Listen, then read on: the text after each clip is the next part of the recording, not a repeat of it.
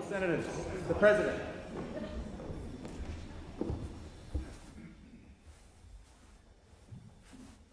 Almighty God, we humbly beseech thee to vouchsafe thy special blessing upon this parliament, and that thou wouldst be pleased to direct and prosper the work of thy servants to the advancement of thy glory and to the true welfare of the people of Australia. Our Father, who art in heaven, hallowed be thy name. Thy kingdom come, thy will be done, on earth as it is in heaven. Give us this day our daily bread, and forgive us our trespasses, as we forgive those who trespass against us. And lead us not into temptation, but deliver us from evil. For thine is the kingdom, and the power, and the glory, for ever and ever. Amen. I acknowledge the Ngunnawal and Ngambri peoples, who are the traditional custodians of the Canberra area, and pay respect to the elders past and present of all Australia's Indigenous peoples. Are there any documents to be tabled by the clerk? Clerk. I table documents pursuant to statute and returns to order as listed on the dynamic red. Are there any proposals for committees to meet during the sittings of the Senate? The clerk. Mr President, committees have lodged proposals as shown at item 3 of today's order of business. I remind senators the question. Oh, Senator Urquhart. I, can I just oh, put this first? Yes. I remind senators the question may be put on any of those proposals at the request of any senator.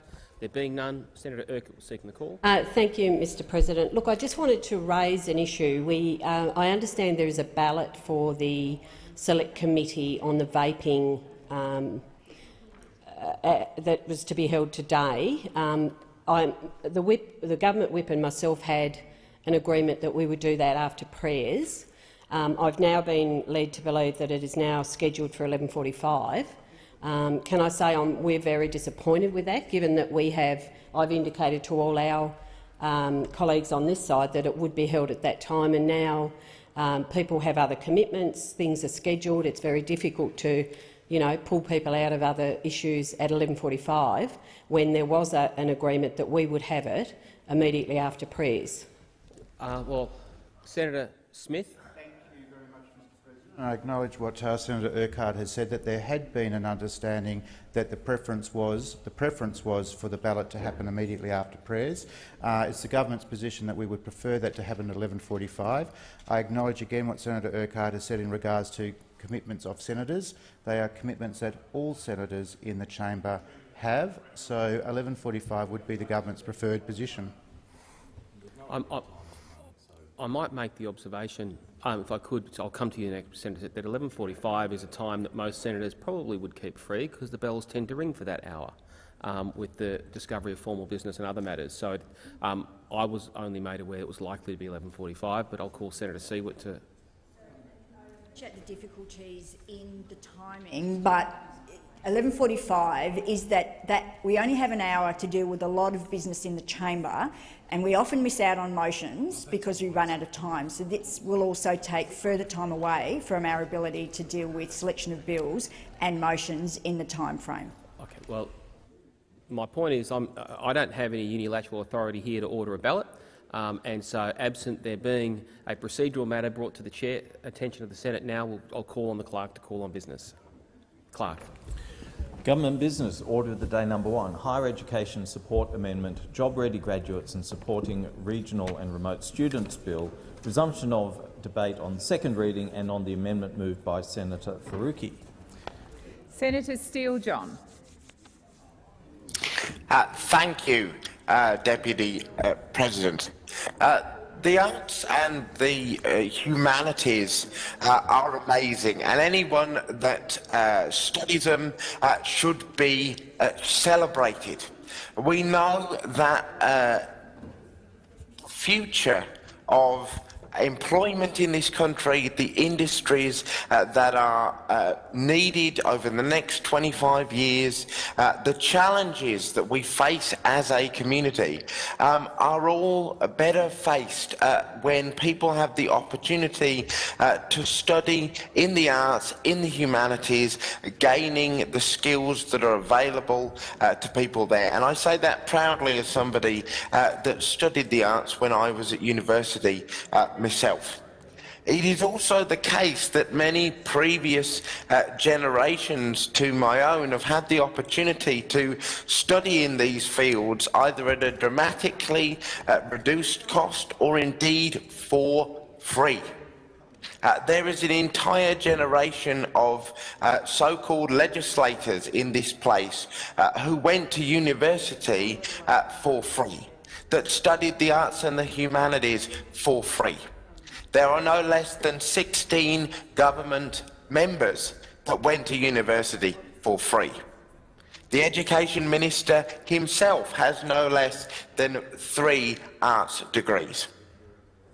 And so you would think in that context that any and all legislation that came before this place would be aimed at opening up opportunity for young people, for students across the country to study at university and encourage uh, people uh, to study in these incredibly vital fields.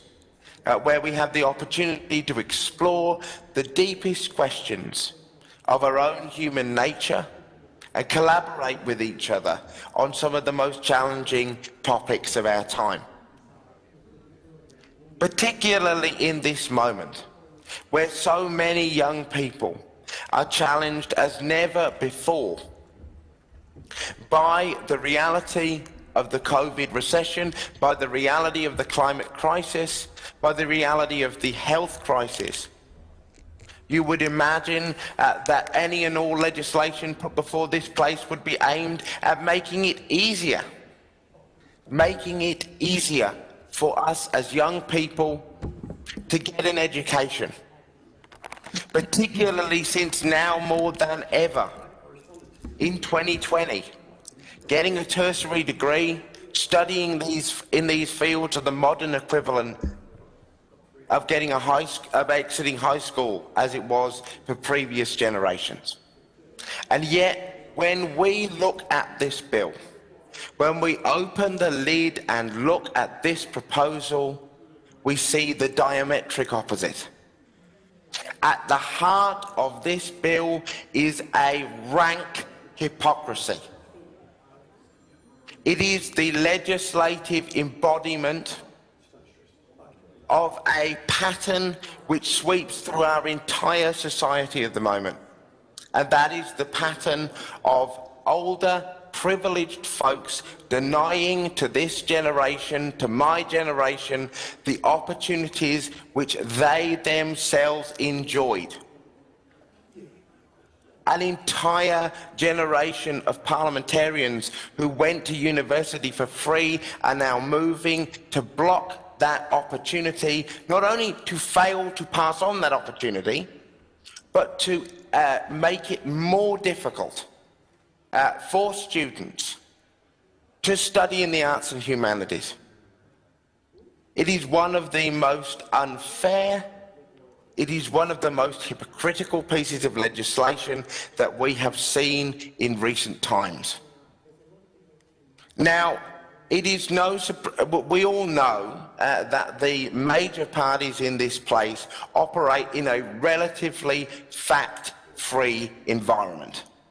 A fantasy land, if you like, where gas is a clean pathway to the renewable energy future and tax cuts for the rich magically trickle down and help everybody else. That's nothing new, but it is worth noting that there is not one speck of academic evidence from any part of the field that will tell you that making uh, arts and humanities more difficult to study is the right thing to do at this present moment. In fact, the opposite is true. I had the opportunity to serve on the Future of Work and Workers Committee as one of my first tasks as an MP. And what we heard very clearly as a committee uh, is that the next 25 years of work in this country will primarily evolve around uh, the human-facing industries, those care industries in aged care, in the NDIS. These are the spaces and places where the trends of automation uh, are uh, most unlikely to take greatest effect uh, because of the vital need uh, of there to be uh, humans in those roles. And these are all things that are better supported by access uh, to the arts and to the humanities. Let me say it again, just so that we are very clear. This bill is a hypocritical act. It denies to my generation, to the young people of this country, the opportunities which were enjoyed by the previous generations. It is being perpetrated upon students by a government comprised of 16 members who themselves went to university for free, by a minister who benefited from, a, from arts and humanities uh, work at university himself. Now, during the course of this campaign, as we have opposed this legislation, thousands of students have reached out to us as a party and shared with us as MPs, as Greens MPs, their frustration and their anger at the double standard that is represented in this legislation. Whether it be on climate, whether it be on unemployment, whether it be in education, the simple ask of young people in Australia is that we not have barriers put in our way that were torn down for previous generations. And that, what, that is what this bill does. And it is not okay. Increasing the cost of an arts and humanities degree by 113% is not okay. It is not acceptable particularly not at this moment in time. We have young people struggling at university all around the country with mental health in a context where the university sector has been critically underfunded for decades, where staff are facing chronic work insecurity. And yet we as students are being asked to pay more to participate in this system we have put ourselves forward to pursue our hopes and dreams, to work with each other, to do the best that we can. And the answer that this government has given us is double, pay double, pay double and get on with it.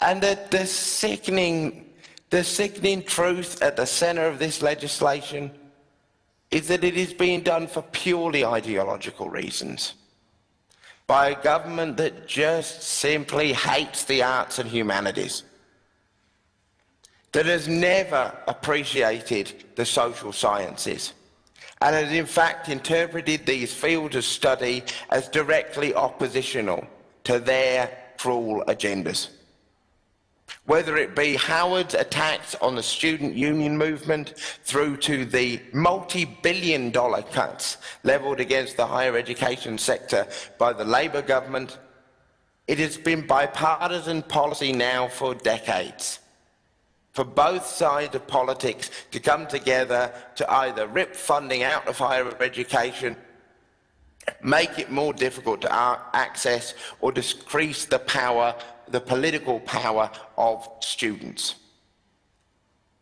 I am incredibly proud to sit virtually with my Greens colleagues today in opposing this legislation.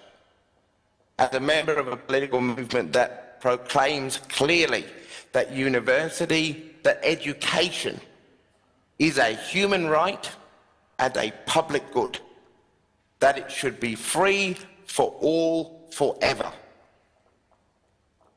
I oppose this bill along with my colleagues and will vote against it with pride. I thank the chamber for its time. Thank you, Senator Steele-John. Senator Polley. Deputy President, I rise to speak on the Higher Education Support Amendment, Job Ready Guarantee and Supporting Regional and Remote Students Bill 2020. The bill is the Coalition's latest attempt to deteriorate our and to attack our higher education system. They want to make it one characterised by high levels of private debt and unequal access. Labor cannot support this legislation. The government states the purpose of the reform is to provide additional university places and to redirect universities' enrolments to areas of study linked to jobs in demand in the labour market.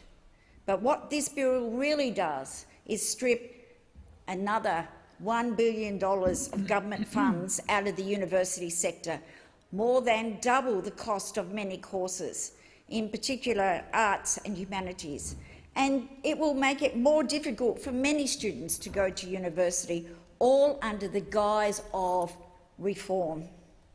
The additional $1 billion announced last night doesn't even make up for what universities have lost this year, let alone the conservative and consistent cuts that we've seen over the seven years of this Liberal government.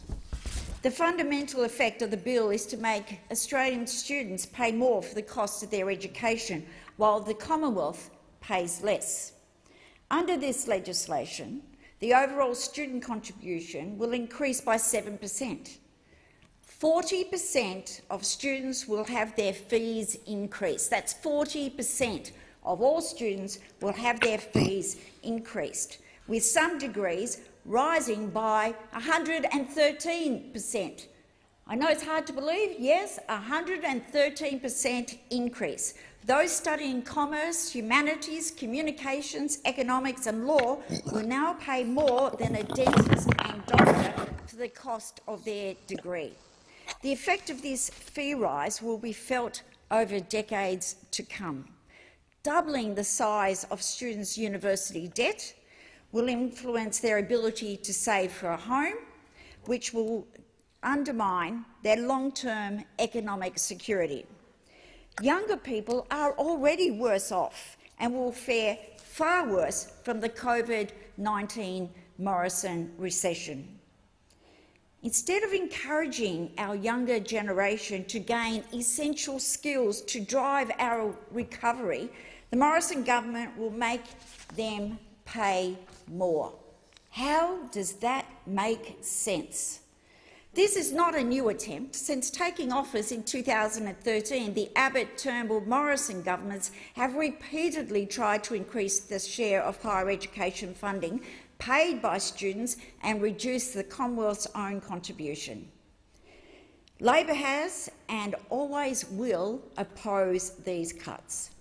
We successfully opposed two previous attempts to do this, in 2014 and again in 2017, and will endeavour to block this present bill's passage through parliament, although we know there's crossbench senators that have taken the 40 silver shillings and sold out Australian students.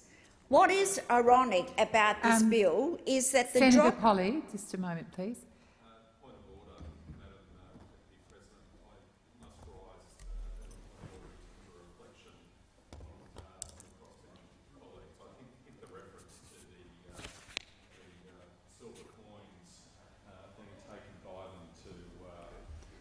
Induce how they vote is perhaps okay, uh, a rhetorical flourish that the a, senator might like to. It is a point of order. It's a point of uh, debate.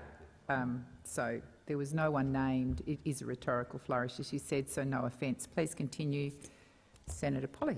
Thank you, Madam President. You know when you get such an interjection that you're touching a nerve, because what I am saying is the reality of what this bill will do.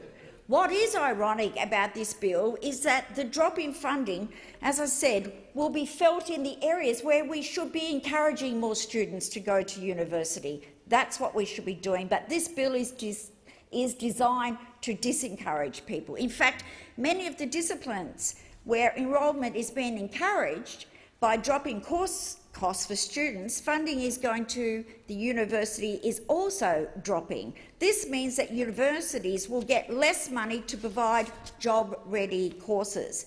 Experts and commentators, so it's not just people on this side of the chamber. Your own former minister for Education, Ms Julie Bishop, has described this design as unreasonable incentive for universities. It will likely achieve the opposite of what the government supposedly intends.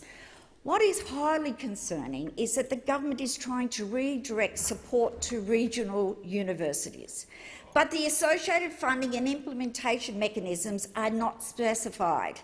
It remains unclear how the redirection of funds to regional universities would operate outside of the bill and whether or not regional universities will be better off. On the contrary, expert analysis suggests that regional universities will be worse off due to the design of the new Commonwealth grant scheme arrangements, which are based on average teaching costs. In many regional areas, these costs are generally higher and often do not fit the one-size-fits-all approach which the Liberal government loves to use, just like they did with the robo scheme, robo-debt scheme. The impact of this crisis on regional universities will be devastating. The bill will make it near impossible for many people in my home state of Tasmania to go on to university and to study without having to obtain a mortgage. Tasmania is already experiencing a skills shortage and a brain drain. The ability to think critically and creatively and to understand how the world operates, skills often learnt in a humanities degree, will be the ones that employers will be looking for into the future. We cannot discount these skills, and we should not discount these skills. We should not discourage people to go on to university and to study the courses that they're passionate about by burdening them with a huge debt. Regardless, humanity graduates are just as likely as science graduates to receive a job in their chosen field in Tasmania. With no real jobs plan in place by this government, where they should not, as I said on a number of occasions, they should not be discouraging young people or people who have been forced to go back to university to increase their skills or to gain uh, skills that they need to go into the workforce. Now, we saw with uh, the government's uh, budget that they brought down on Tuesday evening, they've done nothing for older workers, nothing at all. So older workers who are losing their jobs because of the Morrison's recession and the COVID-19 effects have been attacked by this very bill as well, because it will discourage older Australians from going back to university or going to university for the first time.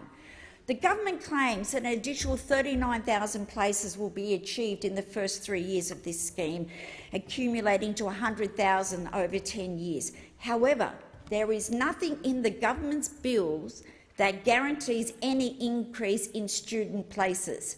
This is the reality. The only thing this bill does is assure that universities will receive less funding for the places they currently provide. There is nothing in the reform for increased demands due to the recession and closed international borders. In effect, universities will be getting less and expected to do more. Even if the government claims are to be accepted, the additional places that are being proposed are not enough to meet the projected increases in student demand. As well as this, the pricing model that underpins this bill is weak the report which the government is basing this legislation on was conducted by Deloitte's Access Economic, and it cautioned it cautioned making judgments regarding the adequacy of funding from these results. That was commissioned by this government. Their own Deloitte's economic report has warned them that the path they're going down is wrong. This modelling made unrealistic assumptions and did not consult with faculties or STEM members. How could you introduce such a bill without consultation for those people who are on the front line? There is a close relationship between the ability to conduct research and the quality of undergraduate teaching, and by undermining this relationship, the Morrison government will have the opposite effect, that they supposedly are working towards. This bill will impede our economic recovery. The government has actively denied the parliament and the public adequate time and information to fully debate and interrogate this bill. It is clear to Labor that the government is attempting to avoid further evidence coming to light of the bill's unfairness, irrationality and the poor design. This bill comes at a particularly difficult time. for Year 12 students who have just completed their final year of study in an extremely uncertain times and under extremely uncertain conditions. They have watched the jobs market collapse and they will be worse off for it, with subdued employment for some time to come. They have also seen apprenticeship opportunities vanish around the economy. For universities, they are already reeling for the impact of the COVID-19 pandemic. This sector is particularly hard hit because of the loss of fee, full fee paying international students. The consequences of the decline in international student fees revenue has been estimated to result in a loss of income available to support research by up to $7.6 billion over the next five years. That will mean a reduction in the research workforce of 11 per cent of up to 6,000 jobs. Yet there is no plan for this in Frydenberg's budget. Experts have warned that without the same level of discretionary funding available for the next few years, it is likely to be a significant loss of research momentum in Australian universities. For university staffs, and we've seen it already in Tasmania, the federal government has gone out of its way to exclude public universities from JobKeeper payments. It's changed the rules three times to ensure they don't qualify. There's already been 12,000 job losses. We cannot afford to lose any more. Now isn't the time to withdraw further support from our education system and to impose a flawed policy which stakeholders, experts and even the previous Liberal Party members do not endorse. We're relying on our brilliant universities and their research to find a vaccine for COVID-19 but they can't rely on the Morrison government to protect their jobs.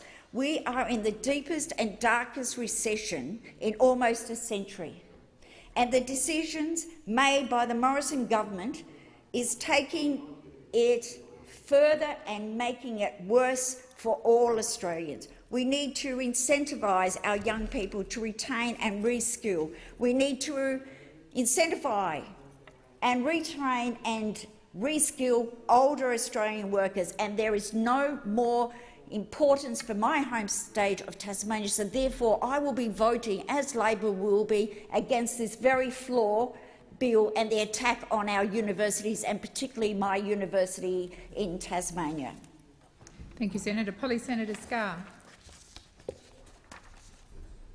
Madam Acting Deputy President, I rise to speak in favour of this bill as a member of a party which has a proud tradition of supporting higher education in this country.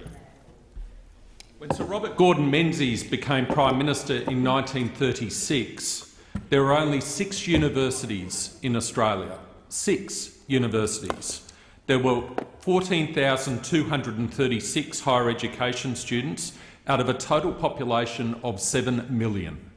14,236 higher education students out of a total population of 7 million. When Sir Robert Gordon Menzies retired from the position of Prime Minister, this country had 16 universities, 6 to 16, and there were also 91,272 higher education students. 91,000, 6 to 16 universities and 14,000 to 91,000 students an incredibly proud tradition um, that the Liberal Party has in terms of supporting higher education in this country. Higher education in this country did not start with Gough Whitlam. It did not start with Gough Whitlam, however much those opposite would like to tell us. And in terms of what should be a university, again, I go back to the words of the founder of my party, Sir Robert Gordon Menzies. And I'd like to quote from a speech he gave in 1939. And this was an address on his first day as Prime Minister. On his first day as Prime Minister, Sir Robert Gordon Menzies talked about the importance of the university.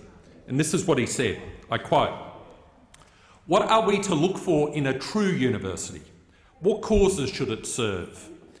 He put forward seven answers in response, and I quote again.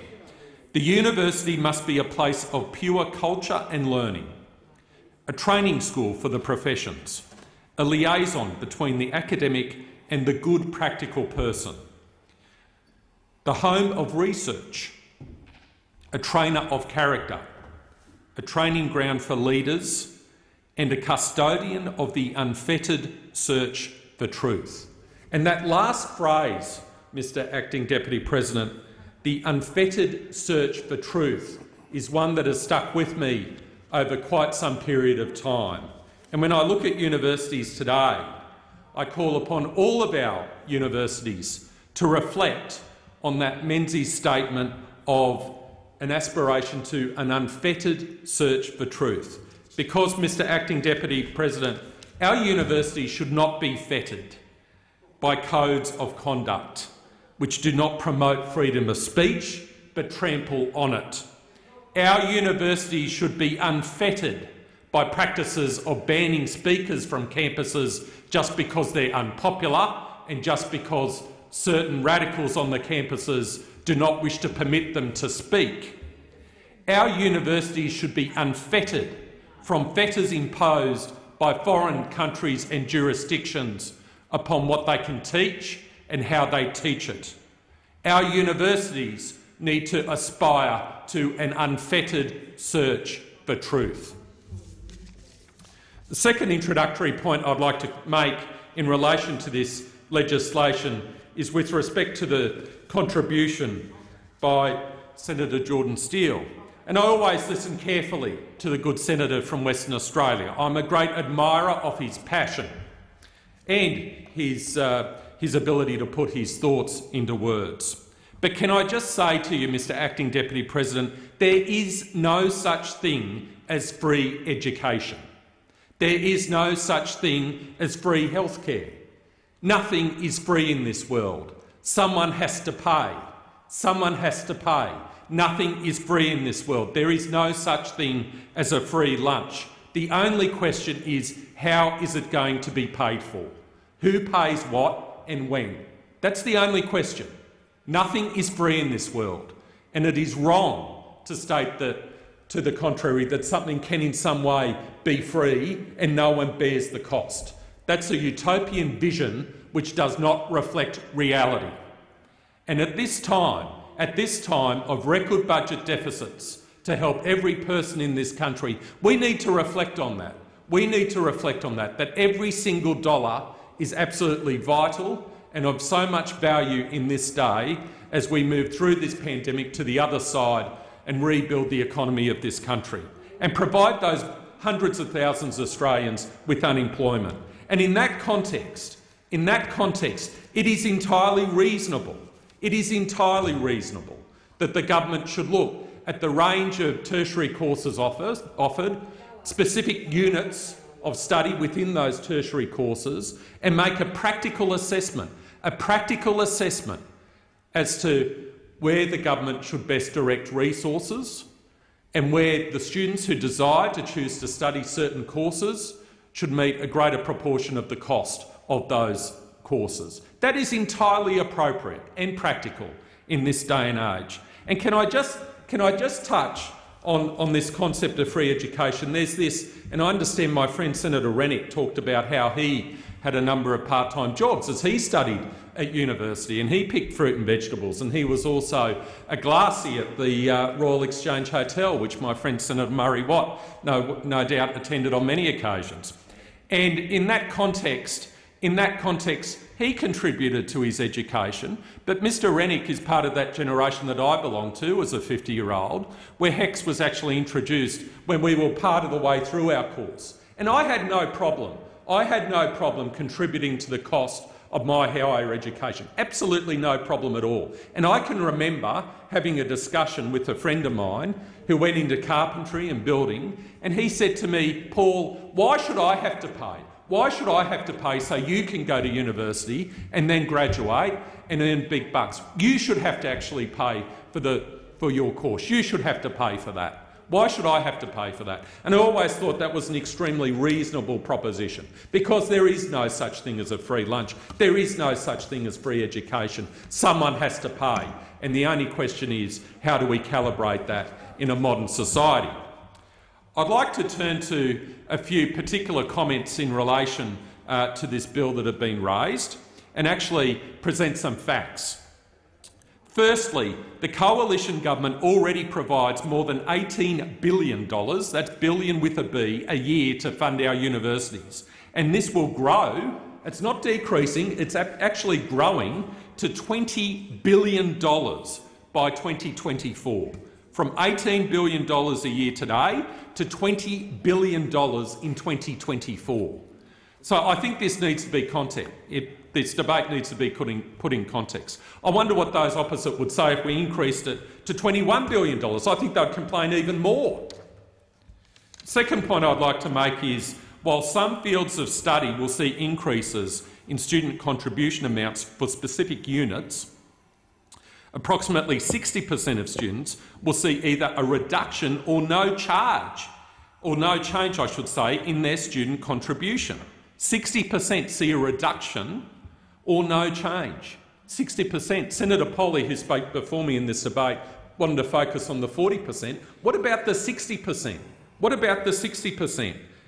And those students enrolled in teaching, nursing, clinical psychology, English and languages will pay 42% less for their degree. 42% less for their degree. And we know, we know there is a great need for clinical psychologists at this point in time. I've sat in estimates and heard uh, from the Department of Veterans Affairs how our veterans need access to psychological support. And we know in the aftermath of the bushfires and of the COVID-19 pandemic, a lot of people are going to need a lot of support. We need more teachers, we need more nurses, we need more English teachers, especially assisting those new Australians to learn English so that they can get better jobs. We need all of those students in those courses, and it's fit and proper that they should pay less. Absolutely, because our community needs people with those specialties who can do those courses. Students who study agriculture and maths will pay 59% less for their degree. 59%. We need more maths teachers. We need more farmers educated in best farming practices who can work on our farms and increase productivity. And it's fit and proper that they should pay 59% less for their degree. Students who study science, health, architecture, environmental science, environmental science, IT and engineering will pay 18% less for their degree. And again, again, these are decisions which are informed by what is actually happening in the labour market today. Can I say to you, Mr Deputy President, and this will, Acting Deputy President, and this will certainly not be the most profound thing said in this chamber, Australia does not need more lawyers.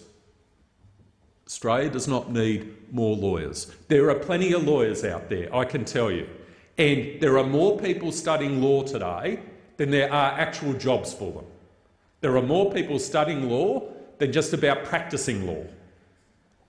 And it is fit and proper it is fit and proper that this government should give a message to people looking to undertake higher education, looking to undertake higher education, as to where their prospects lie the best. It is absolutely wrong. It is absolutely wrong that we should send a message to people that they should be entering into courses to study certain things when their employment prospects are less than if they were studying other courses. It's absolutely appropriate we send this message to them through the market. But if after all of that, if after all of that, and I know young people who want to study law, I know young people who want to study other humanities where the price may well rise under these reforms. I know those people are out there, and good luck to them. I support them, absolutely support them. But in doing that, in doing that, even if they choose to do that, under our higher education loan program, the help system, no student needs to pay anything up front. No student needs to pay anything up front, and student loans are only repaid when the student is earning over $46,000. Student loans only repaid when the student is earning over 46000 So if you want to study law, study law. Good luck to you. Give me a call and I'll talk to you about the practice of law and how I've seen it develop in the years since I graduated university in 1991. Absolutely do it. But just know, just know the sort of profession you're getting into and how many people are actually practicing in that profession today, how that impacts on your job prospects, and how it could well be, how it could well be that you might find it easier to secure employment in another field where this country is desperate, is desperate for more people to study particular fields in teaching and nursing, clinical psychology, English language, etc. So be informed. Be informed as to what your prospects are. Be informed. And if you do choose to study any of those courses, any of the courses that are available to you from any of our wonderful universities, note that a person on the lowest repayment threshold, which starts at 80% of the median earnings for all Australian employees, will pay only $8.80 to $10.20 per week. We're talking about $10.20 a week after you've studied your course, whatever it is, whatever it is, whatever it is, and you breach that lowest repayment threshold, so you have to start repaying, $8.80 to $10.20 per week. Is that too much to ask? Is that, seriously, is that too much to ask, Mr Acting Deputy President? Is that too much to ask? I mean, it's, it's quite baffling how those opposite can be so outraged, and one has to query the degree to which this outrage is, is really confected. Is really confected. I must say, I was sitting here yesterday in question time listening to the questions coming from the opposition in response to the budget, and they were, really were particularly underwhelming. Particularly underwhelming. They couldn't lay a glove, couldn't lay a glove on the budget that was brought down on Tuesday now, night, and now we had this confected outrage over what? someone who goes to university, someone goes to university, they don't have to pay a cent whilst they're studying, they don't have to pay any fee whilst they're studying, and then once they reach the lowest repayment threshold, right, which starts at 80% of the median earnings for all Australian employees, they're only going to pay $8.80 to $10.20 per week. Can I tell you, there would be millions, millions of people around this world millions of people who would love to have that opportunity to study in our universities and pay that amount, $8.80 to $10.20 per week, 80% of median earnings. They would love to have the opportunity to do that in our country and study at our wonderful universities. I commend this bill to the Senate. Senator Thorpe. Thank you, Acting Deputy President. I would like to begin by informing the chamber that this is not my first speech. I rise to speak in this long debate on the Higher Education Support Amendment, Job Ready Graduates and Supporting Regional and Remote Students Bill 2020. The, Green, the Greens oppose this bill. Nothing is for free, says Senator Scarr. In that case, maybe we should talk about the stolen land and resources from this country's first people or the free money to your Liberal Party donors in this budget. It saddens me that in my first week here in the Senate, I'm witnessing firsthand the unfair and out-of-touch agenda of this government. This bill, along with this week's federal budget, shows how this government does not care about setting up a smarter, safer, healthier future for this country. They especially don't care about our country's young people these young people are facing a pandemic, an economic crisis and a climate emergency. Young people in this country just want to have a chance, a chance to get an education if that's how they choose to contribute to their community. Young people just want a chance not to be tied down to decades of debt. Many of my fellow senators in this place and members in the House benefited from free uni education. Not just cheap education, free education. It's hypocritical that they are the same people that will apply happily the next generation of young people or deny the young people of this country the same opportunity. The government, with this package, is put pulling up the drawbridge so no one else gets to come in. Education is about opportunity. It's about having the chance to get new skills, get qualified and get on the path to a secure and rewarding job. Education is about being able to have an opportunity to go to one of our universities, some of the best in the world, without worrying about being crushed by a huge debt that follows you around for decades. Education is the great equaliser. That's why this government wants to make it harder for people to get one. This package will more than double fees for those students who want to contribute to our society by studying humanities and social sciences.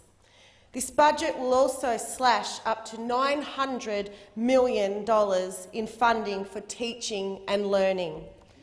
This includes funding from STEM and nursing courses. That's how out of touch this government really is. They will slash nursing, social science, science funding in the middle of a global public health crisis. It's shameful. This bill will punish struggling students who are already struggling. For some students, it could take up to 20 years to pay off a three-year humanities degree, according to our modelling, and maybe even longer that assumes graduates will be able to go straight into full-time work that pays them a good wage that allows them to put food on their table and a roof over their heads. It doesn't account for any years taken off any full-time for parental leave or to care for a loved one or for any other personal reason. It also doesn't take into account further study that someone might need to do just to get a foot in the door. And the government's claims to support regional universities with this plan just doesn't stack up. The government's plan will force regional universities to teach more students with less money and forces their students to go into huge debts just to get their degree. The consequences for regional communities will be felt hard and for a lifetime. I'm particularly concerned that this bill will deepen inequality for Indigenous students in particular. This bill puts more barriers for our people to go to university, to get a job, earn a good wage that can support themselves, their families and their communities. Indigenous students are more likely to be loaded up with high HECS debts because they often choose to study social sciences and community development as a way to give back to their communities. We should be prioritising and rewarding their hard work, not putting up more walls and building more barriers for our young people to get an education in any field they choose. Education is not just about being a cog in a machine, it's about being able to contribute fully to the society you live in. No person in this place or anywhere should ever make it harder for anyone to go to university, particularly Indigenous young people who have been locked out of opportunities in our own country for centuries. I've seen so many photos of Indigenous graduates on Twitter, many of them the first in their families to go to university. I encourage all senators to search for the hashtag blackfella grad pics. You'll see photos of our young people graduating as nurses, doctors, social workers, social scientists, surgeons, journalists, therapists, scientists and teachers. All of them make their families, their friends and their ancestors and elders proud to be graduating while wearing the Aboriginal and Torres Strait Islander flags. As we approach graduation season all around the country, we will see even more Indigenous community development workers, counsellors, lawyers and engineers, and I can't wait to share in their happiness. In fact, I can't wait to welcome some of them into this chamber as fellow senators. Everyone here should be making it easier for Indigenous young people, all young people, to get an excellent education at our excellent public universities and for free. This package does not do that. It's far from it. Just yesterday we heard Senator Griff say in, in this chamber that in an ideal world there would be more university funding. I remind my colleague and all senators in this place that more funding for universities is not something that exists only in the imagination. It's something that every single senator in this chamber has the power to make happen today. But this bill is not it. No one should ever come to this place thinking that it's beyond their power to create a better and more educated Australia. In no place should we be making it harder for anyone who wants to study at university to do so. We've got a big challenge on our hands, recovering from this coronavirus pandemic and the economic crisis it has brought. The higher education sector has been hit so hard. We've heard this thought throughout this debate. In my home state of Victoria, the higher education sector is hurting. So many jobs have already been lost and more losses are likely to follow. There's a big demand for places in higher education because people want to get new skills and get ready for a changed job market but the package in this bill does not create anywhere near enough new places. We're also going to need to be smart. We need to grow and expand how much public money goes into research.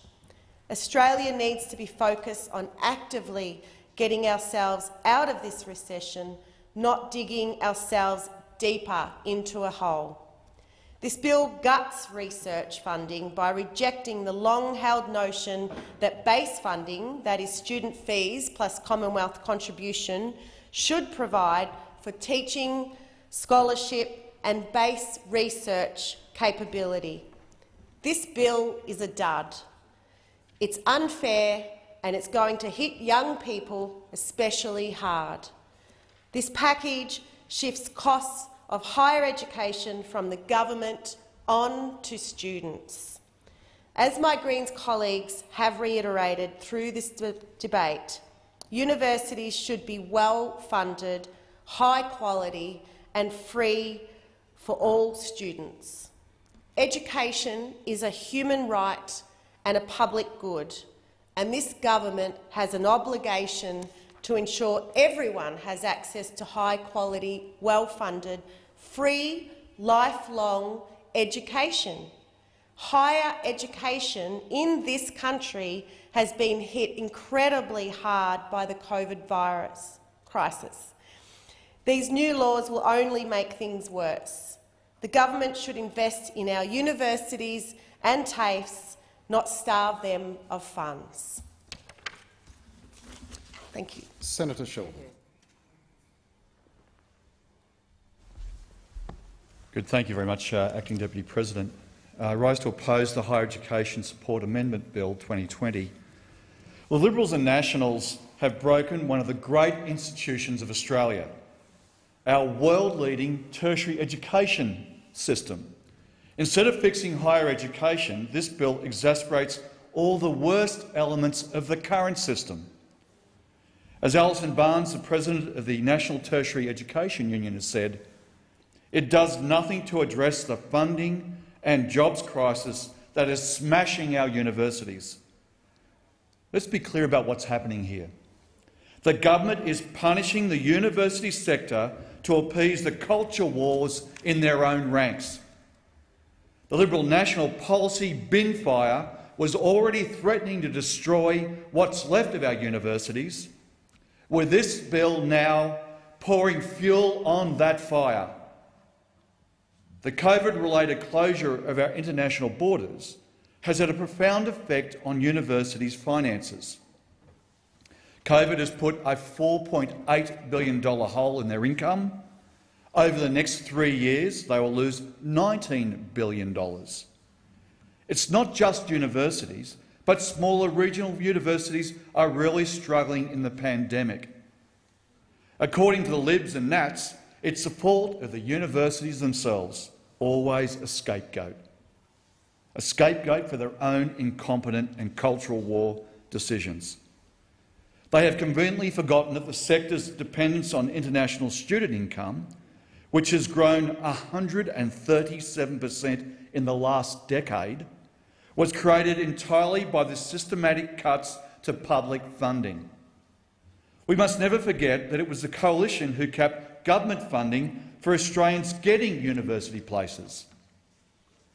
And it's the Coalition who have tried time and time again to bring in American-sized debts for students to compensate for the deep cuts of funding.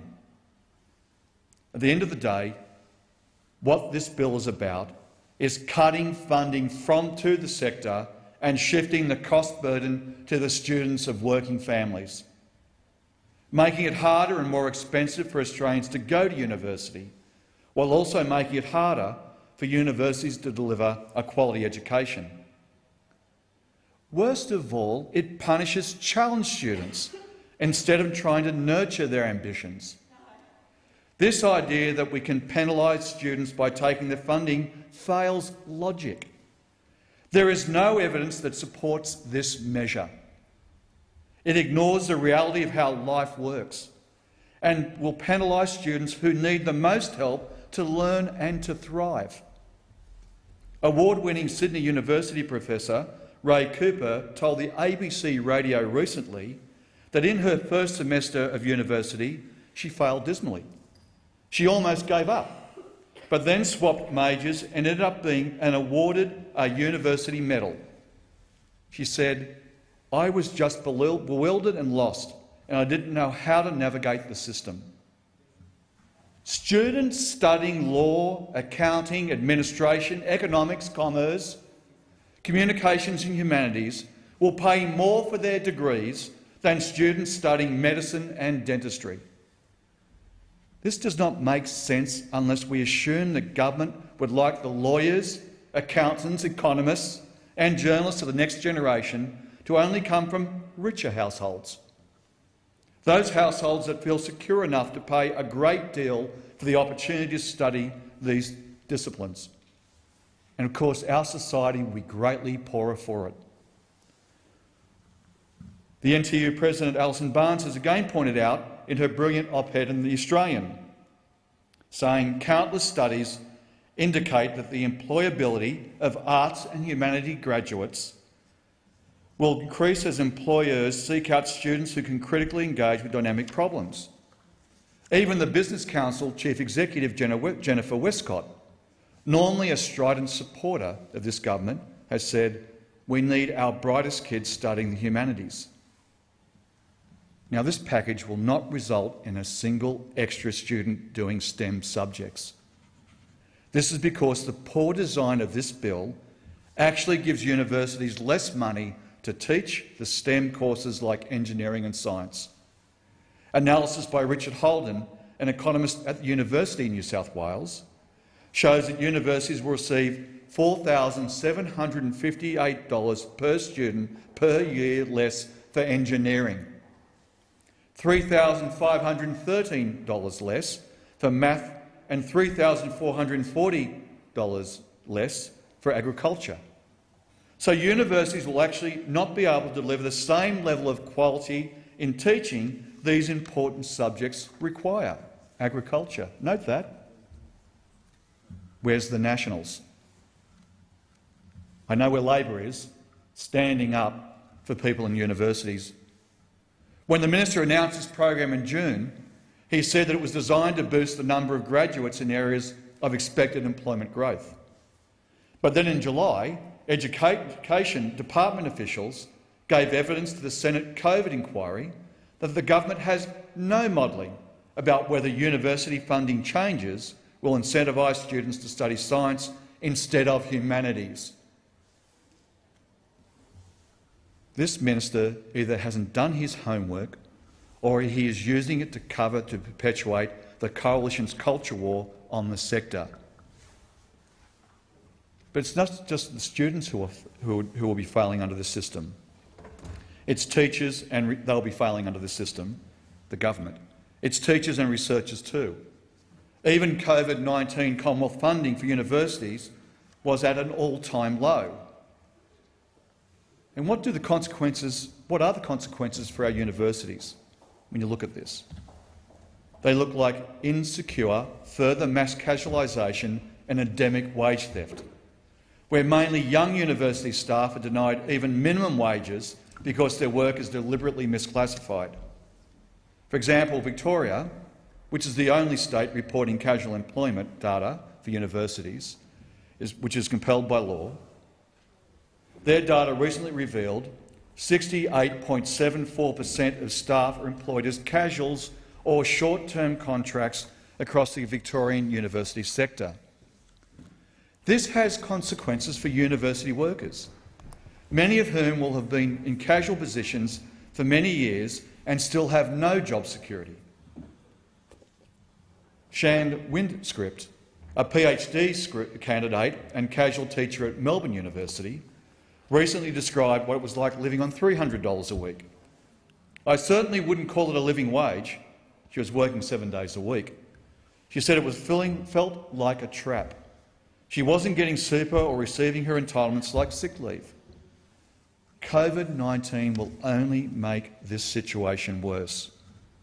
A report released in July from the Rapid Research Information Forum and handed to the federal government estimated that 21,000 full-time equivalent jobs in the university sector were at risk by the end of the year, with 7,000 estimated to be research-related academic positions. The bill does nothing to help that. This bill shifts the burden onto students regardless of where you study or what you study, particularly if you're a Western, a Western Sydney student. Based on the estimates of the Centre for Social Justice and Inclusion at UTS, University of Technology Sydney, the government's package will take half the funds currently allocated to supporting students from underprivileged backgrounds and give it to universities in regional remote areas. Not that they don't deserve it, but what are those people about those people in Western Sydney? What about the economic hub of that university in Western Sydney that employs and engages and makes Western Sydney more livable? The Senate inquiry into this bill heard testimony that the University of Western Sydney could lose $6.9 million a year under the government's package. Mr Acting Deputy President, why take it out on Western Sydney? This is just another example of how this government pits communities against each other. Their failure of the member of Lindsay is stark in this example. Failed to stand up for Lindsay, failed to stand up for Western Sydney, and lost $6.9 million in the economy of Western Sydney supporting the underprivileged. As Verity Firth, former Minister for Education in New South Wales, has pointed out, Western Sydney University, for example, has played a key role in expanding access to higher education for working class and first-in-family students. There is no reason why funding that is aimed at equitable outcomes should not continue to support the role of Western Sydney University which has played such an important part. And yet, based on Centre for Social Justice and Inclusion's research, calculations for Western Sydney University is the biggest loser from this package. But it's not just Western Sydney that is missing out. No city or region will be left unscarred by the injury to our universities. Thank you. Senator Pratt. Thank you, Madam Acting Deputy President. A strong university sector is critical to the national interest now more than ever. Instead, we have yet again another attack on Australia's university sector. This is a bill that flies in the face of our national interest and fair access to a university education. This bill is yet another failure, another failure from Mr Morrison's Liberal Party policy machine, a machine vested not in the national interest but in narrow ideological ones. It has an approach riveted uh, throughout this that is vested in an Americanised attempt to attack our education system. The Liberal Party simply wants to make it harder and more expensive for Australians to go to university. It simply wants to attack the research fundamentals of our strong university sector. There has been a despicable deal done with uh, Centre Alliance and Pauline Hanson to get this legislation through. It has no regard for the devastating outcome on universities and students. And I say shame on Senator Griffin, Senator Hanson. You have betrayed Australia's young people and you are responsible for the young people that miss out on a degree and all those young people that will pay more and every university job lost. Senator Lambie, thank you for seeing sense in not supporting this bill, and uh, Senator Griff, I mean uh, Senator Patrick. It is uh, an immense, uh, it's immensely pleasing to see the detailed uh, examination that you made of this legislation. You highlighted that you don't want to see a young Australian person from a poor background missing out on education and having bright, a bright future. And it's a shame that the same level of decency couldn't be applied to other members of the crossbench. I would have thought that amidst the economic fallout and a global pandemic, even this government, this government should have had a better set of priorities upskilling Australians, drawing on TAFE and, and our university sector to rebuild our economy. Instead, we have a government that has attacked universities at a time when demand for education is growing. Increased unemployment from the economic fallout of COVID-19 uh, has seen increased demand in higher education. And this government has talked about its so-called 39,000 uh, places, increased places. Those places are not locked into this legislation. They are a wing and a prayer uh, in terms of a promise to the sector. There's no funding for those extra places in this legislation. Universities have already uh, been affected by the loss of international students uh, and the decision by the Prime Minister to exclude them from the JobKeeper wage subsidy. That's seen over 10,000 university uh, workers lose their jobs. Instead of bolstering the sector to aid access to education and economic recovery, we have a government that has attacked the sector and rushed this legislation under the cover of COVID-19. It is just the latest attempt to cut funding, increase student debt and reduce equity. The impacts of this legislation are far too high a price to pay. The impacts of this legislation will leave a legacy that will fundamentally damage the most important principles and benefits of higher education in our nation. The government has quite simply bullied the higher education sector into accepting this package that is clearly against the interests of students, the economy, research and innovation, universities themselves and the nation. This government has rushed this legislation because they're up to no good. You fought tooth and nail against an inquiry that you didn't want. Had to, we had to contend with the government using its numbers to ensure an unworkable timeframe to examine the legislation, all at a time when Year 12s are, are, are doing their exams and have been confronted with the most difficult year ever. So averse to scrutiny is this government that you didn't release the modelling on the impacts of your own legislation. You ducked responsibility to this parliament and to the sector itself. It is unacceptable that the government has asked parliament to vote on legislation without doing the decent thing and really highlighting and giving access to members of this place about the real financial impact on universities of this bill and on students. In the absence of government providing detail, I'll provide the opportunity to take some numbers uh, that senators and Australian students might find interesting under this ledge. So overall, the student uh, contribution increases by 7 per cent. Some might say, in the current circumstances, that's fine. But let's look at the inequity of how that debt is distributed. 40 per cent of students will have their fees increase, but some degrees will increase by 113 per cent.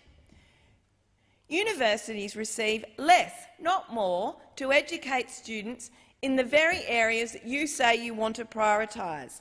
32 per cent to teach medical scientists, 17 per cent less to teach math students, and 16 per cent less to teach engineers. This is simply nuts. The University of Sydney highlighted nationally women and Aboriginal Torres Strait Islander students are he heavily represented in fields that will have the highest student contributions under the proposed changes. The government says, and I'm sure I'll hear this further from uh, senators opposite, that the aim of this bill is to encourage price signalling to guide students into particular courses. Well, the simple fact of the matter is, if you want to guide students into maths and engineering, you need to allow universities enough funding to increase the places for those uh, fields of study.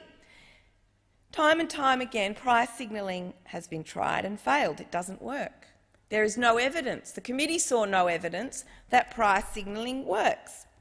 Instead of redirecting enrolments to a certain field of study, this bill means that some students will be paying $14,500 per year for their education, uh, and frankly, this is more than the combined uh, government contribution and student contribution uh, by some by more than $1,000 already. It's the difference between the lowest fees paid by students and the highest fees will grow by a magnitude of four. The policy rationale here is just not supported by any evidence at all. High-paying professions will have lower fees, lower-paying professions will have higher fees. A graduate could pay twice as much for their degree and be earning much less as another graduate with a much lower student debt. It is nothing more than an egregious ideological agenda that has no basis in the reality of employability and job readiness for graduates across their fields of study. On top of clear evidence that price signalling doesn't work, universities and evidence to the Senate committee, they have admitted that the fee schedule is likely to motivate uh, perverse enrolment and spending outcomes. A number of universities told the committee they would jump immediately to the maximum student contributions because of the package's funding cuts. Now, this can only be code for taking that $14,500 that you might be charging a commerce, law, economics student uh, uh, or a humanities student and taking not only taking some of the money that that student will owe in student debt, as well as the Commonwealth graduate contribution, and shifting that money to the capped uh, to the fields of study where uh, income for those places has been capped. So far from useful price signalling, this will uh, result in perverse enrolment outcomes across our university sector. Universities admitted that while the new student debt component would be higher than the total 2020 income per student, there was no requirement that these funds be spent on these same students, just as I said. Universities can move income from both student fees and the government subsidy to other faculties where student debt has in fact decreased, and indeed the government contribution has also decreased.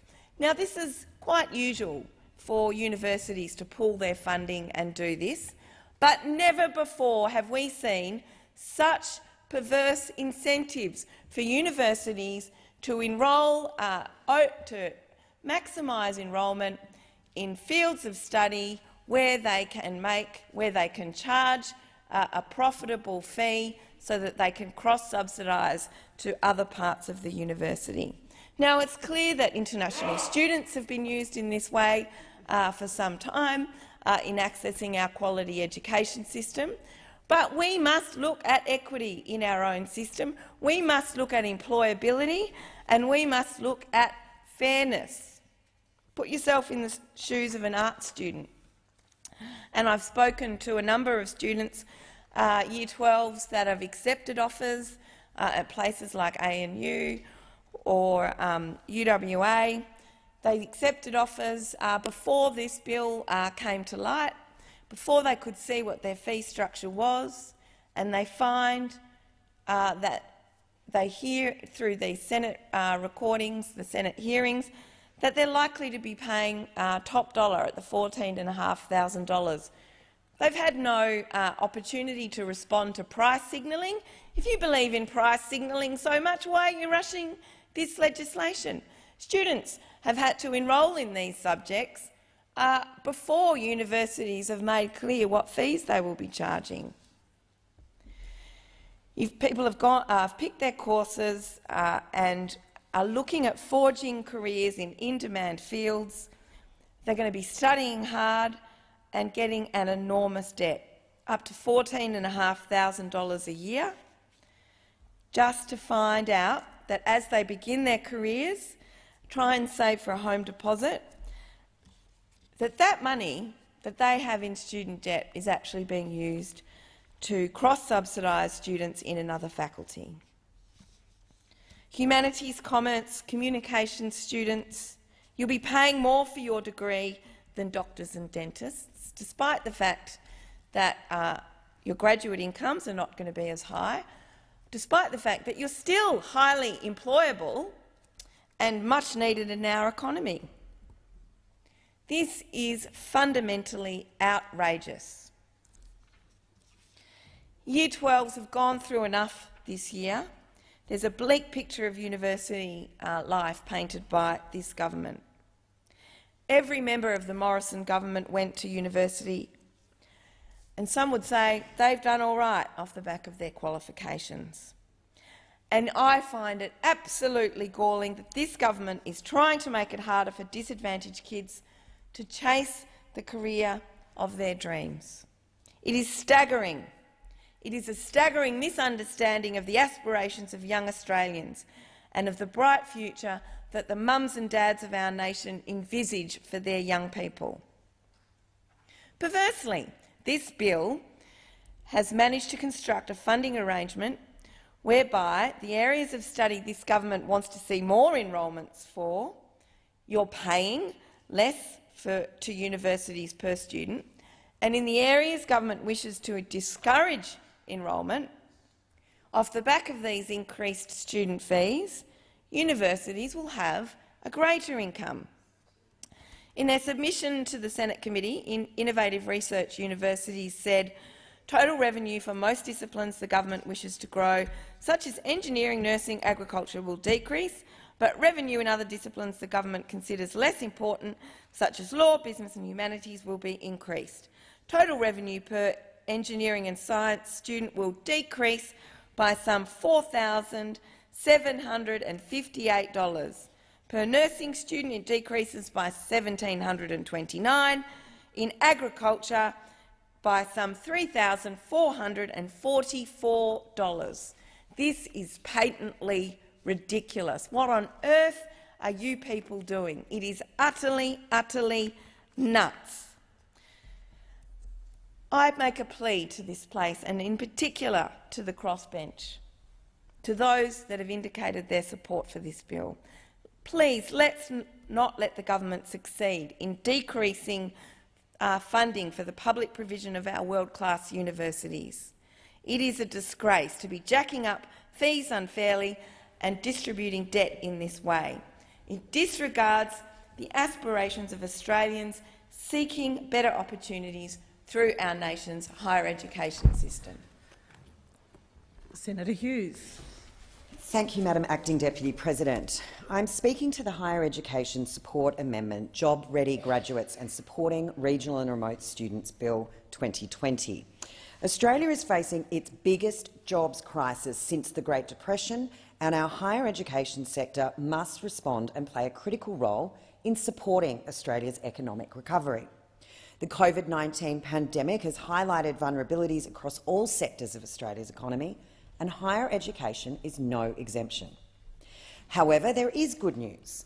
for this rapidly changing sector and for the students it serves. While the Morrison government is providing record-high funding for the university sector, the system must adapt to be able to support Australians through this period. And it must be done in a way that supports the increasingly agile and innovative digital economy. We know that demand for higher education increases during economic slowdowns and that students seek newer, more relevant job skills to help them enter or re-enter the workforce.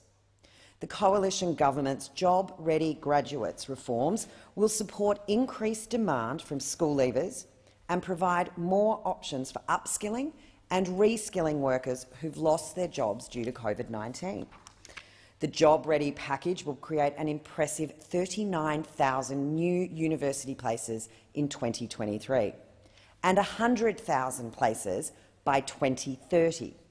It will also provide additional support for students in regional and remote Australia.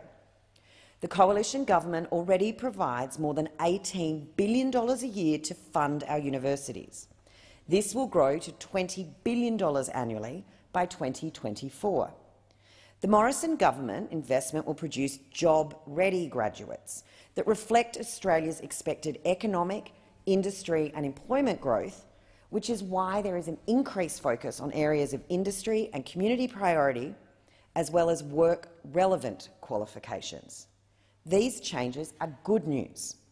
The new arrangements will encourage prospective students consider adding new skills sought by employers, as well as their own preferences. In addition, higher education providers will work more closely with industry to ensure graduates have the job-ready skills and experience that they need to move into new and more innovative and more challenging labour market. The Commonwealth Grant Scheme, funding clusters and student contribution bands are being simplified to make government funding for universities clearer, simpler and more sustainable. Overall, Australian taxpayers will continue to pay for more than half of the costs of Commonwealth-supported places, with funding prioritised to the areas of high public benefit and those most needed by the labour market.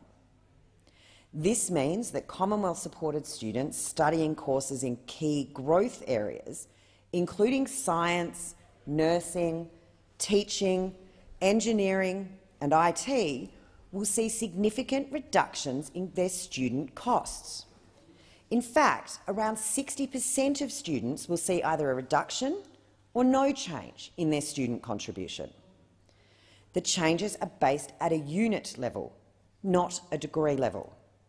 This means that by choosing electives that respond to employer needs in subjects like mathematics, English, science and IT, students can reduce the cost of their overall degree.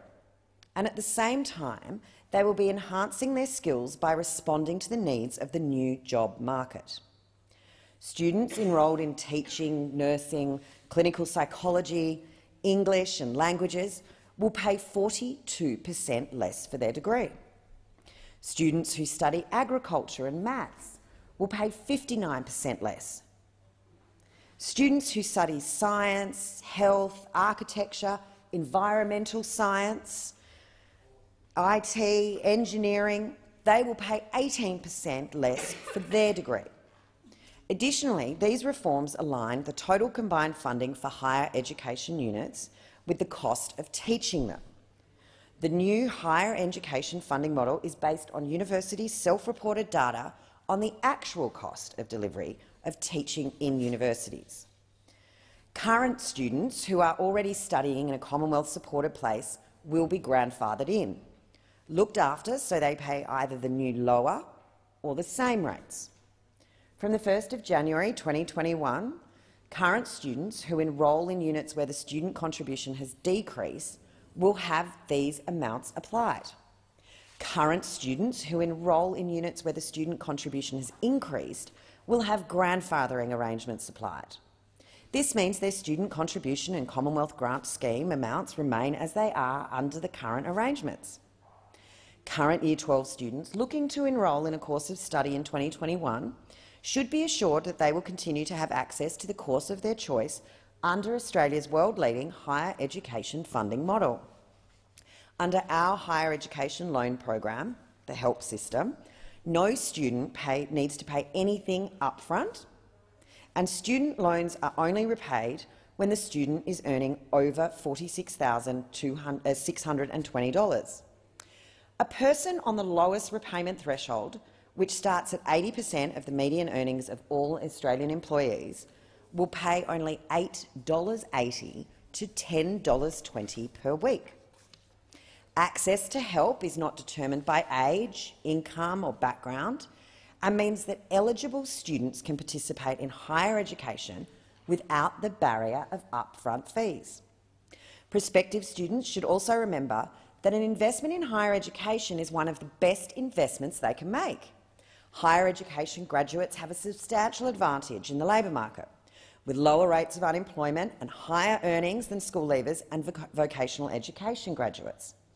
The Job Ready package includes $900 million National Priorities and Industry Linkage Fund designed to strengthen industry and university partnerships and prepare job-ready graduates. The bill extends Commonwealth support to more work experience in industry units of study. This will incentivise universities to include more work integrated learning options in their courses and encourage students to gain more work experience from what they learn. And then there are the regional, rural and remote students. In addition to providing more student places at Australian universities overall, the government will provide more than $400 million over the next four years to increase opportunities for regional and remote students to attend university and to lift investment in regional university campuses. All Aboriginal and Torres Strait Islander students from regional and remote areas will have a guaranteed Commonwealth-supported place upon admission to the university of their choice a key Napthine review recommendation. For the first time, the Higher Education Participation and Partnerships program will support regional, remote and Indigenous students, in addition to low SES students, to access and complete higher education.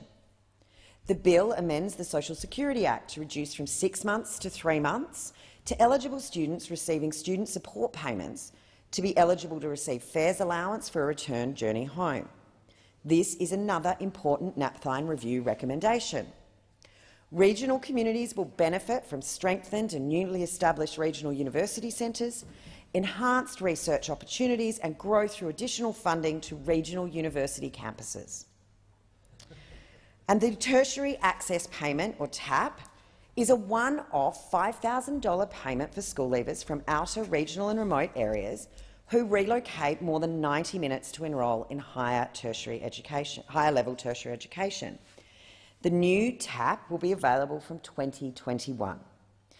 These will be distributed to universities as a scholarship, and the number of scholarships allocated to a university will be based on its historical enrolment of students. The TAP will also be accessible to students studying at non-university higher education providers and VET providers through Services Australia. Under the package, the Commonwealth contribution to university funding, coupled with the student's contribution, will be aligned with the cost of delivering the course.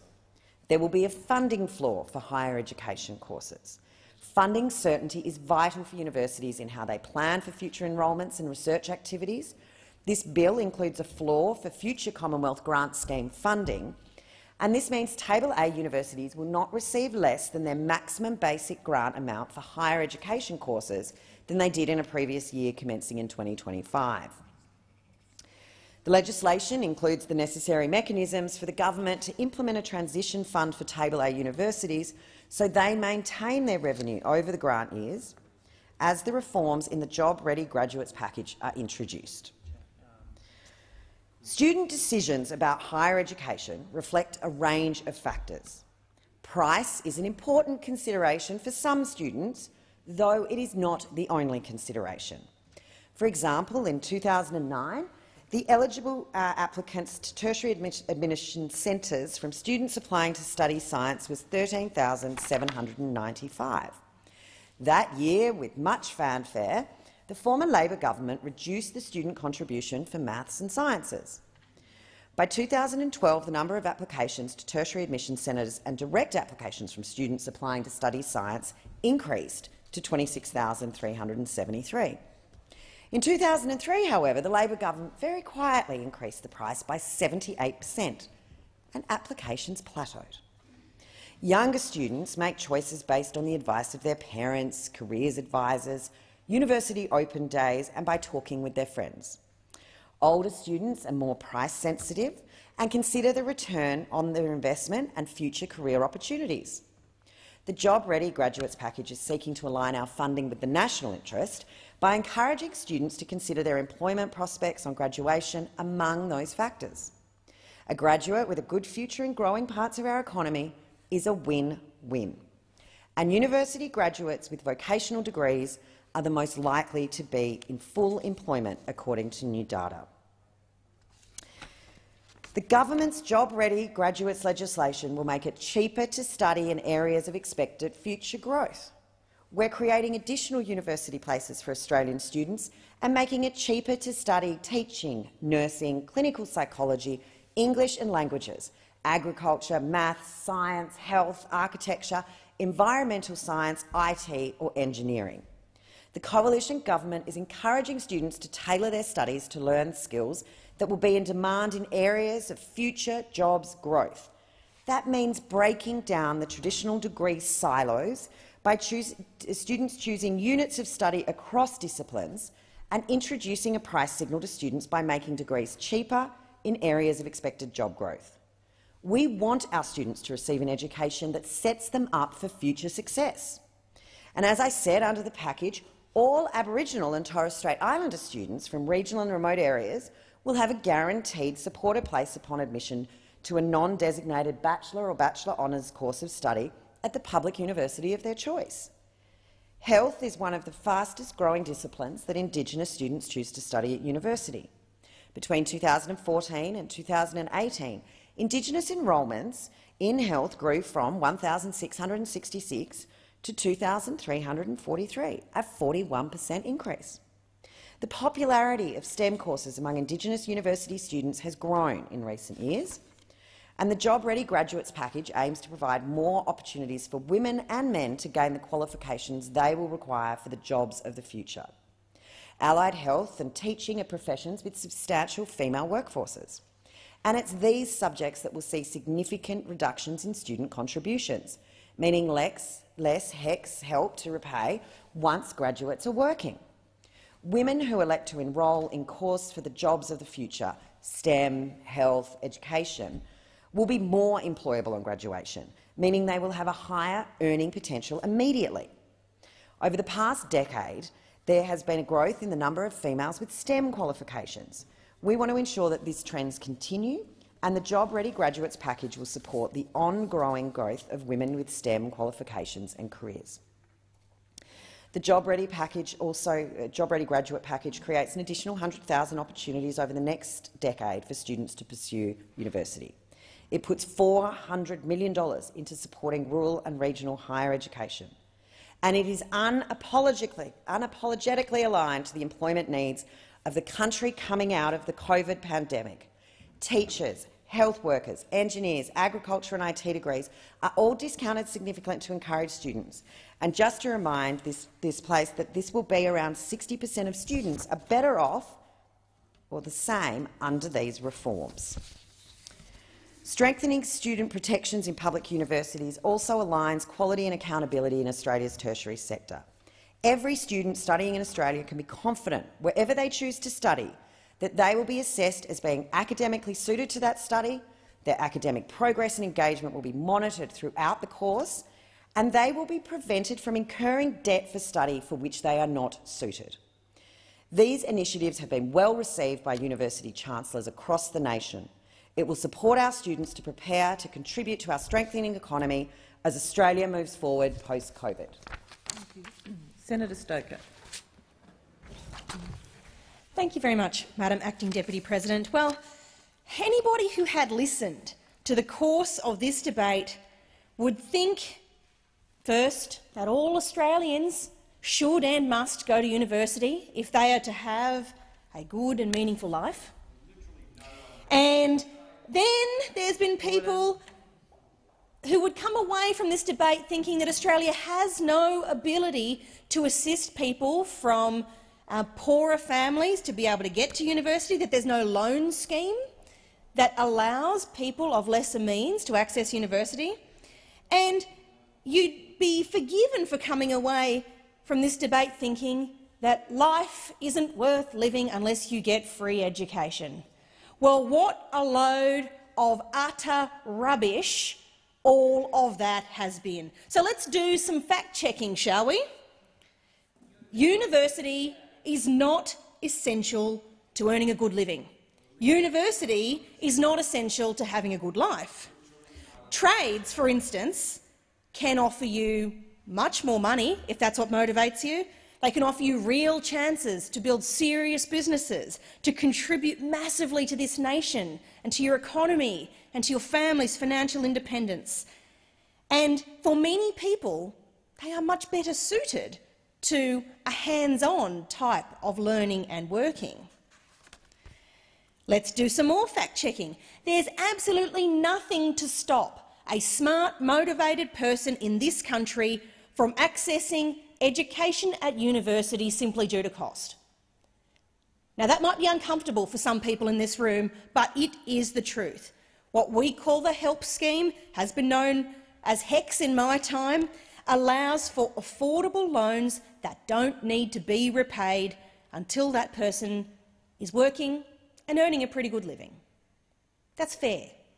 And it means that a kid of modest means like me, and indeed many people on the coalition side of this chamber, have been able to go to university despite the fact that they're nothing fancy. Now, there's also something that seems to be getting lost in this debate too, the idea that university is something that mum and dad always pays for, or the idea that you shouldn't be doing anything else but studying while you're learning. Now, my experience of university was that working part-time while I studied was not only something that helped me pay my way, but it was a big part of the experience of learning to be an adult. Working four jobs while I was at university taught me to prioritise my spending, to manage my time, to communicate with my employers about my commitments and manage them well. It taught me how to chat to people from all walks of life and appreciate their different strengths and interests.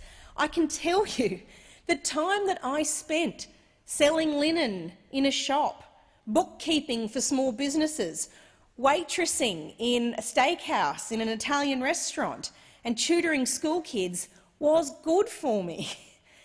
I learned skills that I draw on every day in this place and in my career before it. And indeed, I don't think it's unreasonable to say that I, learned a lot more from that than I did from many of my university classes. The, the phrase free education gets bandied around a lot in this place by both Labor and by those in the Greens party. But you know what? That is nothing more than a bald-faced lie. Because everything you get for free has got to be taken from somebody else, particularly under the redistributionist worldview of those in the Greens. It's particularly hypocritical, though, when we hear this from Labor, because they didn't indulge their free education fantasy when they were in government under the Rudd-Gillard-Rudd years. If they really believed that was the right thing to do, then why didn't they do it when they had the chance? The answer is that actions speak louder than words. It's nothing more than a slogan designed to mislead young people in particular, a lie on which they never plan to deliver. Now, the Greens, well, they might just be silly enough to genuinely believe in it, but with their usual approach of free everything for everyone, they've got no idea of how to pay for it. And that's the kind of reckless indulgence that is only available to minor parties who know they will never have to come good on their talk. Talk is cheap. But let's hope it stays that way because our nation would be an economic basket case quick as a flash if the Greens and their unicorn fantasy policies were ever the order of the day. Now, Madam Acting Deputy President, you might not know that I used to be a sessional academic at a School of Business and Law in one of the major regional universities um, before I came to this place. It was a job I did part-time, there you go, part-time work again, while I was in full-time practice as a barrister. And I really enjoyed teaching my students. It was a really fulfilling activity to do. But I was regularly troubled by the concern that there were people enrolled in my classes. They enrolled every year. They never once submitted assessment. They never once showed up. They never once passed, of course, with that kind of a record. Um, and they got billed for it every time they did. It was a windfall for the university, who didn't have to apply any resources to educating this person. It was a bill to the Commonwealth, who was, at least um, for the time being, paying for that person's um, non-education. And it left a student with a bill, no education really, and no plan with which to pay it. So quite rightly, here this government is putting this kind of practice to an end. It's simply common sense. But I was also concerned about the job prospects of my students, who found class sometimes a struggle. There were many who I thought were better suited to a less bookish way of learning, and there were more practical types whose strength in the practical was something to be celebrated and encouraged. Because the fact is, not everyone is suited to the academic life. Not everyone gets the best out of university education.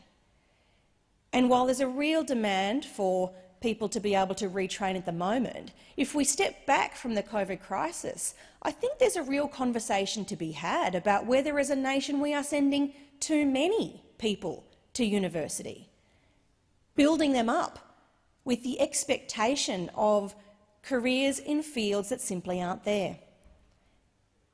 So this bill does something very good for students in that way because there is a reality that says we have particularly COVID-related unemployment, but at the same time we have skill shortages in some fields. This is about making sure people are getting all of the encouragement necessary to focus their education on the areas where there are jobs. And isn't that the promise that, as a country, we make to the people who go to university?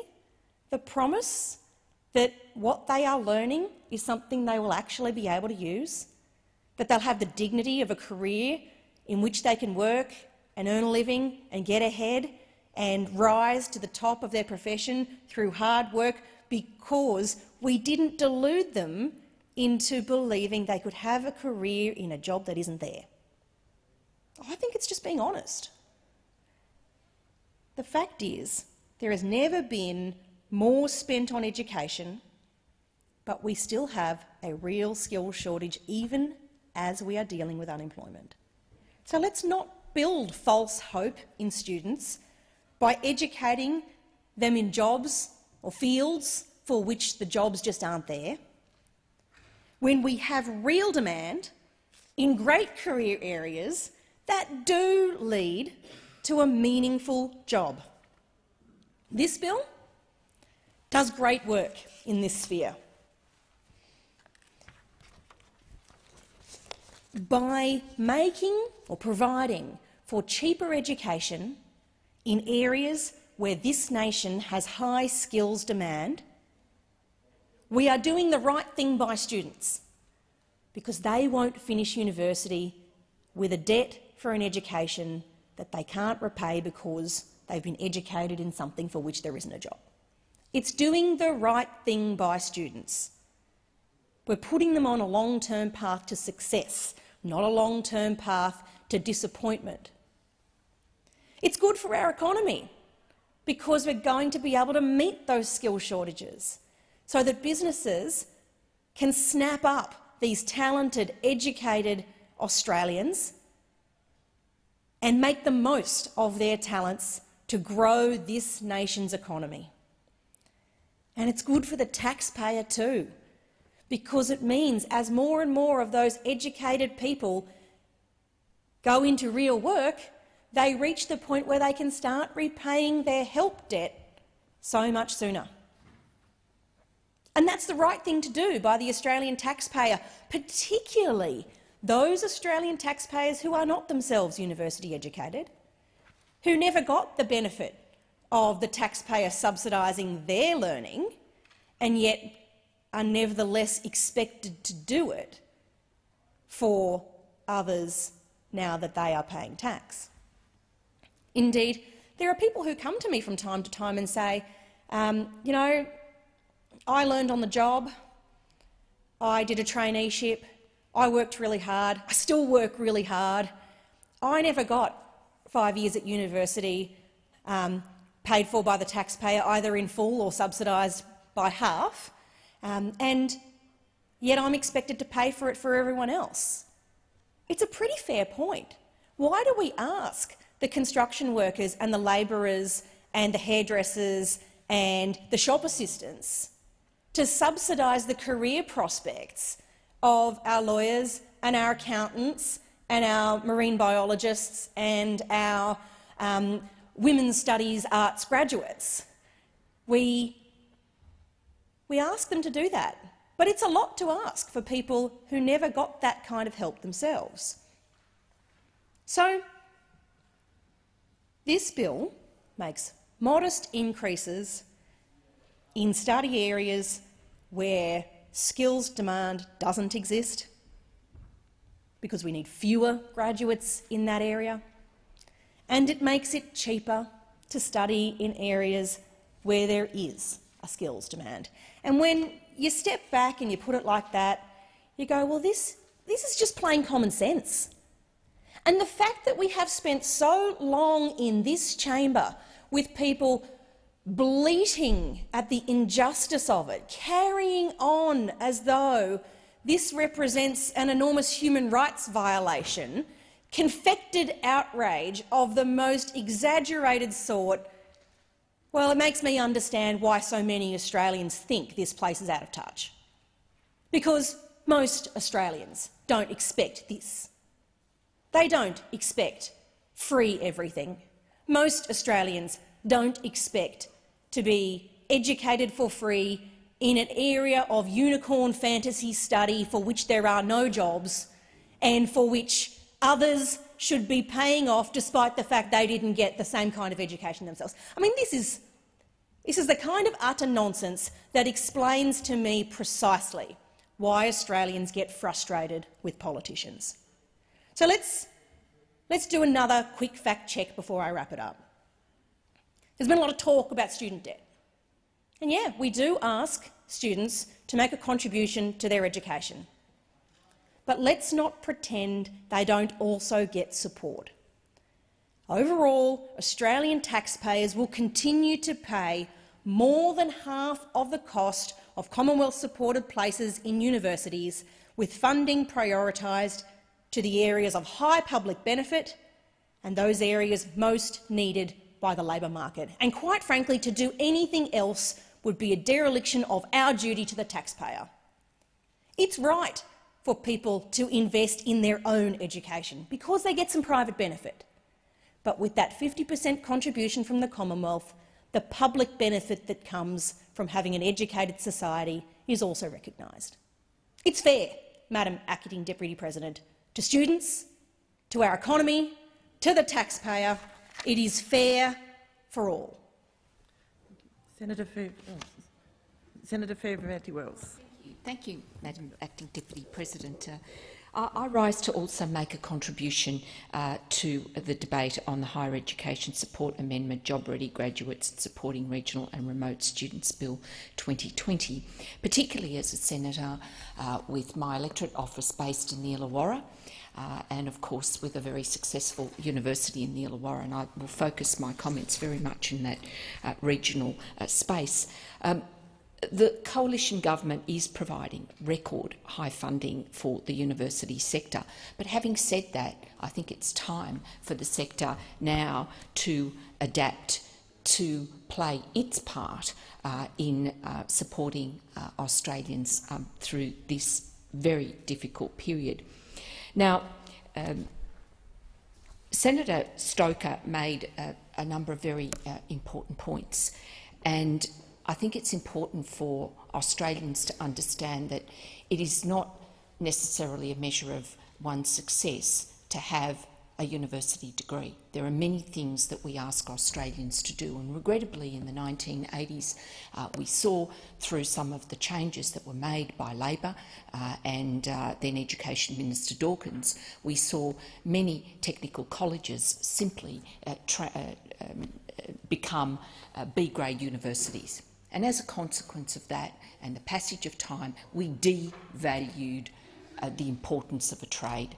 And in effect, I think that we've seen we've lost a generation of young people uh, who have not undertaken trades and who have been forced into circumstances and in the belief that uh, a university degree, they had to have a university degree to succeed uh, in life. And, and I think that now we're facing skills shortages, which are as a direct consequence of those uh, actions. So, therefore, I think it is important to put into context that uh, the Australian economy needs um, people to do all sorts of jobs. Now, some of those require university degrees and some of them do not require university degrees. But insofar as those jobs that do require university degrees, I think it's very important um, to look at uh, where we need people trained. Now, uh, this package uh, is uh, very important because it does support uh, regional uh, universities. And um, I'd like to make reference, if I may, to an article which was in the Australian Financial Review on the 29th of September by uh, Robert Bolton, and he, um, he starts his article by saying new data on university research shows the fastest rate of growth is happening in regional and smaller universities. A finding University of Wollongong Vice-Chancellor Paul Wellings says should reprioritise uh, budget thinking. Universities such as Curtin in Western Australia, Deakin in Victoria, Griffith in southeast Queensland and Newcastle and Wollongong in New South Wales are snapping at the heels of giants such as Melbourne, Sydney and Queensland with regard to the growth uh, rate of research um, citations. Uh, in an article, uh, in a speech that uh, the Education uh, Minister gave on the 30th of September, uh, he refers to, obviously, the importance of this bill, but he underscores the support that the bill is receiving from entities such as the Regional Universities Network, um, and that the importance of investing in regional education also playing a dividend for regional communities. And he quotes the Napthine uh, review, which I'd also like to state. Increasing the participation of rural, regional and remote students will directly and positively contribute to the economic and social development of rural, regional and remote uh, areas. So, um, I would like to also uh, refer to uh, a piece that uh, Professor Wellings, who is also the chair of the Vice Chancellors in New South Wales, and a piece that he wrote on the 30th of June in The Australian. And he, he says that Australia has been shaped by many forces over the years, so it's not remarkable that the structure of universities and the way they operate have consist, con constantly evolved to align with the needs of the country. History has shown that interventions into higher education policy by the Commonwealth Government have also been part of moves to safeguard the country's prosperity when a black swan swoops. The crucial role in coronavirus recovery that universities play at present can be likened to the aftermath of World War II. The Commonwealth Reconstruction Training Scheme of the 1940s assisted thousands of returned servicemen and women to enter higher education with a focus on medicine, dentistry, engineering, veterinary science, agriculture and science. So let's look at the reform package. Basically, the package provides opportunities across three important objectives that will increase the number of graduates in areas where there will be uh, employment growth and demand, such as teaching, nursing, agriculture, STEM and information technology. It will lift the educational attainments for students in regional Australia and it will strengthen partnerships uh, between universities and business to drive participation in workforce and increase productivity. Now, we know that the reforms uh, will provide um, uh, the necessary funding to support additional uh, university places, 39,000 uh, by 2023 and almost 100,000 places by 2030.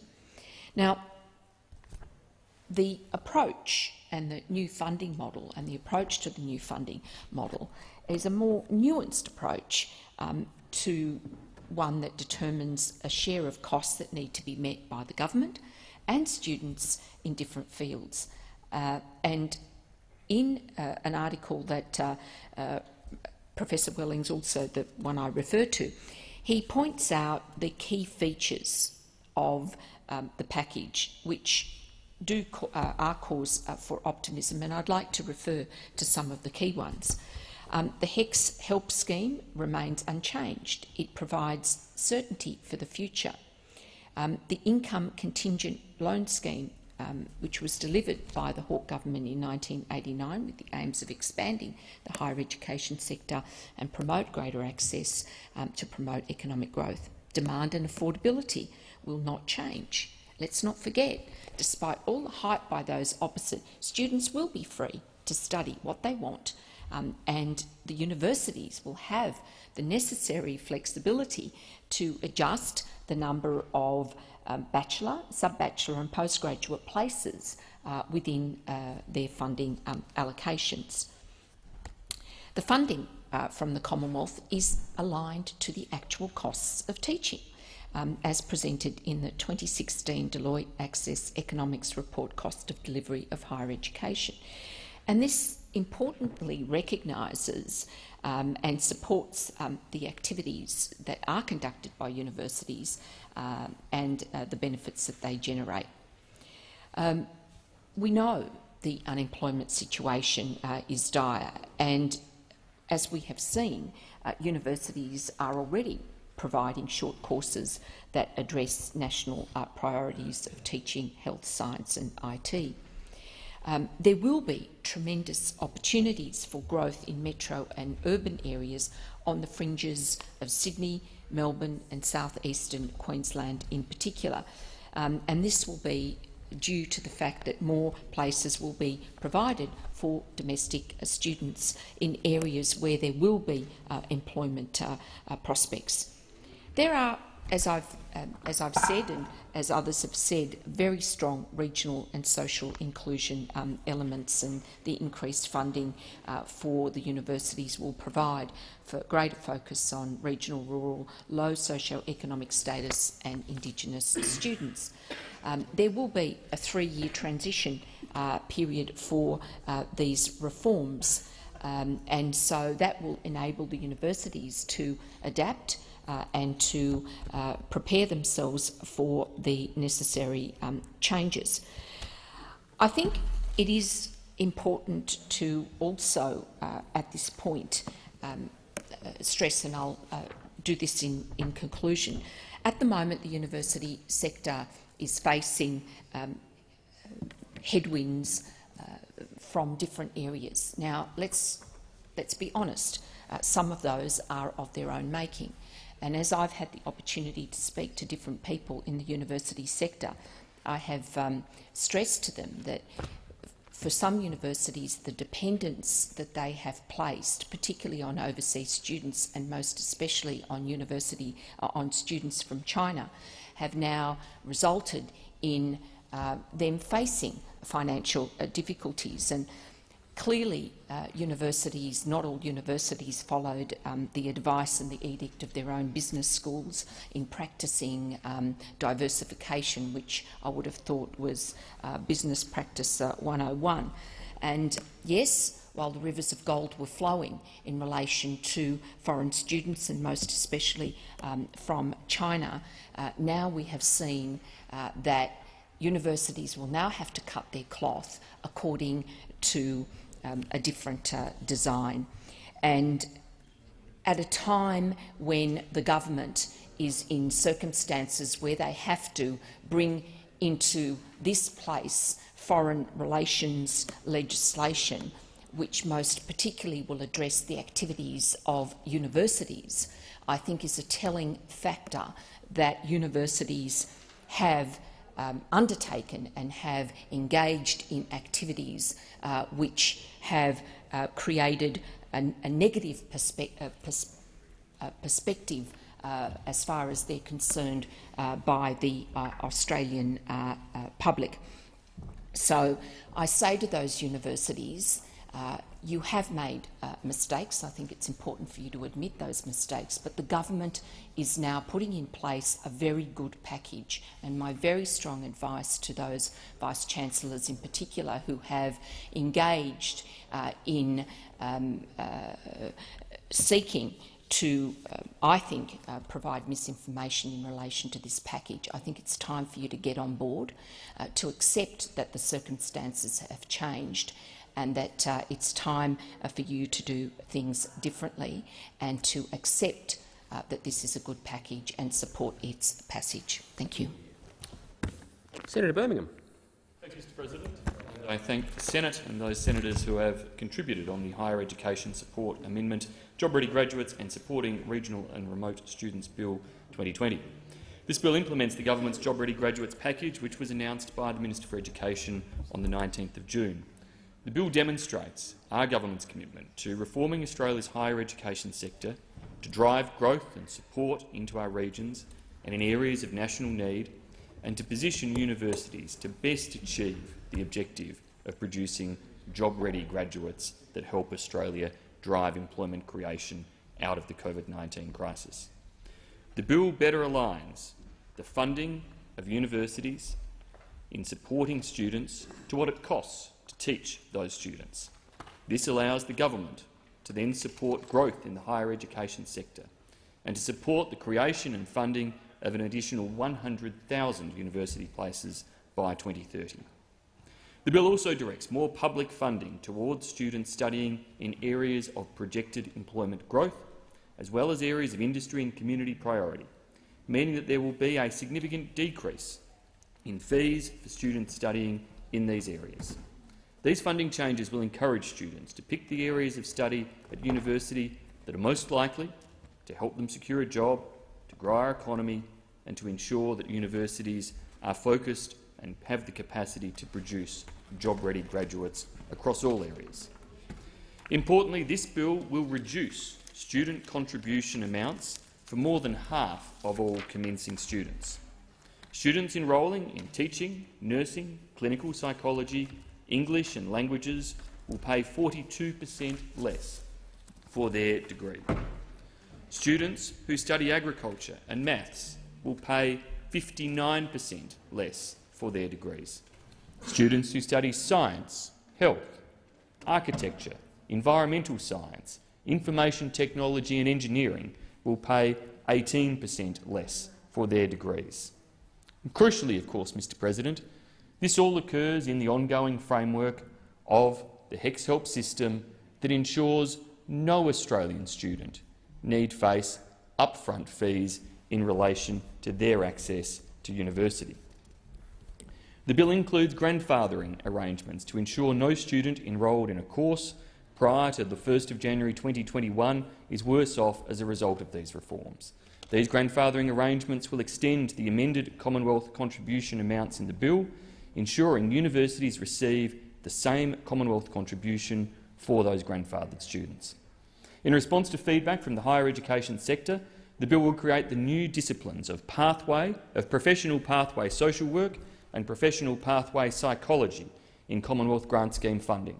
This change will result in an increase in the Commonwealth contribution and reduction of the proposed student contribution amount for social work or psychology units undertaken as part of those qualifications that are part of the professional pathway. We look forward to working quickly and closely with the sector to settle in the most efficient and effective way to implement these arrangements. The bill also extends Commonwealth Grant Scheme funding to more work experience in industry units of study, which will enable more students to gain critical workplace skills while they study. The bill also allows the government to establish its $900 million National Priorities and Industry Linkage Fund, which will provide universities with additional support to collaborate with Australian industry to design courses that best equip students with the job-ready skills and experience that they need to succeed. The bill also improves flexibility for universities and how they provide places based on what they receive in Commonwealth Grant Scheme funding. This will enable public universities to better respond to student, industry and community demand and ensure Australia's workforce has the right skills at the right time. The bill will also introduce a maximum basic grant amount floor for higher education courses. This will provide funding certainty for public providers by establishing that their funding for higher education courses for grant years 2021 to 2024 must not be less than the amount specified in the Commonwealth Grant Scheme guidelines and for 2025 and later grant years must not be less than the provider's maximum basic grant amount for those courses for the preceding grant year. The bill also implements some key recommendations made by Dr Denis Napthine in the National Regional Rural and Remote Education Strategy. It will introduce demand-driven funding for Commonwealth-supported places for regional and remote Indigenous students. Following the passage of the bill, all regional and remote Indigenous students who are admitted to a public university in a non-medical bachelor or bachelor honours course of study will be guaranteed a Commonwealth-supported place. It improves access to fares allowance by reducing the number of months a student must be receiving eligible payments for fares allowance from six to three months for a trip home. The bill also enables the government's plans to introduce grant payments through the Indigenous, Regional and Low Socio-Economic Status Attainment Fund, this will allow for more support for regional, rural, Indigenous and low SES students to access university, graduate and enjoy the benefits higher education offers. The bill also strengthens and extends student protection and provider integrity measures under the Higher Education Support Act. As such, uh, importantly, these amendments do not penalise students for circumstances beyond their control, as the ability to have units discounted due to special circumstances is important and warranted, and as such, new subsection 36 13.2 acknowledges the systems and processes that higher education providers have in place to identify, protect and provide support for vulnerable students who may be experiencing difficulty in their studies or who may have had not had the academic ability to undertake a specific higher education course. The bill also contains various technical and administrative changes. In the committee stage, I flagged that I will move amendments to correct some minor technical issues in the bill to amend the proposed completion rate provision in section 36-13 of the bill to specify circumstances where a higher education provider will be satisfied that it is impracticable for a student to complete the requirements of a unit of study, to extend until 30 June 2021 the loan fee exemption for all undergraduate students accessing fee help, to reintroduce from 1 January 2021 a 10 per cent discount for students who are eligible for HECS help assistance and pay part of their student contribution for a unit up front, and to reintroduce the Student Learning Entitlement, which will commence on 1 January 2022. I thank all senators for their contributions in debating the, these measures, especially those who have engaged in such constructive discussions with the government as we work to improve access to the higher education sector and graduate outcomes, as indeed I thank many across the sector, the many stakeholders, including universities, students, employers and industry groups, that have worked with Minister Tehan and the government to provide useful and constructive feedback on the bill and the government's Job Ready Graduates package. Mr President, I commend the bill to the Senate. Thank you, Senator Birmingham. So the question is that the second reading amendment moved by Senator Faruqi be agreed to before we proceed to the second reading vote. So the question is the second reading amendment moved by Senator Faruqi be agreed to. Those of that opinion say aye. aye. The contrary, no. no. The noes have it. Division required. Ring the bells.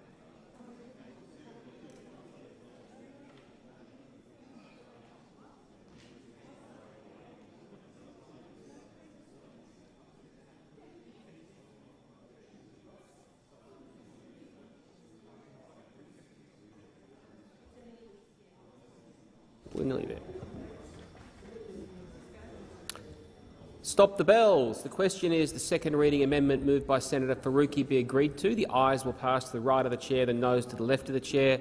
I point Senator Siewert teller for the ayes and Senator Urquhart teller for the noes.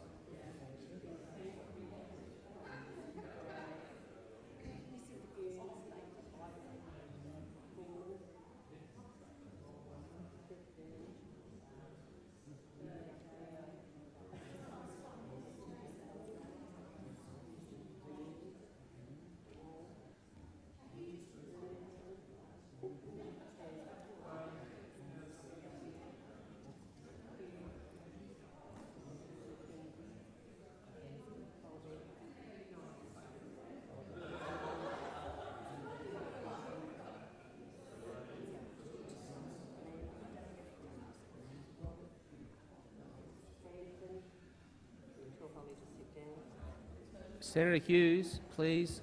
Senator Hughes. Senator Hughes. Thank you.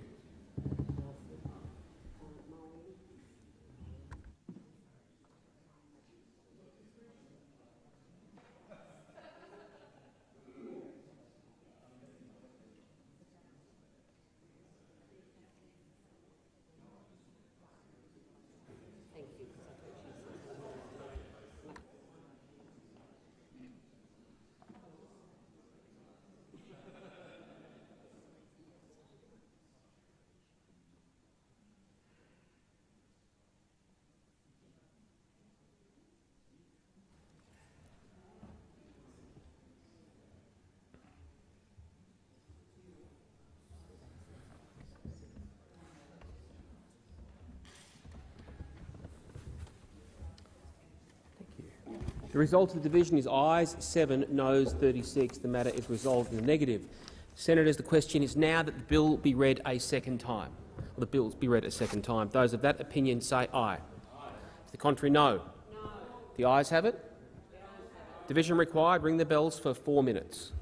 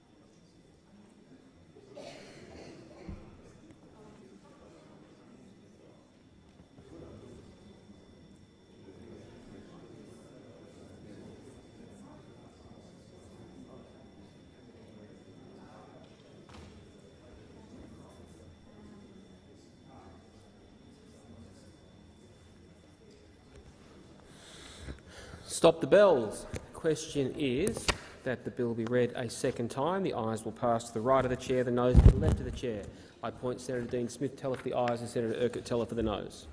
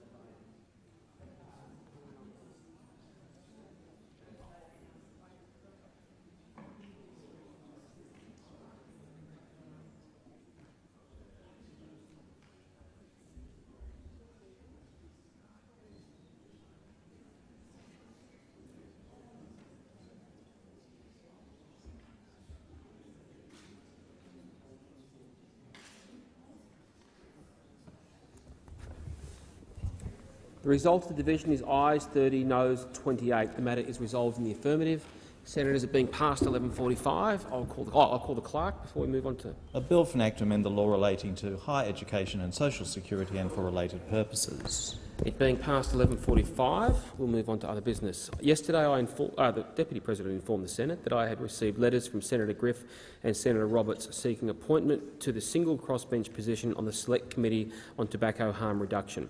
In accordance with the standing orders, a ballot will be held to determine which one of the two senators who have nominated is to be appointed. Before proceeding to a ballot, I must ring the bells for four minutes. So ring the bells.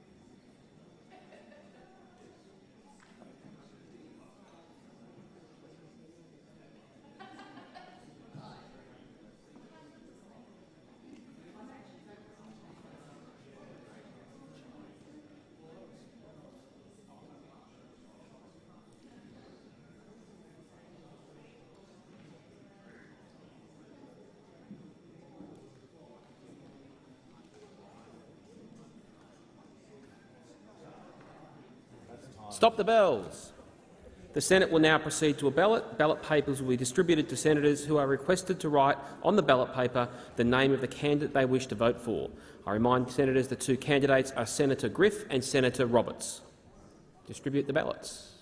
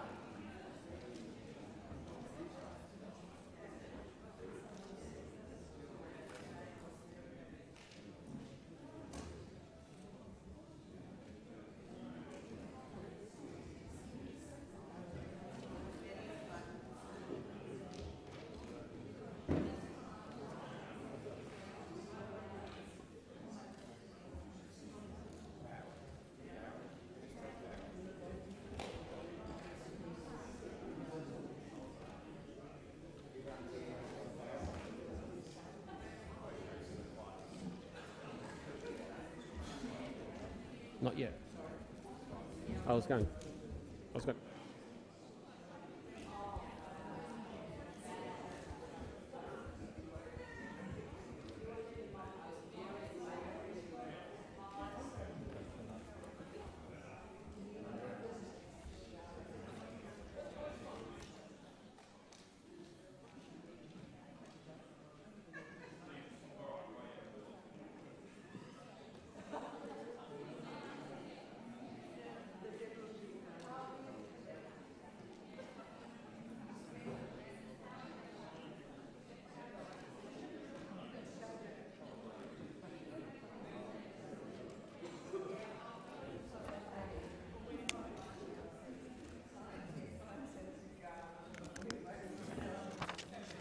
Have all senators voted?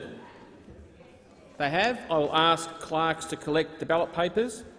I invite Senator Griff and Senator Roberts to act as scrutineers.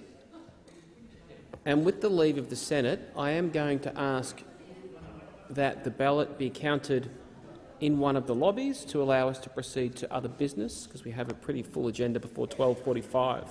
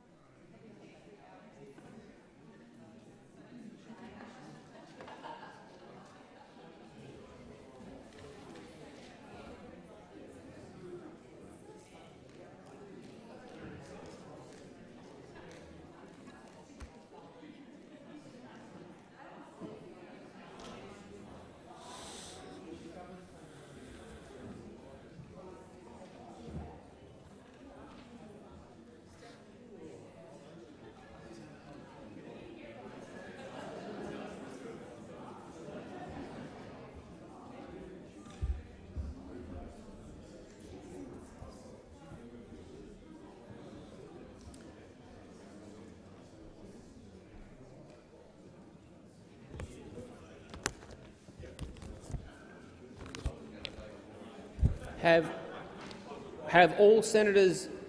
No? Still some being collected?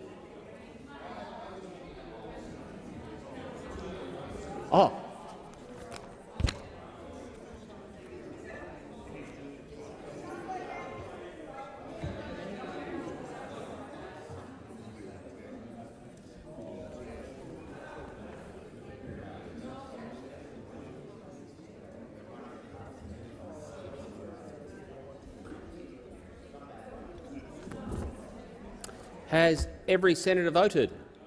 Oh, still going? You think senators would be a bit more practiced at voting?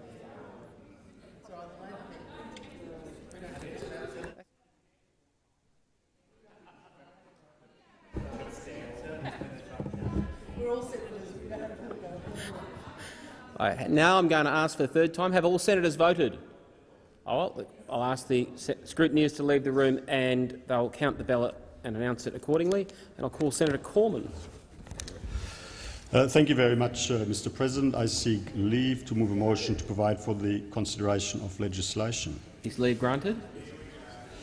Um, I move that I question. Hang on, that so, leave is granted. Thank you, Senator Cormann. Uh, I move that a motion to provide for a motion to provide for the uh, consideration of legislation may be moved yeah. immediately and determined. Oh, so I just move the motion. Ah, I move the motion as circulated in the chamber. Senator Wong. Uh, order. Can I indicate, I think Senator Gallagher will respond, uh, that the, the opposition wishes to vote against the guillotining of the higher education bill. But thank you for your you know, confidence. Uh, so I propose uh, that uh, items Placidor 5, 1A Placidor 5, uh, paragraph B and paragraph C be put separately, noting that is the opposition succeed in defeating those, it would require a, a, an amendment to paragraph D.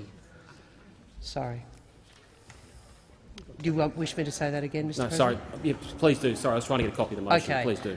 With consultation with the, the, with the uh, in order to enable the opposition to give expression to its opposition to the guillotining of the higher education bill, I propose that the Senate put separately uh, paragraph uh, 1A Placidor 5, uh, B and C, noting that if the opposition, if the Senate rejects those paragraphs, there would be a, a consequential amendment required subsequently. Senator Gallagher. Uh, thank you, uh, Mr President. I'll just speak uh, briefly uh, following uh, Senator Wong's contribution around, um, you know, subject to what Senator Wong has outlined, uh, the opposition's position on the Treasury Laws Amendment Bill, which is um, part of this motion, and to sit on Friday to deal with those bills. The opposition will be supporting that. Um, our view is um, that the government has decided to wrap up a range of tax measures in one omnibus bill uh, and require that all be put together. This doesn't, that does not allow us to, vote, to separately deal with rather significant tax measures that are included in this bill, which we would prefer to have the time uh, to work through. However, we will not stand in the way of the income tax cuts, which we have been calling for since August uh, last year, to be brought forward and for that money to flow as quickly as possible into the pockets of working Australians around this country. Now, as I said, our preference would be that the government didn't choose to play politics and that we were able to deal with these bills separately um, and allow for uh, a, a, longer consideration of the, the large tax measures, uh, including those that cost $27 billion. Um, but that isn't possible. Um, we're not in a perfect world. We're not in the world where, where we can choose some of these elements, and as such, um, we will support the passage of those bills um, as outlined in the motion uh, through debate on Friday. Senator Faruqi. Um, thank you, Mr. President. I just rise on behalf of the Greens to say that we will be vehemently opposing this disgraceful government's motion to guillotine, a guillotine a bill that hikes fees for universities, cuts funding for universities, and then guillotining it, us not having even the time to go to committee stage and debate the ream, the ream of amendments that this government has sent through just an hour ago. And like really shame, shame on Centre Alliance and shame on One Nation for buckling, for buckling under the government for some petty deals that you've done, which Minister Birmingham defined as minor technical amendments to this legislation. You've been taken for a massive ride, you know. You've fallen hook, line and sinker for government spin. You've been totally duped. There's nothing else to say about this. some of the things that you want are not even in legislation. So you've said, fingers crossed and hope for the best. That's, I do know what I'm talking about. I do know. Yeah, there might be some secret deal that you're not letting us on. But this government isn't even giving us the decency to actually talk about something which is going to affect all future generations of Australians, which is going to take away the right of education from generations of Australians. This is how bad you are. If you think this bill is so great, then let's talk about it. Let us talk about the amendments that you're putting up. Let's talk about our amendments that we want to put to this bill. Yes, it's a terrible bill.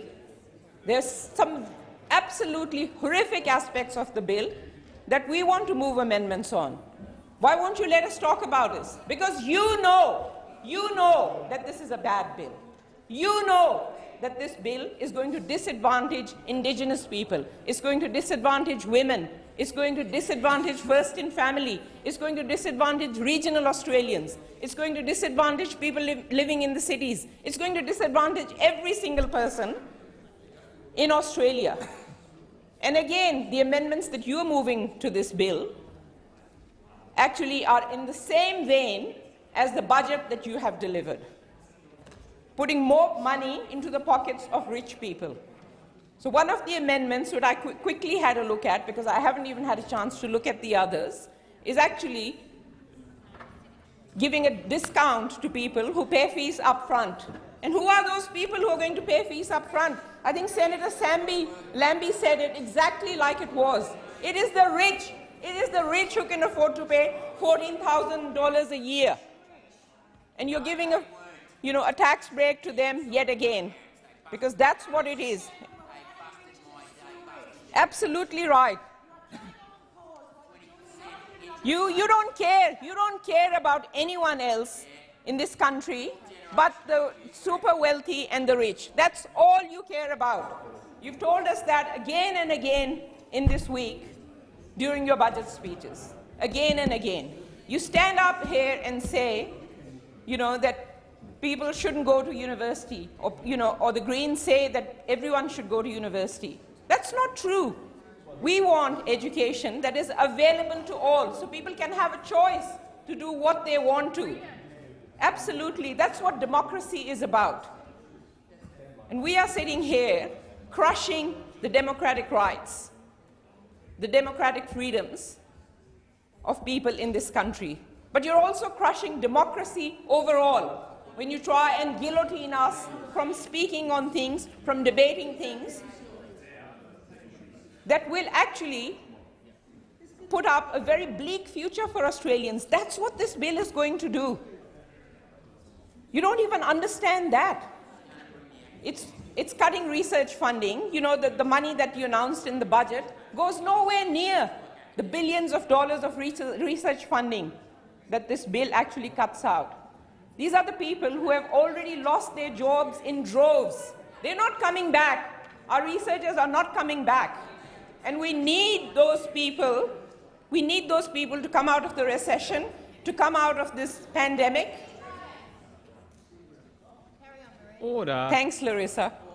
Yeah, I think, Mr. President, you should probably call order. Uh, Senator Rennick has been order. ranting at me for the last order. 10 minutes. Order. All right. I'm dealing with the procedural matters. Can I honestly say, down the end of that chamber, there are very few people with a halo, but everyone should remain quiet. Now a senator has asked for the respect of the chamber. I'm going to demand it. Order. Um, can I finish ruling on this before I actually... Senators need to remain quiet while I am issuing a ruling. Senator Rennick, I was actually just asking senators to remain quiet while I'm issuing a ruling. Senator Faruqi to continue.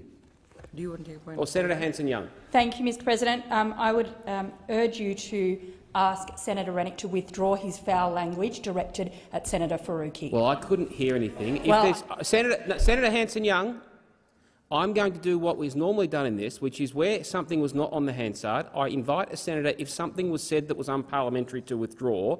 I had no chance of hearing anything then. Is any, if anything unparliamentary was said, I encourage it to be withdrawn.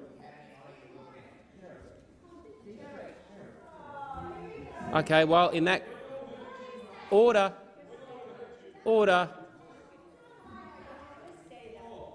Thank you. Senator Rennick has withdrawn. Senator Faruqi to continue, and I remind senators of the need to remain silent in the chamber. Senator Faruqi. Thank you, Mr. President. Mr. President, thousands upon thousands of students, of uni staff have contacted us all sitting on this side and you all sitting on that side, telling you how horrible, how bad, how, how horrific the consequences of this bill are going to be. Yet obviously on that side, they're falling on deaf ears. Well, they haven't fallen on deaf ears on this side. So we still want to continue on and talk about these things and try and change some of the things that are in this bill. We want to debate your amendments. We want to see what you are amending. We want to have a chance to look at what they are and give you the chance to defend them. But you can't. But you can't defend them. That's what the issue is here. You cannot defend a single thing in this terrible bill. It is defenseless what's going on in this bill. Shame on all of you. And we will absolutely be opposing your guillotine motion. Shame. Senator McKim. Well, thank you, President. And here we go. The fix is in. A dirty, secret deal between the government and the Labor Party to jam the tax cuts through this Senate with no inquiry whatsoever. And we, uh, what we can tell, what we can tell uh, from this dirty deal is that $18 billion of government expenditure based on a flawed, trickle-down neoliberal model that we know is not going to work is now going to be jammed through this Senate with no opportunity to scrutinise the details whatsoever. Labor isn't even bothered to go through the motions of being an opposition party in this place. I mean, what is actually the point of the Labor Party anymore? Bringing forward the stage two tax cuts will mean that the millionaires get $2,500 a year, the working poor get 250 bucks a year, and if you haven't got a job, you just line up for your regular kick in the teeth from the neoliberals in this place. The Labor and Liberal parties are trying to con this country and con Australian people into thinking these tax cuts are going to trickle down. Well, I'll tell you something, it's been 40 years since Hawke and Keating while we've been waiting for trickle down to work and the people at the bottom are dying of thirst. This is a sad day for democracy. It's a sad day for this Senate. But you know who the saddest day uh, it is for? Is the Australian Labor Party.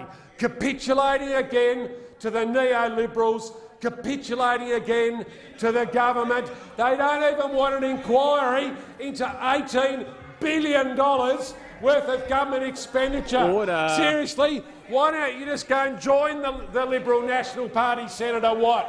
You can Order. interject all you like, but you might as well just join the LNP and sit over there and just form the neoliberal trickle-down economics party. You're a disgrace and you should be ashamed of yourselves. Senator Cormann. All right. Senator Patrick. Uh, thank you, thank you very much, uh, Mr. President. I'll just speak very briefly, uh, just to say that uh, uh, this is quite a lengthy motion. It's clearly been prepared in advance, and, and, and not much notice was given. I just, I just point that out that. Uh, that, that, that, that is a little bit disrespectful.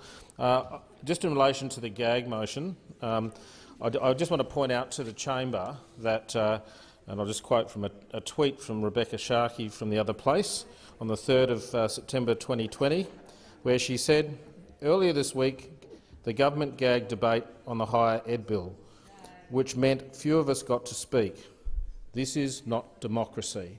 So I just um, ask Centre Alliance to uh, reflect on that when they vote in relation to this particular uh, gag motion on the higher ed bill. And I'll just point out, uh, having, having formerly been a member of the uh, Centre Alliance party, Uh, the rules in relation to gagging of debates were basically that we would never, uh, they would never gag a, a, second reader, and they would only gag the committee stage in circumstances where there was obvious filibustering going on. Uh, what, what, what, what, this gag, what this gag will mean is that genuine questions that, uh, are to, that were to be asked will not uh, be able to be asked, will not be able to get uh, clarification on elements of the bill uh, where there is uh, uncertainty, and that may also affect later interpretations of, in, in any proceedings as well. So it is, um, it, it's an awful thing to do. Uh, that we should not be gagging debate on the higher education bill. Senator Cormann. Motion will be put. Question is the motion be put. Those of that opinion say aye. The contrary, no. no. The ayes have it. Division, division required. Ring the bells.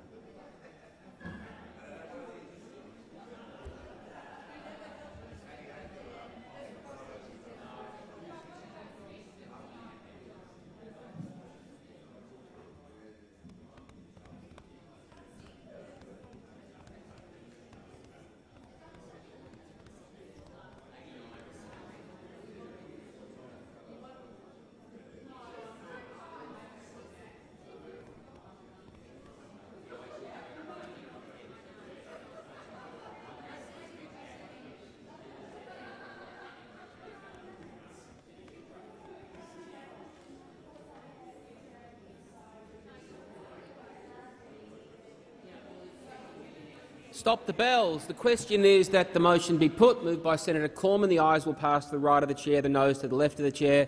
I point Senator Davey teller for the ayes, Senator Siewert teller for the noes.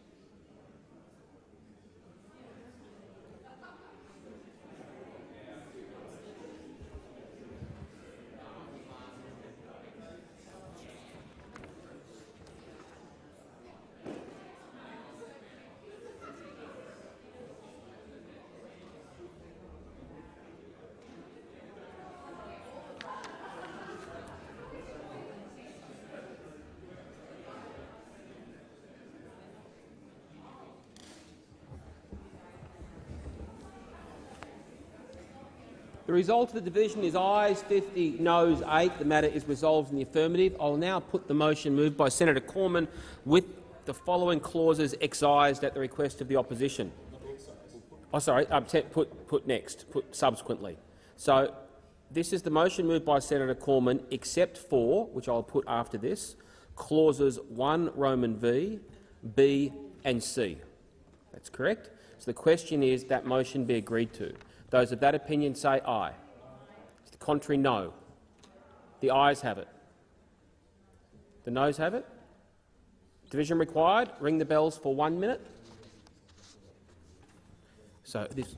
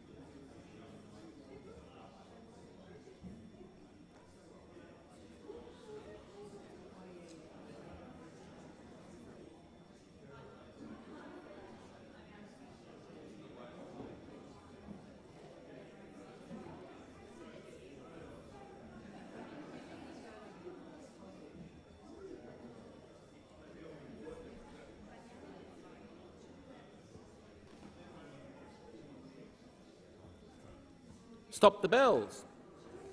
Question is the motion, as I just described it, be agreed to. The ayes will pass to the right of the chair, the noes to the left of the chair. I appoint Senator Pat Davey, tell if the ayes, Senator Siewert, tell if the noes.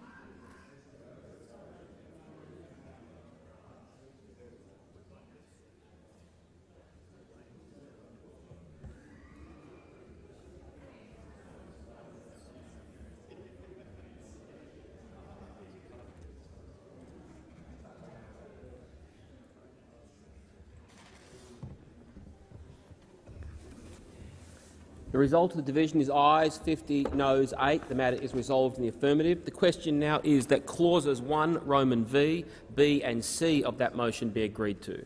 Those of that opinion say aye. To the contrary, no. The ayes have it. Division required. Ring the bells for four minutes.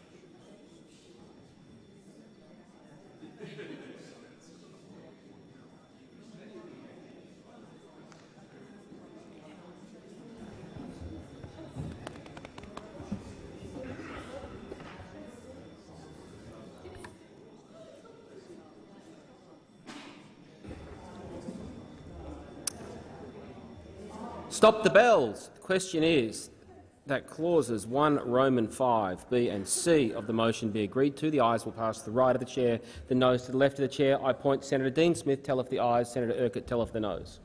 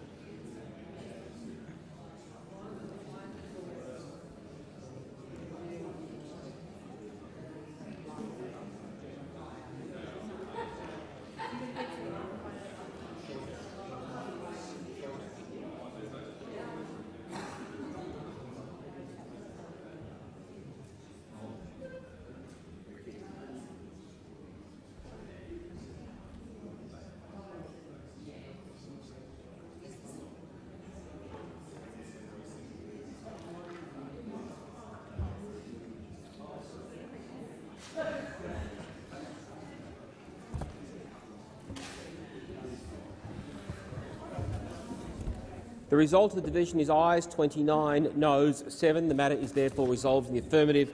Uh, 27. Sorry, 27. So the matter is resolved in the affirmative, and we therefore adopt the motion, entire motion as moved. We now move to the placing of business. Uh, it, oh, sorry, I should announce the ballot result. Uh, the ballot result is Senator Griff receiving 51 votes, Senator Robert received 9. Senator Griff is therefore elected as the member of the crossbench on the Select Committee on Tobacco Harm Reduction. We'll now proceed to the placing of business. Senator Smith. Mr President, I seek leave to move a motion to authorise the Parliamentary Standing Committee on Public Works to meet during the sitting of the Senate today. Is leave granted? Leave is granted. Senator Smith. I move that the Parliamentary Standing Committee on Public Works be authorised to hold a private meeting otherwise than in accordance with Standing Order 33.1 during the sitting of the Senate today from 1 p.m. Qu question is that motion be agreed to. Those of that opinion say aye. The contrary no. The ayes have it. Senator Duniam. Uh, thanks, Mr President. I move that A, Government Business Orders of the Day, as shown on today's order of business, be considered from 12.45pm today, and B, Government Business be called on after consideration of the bills listed in paragraph A and considered till not later than 2pm today, and C, General Business Notices of Motion numbers 825 and 828 be considered during general business today. Question is that motion be agreed to. Those of that opinion say aye. To the contrary, no. The aye has it. The ayes have it. Um, any, I've got some postponements from the clerk. There being no other matters, the clerk.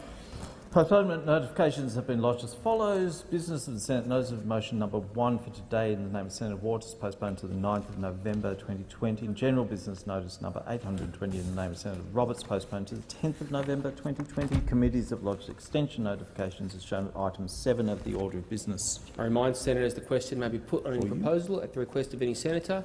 There being none, we will now go to notices of motion. Um, are there any notices of motion to be given for another day? Senator Fierravanti-Wells. Draw business of the Senate notices of motion numbers 1 and 2 standing in my name for eight sitting days after today, proposing the disallowance of the ASIC corporations, foreign financial services providers, foreign AFS licences, instrument 2020 198 and ASIC Corporation's Foreign Financial Services Providers Funds Management Financial Services Instrument 2020 199. Thank you. Are there any other notices of motion? Senator Urquhart. I uh, rise to give notice on behalf of Senator Wong of a motion concerning the Rural, Regional and Transport Committee. Thank you, Senator Urquhart. There being no other notices of motion, we will now move to the consideration and selection of bills.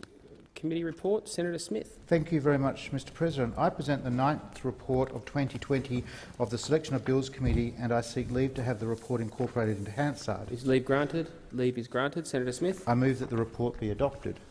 Senator Duniam. Uh, I move that government amendment as circulated. Okay, so Senator Duniam has moved the government amendment as circulated which is Okay, so I've got a series of amendments to that. I'll take the separation first, then I'll go to the amendments. Senator Gallagher. Uh, thank you. Thank you. Um, just in the interest of time, we would like to separate out BB uh, from and put those questions separately. Okay, so I'm just going to look at the clerk. Okay, so B and D was it, Senator? It's subsection B. B, oh, B. yeah, B, B, B of B. B of B. Okay. Yeah. So I also have an amendment to B of B from Senator Faruqi, and I'm going to put that amendment first because then I will put yours separately. Senator Faruqi, could you move your amendment? I understand it has been revised. Yes. Um, so, thank you, Mr. President. Um, could I? Um, at the end of the motion, add, and in respect of the Economic Recovery Package, JobMaker Hiring Credit, Amendment Bill 2020, the provisions of the bill be referred immediately to the Economics Legislation Committee for inquiry and report by 6 November 2020. Okay, so I'm going to put the amendment by Senator Faruqi and then we'll deal with it separately according to the opposition request. The question is that Senator Faruqi's amendment be agreed to. Those of that opinion say aye. aye. To the contrary, no. The noes have it. The ayes have it. All right, I'll put it again. Those in support of Senator Faruqi's amendment say aye. To the contrary, no. The ayes have it. The ayes have it. Okay, so I now have another amendment moved by Senator McKim. Senator McKim. Uh, thank you, President. I move that at the end of the motion the following words be added and in respect of the Treasury Laws Amendment, a tax plan for the COVID-19 Economic Recovery Bill 2020, the provisions of the bill be referred immediately to the Economics Legislation Committee for inquiry and report by 1 December 2020. So the question is that that amendment be agreed to. Those of that opinion say aye. To the contrary, no. no. The noes have it. Division required. Ring the bells for four minutes.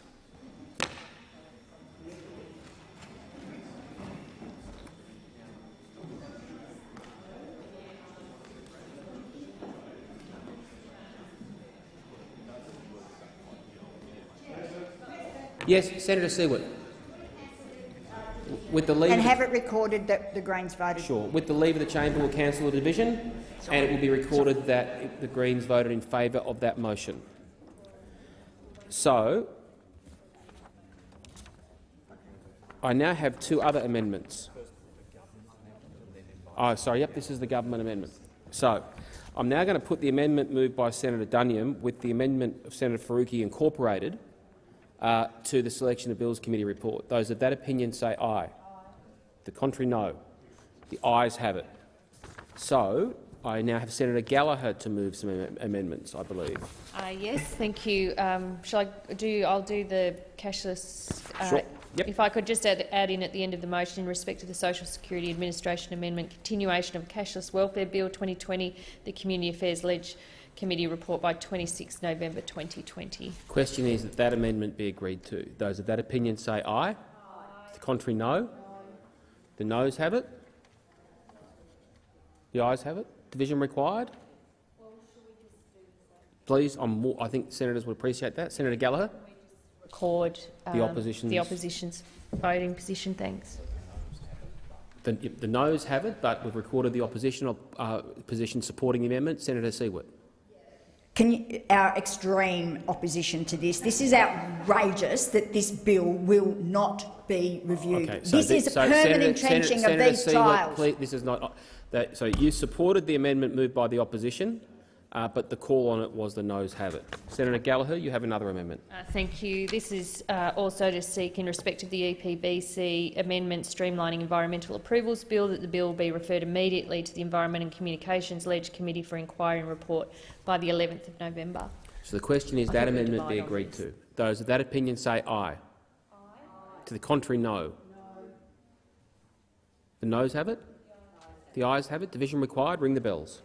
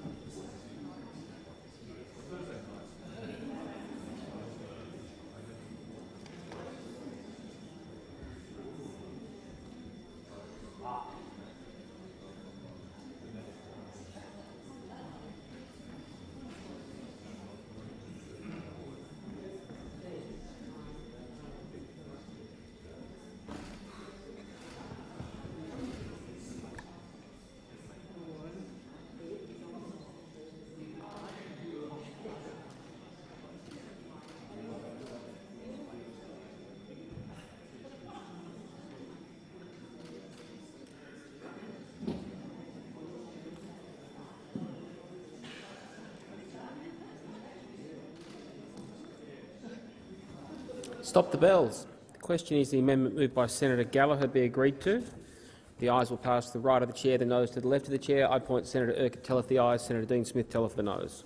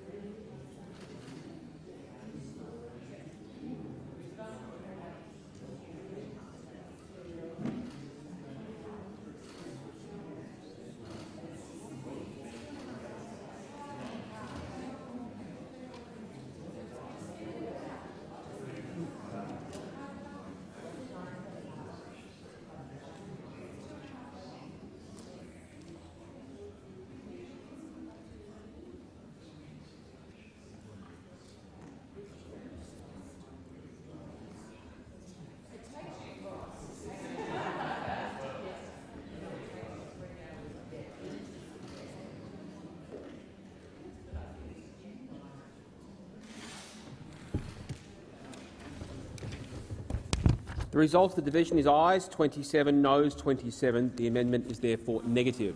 I will now put the report of the Selection of Bills Committee as amended. The question is that motion be agreed to. Those of that opinion say aye. To the contrary, no. The ayes have it. Senators, in accordance with the resolution just agreed to prior to that, I will now put the questions required to dispose of the Higher Education Support Amendment, Job Ready Graduates and Supporting Regional and Remote Students Bill 2020 as we pass 1245. I will first deal with the amendments circulated by the Australian Greens.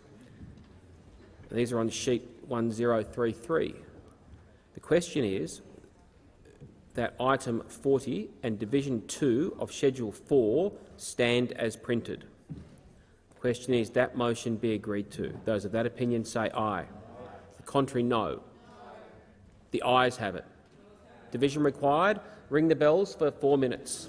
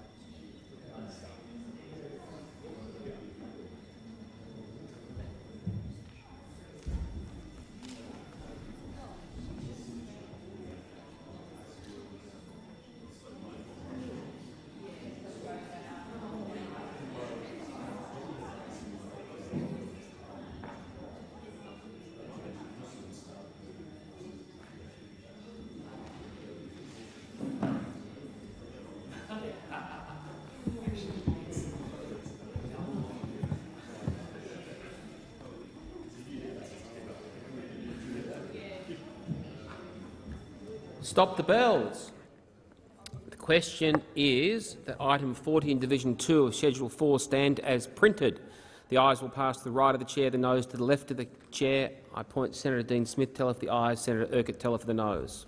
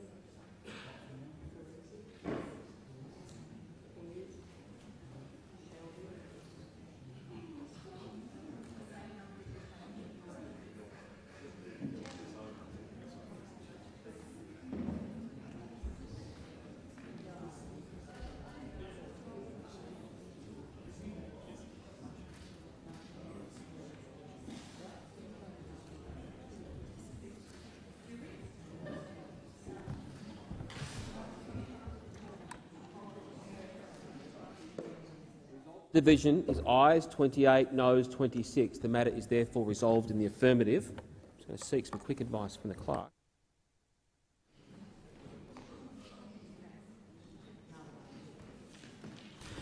I will now deal with the amendments. So the, the amendment one on that sheet does now not need to be put, and my, my advice is from the clerk. So I'll now deal with the amendments and the request circulated by the government. I understand there is an addendum and supplementary explanatory memorandums, and I call the minister. Senator Birmingham.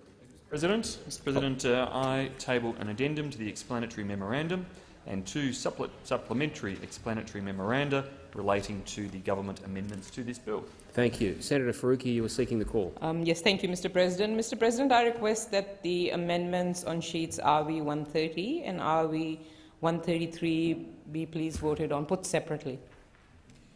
So I'm, I don't have the sheet in front of me, so I'll just.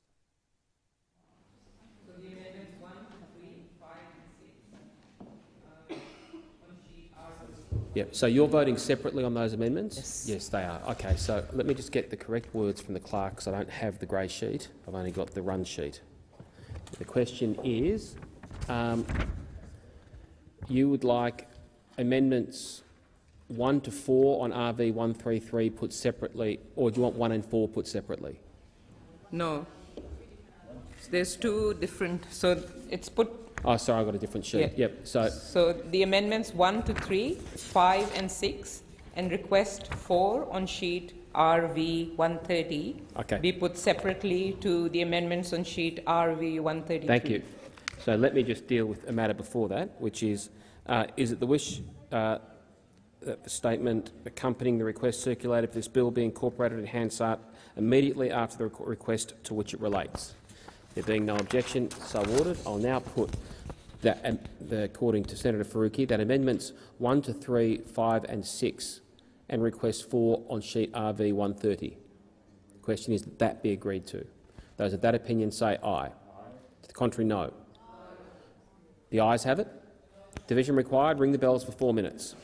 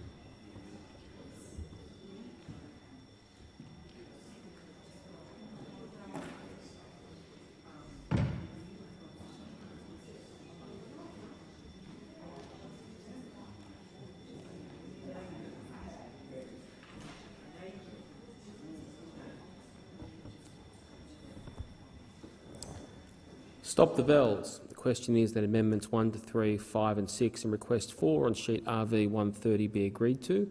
The ayes will pass to the right of the chair, the noes to the left of the chair. I appoint Senator Dean Smith teller for the ayes, Senator Urquhart teller for the noes.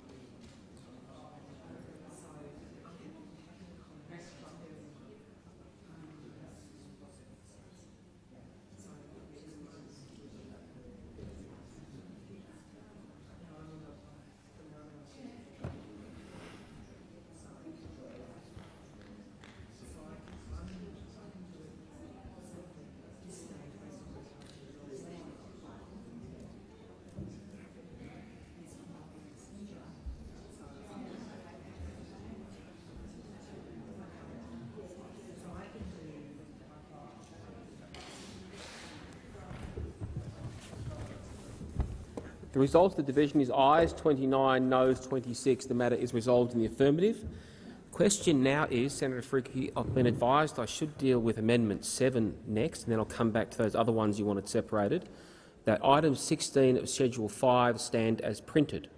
Looking at the clerk to make sure I've got it right. The question is, that motion be agreed to. Those of that opinion say aye. The contrary stand as printed? Question is that item 16 of Schedule 5 stand as printed. Those of that opinion say aye. aye. The contrary, no. no. The noes have it. The noes have it. I'll now go to the other item Senator Faruqi asked to be separated, which was that the amendments on sheet RV 133 circulated by the government be agreed to. Those of that opinion say aye. To the contrary, no. The ayes have it. I, I, circulated by the government. I, uh, I heard a very small. I heard a very quiet aye. I heard a very quiet aye. I heard a very quiet aye. The question is that the amendments on sheet RV 133 circulated by the government be agreed to. Those of that opinion say aye. To the contrary, no. The ayes have it. The ayes have it. The question now is that the remaining stages of this bill be agreed to, subject to a re request. Those of that opinion say aye. To the contrary, no. The ayes have it. Division required. Ring the bells for four minutes.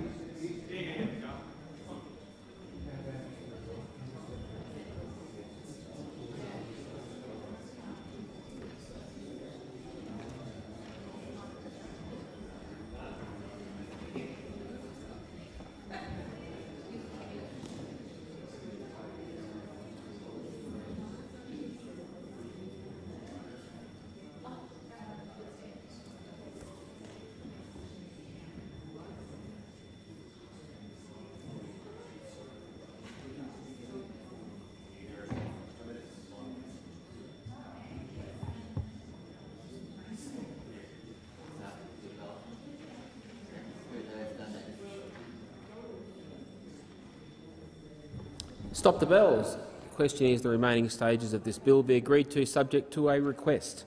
The ayes will pass to the right of the chair, the noes to the left of the chair. I appoint Senator Dean Smith telleth the ayes, Senator Urquhart telleth the noes.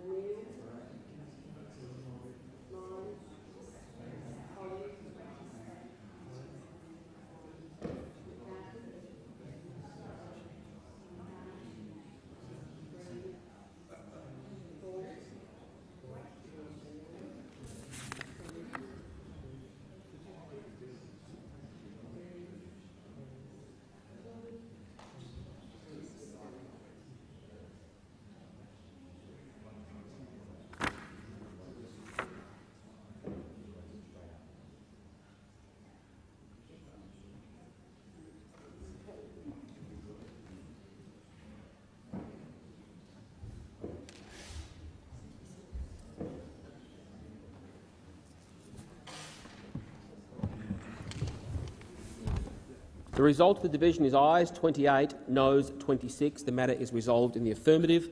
Senators, because this bill has been agreed to subject to a request, it will not be read a third time.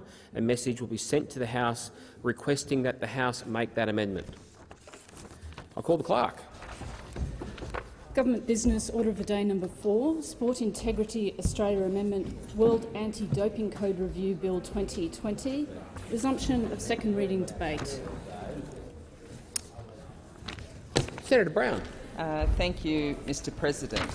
This, be, this bill seeks to amend the uh, Sport Integrity Australia Act 2020 and the National Sports Tribunal Act 2019. These amendments would align Australia's anti-doping legislation with revisions of the World Anti-Doping Code and international standards which come into force on the 1st of January 2021. Australia has ratified the UNESCO International Convention Against Doping in Sport. That means we have an international obligation to align our anti-doping arrangements with any revisions of the WADA Code. This bill seeks to give effect to that. In order for Australia's anti-doping legislation to remain appropriately aligned with the revised code and international standards, the amendments in this bill will need to be passed and given assent before the 1st of January 2021. Labor supports Australia being at the forefront of global efforts to deal with doping in sport. In turn, we support Australia fulfilling its international anti-doping obligations and therefore these arrangements, which will ensure our domestic anti-doping arrangements remain aligned with the WADA Code. This bill does three key things in response to the WADA Code revisions. It adds relevant non-participants to the persons who may be subject to the National Anti-Doping Scheme. It gives the Sport Integrity Australia CEO discretion not to publish the details of an anti-doping rule violation when the athlete is, is recreational or does not have the mental capacity to understand that the anti-doping rules, and it allows the CEO to respond to misinformation.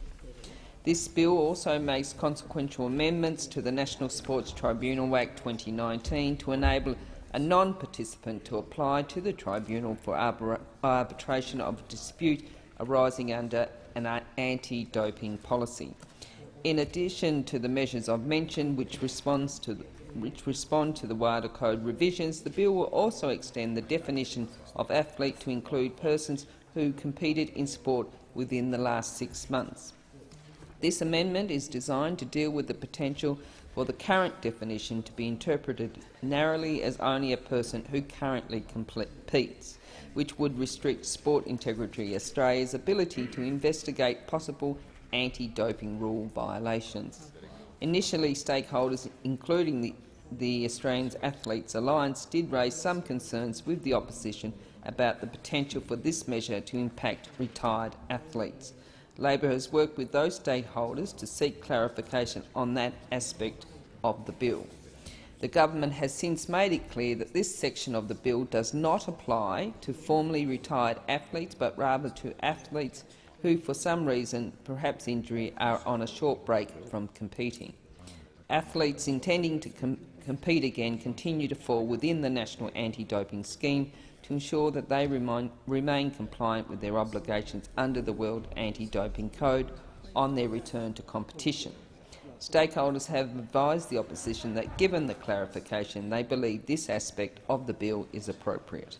Labor supports measures that strengthen Australia's protections against evolving threats to the integrity of sport. We recognise that these protections, particularly in relation to doping in sport, can place a large burden and a lot of pressure on athletes. We will continue to work closely with stakeholders and observe the implementation of Australia's new sport integrity operations to ensure they deliver the dual goals of protecting Australian sport and Australian athletes. Labor supports this bill.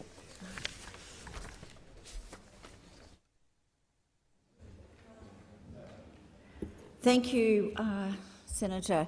Minister. Uh, yeah, thanks, um, Madam Acting Deputy President. Thanks, senators, for their contributions and commend the bill to the Senate. Uh, Thank you, Minister. Senator Urquhart. Sorry, I just wanted to correct something. Not, not quite now. Okay. Okay. Thank you. The question is that the bill be now read a second time. Those of that opinion say aye. Those against say no. I think the aye has it. Clerk. A bill for an act to amend the law relating to sport and for related purposes. No amendments have been circulated. Does any senator require a committee stage? If not, I shall now call the minister to move the third reading.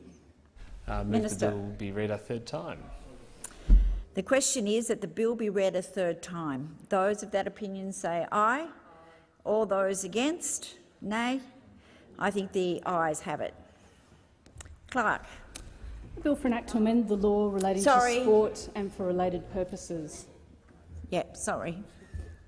Senator Urquhart. Apologies. I, um, earlier I moved a, or foreshadowed a motion in the name of Senator Wong. It should have been in Senator Brown, so I'd just like to correct the... Uh, sorry, I got the wrong colour. Green.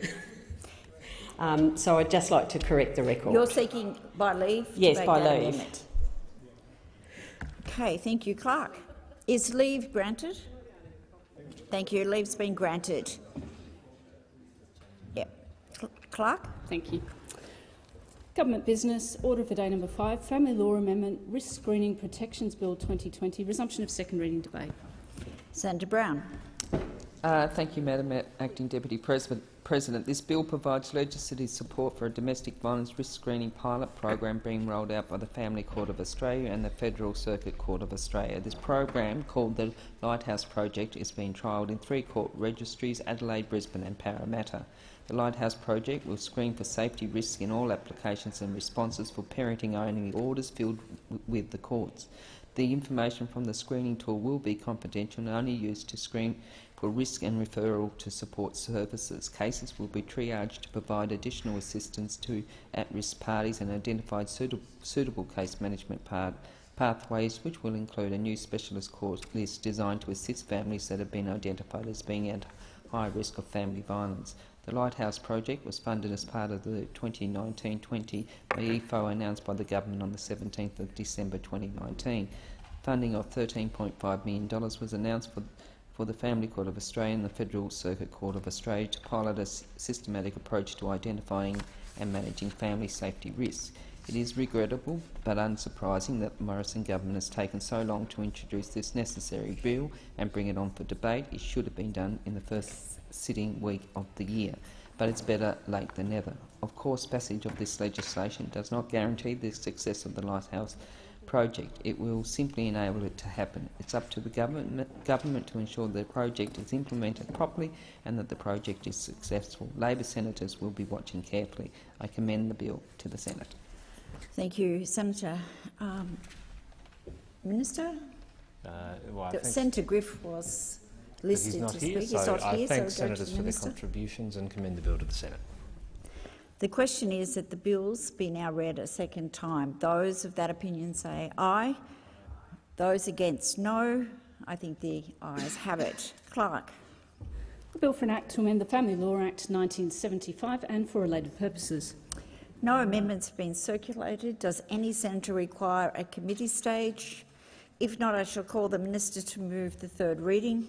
I move the bill be read a third time. The question is that the bill be read a third time. Those of that opinion say aye. Those against say no. I think the ayes have it. Clerk. A bill for an act to amend the Family Law Act 1975 and for related purposes.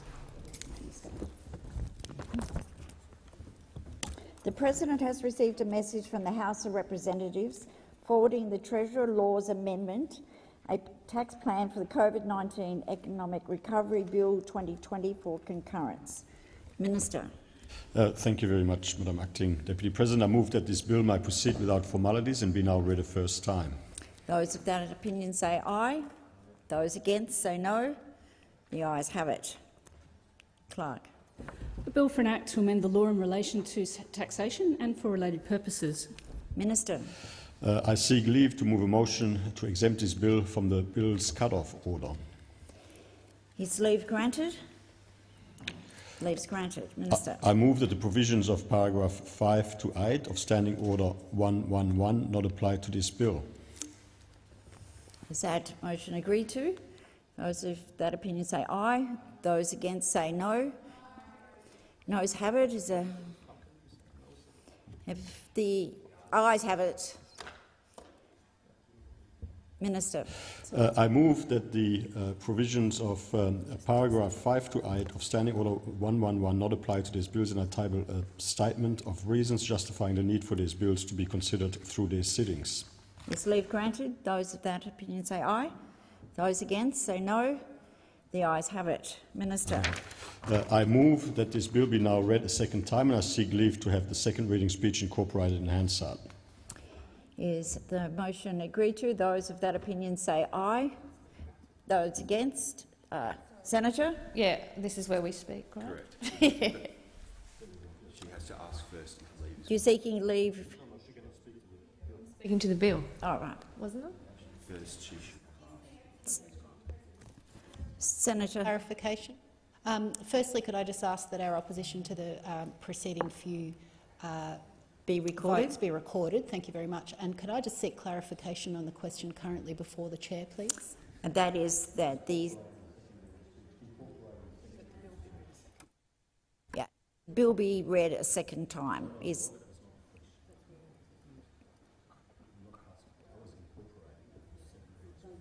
we've done that. We're now yeah. So we've we're now moving on to to the second reading debate, and Senator has the call. Is that clarified it for you? Yeah, look, pardon my uh, misunderstanding here. I thought we were returning to the routine of business as per the... Uh, no, we're now moving into this bill and the second reading debate. Rightio. All right, you'll be hearing from us shortly. Yes. Uh, after, the motion. yes, Senator, you have the call. Uh, thank you. It's quite a heady introduction into this, the tax uh, bills, and can I um, rise, uh, welcome the opportunity to rise to speak on the Treasury Laws Amendment, a tax plan for the COVID-19 economic, economic Recovery Bill 2020, perhaps a little earlier than uh, we had expected uh, to be having this debate. This debate um, brings together a number of tax measures announced in the 2020 budget, uh, in total five of them, uh, which I will speak to separately. But I would like to start my contribution by acknowledging the very uh, difficult economic times uh, the country is in, uh, the very significant economic challenges uh, facing the country, the number, millions of Australians who have had their lives uprooted, um, uh, their jobs lost, um, businesses shut over the last uh, seven months as the uh, coronavirus uh, pandemic has um, brought in changes which have had not only significant health consequences on our community, but very significant economic consequences as well. Um, and I think this bill, um, or this budget, was the government's opportunity to address, both in the short and long term, some of those uh, significant challenges. Uh, the budget in itself um, is the third, I think the third economic package that the government has introduced in response to the pandemic. It comes at a time when we are in a deep recession, uh, the first recession of this country in almost 30 years, um, where we have three and a half million Australian workers being supported by a wage subsidy scheme that Labor called for and the government adopted in JobKeeper. And we have uh, over 1.6 million Australians um, on the JobSeeker or the old Newstart payment. I think over 2 million Australians who have uh, been receiving the coronavirus supplement to assist them to get through uh, the very, very difficult times and put money uh, back into the economy at a time when it was desperately needed. So we are in a, in a very unusual and challenging time um, for so many Australians. Uh, the budget, I think, was the opportunity for the government to respond to some of those challenges, not just in the short term but in the long, long term and in many ways um, it was a missed opportunity. The budget outlined um, a debt and deficit trajectory that this country has not seen before. Um, we have combined deficits of $480 billion, um, a deficit of this year of 213 billion. Uh, we have net debt increasing to just under $1 trillion and gross debt exceeding 1 trillion, and in fact confirmed by the finance minister that will it will um, peak in 2029 based on this budget, uh, not any subsequent economic responses that might be needed, at $1.7 trillion. So I, I, don't think I can um, not take the opportunity to remind the government of the hypocritical and uh, damaging campaign they have run demonising debt and deficit over the last decade. In many ways, the challenges faced by the Australian community and the responses required have uh, been a complete rejection of the approach that the government has taken in terms of their so-called debt and deficit disaster language that they have been using uh, to, to weaponise um, any sensible budget narrative about the use of um, the government's budget, the levers available to it, to support people, to support the community, to support a society um, over the last decade or so. The contradiction and the hypocrisy of a disaster and all of the dangerous language they used at the time when they faced a situation of inheriting gross debt in the order of 280 billion, compared to releasing budget papers which have now outlined gross debt reaching $1.7 trillion, is not lost on the opposition. And I would hope, out of all of the um, learnings uh, from this last seven months, that there has been some in that regard, that the budget does exist to serve a purpose. It is not the same as a household budget. It has a very different purpose. It is there, um, it is given, uh, well, it is used to be used in a way that delivers outcomes for people. Uh, so when you um, introduce a budget like you did in 2014 that slashed a whole range of supports for vulnerable Australians um, in search of uh, your fiscal strategy at the time um, to leave a whole load of people behind at any expense uh, because you were running this narrative, that that has, out, that has impacts and it causes damage. And I think, um, again, the complete rejection of that fiscal strategy and an adoption of one which acknowledges the role uh, and the need for government to invest in people and invest in our community when it's needed is, it, is an important one. Um, we've heard in recent days the government trying to pretend that debt under Labor is terrible and a disaster and debt under them is manageable and fine and no issue here. Uh, and so I do make that point. In terms of uh, the bills that we see before us today, these do form a large component of um, the government's uh, stimulus response, in a sense, to the, the problems that we are seeing in the economy. A bring forward of the stage two tax cuts to 2021 um, at a total cost of $18 billion. Um, Labor has been calling for these tax cuts to be fast-tracked, I think, since uh, August last year. We think they part, play part of the, a key role in part of the response. They shouldn't have uh, at any time been considered the entire response, uh, and so our support is, is contingent on that. They have a role to play. We are not going to stand in the way of um, millions of, of families, working people across this country getting some extra dollars in their wallet every fortnight. Um, we think that does have a role to play and it is a change that we support. Uh, we would have preferred to have dealt with that bill on its own and separated out some of the other measures that perhaps aren't as time critical and could have been dealt with in a more orderly way, allowing the Senate to have the scrutiny of um, to use its scrutiny powers to to inquire into those. Um, however, the government's made it clear, and you know they've played this game before, where they package up a whole range of initiatives into an omnibus bill and serve it up on a plate and, and if you're not for all of it, then you're clearly um, standing in the way of, um, of getting the tax cuts out the door. Um, we, you know, I mean, this is this government's style. It's, it's push through, barrage through, blame everybody else, point the finger, make, take the attention off themselves. Um, we would prefer, and I want to make this point very clear, that the other measures, um, including the um, small business turnover, the amendments to the R&D tax incentive, uh, and particularly the very large, um, the large uh, measure of temporary full expensing of depreciation assets at $27 billion, um, have a longer uh, have that we have more than 48 hours essentially uh, to work through the detail of them.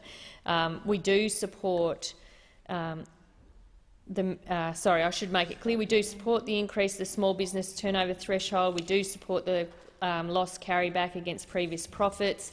Um, there is a price tag attached um, uh, to that loss carryback of 5 billion, not an insignificant amount of money at all, but um, we do think those uh, are sensible. In fact, I think we had proposals very similar to those um, before and that they should be supported. I think where we have concerns, and it is relating to largely to the amendments to the R&D tax incentive cuts and the full expensing of depreciating assets or the instant asset write-off of, of 100 per cent. Um, that is a cost of $27 billion. Um, it is a massive measure that I think the Senate sh should have had the opportunity to inquire into uh, for a bit longer than 48 hours. Um, I think the uh, member for Rankin in the other place has raised a number of issues around that. Um, well, one is the fact that there is no long-term solution to business investment in this country. Um, this is a very short-term measure um, and it will create a very significant cliff at the end of it, um, which I'm sure the government acknowledges, but they haven't dealt with in this budget. Um, it doesn't deal with a long-term business investment strategy. We have known business investment has been tanking in this country for long before the pandemic. It was a problem. And if you talk to anyone in the business community, the major issue they raise around the lack of appetite for business investment is the lack of an energy policy. And I think everyone on that side of the chamber uh, knows that too, but it is a tricky one for them to resolve. But that is the, that is the solution in many ways to, to provide confidence and certainty to the business community if there was an energy policy certainty at the same uh, time.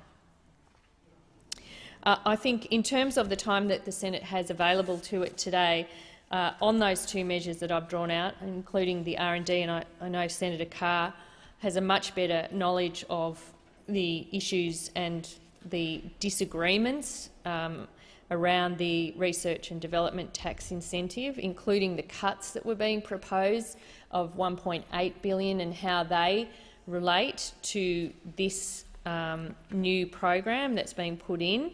Um, whether the money is real, uh, I think uh, we need to understand that a bit more. We will have the opportunity in estimates uh, to explore that a bit further. But I mean, I guess in the interests of the, this government wanting to pursue its strategy of pushing this through the chambers so quickly, that any problems relating to these two, two measures are really worn on your head. Um, you have to be responsible for if there are changes that need to be made as, as the um, detail of these programs is rolled out, then you need to make them.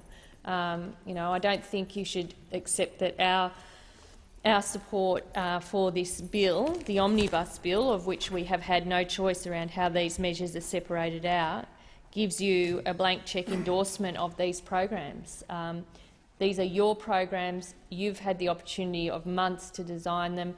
You, you are telling the Australian people they will work, they will deliver the outcomes and the jobs uh, that, that we need to see across this country, um, then you know, it really is on your head as to uh, needing to address any problems or if these policies don't do what we need them to do, which is to um, make sure the unemployment lines in this country is as low as it can be, as quickly as it can be. Now, we have very significant concerns around that. We think the other um, issues that are related to the budget and not in these bills, but uh, I think are interlinked in the sense that you are putting all of your effort behind these measures uh, to drive the economic recovery at a time when you are cu cutting JobSeeker, cutting um, JobKeeper. I think the, the failure to address the JobSeeker uh, permanent increase in this budget is just mean. It's simply mean. There is absolutely no reason why in in the first weeks of October that the government is not in a position to give an answer about what it's doing for the 1.6 million people surviving on that payment in the long term. Uh, it's just wrong. You know, you've given, you're trying to give certainty to in a whole range of areas for the next 18 months to two years, but people who are surviving on the lowest of incomes don't deserve that kind of certainty. Um, the cuts to JobKeeper again, the restriction of JobMaker uh, to those under the age of 35. We have to explore some of the thinking behind that because it leaves almost a million people on that payment who aren't eligible. No plan for aged care. I think it's well understood that 51 per cent of the population seems to be ignored in this budget, and there's a lot of concern around that. No, no addressing issues around childcare, women's homelessness, social housing. I mean, I'm sure we will continue to debate this budget in the months ahead and through estimates. Um, and whilst we support the passage of these omnibus bills, we do lay down some markers that we do have concerns with a couple of the measures. Um, and um, it's firmly in the government's court to change those, but it's also firmly the government's uh, position that these be passed uh, today. Um, and um, the government, the opposition will be supporting that, but we have raised some concerns which we hope the government is listening to and will take on board. Thank you, Senator. Senator McKim. Senator Scarr. Madam Acting Deputy President, I'm absolutely delighted to rise and speak in this chamber in relation to this bill. Absolutely delighted, because the budget that was delivered on Tuesday night delivered for all Australians. The budget handed down on Tuesday night delivered for all Australians, every single Australian, including in my home state of Queensland and including people living in where my office is located in the Ipswich region of Queensland. It delivered for those Australians. Senator Gallagher referred to there being no business investment strategy. That is simply incorrect. simply incorrect. There are a whole range of matters which were brought down in the budget uh, on Tuesday night which will promote business investment. Because the one thing you have to realise, Madam Acting Deputy President, is you don't have to dictate to private enterprise, you don't have to dictate to the entrepreneurs in our society, you don't have to dictate to the people who want to get ahead in this country what they should do with their capital and with their income. You simply need to get out of the way. You simply need to get out of the way and you need to structure the tax system so that it incentivises people, it doesn't penalise people. That's what you have to do. You don't have to dictate to them that you should invest in this or invest in that. Get out of the way. Government should get out of the way and structure a tax system which provides incentive for investment in this country, not disincentive. And that's what the budget delivered on Tuesday night. That is exactly what the budget delivered on Tuesday night. And there are a number of initiatives in the budget which fall into that category, and that included the immediate write-off of eligible assets, which will be an absolute boon for 99 per cent of businesses across this country. There will be investment made that we can't even uh, dream of in this country coming out, coming out of uh, out of this budget. And it also includes promoting the use of gas, more supply of gas, increase the supply of gas, bring down gas prices, promote manufacturing. It's quite simple. Inclu increase the supply of gas, bring down gas prices, promote manufacturing. And that's what this budget will also do. $2 billion for research and development. A sovereign manufacturing initiatives, sovereign manufacturing initiative which, which will provide specific incentives for our manufacturers to develop those industries and provide jobs. And the tax cuts themselves, the tax cuts themselves, which were brought down on Tuesday night, will also, will also deliver jobs. Because when Australians have more, are allowed to keep more of their money in their own pockets, they'll go out and they'll spend that money. Or they'll invest that company in companies which invest that money and generate wealth and create jobs. That's what happens. That's what happens when you let private citizens keep more of what they earn. And one of the matters which really attracts me to the tax uh, relief which is being provided through the budget is that it is proportionate and it is targeted. It is proportionate and it is targeted. So the people who receive the greatest proportion of the tax relief are low-income earners. Low-income earners. So someone with a taxable income of $30,000 a year their total change in tax compared with the 2017-18 year will be 21.3 per cent less. 21.3 per cent less tax paid by someone with a taxable income of $30,000 a year than what they paid in the 2017-18 year. And we know people in those lower income brackets are more likely to spend each dollar which they are allowed to keep after tax. Someone earning $35,000 a year. Their tax saving compared to the 2017 18 year will be 14.8 per cent. 14.8 per cent.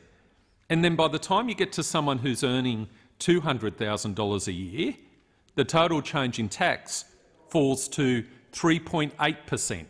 And that's the way it should be. That's the way it should be. The tax cut should be targeted at the low and middle income earners. And they are. They are, as those percentages draw out in stark relief. One of the other aspects of the tax changes that were brought down on Tuesday night, which I fully support, is the fact that you can carry back losses. So a company that generated profits in the year ending 30 June 2019 can carry back the losses which they incur or have incurred in the year ending 30 June 2020 and offset those losses against tax paid in the year ending 30 June 2019. And I think that's an absolutely tremendous initiative. It recognises the fact that companies, the owners of those companies, have been paying taxes to the Commonwealth over a period of time. Those taxes are used to pay for health and services. And then, and then when the company is earning a loss, has generated a loss, not only could it carry forward that loss, but it can actually carry it back so it can get a tax refund and use that money to either reinvest in the business or help it get through this period. And I think that's an absolutely tremendous initiative. Some of the other initiatives in terms of the tax relief uh, have been targeted just to make sure, just to make sure that the low and middle income uh, income earners are the ones who are actually going to uh, receive those, those tax cuts. And they'll spend that money. They will spend that money which they've been allowed to keep through these tax cuts. Treasury estimates that reducing, these aren't my estimates, these are Treasury's estimates, reducing the personal income tax burden on hard-working Australians through this measure will boost GDP by around 3.5 billion, billion with a B, in 2020-21 and $9 billion in 2021-22 and will create an additional 50,000 jobs by the end of 2021-22, an additional 50,000 jobs by the end of 2021 to 22. And those are Treasury's estimates, not my estimates, Treasury's estimates. And we need every single job in the current economic situation that we can get. We need every single job, and these tax cuts will help generate those jobs. How? By putting more money in the pockets of the hard-working Australians who've earned that money, allowing families to keep more of what they earn and allowing them to spend more on what they need, what their personal circumstances need. They will be the ones who make that choice, not government, not government, but the hard-working Australians who've earned that money will be the ones who make that choice. And I just remind this chamber again, I just remind this chamber again, the income tax cuts are proportionate. They are weighed in favour of low-income earners and middle-income earners. As I said at the outset of this speech, someone who earns a taxable income of $30,000, the percentage change in tax saved, 21.3 per cent. Someone earning 200,000, it goes down to 3.8 per cent. Someone earning $60,000, their tax saving is going to be 17.8 per cent, compared to someone who earns $160,000, their tax saving is only going to be 5.1 per cent. 17.8 per cent, someone who earns $60,000, 5.1 per cent, someone who earns $160,000. And that's how it should be. That's exactly how it should be, to make sure that those tax cuts are targeted to help those Australians who are uh, in the low and middle income tax bracket. And we should remember, we should remember, uh, Madam Acting Deputy President, that eight in every 10 Australians are employed in the private sector. Eight in 10 Australians are employed in the private sector. And in order to rebuild our economy and create more jobs, we need to kick-start that part of the economy, that private sector.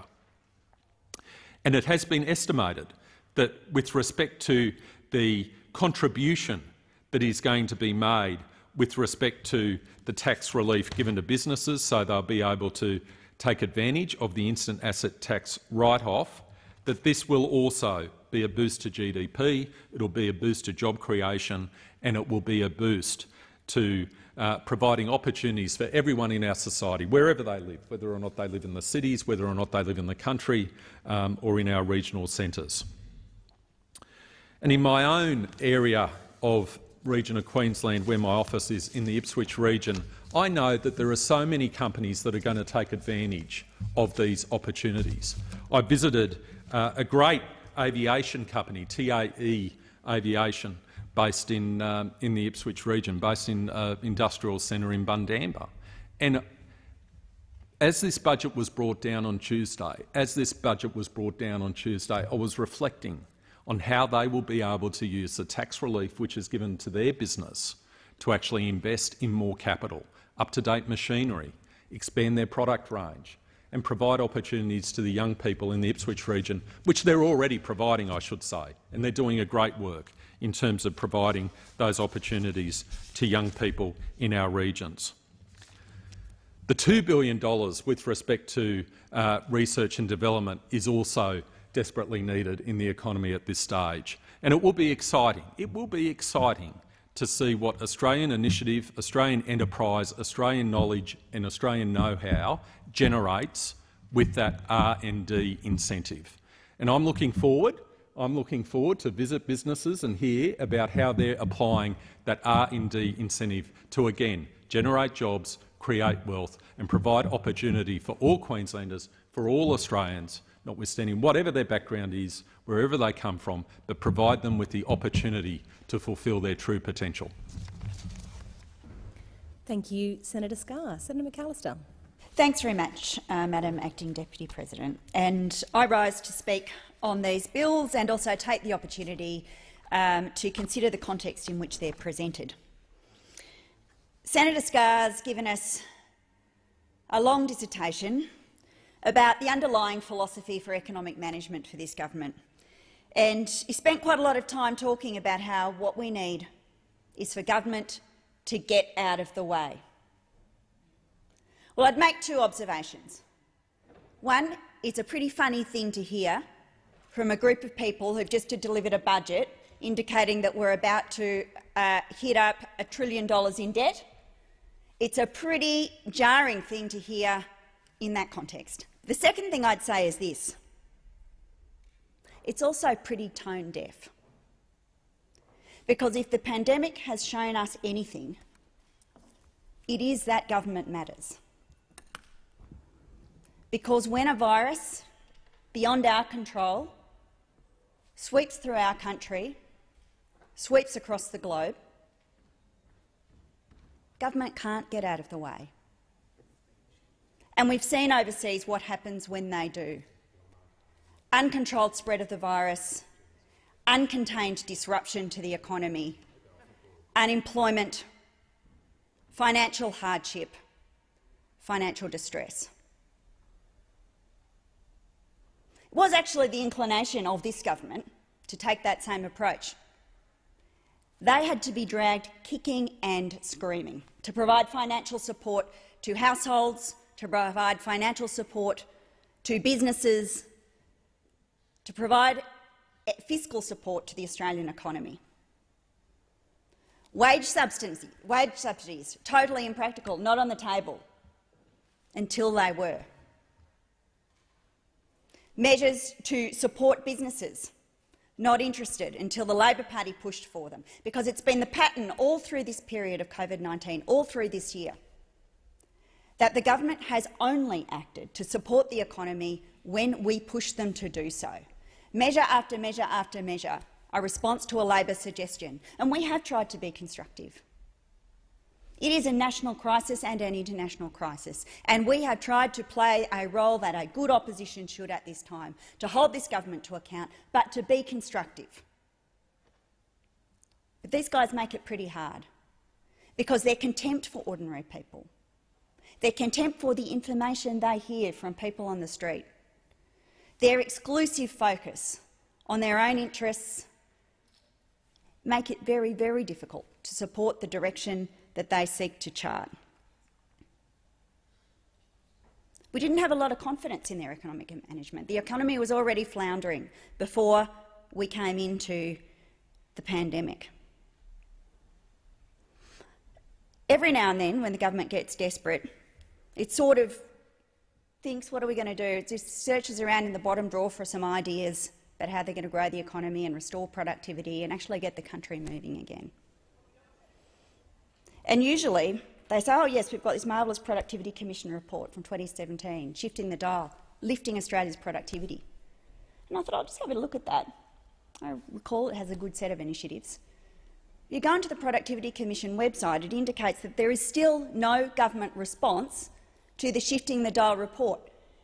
So you've got an economy with flatlining productivity, a desperate need to get jobs moving. This is even before we come into the pandemic. And a government that can't be bothered to even go and respond to the document that they commissioned from the Productivity Commission. Well, I'll remind people on the other side what was in that.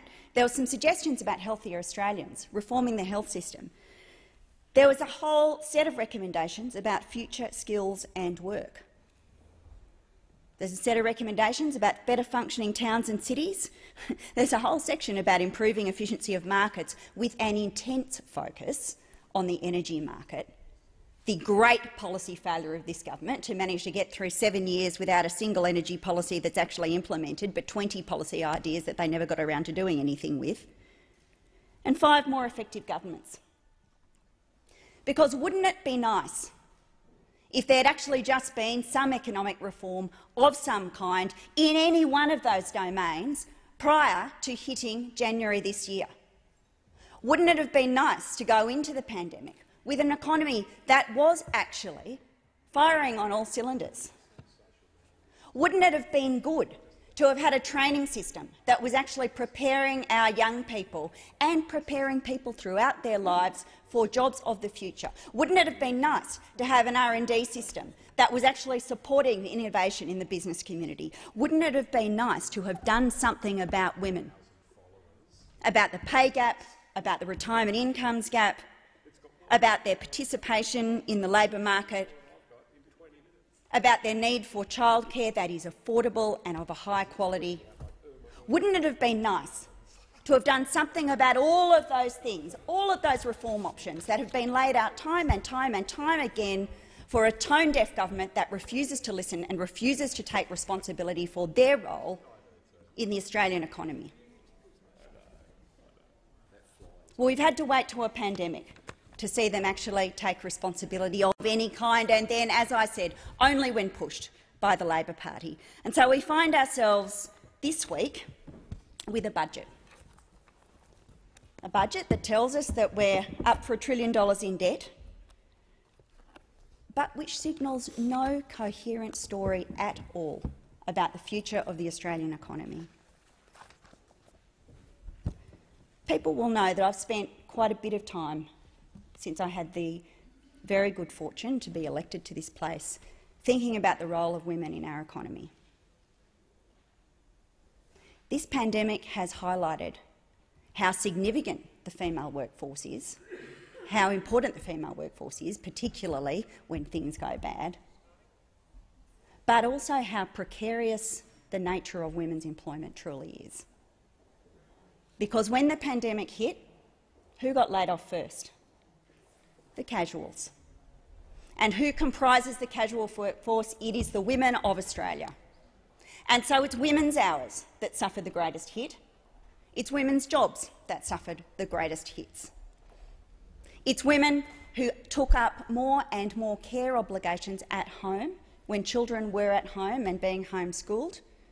And it's women who bore the risk of turning up to frontline roles in nursing, in cleaning, in retail, in teaching, in early childhood, to continue keeping things ticking over while we face down this pandemic. You might have thought that the conversation that has started to bubble away amongst Australian women would have filtered through to those on the other side. You might have thought they would have found it within themselves to come up with just something of meaning for Australian women and their workforce participation in this budget. But no, it is a budget devoid of empathy or interest in the lives of Australian women. It is a budget devoid of empathy and interest in the economic security of Australian women, and it contains very little for them. We are spending twice as much on an IT system for the Department of Human Services as we are on the initiatives in the Women's Economic Security Statement. It is incredible. It is a contribution to women. The Women's Economic Security Statement comprises one-third of 1 per cent of the new measures in the budget. I think that, in part, this situation arises because there are so few women in the Cabinet so few women on ERC, and worse, so little interest by the men of the coalition in listening to the women around them.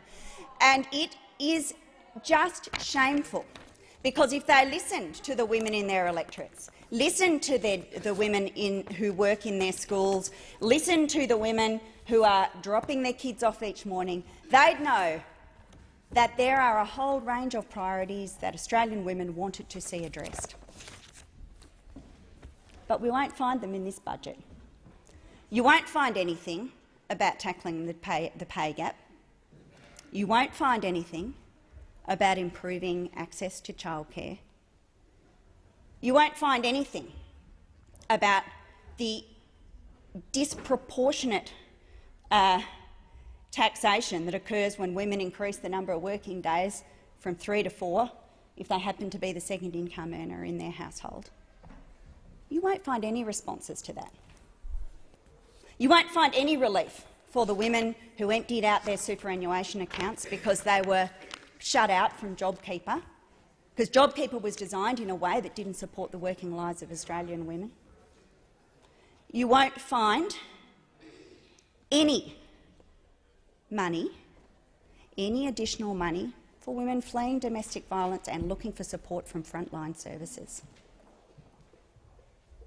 It is incredible to me and tone deaf, incredibly tone deaf, that in a period where there has been article after article after article in every mainstream news outlet about the rise in prevalence and severity of domestic violence, that this was not made a priority in the budget this year.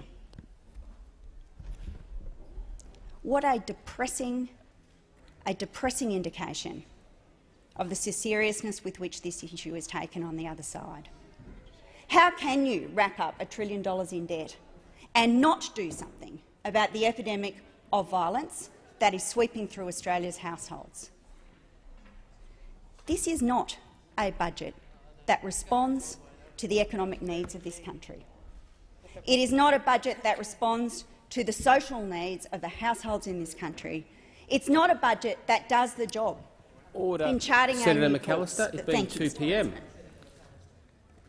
You'll be in continuation, and we'll go to questions. Senator McCarthy. Thank you, Mr President. My question is to the Minister representing the Minister for Women, Senator Ruston. Can the minister confirm that of the approximately 754,000 women currently without work and on JobSeeker or youth allowance, 61 per cent are aged over 35 years? The minister representing the Minister for Women, Senator Ruston. Thank you very much, Mr President. I thank Senator McCarthy for her question.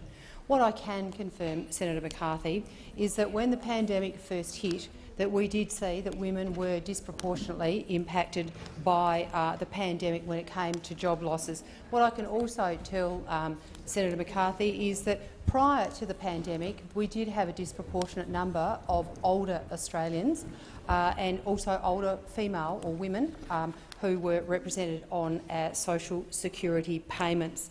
Um, this was probably a result of many things, including many measures that have been put in place prior um, to, uh, to the pandemic and, and, many measures that have been put in place over a number of years, uh, not the least of which um, was the increase in the number of young people that were coming off unemployment and going into work, uh, also, the fact that we had changes to our pension arrangements, like the wife pension, and these changes had taken place over quite a long period of time and successive governments. And as a result of the fact that we had started to see um, probably a disproportionate number of older Australians on um, unemployment benefits or on, on welfare, uh, the government has taken a number of initiatives to, to support um, older people who find themselves unemployed. Order. Um, Senator Ruston. Senator Wong on a point of order. Point of order. It was a very um, a succinct and specific question, uh, which asked the minister to confirm the numbers of women without work and on JobSeeker and youth allowance. That were the, they were the only words and subject uh, points raised. So I would ask the minister. We've been. It's an excess of a minute. I understand she has had taken time to get to the answer. If she could confirm Senator McCarthy's question. It, it was a very specific and factual question, and I've said in the chair that when such specific and factual questions are asked, the directly relevant test is quite a narrow one. So, Senator Wong, you've reminded the minister of the question. I do so as well. Um, Senator Ruston to continue. Thank you very much, Mr President. Well, I will get the exact statistic for um, Senator McCarthy to make sure, because as you would quite imagine, um, you know, we do see the figures around unemployment moving around quite significantly at the moment, but I will certainly make sure that I get the absolute and specific statistic um, provided to you. Um, uh, yes, and so in fact, um, I mean, I, the, I, can give you statistics that are old, but I would like to make sure that I give you a statistic that is current post-pandemic, because as you would be aware, that um, statistics pre-pandemic probably don't mean a great deal. But um, anyway, as I was about to, to inform um, Senator McCarthy, there have been a significant number of measures that have been put in place in recognition that we have um, a high number of older Australians who find themselves um, in, uh, out of work. Order. Senator Ruston. Senator McCarthy, a supplementary question.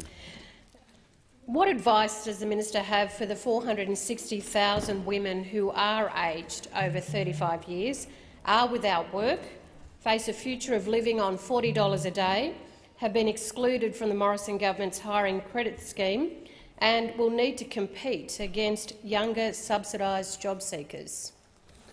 Senator Ruston. Um, thank you very much, um, Mr President, and thank you, Senator McCarthy. Um, one of the things that I, I, can absolutely confirm to Senator McCarthy is that this government understands that their older Australians often find barriers to getting into work, which is why uh, amongst a number of initiatives that were put down prior to the pandemic. If you'd listen, I'll actually tell you about the measures that we've put in place, um, including, for instance, as an example, uh, the Restart program. And um, we talked a lot at the budget this week around uh, the, the, the, the, wage subsidy for younger Australians.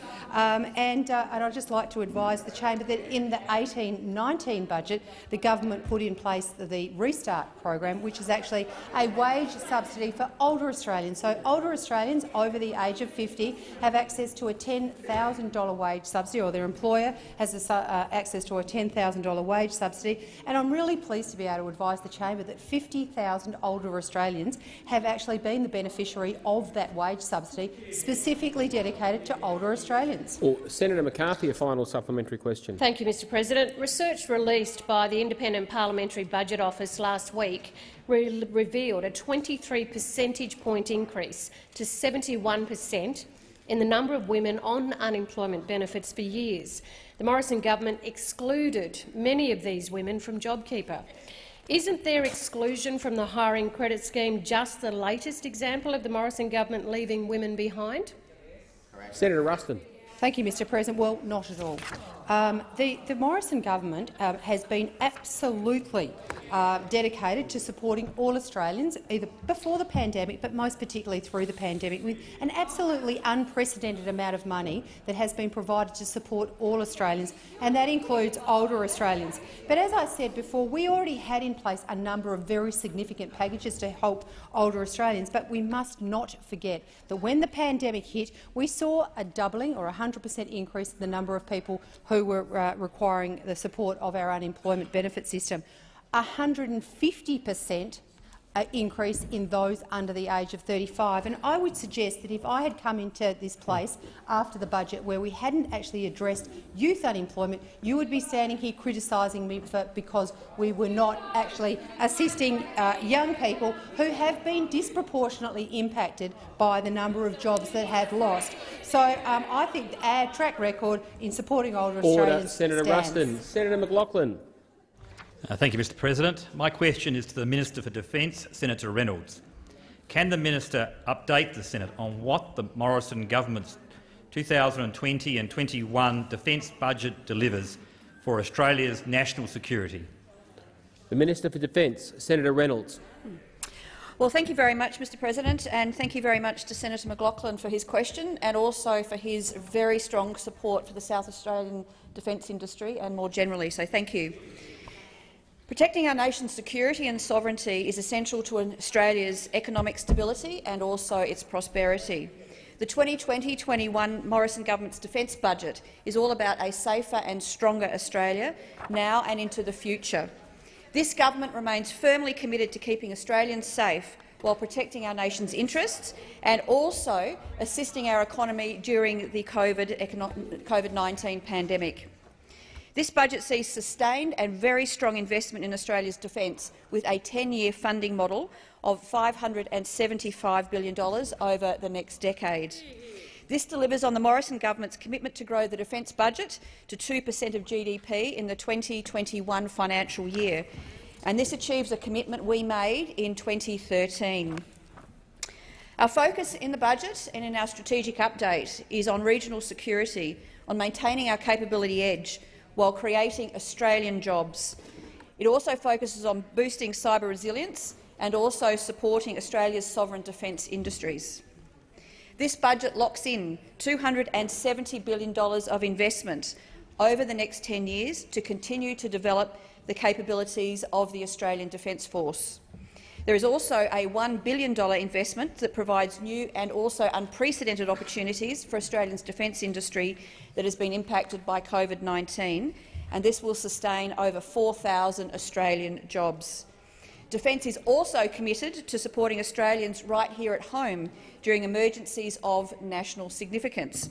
And that's why the Morrison government is strengthening the ADF's ability to respond to natural disasters, to domestic emergencies and also to pandemics, both here in Australia Order. and Senator also Reynolds. overseas. Senator McLachlan, a supplementary question. Thank you, Mr President. Can the minister advise the Senate how the government's defence investments are creating jobs and helping rebuild our economy, including in my home state of South Australia? Senator Reynolds. Uh, thank you very much, Mr President, and again I thank Senator McLachlan for that question. Continuing to develop Australia's sovereign defence industry is crucial to our nation's economic recovery and also, as I've said, to the creation of many more uh, multi-generational jobs for Australians. Currently, there are already over 15,000 Australian companies in the defence supply chains, and that represents over 70,000 Australian workers who are benefiting from our government's investment in defence. And these numbers are continuing to grow, even during the COVID-19 pandemic. And South Australia is a key part of the government's investment in building Australia's maritime defence capability and also our defence industries. And just last week, the Prime Minister was in South Australia opening the $535 million world-leading shipyard in Osborne South, which heralds the beginning of another local shipbuilding job boom in South Australia. Senator McLachlan, a final supplementary question. Can the minister outline the importance of long-term certainty for the defence budget? Senator Reynolds. Thank you very much, Mr President. Uh, as I've said many times in this chamber, Australia's strategic environment is increasingly complex and it is also increasingly contested. That's why the, this government's unprecedented investment in defence capability and also long-term funding certainty that we have committed to in this budget is vitally important. It is important not only for the Australian Defence Force and for defence, it is also vitally important for Australia's defence industries. This 10-year investment of $575 billion, as I've said, 270 billion for new capability, will strengthen not only the capability and the resilience of the Australian Defence Force, but also of our industries and of the many tens of thousands of jobs right here in Australia. This government is de delivering the much-needed certainty for both uh, the Defence Force and the ADF. And the result of that will be that our Defence Forces will not only today be postured to deploy military power to shape our environment, Order. to Senator deter Reynolds, actions time and also answer to has respond expired. if necessary. Senator Keneally. Thank you, Mr President. My question is to the Minister representing the Minister for Women, Senator Ruston. Approximately 200,000 women have lost their jobs since March, and 110,000 have left the labour force. Why did Mr Morrison's budget provide nothing to support women's workforce participation? The Minister representing the Minister for Women, Senator Ruston. Thank you very much, Mr President, and, uh, and I thank Senator Keneally for her question. Well, I would actually refute that the budget that was brought down on Tuesday night by Mr Morrison and the Treasurer, Mr Frydenberg, didn't contain anything in relation to women's workforce participation. In fact, the very substance of the Women's Economic Security Statement is around uh, enhancing women's economic participation. We all know that prior to the pandemic that economic participation by women in the Australian workforce was at, actually at an all-time high, and we also had seen the gender pay gap reduced to its lowest level ever. So as part of the Women's Economic Statement, uh, Security Statement on, on Tuesday night, we sought to uh, undertake a number of initiatives that were really focused on making sure, uh, more, making sure that we were focused Order. very much on providing specific and particular initiatives around workforce participation. But that must not be ex uh, uh, exclude the fact that many, many other initiatives in the budget that were not contained in the Women's Economic Security Statement are also available for women to be able to access. Order. And I think you know, the misunder, you know, those opposite can be mucking around, but the reality is that every, just about every single measure in the budget um, that women have uh, are able to benefit from all of those measures. As I say, you know, women benefit from university educations, women benefit from, from workplace and employments.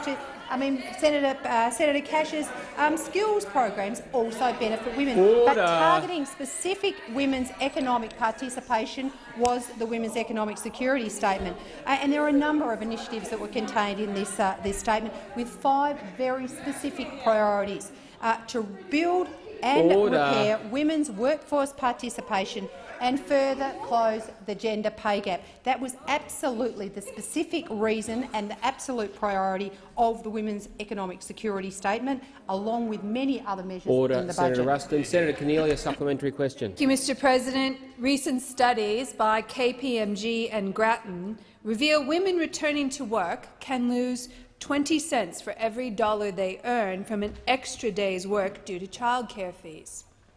Why did the Morrison government's budget fail to make childcare cheaper for Australian families? Senator Ruston.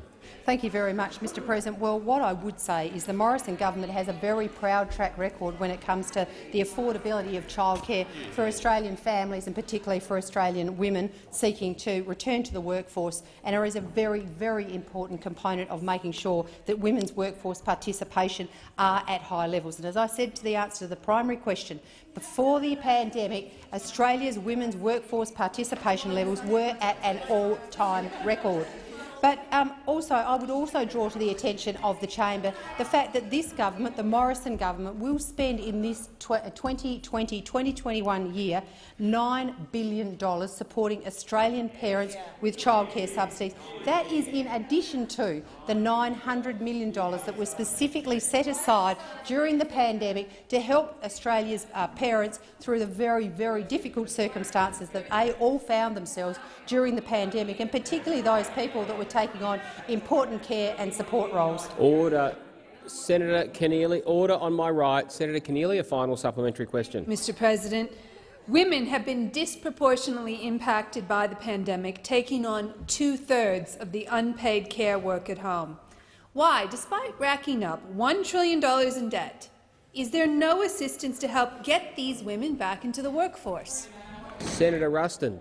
Well, thank you very much, Mr President. Well, I would once again refute the premise of the, of the statement that was just made by Senator Keneally that the government is not doing a number of things to assist all Australians, including Australian women, back into the workforce. As I said, you know, an absolute record investment in childcare to enable them to be able to get back to work the investment that has been made in the portfolio area of Minister Cash around making sure that we focus on reskilling. I mean, in the Women's Economic Security Statement, as, as an example, I mean, there are a number of initiatives, a, a number Order. of initiatives that Order focus specifically about empowering women, getting Order. women into leadership roles, and making sure that, uh, that, that women and Order. are Senator able Ruston, to please resume your seat. There's interjections across the chamber. I can't hear the minister. Senator, Senator Wong, on a point of order. I'm going to give leave to Senator Rennick to make That's the not a statement point about of order, childcare Senator. Wong. That's not a Go point of ahead. order, Senator Go Wong. ahead. Please resume your seat, Senator Wong. Senator Wong, please resume your seat. Senator. Points of order are for points of order, not for debate. Senator Ruston, you may continue in silence in the chamber. Thank you very much, Mr President. But what, as I was saying, in the Women's Economic Security Statement, there are a number of, uh, of initiatives that particularly target making sure that we are providing the support for women to be able to get back into the workforce, get ahead in the workforce. You know, expanding and boosting the Female Founders Initiative, a fantastic initiative that uh, that was already underway. I mean, the paid Order, parental Senator leave Ruston. scheme. Time for the answer has expired. Order. Senator Hanson-Young. Thank you, Mr President. My question is to Senator Cormann, representing the Prime Minister. Um, the arts and entertainment industry was the first and hardest hit by COVID restrictions. It will be one of the last to recover. It has seen the highest, the second highest number of job losses after accommodation and hospitality, which of course rely on the arts and entertainment sector as well. For every million dollars in turnover, arts and entertainment produce nine jobs. Construction produces only one. Yet the Treasurer on Tuesday night didn't even utter the word art in his speech. Why has the $112 billion a year arts and entertainment industry been so forgotten by your government? Minister representing the Prime Minister, Senator Cormann. Thank, thank you very much, uh, Mr. President. Far from being forgotten, because the arts uh, and entertainment industry was one of the first and hardest hit. It was one of the first to get the support uh, from the Morrison government. Uh, the Morrison government is working hard to deliver on our plan to support Order. the arts and entertainment sector during COVID-19. We have secured almost $800 million in extra arts and entertainment funding, on top of our record annual investment of around $750 million in core funding, and on top of the $336 million provided to date through JobKeeper. Uh, during one of our nation's most testing times, Australians have looked to our have looked to our leaders to provide accurate and honest information, provide support to those uh, who need it and manage public money responsibly. And that is, of course, why uh, our government has provided very substantial support uh, to this uh, sector. And it would be great if uh, senators across the chamber uh, could recognise that very strong commitment and contribution that we've made. Senator Hanson-Young, a supplementary question. Uh, th thank you, Mr President. Um, I have a supplementary question. The German government has pledged 1 billion euros in response to this crisis. The UK government, 1.57 billion pounds. France extended their unemployment scheme for actors, performers, musicians, technicians, guaranteeing their pay for 1.3 million people. Senator Cormann, how will your ignoring of the arts play in your bid for General Secretary to the OECD? Senator Cormann. Uh, well, uh, let, me, let, me, let me just uh, reconfirm, and I'm sure that uh, our friends in uh, France, uh, nos amis en France, and our friends in Germany, unsere deutschen Freunde, would be very impressed to see the very serious commitment that the Morrison government has made to supporting the arts and entertainment sector here in Australia. Of course, every country and every economy uh, faces, uh, uh, deals with the challenges it faces in its own way, consistent with its um, capacity, uh, and uh, you know, we are doing the best we can in the context of what is clearly a very challenging situation. And I think that uh, all reasonable Australians and all, all of our friends across the OECD would um, very much agree with that. Senator Hanson-Young, a final supplementary question. Thank you, Mr President. It's mostly women who have work in the sectors that have been hardest hit, hospitality, retail and the arts and the entertainment sector, yet the Morrison government has largely left them out. Minister, do women matter? And has Tony Abbott's women's problem infected the Prime Minister? Senator Cormann. Uh, th thank you very much, uh, uh, Mr President. Uh, thank you very much, uh, Mr President. Of course, uh, women matter. They matter very much. And under our government, after the first six years of the Liberal National uh, government. Uh, we had the highest workforce participation of women ever on record. Uh, the gender pay gap was the lowest ever on record here in Australia after six years of uh, a, coalition Liberal National uh, government. Uh, and, you know, of course, women and young people were particularly hard hit from the economic impact of the coronavirus pandemic. Uh, but uh, women and young people also have proportionately been the biggest beneficiaries of the recovery getting underway. And our plan to get Australia out of this COVID recession, our plan uh, to maximise the strength of our recovery uh, and our, our, economic and our jobs recovery uh, is uh, very much going, to, going to be um, beneficial to all Australians, but in particular uh, women and young people around Australia, because they will proportionally uh, benefit the most from the, from the strong recovery that our government is working on. Senator Gallagher. Uh, thank you very much, Mr. President. My question, my, sorry, my question is to the Minister for Finance. Probably my last question to you in question time, Senator Cormann. I know you'll miss me. I refer to analysis by the Institute of Public Affairs based on data from the Morrison government's budget and the ABS, which reveals that gross Commonwealth government debt will peak at $2.05 trillion in 2045. Is this analysis by the Institute of Public Affairs accurate? Senator, Minister for Finance, Senator Cormann. Uh, th thank you very much. I, I, thank Senator Gallagher for that question. Um, you know, really, I, I, think Senator Gallagher wanted to make sure that before I leave this chamber, I truly had seen everything. I truly had seen everything.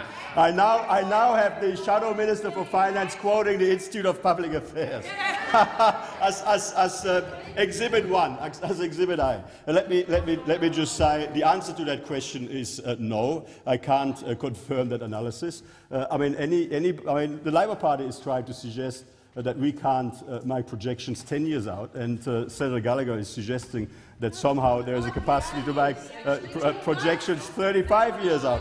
Let me, let me, let me just say. And, and of course, and of course, and of course, and of course, the argument, the argument that is being prosecuted by the opposition right now the argument that the opposition is prosecuting right now is that we should, be, we should spend more, we should spend more, and we should have a lower deficit and lower debt. Like that is internally inconsistent. I've got to tell you. Look, I mean, of course, we are facing a very challenging set of uh, figures. Uh, we are, we are, though, in a better position than most other countries around the world as a result of the hard work that we've done during our first six years in government. Let imagine. I mean, the reason the reason your figures weren't worse after six years of Labor government is because you started with a surplus, a no government net debt, a positive net asset position.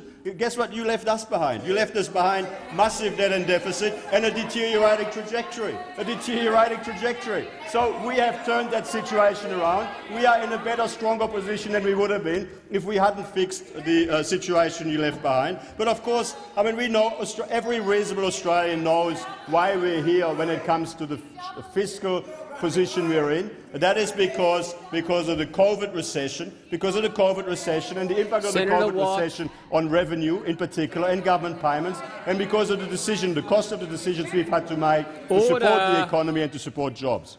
Senator Gallagher, a supplementary question. Thank you, Mr President. The analysis by the IPA also revealed that gross Commonwealth government debt will not be paid off until the year 2080. Can the minister confirm that a child born today will be 60 before the Morrison government's record $1.7 trillion of debt is paid off? Senator Cormann. Thank you very much, Mr. President. A child born today will have better opportunities to get ahead Senator in Watt, the future because of the hard yards that our government did Senate, in our first six years in government Senators to repair, on my left. To, to repair the budget Order. and to strengthen the economy. And a child born today will be in a better position, have better opportunities to get ahead because of our plan to get Australia out of this COVID recession, because of our plan to create jobs, because of our plan to maximise the strength of the economic and jobs recovery. People across Australia know that if we had not stepped up, if we had not stepped up earlier this year, uh, young people today and into the future uh, would have uh, been worse off would have faced more, a more challenging environment and would have found it harder to get ahead. It is as the result of our hard yards in our first six years in government and through this uh, coronavirus uh, pandemic and this coronavirus-induced uh, recession, it's because of our work that young people today and into the future will have the best possible opportunity to get ahead. Senator Gallagher, a final supplementary question. Thank you. Can the minister confirm the IPA's assessment that under the Morrison government, and I quote, a budget surplus will not return until 2046? Um, Senator Cormann. Th th thank you very much, Mr. President. I, am you know, I, I got to say, I'm, I'm quite. Um, I'm quite impressed by uh, Senator Gallagher's optimism about the Morrison government in 2046, uh, and you know, I, I, I, I, really I commend her for her optimism that we will still have good government, good Morrison government uh, in Australia in 2046. And let me tell you, the Australian economy uh, will be stronger and better for us. Sen order, order. Order. Order. Senator, on both sides of the chamber, at this end. But Senator Roberts. Thank you, Mr President. My question is to Senator Cormann, representing the Prime Minister. For the anthropogenic global warming hypothesis to be accepted scientifically, it must be based on physical empirical data. During my meetings with the CSIRO, it was confirmed that CSIRO Order. relies only on erroneous, unvalidated computerised climate models, not physical data. This is a third admission of CSIRO's lack of empirical evidence proving causation. Both types of climate models have repeatedly failed to match physical data and observations. Yet CSIRO has allowed this government to take confidence in climate models, and that has led to economically destructive policies on the Australian economy. Senator Cormann, will you support an inquiry that would analyse and assess quantitatively the accuracy and levels of confidence in CSIRO's climate models. The Minister representing the Prime Minister, Senator Cormann. Uh, th thank you very much, uh, uh Mr uh, President. Uh, Australia is committed to effective action on climate change. The debate that we've had in Australia over the last decade is about what the best uh, methodology would be to achieve, to achieve effective global greenhouse gas emissions in a way that is economically responsible. We think it is very important to maximise the um, emissions reduction effort in a way that is economically responsible, because that, of course, uh, it, you know, our success in uh, securing emissions reductions in a way that is economically responsible and doesn't undermine the opportunities uh, for uh, working families to get ahead is a, is a very important uh, way to lead by example for the rest of the world. Because if the rest of the world can see that we can achieve both emissions reductions and economic and jobs growth, then other countries will follow our lead. And that is, of course, I mean, we, we want all countries uh, to uh, do the best they can to help reduce uh, greenhouse gas emissions in a way that is economically responsible, and I commend that approach to you. Senator Roberts, a supplementary question. Respected economist Dr Alan Moran has compiled government data to show climate policies and renewable subsidies are costing Australians $13 billion extra in higher electricity costs per year, and that is $1,300 extra per household. Minister, is it fair and reasonable that the most vulnerable people in our society, the poor, the elderly, students, the unemployed, are paying 39 per cent of their electricity bills on a fanciful, pointless crusade to change global temperature. It is a highly regressive Order, impost on Senator these people. Roberts. Senator Cormann. Uh, thank you very much, uh, Mr. President. Our, our, government has worked very hard to reduce the uh, costs of electricity and to improve the, uh, you know, both the reliability as well as the affordability of uh, energy supplies. At the same time, as working to reduce emissions and meet our emissions reduction targets agreed to in Paris. And I'm pleased to report to the Senate that you know, we are being very successful in that endeavour.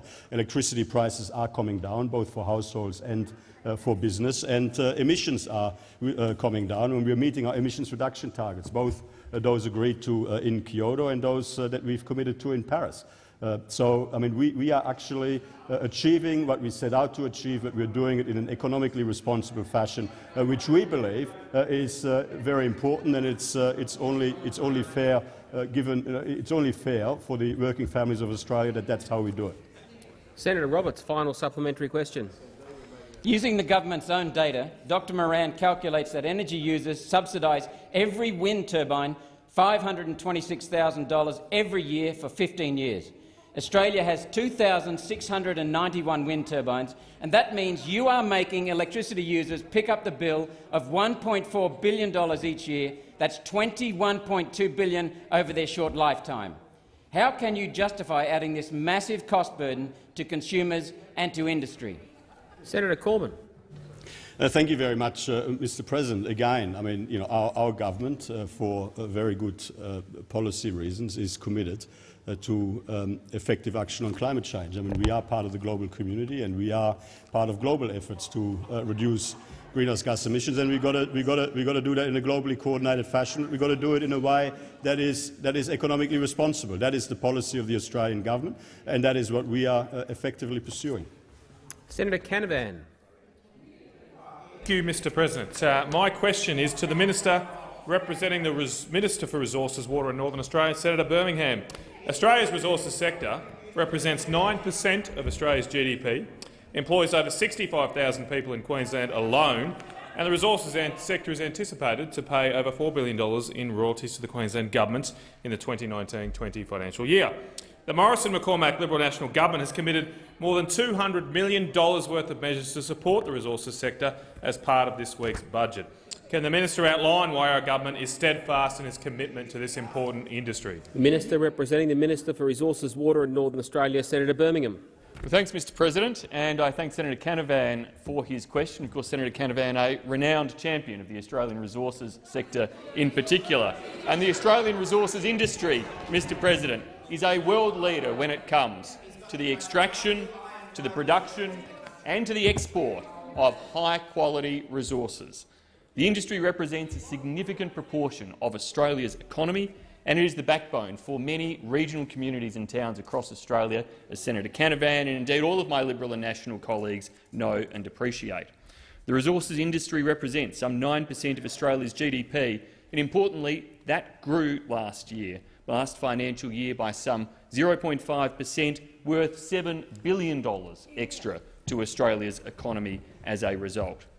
In 2019-20, our resource and energy exports reached a record $290 billion for Australia. Our iron ore was the first commodity to ever record more than $100 billion in export revenue. Our gold industry is poised to become the world's largest producer forecast to record some $31 billion of production in 2020-2021. Even in the midst of the most significant global pandemic and economic shock, the resources industry is investing in Australia and in Australians and Australian jobs, with mining capital investment increasing by some 5.4 per cent over the course of the last financial year. The resources industry is already a supporter of Australian jobs, employing some 247,000 Australians in August this year, an increase of almost, more, almost 6,000 compared with February this year. And of course, they are just direct contributions. The resources industry supports so many more jobs than those direct contributions. That's why the Morrison-McCormack government recognises its importance and continues to invest in the industry Senator and its Canavan, growth a potential. supplementary question. Uh, thank you, Mr President. Can the minister outline what commitments our government has made as part of this week's budget to ensure that continued investment and expansion across our mining industry in this great country? Senator Birmingham. Mr President, we've made a number of new investments to support energy, minerals, groundwater resources and improve their understanding and development during this budget. Our $124.5 million expansion of the Exploring for the Future program will improve the understanding of Australia's resources, identifying the resource potential of key regions across Australia.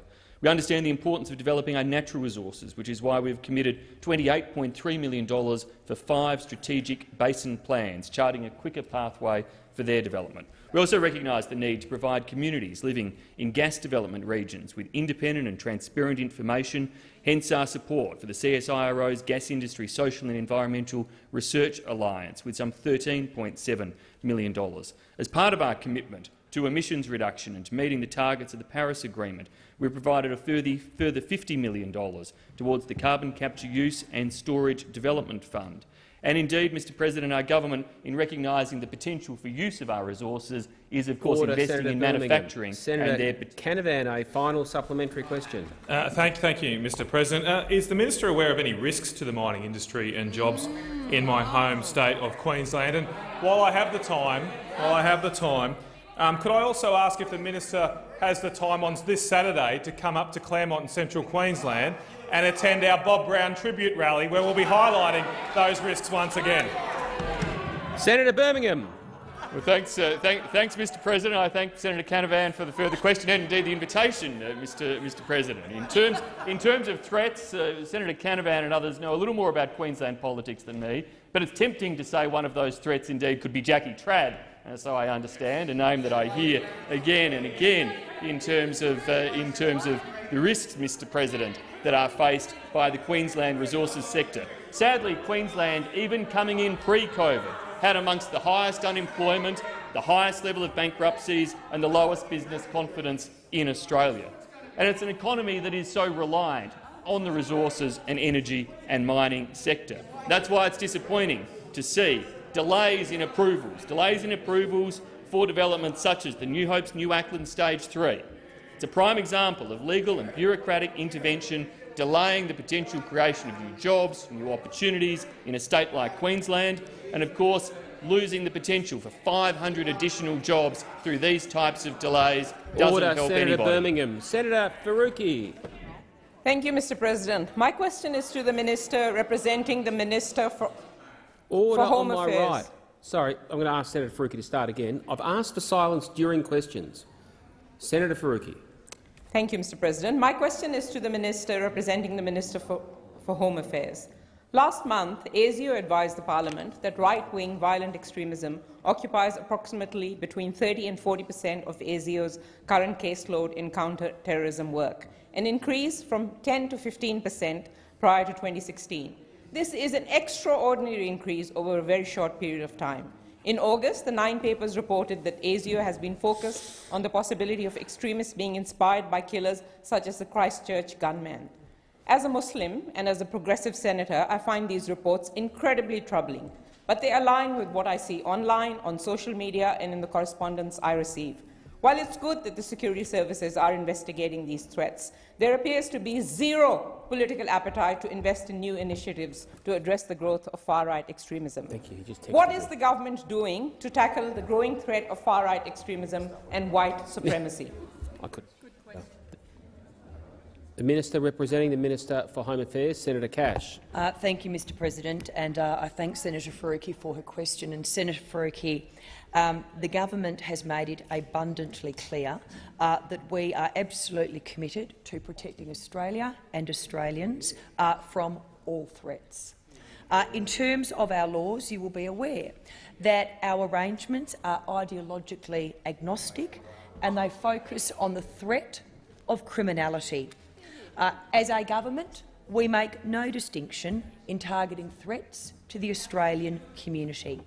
Our agencies, and I commend our agencies, are working hard to tackle the threats from all sources, whether they be from Islamist extremism, right-wing extremism or any other source. Australians should have confidence that Australia's counter-terrorism arrangements work equally well for right-wing motivated groups and individuals as they do for Islamic extremism. I will make the point, though, that under the former Labor government, Labor actually cut $128 million from the AFP between 2010 and 11 and 2013 and 14. But, uh, Senator Faruqi, our laws and arrangements are ideologically agnostic and they focus on threat and criminality. Senator Faruqi, a supplementary question. Minister, a national anti-racism strategy has not been funded at the federal level in five years. In July 2020 inquiry submission, the Australian Human Rights Commission reiterated its support for a strategy, stating a national anti-racism strategy is necessary to protect the unity, safety and security of our society and to ensure that our citizens and diaspora communities are protected from racial discrimination and race hate. Why does the government continue to refuse to fund a national anti-racism strategy? Senator Cash. Uh, well, Senator Faruqi, you would be aware uh, that we have laws in relation to racism. Those laws already exist, and if you are in breach of those laws, there are consequences. Order.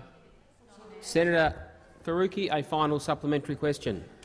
Is the minister concerned by MPs in the Liberal and National parties who have in the last few years attended far-right rallies, spoken at far-right rallies and engaged with and given interviews to far-right media outlets?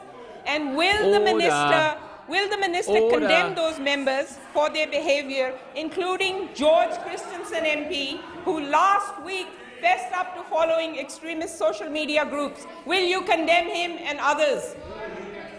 Order. Senator Cash. Uh, well, Mr President, and unfortunately I did not actually hear the last part of your question, Senator Faruqi, Faruqi uh, due to the noise Order. in the chamber. Sorry, are you on a point of order, Senator Faruqi? Point of order. Um, if the minister didn't hear the question because of all the shouting going on, um, I would like the indulgence of the Senate to repeat the question.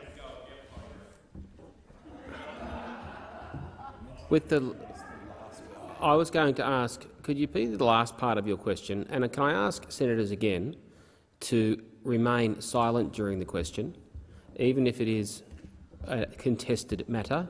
There's a time for this debate to be debated afterwards. Senator Faruqi, if you could repeat the last part of your question. Will the minister condemn those members for their behaviour, including George Christensen MP, who last week fessed up to following extremist social media groups? Senator Cash. Thank you, Mr President, and thank you, Senator Faruqi. Um, I'm not aware of the circumstances that you're referring to, uh, but certainly uh, I would condemn right-wing extremism, I would condemn left-wing extremism.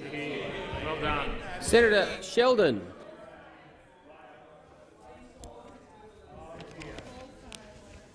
Right. My question is to the Minister representing the Treasurer, Senator Cormann.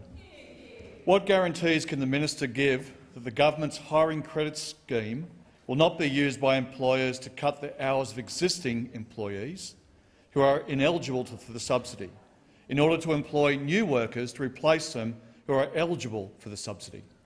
The Minister representing the Treasurer, Senator Cormann. Uh, th thank you very much, uh, Mr President. That is a very fair question, and it's obviously something that we've considered as we designed uh, the programme. Uh, the JobMaker uh, hiring credit is uh, only available for additional jobs.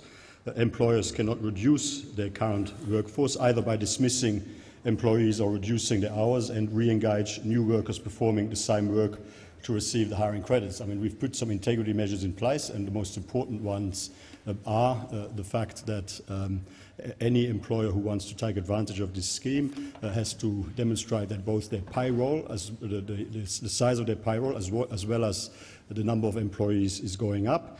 Uh, so the business's total employee headcount, minimum of one additional employee from the reference date of 30 September 2020, and the payroll of the business for the reporting period as compared to the three months to 30 September 2020 um, has, to, has to be higher. So to demonstrate that the job is additional, those specific criteria must be met uh, to, uh, and so they must uh, meet these double-barreled additionality criteria in order to be able to access this uh, credit. Uh, all, all employees uh, have protections also, as uh, um, Senator Sheldon will be aware, under industrial relations laws from unfair or unlawful dismissal, including non-genuine redundancies, and there are other integrity measures in place to ensure that employers cannot reclassify existing workers from contractors to employees to receive the hiring credit or move employees between entities within a single group. I hope, I hope that addresses uh, Senator Sheldon's question. Senator Sheldon, a supplementary question. What assurances can the minister give that the government's hiring credit scheme will not incentivise employers to lay off casual workers working greater than 20 hours a week and then hire more workers who are eligible for the subsidy. Senator Cormann. Th thank, thank, you very much, Mr. President. Well, I think that I've fundamentally answered uh, that question. Um, I mean, that's, I mean, we, we clearly, as we were putting uh, this um, uh, scheme in place. We've put these integrity measures in place. And I mean, what is the incentive to, for the employer not to do this? Well, if the employer were to do this, they would no longer be eligible for the scheme. Uh, I mean, I, I, would have thought you know, if, the, if the employer wants to access the scheme, they can't do what uh, Senator Sheldon has just described. Senator Sheldon, a final supplementary. What assurances can the minister provide that a young worker hired under the government's hiring credit scheme will still have their job once the scheme ends in October 2021. Senator Cormann. Thank, thank you very much, uh, Mr. President. Well, uh, the, the, usual industrial relations laws apply, and uh, you know what we are doing through this hiring credit is give uh, young people an opportunity uh, to uh, work you know, over this 12-month period and to establish a track record of work performance which will stand them in good stead as they pursue their career moving forward. Senator O'Sullivan. Thank you, Mr President. I have a question for the Minister for Employment, Skills, Small and Family Business, Senator Cash. Can the minister outline to the Senate how the budget's JobMaker plan is backing small businesses to recover, rebuild, reinvest and employ more Australians as we recover from the COVID-19 pandemic? The Minister for Employment, Skills, Small and Family Business, Senator Cash. Thank you, Mr President, and I uh, thank Senator O'Sullivan for his uh, question. And, Mr President, uh, you'd be aware that this week's budget is all about jobs, backing those Australians uh, who are in jobs and ensuring that they stay in those jobs, and obviously getting as many Australians back into work as we can. And uh, a fundamental part of that plan is backing our small and family businesses every step of the way. Uh, they are the engine room of the Australian economy in so many different ways. They're major drivers of employment, uh, in fact employing over 6 million Australians and contributing around $418 billion to our national economy. Uh, the CEO of the Council of Small Businesses Australia, Peter Strong, he has welcomed the Budget 2020 as providing great things in it for small business people.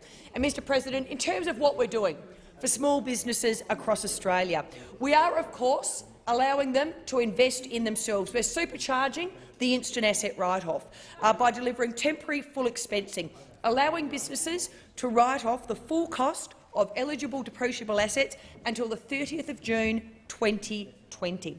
And of course, we understand that so many businesses have done it tough as a result of COVID-19, and they need that important cash flow. So we're providing $4.9 billion in tax relief through temporary loss carryback. This is going to allow businesses impacted by COVID-19 to write off their bad years against their previous good year. We're also expanding access to small business tax concessions. We're providing $105 million in tax relief to an additional 20,000 business and their employers. Importantly, in uh, the skills space. We're removing costly barriers for business to train their employees by exempting employer-provided retraining from fringe benefits tax. Uh, this will allow small businesses to capitalise on our $7 billion skills investment. Small and family business, Mr President, they are the backbone of the Australian economy, uh, and in the budget 2020 we are backing them Order. every step Senator of the Cash. way. Senator O'Sullivan, a supplementary question. Thank you, Mr President. Uh, COVID-19 has meant that many businesses have had to adapt, innovate and build their digital capability. How is the budget make, sorry, the budget's JobMaker digital business plan supporting small businesses to grow digital and grow their businesses? Senator Cash. Thank you, Mr President. And uh, one of the things that uh, COVID-19 has shown us is the importance of digitisation and building resilience for small businesses. In fact, so many of those businesses that were able to pivot overnight, and in particular in the hospitality industry, were those businesses who were digitally literate. Um, COVID-19 has just well and truly accelerated digital growth in our economy, and an important part of our budget is supporting small businesses to adapt to this challenge. We are investing, as you're aware, $800 million in our JobMaker digital business plan, and that is all about supporting small businesses to embrace digital technologies. We are investing over $19 million to support small businesses to go digital by expanding the Australian Small Business Advisory Service Digital Solutions Program, otherwise known as ASBAS, to a further 10,000 small businesses. And in fact, the Chamber of Commerce, the Australian Chamber of Commerce and Industry, have endorsed the policy, noting it will create the jobs Australia needs. Senator O'Sullivan, a final supplementary question. Thank you, Mr President. We've seen the impact of health restrictions and shutdowns, how they've put enormous pressure on the mental health of all Australians. How is this budget helping to support the mental health and well-being of Australia's small business owners? Senator Cash. Well, Mr President, as we'd all be aware, COVID-19 has had a devastating impact on Australia and Australians, but in particular has brought considerable challenges uh, for our hard-working small business owners and their staff right around Australia. But that is why the government, uh, in this budget, is investing $7 million, a further $7 million, to support the mental health of small business owners through our Business Balance initiative. Business Balance will expand Beyond Blue's NewAccess program to small business owners, and it will provide them with free, accessible and tailored support to help manage the pressures of COVID-19. We're also providing funding to expand Deakin University's free accredited professional development program to build the mental health literacy of trusted business advisors like accountants and bookkeepers. Um, the investment has been welcomed by Beyond Blue Chair, the Honourable Julia Gillard AC, and it will assist small business owners who have been affected Order. by the COVID-19 pandemic. Thank you very much, Mr President. And my question is to the Minister representing the Minister for Women, Senator Ruston. Today, Mr Morrison referred to those expressing concern that women have been left behind by his government's budget as, and I quote, voices of disruption, of division. Does the minister agree with Mr Morrison that Australian women concerned about being left behind by this government are just voices of disruption, of division? The Minister representing the Minister for Women, Senator Ruston. Thank you very much, Mr President, and thank you very much, Senator O'Neill, for your question. One of the things that has probably most greatly concerned me um, over the last few days in response to the budget by those opposite uh, and, and, and, others um, has been the lack of understanding of the depth of the measures that are in this budget that support Australia's women. Um, and you know, as, as a, a woman in this place, um, and, and, representing today the Minister for Women, uh, uh, Senator, uh, Senator Payne, um, it is very distressing that, that, we have not seen the kind of credit for the massive level of investment that have been made in all Australians over the last seven months as we have managed our way through the pandemic and again on Tuesday night with the measures that have been put in place to help Australia's women. And as I said, apart from all of the general measures of which the majority have been uh, accessible to women, um, there have been dedicated measures that have been specifically targeted towards assisting women in this budget. Um, we've been through them on a number of occasions in this place, but I'm more than happy to stand here again and talk about some of the great initiatives that were contained in Tuesday night's budget uh, for women. And these are on top of a number of measures that have been contained in other announcements over the past seven months, as Australia has come to terms with a pandemic that has never been experienced by the, in the lifetime of anybody that is sitting in this chamber. But we, we will absolutely stand by a record uh, as a government in supporting women, and I too am happy to stand by my record in the time that I've been the minister responsible for families and social services about initiatives that we have undertaken to assist Australia's women. As I said, the, the Women's Economic Security Statement absolutely specifically targeted to make sure that we return the work, level of work participation by Australia's women back to the highest levels and hopefully— Order, hopefully Senator Ruston. Senator O'Neill, a supplementary question. Thank you, Mr President. In response to criticism of the Morrison government's budget, the Prime Minister's office has said that, and I quote, no one credible was making that criticism. Is that really the government's position? Senator Ruston. Yeah. Thank you very much, um, Mr President, and thank you once again, Senator O'Neill, for your, for your supplementary question. What, uh, what I would say um, is that I have been extremely disappointed at some of the commentary that we have received about the budget that has, has had absolutely lacked uh, any understanding or acceptance that there have been a number of measures in this budget that are specifically Order. targeted towards women, but equally Order. we have a number of uh, measures. In fact, just about every single measure that is contained in the budget has uh, it applies to women. Um, and the idea that we would have a budget that is gender-specific in every single measure that's contained in it is completely ludicrous and completely ludicrous. Well, I noticed Senator McAllister asked me about just one measure. I can go Order. through many, many measures. We can talk about the paid parental leave changes. We can talk about um, you know, the, uh, the advanced apprenticeships for women. We can talk about um, the Female Leaders uh, Initiative. We can talk about a Senator number Ruston, of measures. time for the answers expired. Senator O'Neill. Uh, thank you, Mr President.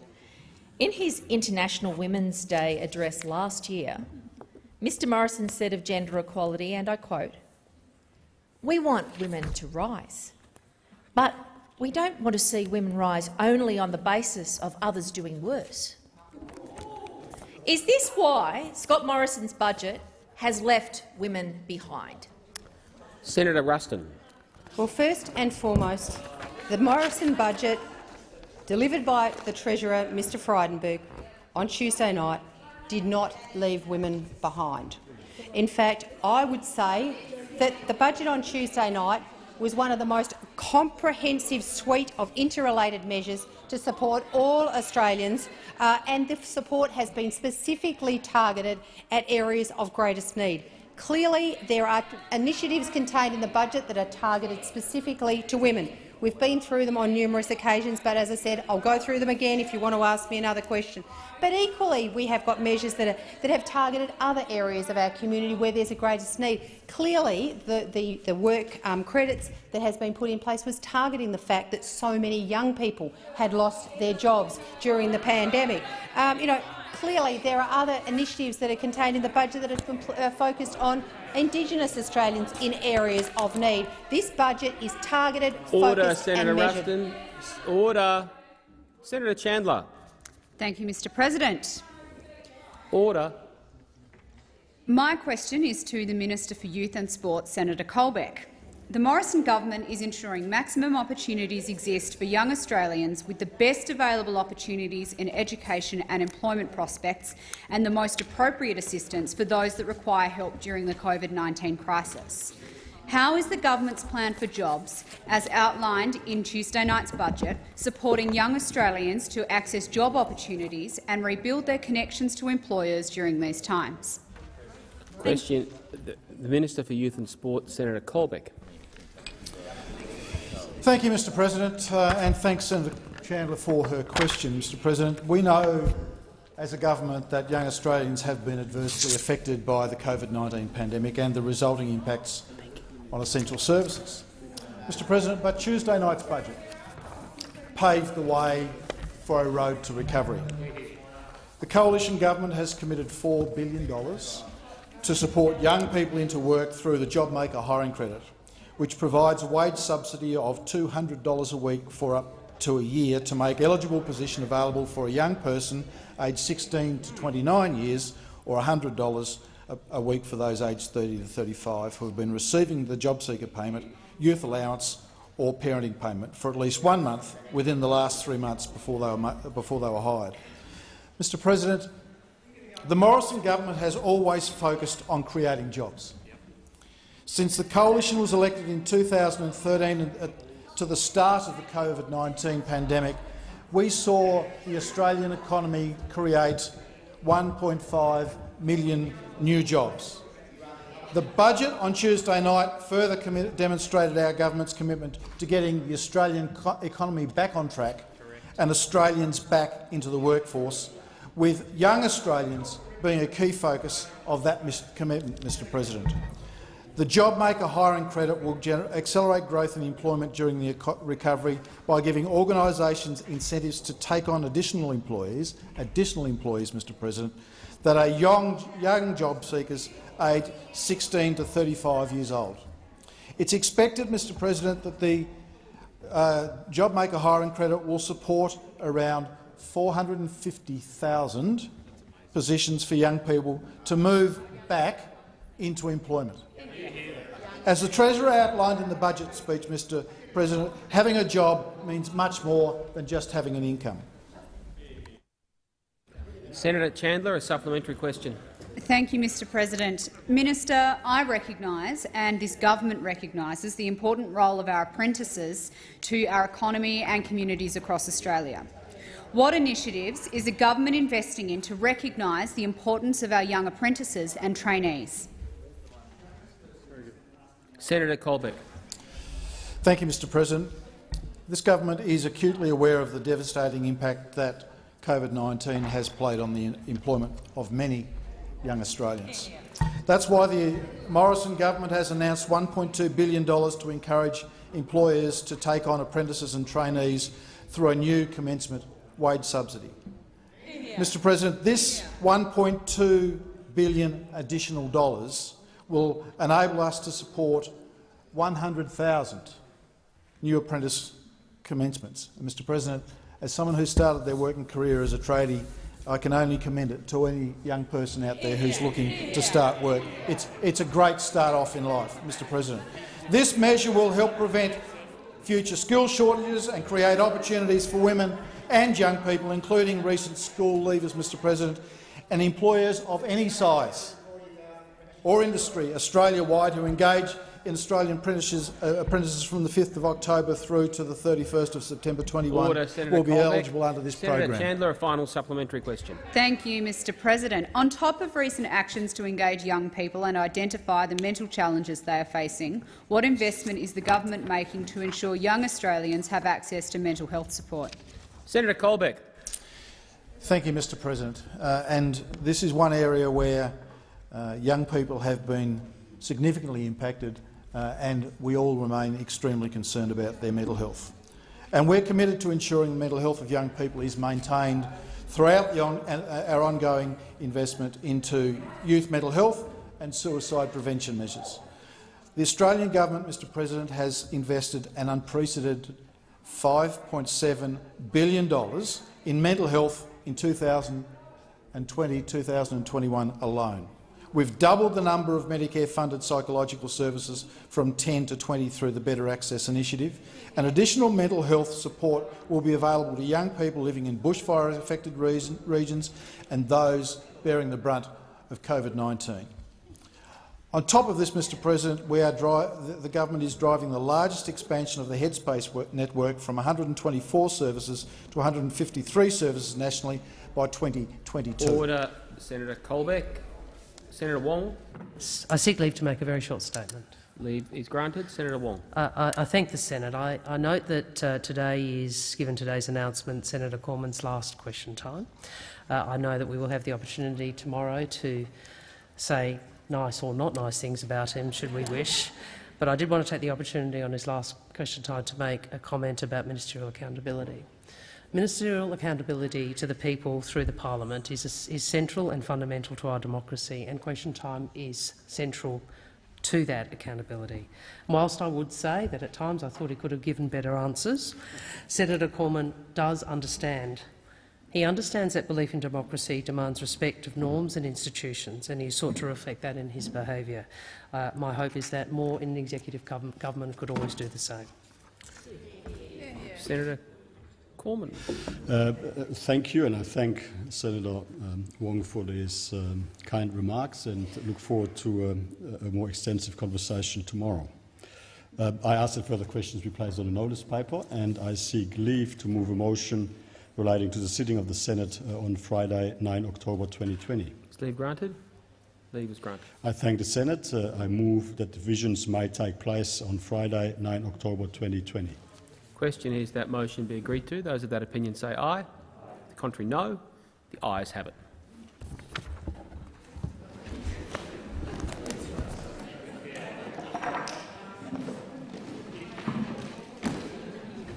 Are there any motions to take note of answers? Oh, Senator McAllister. uh, thanks, Madam Deputy President. I rise to take note of the answers given by Senator Ruston to the questions asked by Senators McCarthy, Keneally and O'Neill. Well, the Prime Minister uh, has uh, described those expressing concern that women have been left behind by his government's budget as voices of disruption and division. And more disturbingly, some young man, I assume it was a young man in the Prime Minister's office, took time out of his busy day to ring up a female journalist and take her to task for her coverage of his government's budget and saying that no one credible, no one credible was making criticisms of the government's budget on the grounds of its inadequacies in terms of women. Well, when the minister representing the Minister for Women was asked about these comments, her response is simply to say she's concerned about the level of understanding about how her budget works. How patronising. How patronising to say that the voices of Australian women, when they raise their voice, raise objections about how this government performs, how this government responds to their issues, the answer is, oh, they clearly just don't understand. Well, I'll tell you what.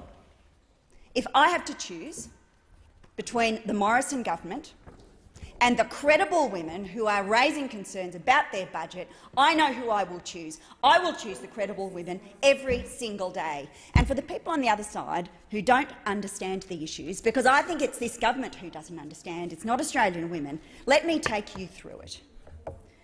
We are facing the worst recession in almost 100 years. It's a recession triggered by a global pandemic, and it has disproportionately affected Australian women. Women have lost their jobs, and they've lost their hours, and they've lost them at a faster rate than men. Since March, almost 200,000 women have lost their jobs and 110,000 women have left the labour force altogether. At the peak of the coronavirus restrictions earlier this year, more than 1 million women had no work whatsoever.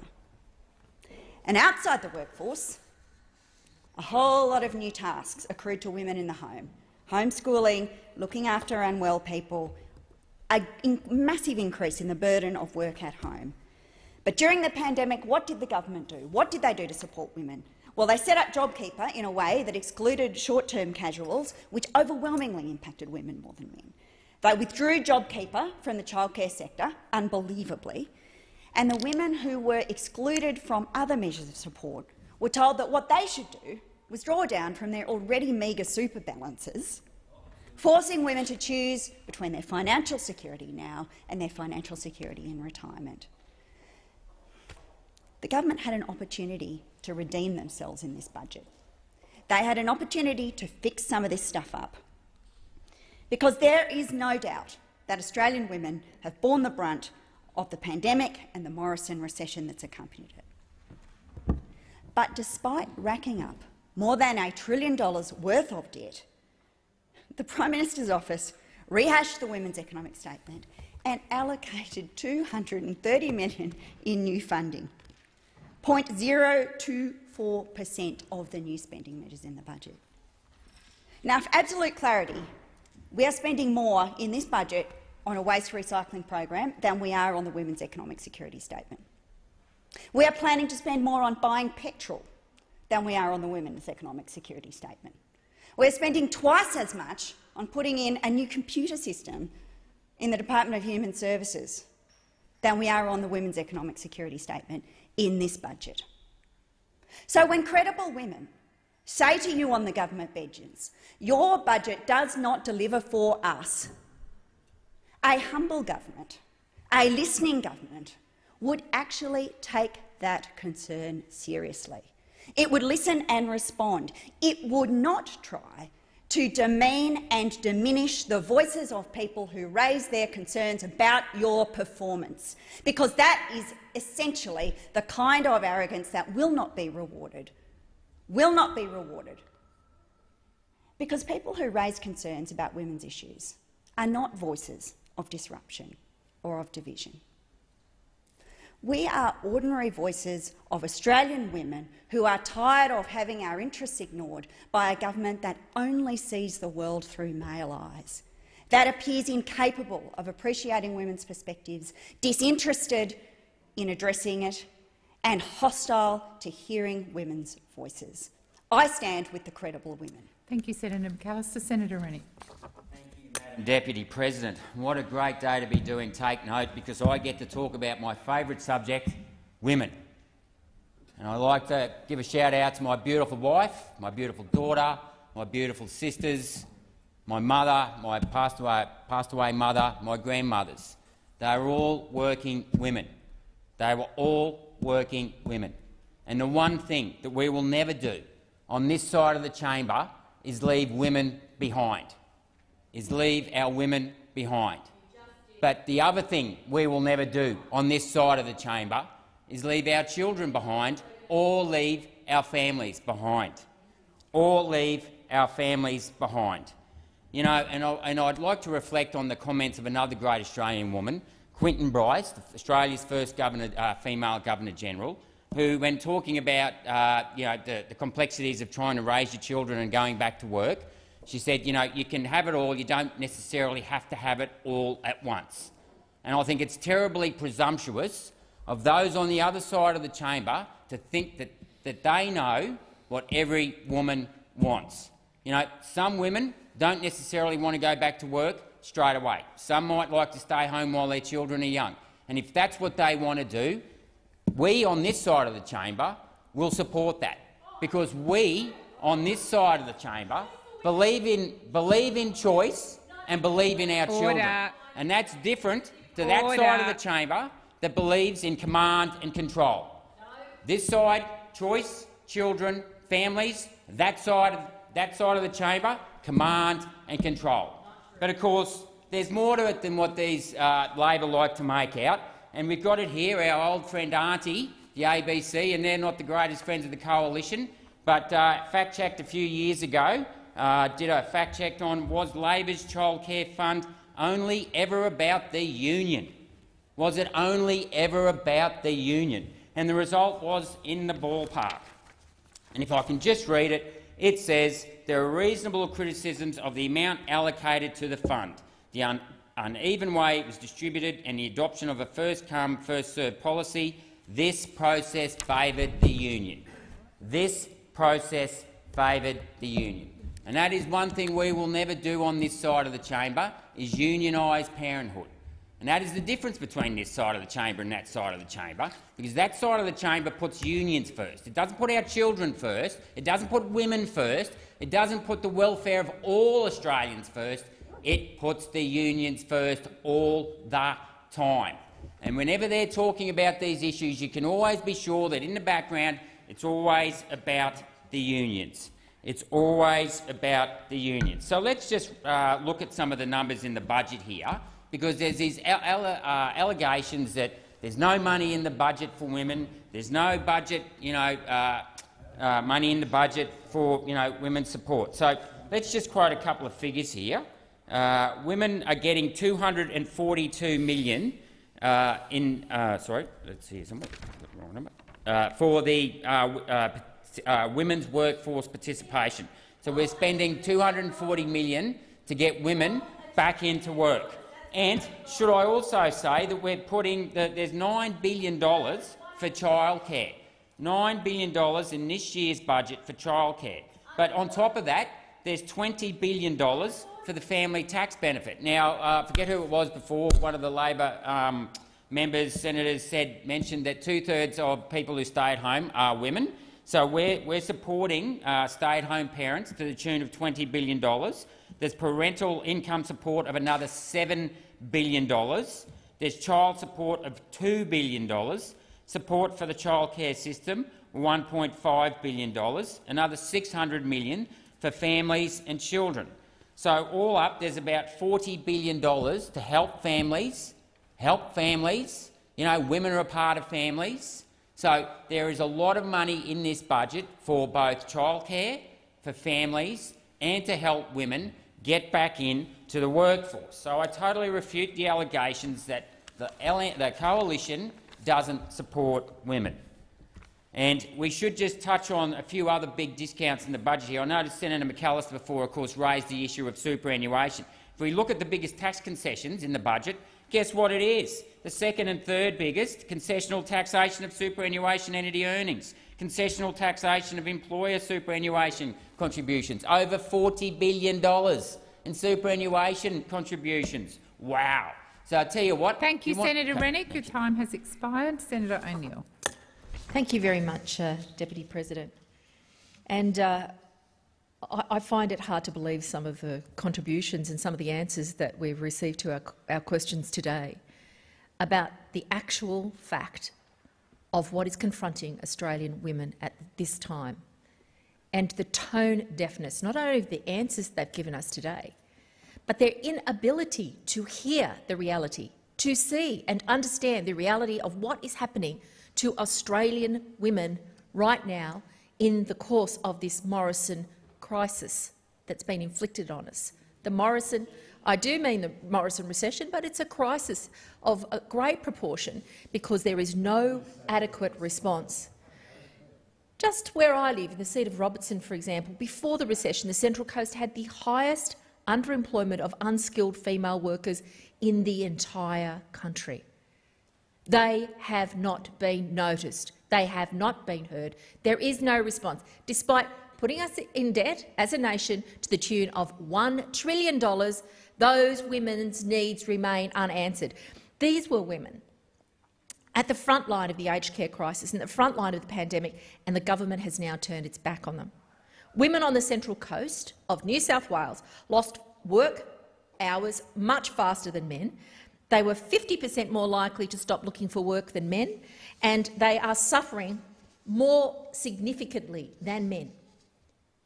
You think a government would know about these things. You think the government would have some plan in their response, in their budget, to that reality. Data from the New South Wales Parliamentary Library shows us that employment growth slowed to a trickle, while more people than ever were leaving the coast to commute for many hours for jobs. That's the reality before these guys got to the pandemic. And it's so, so much worse now. Senator Rennick mentioned the union movement, and I want to stand firmly with the SDA union and other great union leaders who are the only voice standing up for workers who are much maligned by this government. As they said, this is a blue budget for a pink recession. There is totally inadequate support for women. 200,000 women who work in accommodation, food services and retail trade sector all missed out on JobSeeker due to its design flaws around casual employees. They're suffering. Their families are suffering.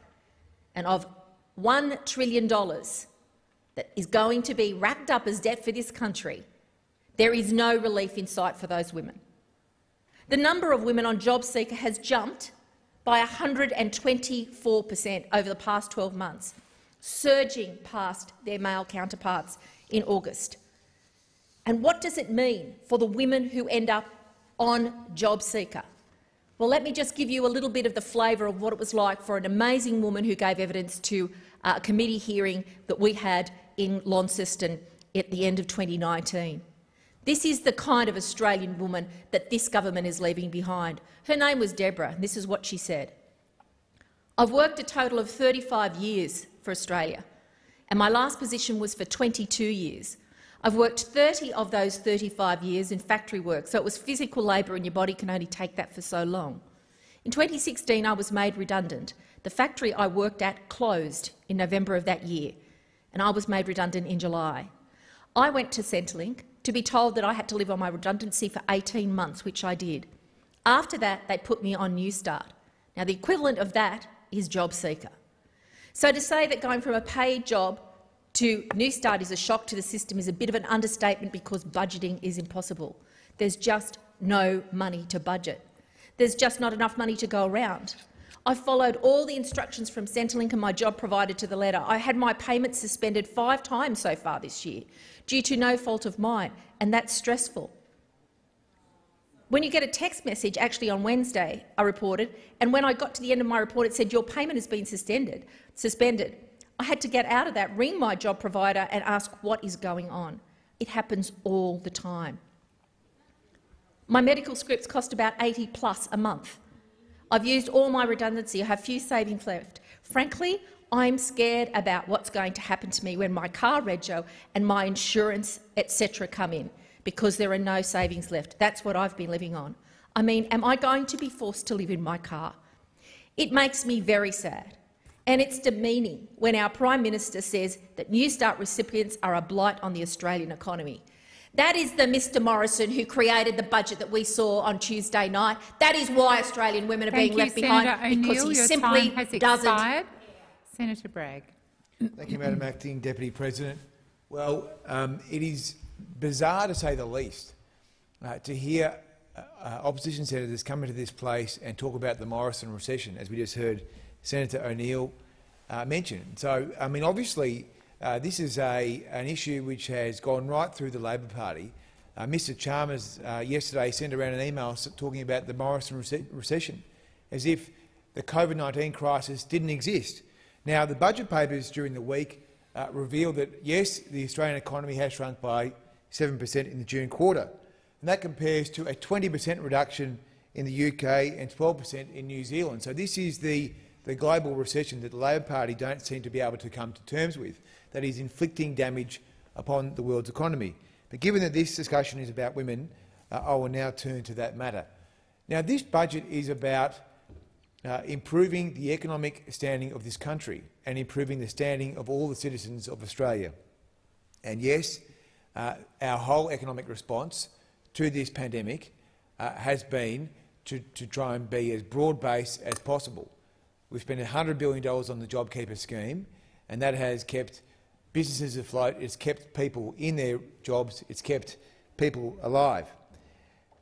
Now, we can talk about the issues that have been raised during this take note, uh, and as I say, the budget is based on uh, uh, a rising tide lifting all boats, and all boats being the Australian people.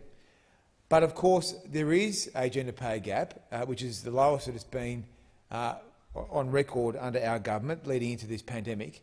And so there is a recognition across our government that there, are, uh, that there is a need to deploy measures uh, to deal with some of the issues that women in particular face. Now, in relation to the childcare, which is often raised, I mean, I have never seen this as an issue for women. It's an issue for families. Uh, it is an issue for men and women. It's an issue for everyone. Uh, and so, uh, you know, um, solving childcare is not solving something which is a problem that should just only accrue to women. It is, a, it is a, something that families need to work together on, uh, and I don't see these issues as just falling into a women's bucket. Uh, but ac across the board, uh, we have deployed measures in this budget which deal directly with some of the shortcomings in our economy. Now, one of the roles I'm performing in this place is chairing an inquiry into fintech. Uh, and during that inquiry, uh, it has become clear that there is a need for us to do more training, to spend more time and more effort and more resources on ensuring that women have the skills uh, to, to, run tech, to, to run tech businesses to be successful in the tech space. And so in this budget we have deployed uh, $25 million into STEM cadetships for women. We've also put money into boost uh, enterprise amongst women, uh, with uh, 280 odd startups expected to be created because of this scheme. Now, uh, in the course of this inquiry, it's been a great pleasure to meet many, many founders uh, and CEOs of fintech and regtech businesses uh, who are women. So there are many of them that are successful already, and we want to see more and more businesses in this, in this space. Now, in this budget, there have been a number of uh, recommendations of the FinTech Committee adopted. So the research and development tax incentive recommendations have been adopted, and there's also been changes to the uh, FBT or fringe benefit tax arrangements that will be forthcoming.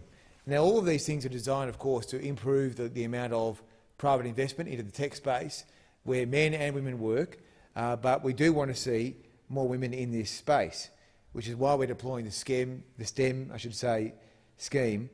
Uh, and again, I, I, I, would reflect on some of the interactions that we've had at, at, the committee, where there have been just some brilliant women who've uh, come up with a tech idea and they've gone into the market and they've established these businesses and they're now deploying things in the buy now, pay later sector and whatnot.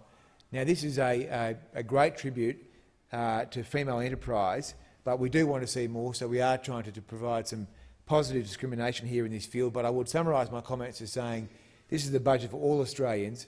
Uh, the rising tide does lift all boats. Thank you, Senator Bragg. Senator McCarthy. Madam Deputy President, $1 trillion in debt and nothing for women over the age of 35. In the Morrison government's budget, women are being left out and left behind. Day after day, we see new evidence of the disproportionate impact COVID-19 is having on Australian women. But in response, the Morrison government has failed. Women have been disproportionately impacted by the pandemic, taking on two-thirds of the unpaid care work at home. Even before the pandemic hit, a significant number of job seeker recipients were middle-aged women. In August, there were 754,100 women receiving JobSeeker. Of those, 61 per cent of these women were over 35. And the same research revealed a huge increase in the number of women in their 40s, 50s and 60s who relied on unemployment benefits for years.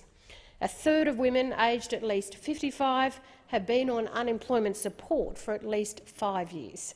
460,000 women who are aged over 35 years are without work and face a future of living on $40 a day.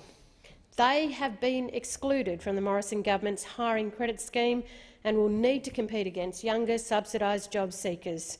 So if you're a woman in your, in your 40s who's been on JobKeeper during this recession, had your hours reduced, working in one of the industries such as hospitality or retail, and come March or April you lose your job, what is in the budget for you? Nothing. The Morrison government excluded many women from JobKeeper. The Morrison government only provided JobKeeper for two-thirds of early educators and then ripped JobKeeper from the sector before any other profession. 96 per cent of women are early educators, or 96 per cent of early educators are women, women working on the front line of the COVID-19 crisis. And what about First Nations women? Let's have a look at their story. There's no additional education funding for young First Nations women. The Clontarf Foundation funding supports the education of young First Nations men only. No additional health or legal justice services for First Nations women. No new money uh, for further frontline domestic violence services, including no additional emergency and social housing to meet increased demand due to COVID-19. No COVID-19 recovery support for unemployed Indigenous women over 35 years of age to regain employment. The Australian Institute of Health and Welfare estimates that of the 64,644 First Nations people who sought specialist help for homelessness back in 2016 to 17, 61 per cent were women.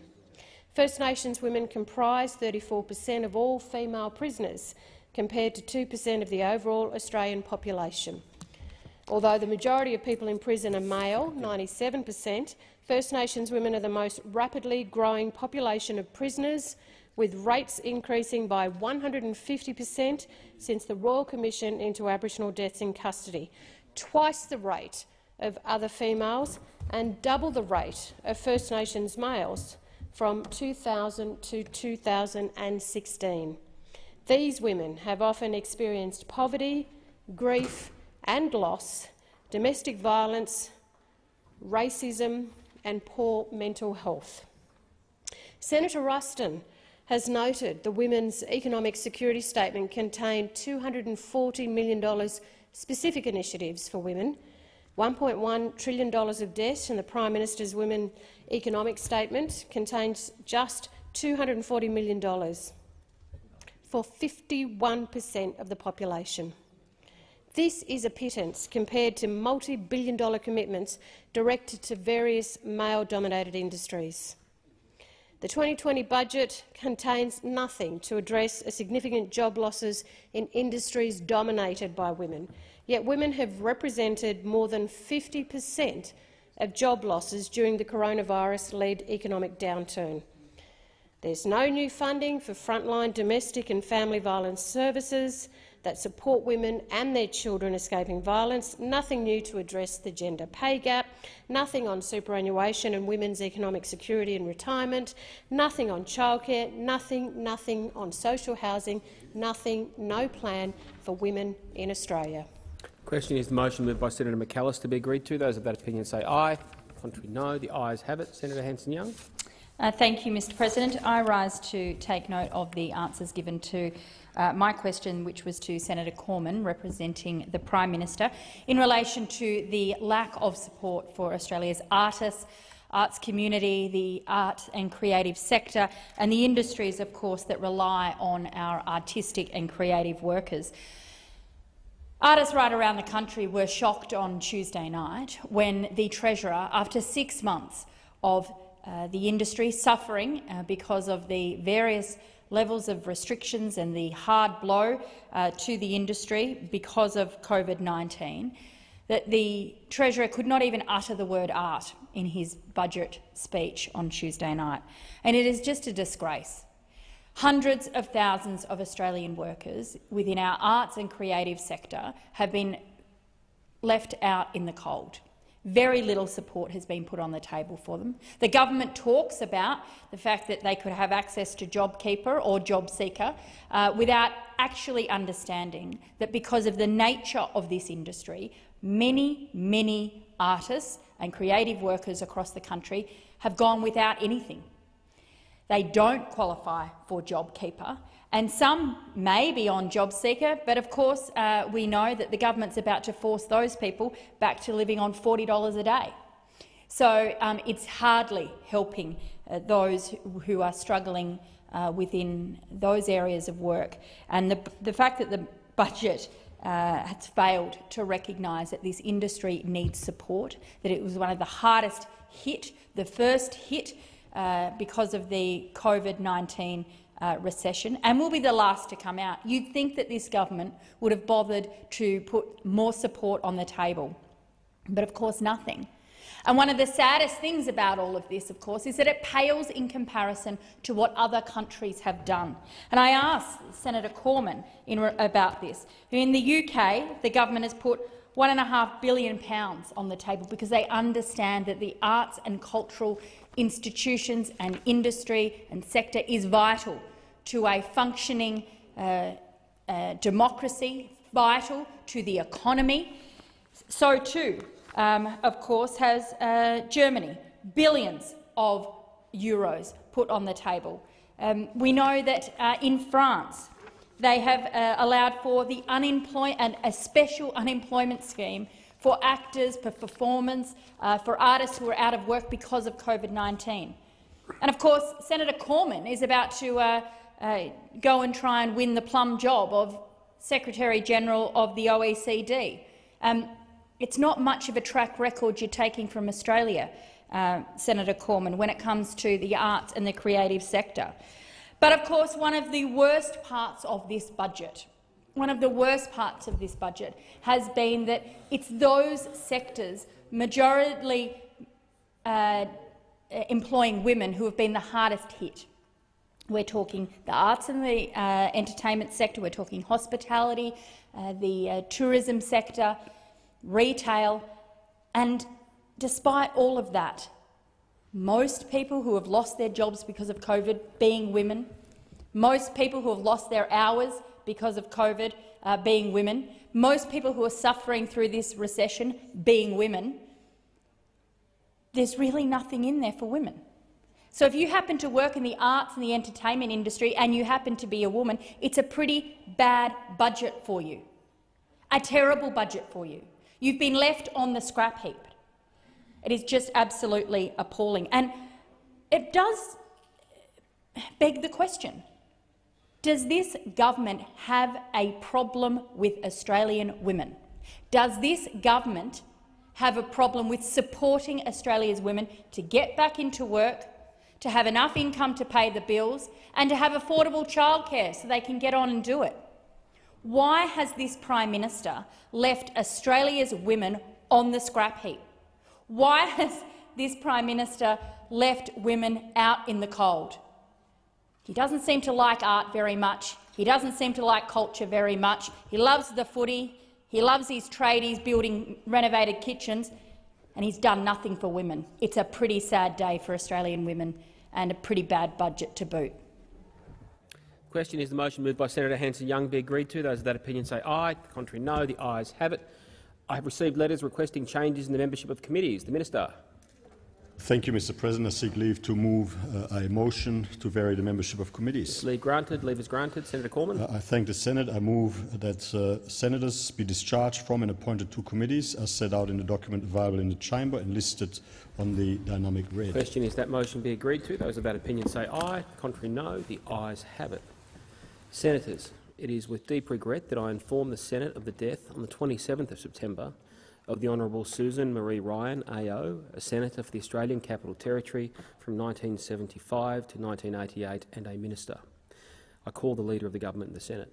Uh, thank you very much, uh, Mr President. Uh, Mr President, I seek leave to move a motion relating to the death of Senator the Honourable Susan Marie Ryan, AO. Leave is granted.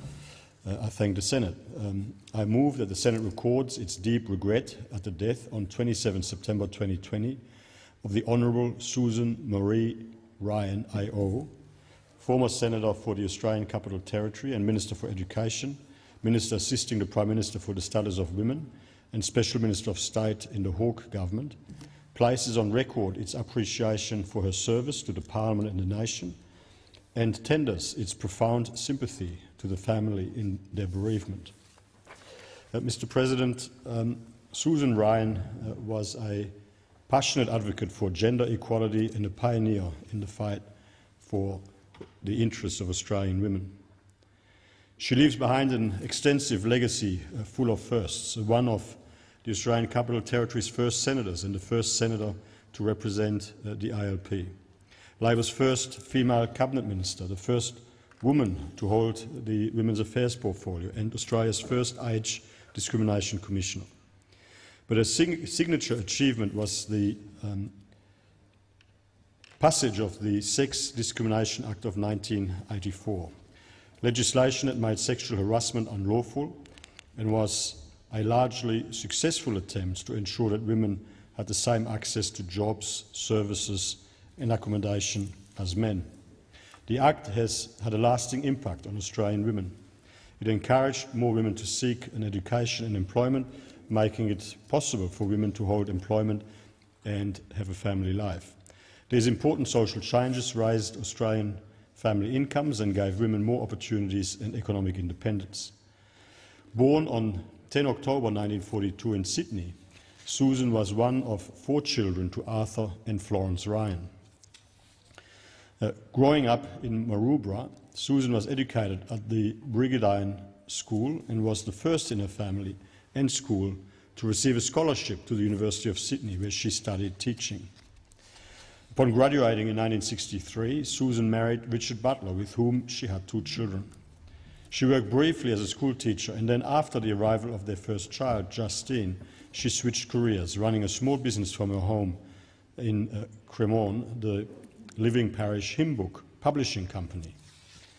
In 1965, uh, the family moved to Canberra and Susan embarked on a Master of Arts degree in English Literature at the Australian National University. Her studies were interrupted when Richard was posted to the Australian Embassy in Vienna, and shortly after arriving, Susan and Richard welcomed the birth of their second child, Benedict. In 1970, the family moved again, this time a posting to New York. But less than a year later, Susan returned to Australia with her two children and resumed master's degree. She joined the Women's Electoral Lobby in 1972 and the Belconnen branch of the Australian Labor Party shortly thereafter. The Women's Electoral Lobby began to push for direct political representation in 1974 Susan agreed to stand for pre-selection in the new ACT seat of Fraser. While she was unsuccessful at that election, coming third in the ballot, Susan would get her chance again in 1975 when legislation to provide the ACT with two Senate positions was enacted. Running on the slogan, a woman's place is in the Senate, uh, Susan was elected as one of the first two senators to represent the ACT and the first woman and ALP senator to represent the territory. Susan entered Parliament during a dramatic and challenging time for the ALP. The party had just suffered a landslide election defeat after the dismissal of uh, Gough Whitlam as Prime Minister by then Governor General John Kerr. But Susan was not deterred. Uh, she came to this place to work hard and make a difference. She had ideas and ambitions, and two years later, when Bill Hayden became opposition leader, he gave her the shadow portfolio responsibilities for communications, arts and the media, as well as for women's affairs, a portfolio she would hold until her resignation in 1988. Susan was, the, was focused on developing social policy and when Bob Hawke led Labor back into government in 1983, she was appointed as Minister for Education and as the Minister for Women's Affairs. She was the first woman in the Labor Party to hold a cabinet position. During her time on the front bench, she would deliver important reforms, as I've previously mentioned, including the Sex Discrimination Act, the Affirmative Action, Equal Opportunities and Employment Act, the Public Service Reform Act and the Equal Opportunity Commonwealth Authorities Act. But after five years in Cabinet, uh, Susan decided it was the right time to retire from her parliamentary career and she took up a role as the managing editor of Penguin Books. Susan felt she had given the best she could to politics and in 1990 she was awarded an Officer of the Order of Australia for service to the Australian Parliament. In her 1999 memoir, Catching the Waves, Susan reflected on her achievements, saying she was driven by the view that women should be able to pursue opportunities unencumbered by stifling stereotypes, and that women and men should be judged on their merits. Concepts that, uh, thankfully, um, are entirely straightforward and universally accepted today. Uh, Susan served in many roles in her post-political career, including executive, uh, executive director for the Plastics Industry Association, executive director of the Australian Institute of Superannuation Trustees and Pro-Chancellor of the University of New South Wales. She also continued to fight to end discrimination and better rights for all Australians, serving as Australia's first Age Discrimination Commissioner and later the Disability Discrimination Commissioner. During her time as the Age Discrimination Commissioner, she worked tirelessly to advance the rights of older Australians. After the release of the 2015 Intergenerational Report, she argued that Australia should move to a retirement age of 70, given we are living longer than ever before. In 2015, Susan wrote, in fact, and I'm quoting her now, why are individuals leaving paid work at 60 or often earlier rather than 70 if they are more likely to live to 100 instead of 150? Age discrimination in employment is a huge barrier to preventing older Australians from continuing in the workforce. She said the report also implied that all of those older than 65 are in need of substantial and growing public support and ignored the economic potential of older people. She argued that it was time to have a conversation about how to realise the economic and social potential of an ageing population. In her first speech to the Senate in 1976, Susan noted that there were only six women in the Senate. In 2019, the Senate reached gender equality in terms of representation. In part, this was achieved because of groundbreakers uh, like former Senator the Honourable Susan Ryan. Susan Ryan will be remembered as someone who dedicated her life to social justice and to making this nation a better and more equal place for all Australians. To Susan's partner, Rory, and her surviving children, Justine and Ben, on behalf of the Australian Government and the Senate, I offer our deepest condolences. Senator Wong. Thank you, Mr President. We honour today the life and contribution of former Senator and Minister, the Honourable Susan Ryan. And I speak on behalf of all Labor senators in offering our sympathy and solidarity to her family, especially her partner Rory and her two children, Justine and Benedict, her and her grandson Amir, and to her many friends. It is often said you cannot be what you cannot see, and yet someone has to go first. Those are the truest of leaders, who have the vision of what is possible, the courage to take on the fight against those vested in the status quo, the intellectual power to craft the strategy, the charisma and humanity to bring people with them. For us, for Labor women, that was Susan Ryan. She could see it. She could see a woman at the cabinet table. And she could see what Australia needed. What Australia needed that woman to achieve, and she made it happen. She wasn't a time server, she was a reformer. She came through first, but she brought others with her. She showed us the way. My generation of Labor women looked up to Susan. She inspired us in word and deed. She took a personal interest in all of us.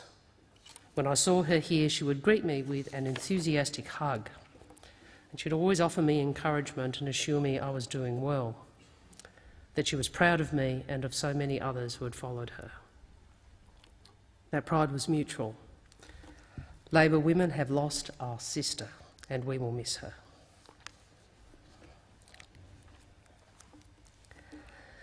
Susan was born in Sydney and her early life had education at its centre. After convent schooling, she completed a Bachelor of Arts at Sydney Teachers College before relocating with her family to Canberra, where she embarked on a postgraduate degree in English literature. And this was interrupted when she accompanied her then husband, Richard Butler, on two overseas postings. As she described it, marriage at that time meant going wherever your husband went. She made the most of these experiences to gain knowledge and exposure to new and different thinking. She reflected that on her return to Australia from their first posting in Vienna in 1969, the preoccupations of Labor at that time were vastly different to that of comparable parties in Western Europe. Opposition to the war in Vietnam was a touchstone for those in her generation who were politically active and with whom she would later serve. On their second posting in New York, Susan was sparked in different ways by the ideas of Germaine Greer, Betty Friedan, Kate Millett, Gloria Steinem. And she found herself questioning the place of women in society relative to the place of men. She questioned why everything in personal and public life was arranged for the convenience of men and why people pretended even dull men were clever.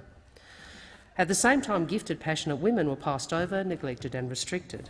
She said, those of us caught in this whirlwind saw that society was structured, manufactured by its rulers to achieve these endless disparities between the sexes. Our subordination was not destiny, it was a construct of men in which we had acquiesced for far too long. Well, Susan Ryan would acquiesce no more. And the, her arrival back in Canberra led to deep engagement in both Labor and feminist politics. At the same time as becoming active in her local Labor branch, Susan Ryan joined the Women's Electoral Lobby as a foundation member. Across the country, like-minded women came together and began to organise politically. Women like Wendy McCarthy and Eva Cox. Their objectives are familiar, perhaps depressingly so. Confronting sexism, ending discrimination in education and employment, taking control of reproductive health, improving access to childcare and achieving equal pay for equal work. In the Australian Labor Party, Susan Ryan hoped for a practical pathway to redress the wrongs done to women using legislative power to effect change. She rejoiced in the victory of the Whitlam government, although she missed out on an appointment to the groundbreaking new role of Women's Advisor. Her political activism led to a role running the National Secretariat for the Australian, Australian Council of State School Organisations, a role who would connect her with another early leader of our movement, Joan Kirner, for the first time. And they would go on to have an effective partnership and lasting friendship. The Whitlam government lasted only three years, but it changed our nation forever. Susan saw Labor as the key to a more humane, vibrant and equal society, believing that a feminist lobby was necessary but not sufficient. Instead of being on the outside lobbying, she wanted to be inside making the laws, and before long she was encouraged to run for pre-selection. Susan Ryan was elected to the ACT Legislative Assembly and after a false start seeking pre-selection for the House of Representatives, she ultimately prevailed in pre-selection to the Senate. In her characteristically tongue-in-cheek telling of it, she said she overcame several reasonably glamorous male candidates. She was elected by the ACT as its first senator in 1975, one of just six women in the federal parliament, all senators. And in the wake of the Whitlam government's defeat, she had made most of the opportunity to help rebuild Labor. She cut her teeth in the Senate in her first couple of years by taking every speaking opportunity, a whip's delight. This saw her contribute on debates ranging from, ranging from Aboriginal affairs, social welfare, health and education to broadcasting, employment, defence and national security. When Bill Hayden became opposition, opposition leader after the 1977 election loss, she became the first woman to serve in Labor's shadow ministry. And her portfolios over the next six years included communications, the arts and media, and later Aboriginal affairs. Perhaps most significantly, though, in 1979 she also gained responsibility for women's affairs. Her predecessor in the role had been a man. Imagine a man serving in the women's affairs portfolio in any modern political party. When would you have to go back to? Anyway, she would hold this portfolio in opposition and in government for nearly a decade until her resignation in 1988. Labor entered the 1980 campaign with a program for women called Towards Equality. We made gains at this election, not enough to take government, but gains that delivered new female parliamentarians to the rank. However, to the ranks. However, these were offset by the defeat of others, mostly as a result of internal pre-selections that saw men take the place of women. This became one of the many impetuses for the introduction of affirmative action provisions within Labor first for internal positions and eventually for Parliament. Affirmative action is part of why I am in this place today, and I was proud to take Susan's legacy on affirmative action forward.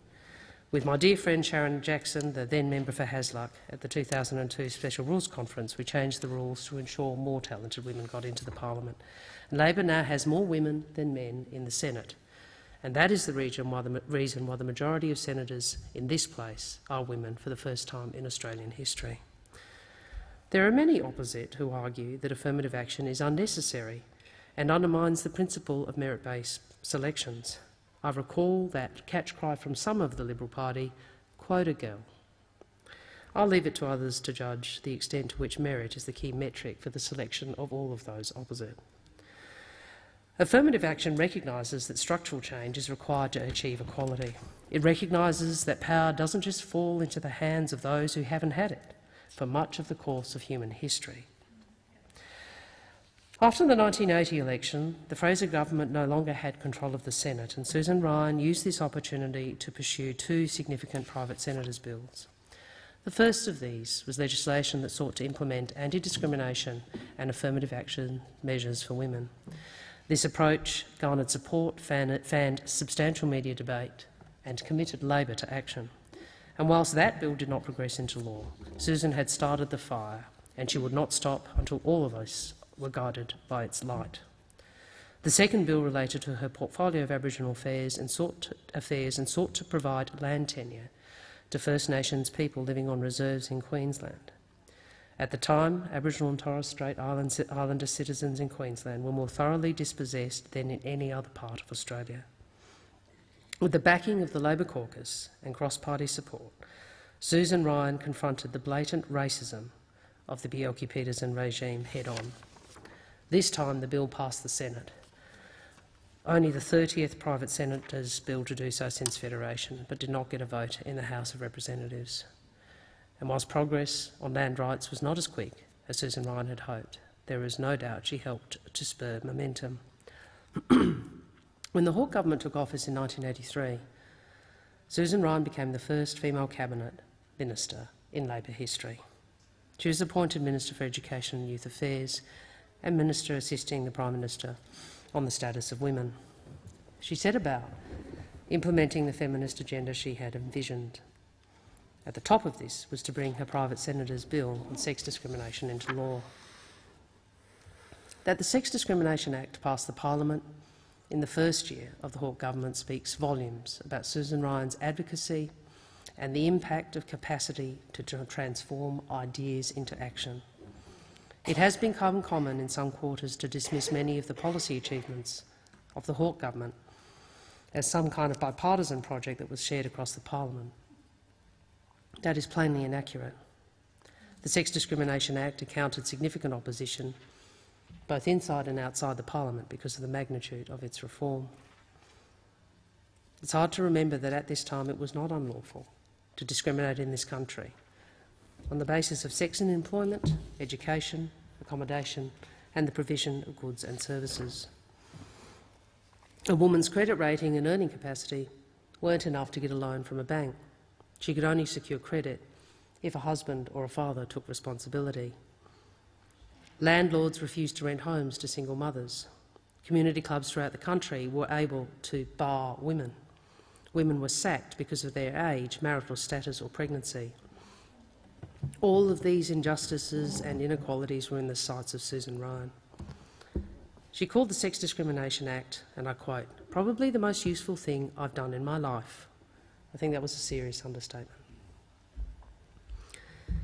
It is hard to imagine life in this country without it, or indeed an argument against it. Every woman and every girl has benefited from Susan Ryan's leadership. Nevertheless, the opposition was fierce.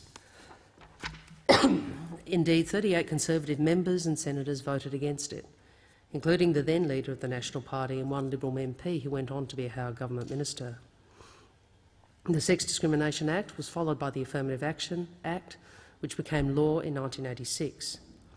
At, the, at that time, the Australian labour market was the most sex segregated in the OECD. The Act ensured women in the workforce had the opportunity to be recruited, trained and promoted on an equal basis with men. Susan Ryan heralded it not, not just as one of the biggest single steps forward in Australia's history for equality of opportunity for women in the workplace, but as a model of consensus decision-making consistent with the Hawke government's overall approach.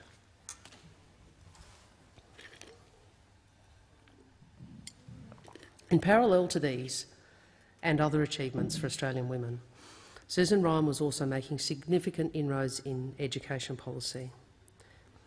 When she started as a minister, just three in ten Australians completed high school. By the time Labor left office, eight in ten students finished school. Because of the change she and the Labor government of which she was a part started. In her four years as minister, Susan created over 36,000 places in higher education, four and a half times the number created in the last four years of the Fraser government. She also strongly argued against the reintroduction of tertiary fees at significant personal political cost.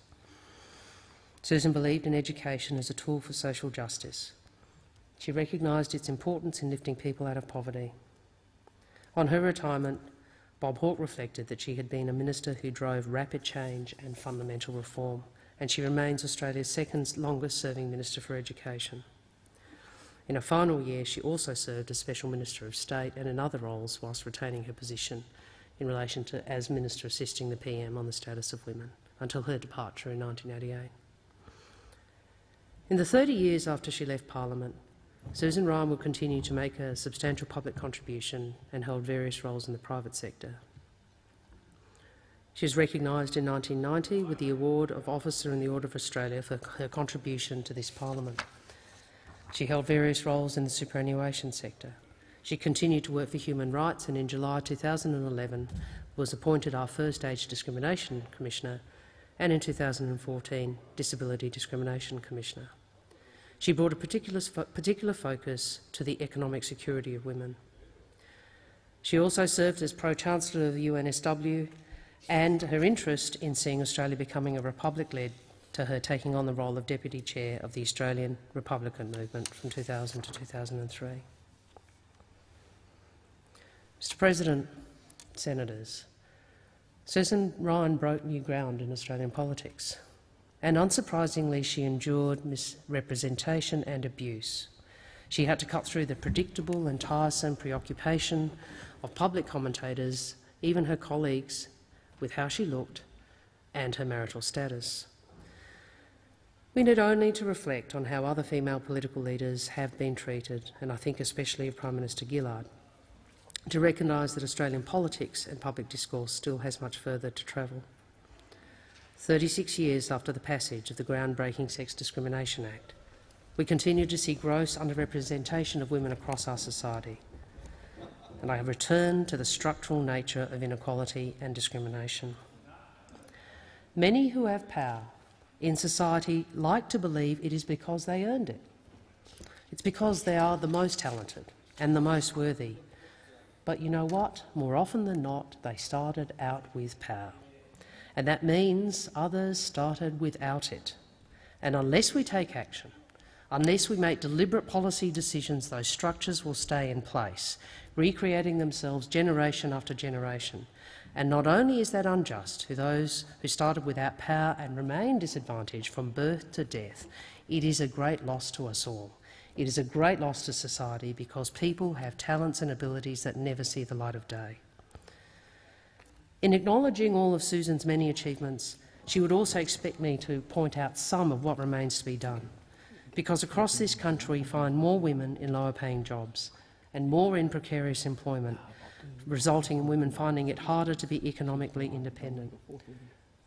Susan Ryan's wisdom helps us give us the, some of the tools to see how much more there is still to be done.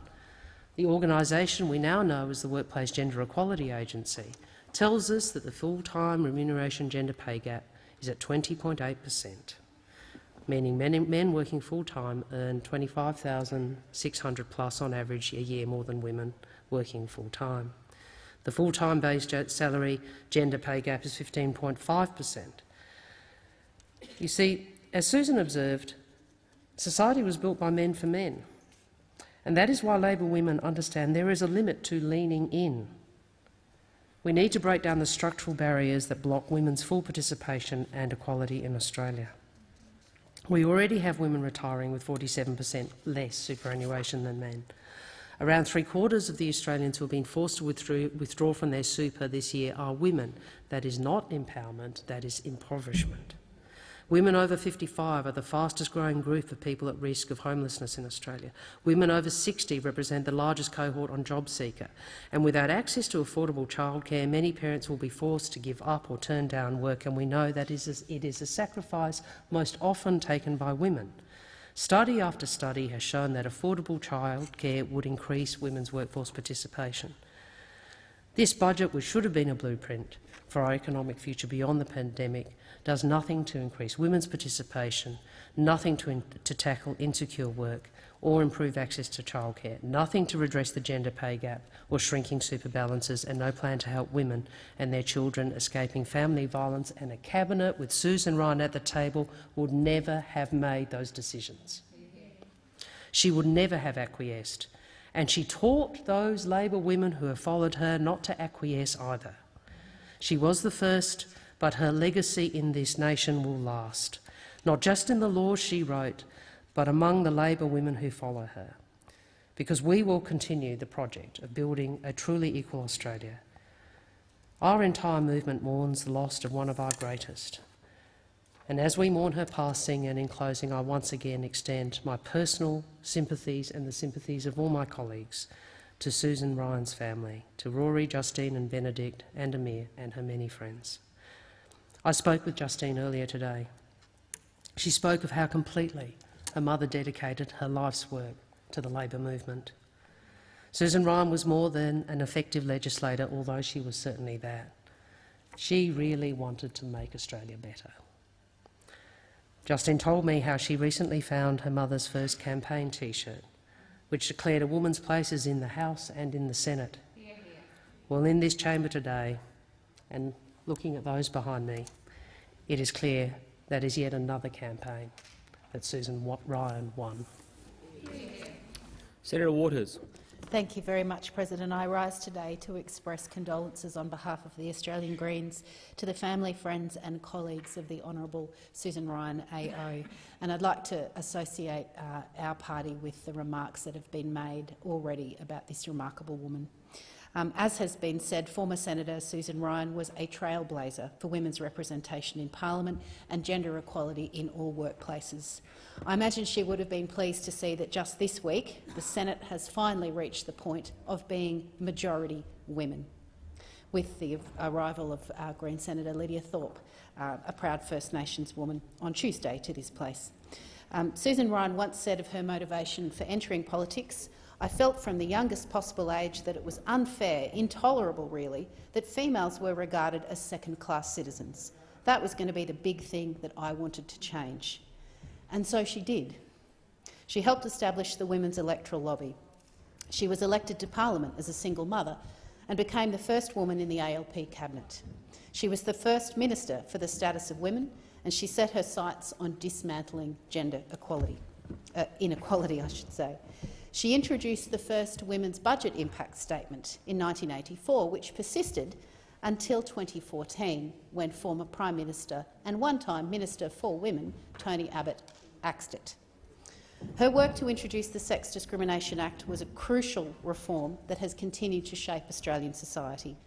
In abuse that will be familiar to many of the women in this place, conservative sectors called Susan Ryan radical and targeted her as Australia's feminist dictator. And yet these are the things she was trying to change. Making it unlawful to sack a woman because she got married or pregnant, making it unlawful to sack someone just because they were a woman, making it unlawful to sexually harass your staff, providing paid parental leave, allowing women to get home loans and increasing women's participation in university. Today it would be completely unacceptable for those basic inequalities to persist, and the change in that attitude is a testament to the work that Susan did. Anne Summers' tribute to Susan noted the brutal reality of politics, noting that Susan's remarkable policy wins were often more hard-won than, than is appreciated today and seldom achieved without what were often excruciating compromises. Again, this is something with which many in this place are familiar. Too often, women are expected to compromise. While much remains to be done to achieve gender equality, Susan's pioneering efforts built the platform to, for progress to continue to be made. Um, I and the Australian Greens pay tribute to her fortitude, resilience and determination and thank her for opening the door for a better Australia for women and girls. A woman's place is in the House and the Senate and the Cabinet. Senator Ruston. Thank you very much, Mr President. And um, I too rise um, today, but particularly I rise representing the Minister for Women, uh, the Honourable Marise Payne, um, who's unable to be here today. But uh, I would also like to have the remarks, my remarks associated with others in this place and also the remarks that were made by the Prime Minister um, in his condolence motion for the Honourable Susan Ryan AO. Um, in the past 45 years since Susan Ryan was elected, much has changed for the representation of women in this place. When Susan Ryan entered this House in 1975, she became just one of six women in the upper house. And uh, as has been said by those before me, her election slogan at that time was a woman's place is in the Senate. And uh, today that is absolutely true. Um, and she also, um, you know, it was very much an early pronouncement of the passionate advocate for women that Susan Ryan was to become. Whilst I, I, didn't know Susan Ryan, I have no doubt that she would be very pleased with the representation uh, that we see in this place today, with more women than men now representing the Australian people in the Senate. Over in the House of Representatives, at the time Susan was elected, there was no women. Uh, and not only that, there were no women leaders or ministers in any state parliament in Australia. Uh, and from what I hear, there was constant confusion about who Susan was. Um, most young women in Parliament House were secretaries and assistants, and people would often ask uh, Susan which senator that she worked for. I can't imagine the kind of response that they might have got to asking that question. But Susan focused on the job at hand, uh, ignoring the commentary and learning the ropes, and has become now known as one of the great trailblazers for this Senate for women. Um, she was also clearly one, someone who was determined never to become a single-issue po politician. Um, during those early years, she spoke on an incredible range of topics during her speeches, the questions in you know, Senate committee work. Talked about the environment, she talked about Indigenous issues, telecommunications, tax reform, urban planning, amongst many other things. And with an extraordinary broad range of interests um, and clearly a focus on the community, she was rightfully proud and excited when she was sworn in as a minister in 1983, the first woman in a federal Labor cabinet. Many of us have seen um, the group photos of Susan with, uh, with all her male colleagues at the time, and I think it is absolutely a true reflection of what this place was like back in those days. But she combined her 12 years um, here uh, as a role of senator, um, also um, as a senator for the ACT, but also as a mother. Um, and she managed to balance these two roles, as many people now do these days, without even a thought. So um, her trailblazing um, as a mother and a senator and delivering on behalf of the Australian people is certainly a great accomplishment that she should always be rec uh, recognised for. But also as the Minister for Education and Youth Affairs, um, she achieved many, many significant achievements, uh, not the least of which was the significant increase in the Year uh, 12 retention rates. She was also uh, the minister assisting the Prime Minister on the status of women for almost half a decade, a position proudly held today by the Minister uh, for Foreign Affairs and the Minister for Women, the Honourable Marise Payne, whose uh, remarks today um, are being delivered uh, by me as well. Um, Susan was the architect of the Sex Discrimination Act, uh, which made sexual harassment illegal for the first time and outlawed discrimination on the basis of sex, marital status and pregnancy. Um, characteristically, after leaving this parliament, uh, Susan kept on looking for ways that she could make Australia better, a better place for everyone. She became our first ever Age Discrimination Commissioner, and she also served as the Disability uh, Discrimination Commissioner too. From 2000 to 2007, she was the President of the Australian Institute of Superannuation Trustees and the Chancellor of the University of New South Wales for over a decade.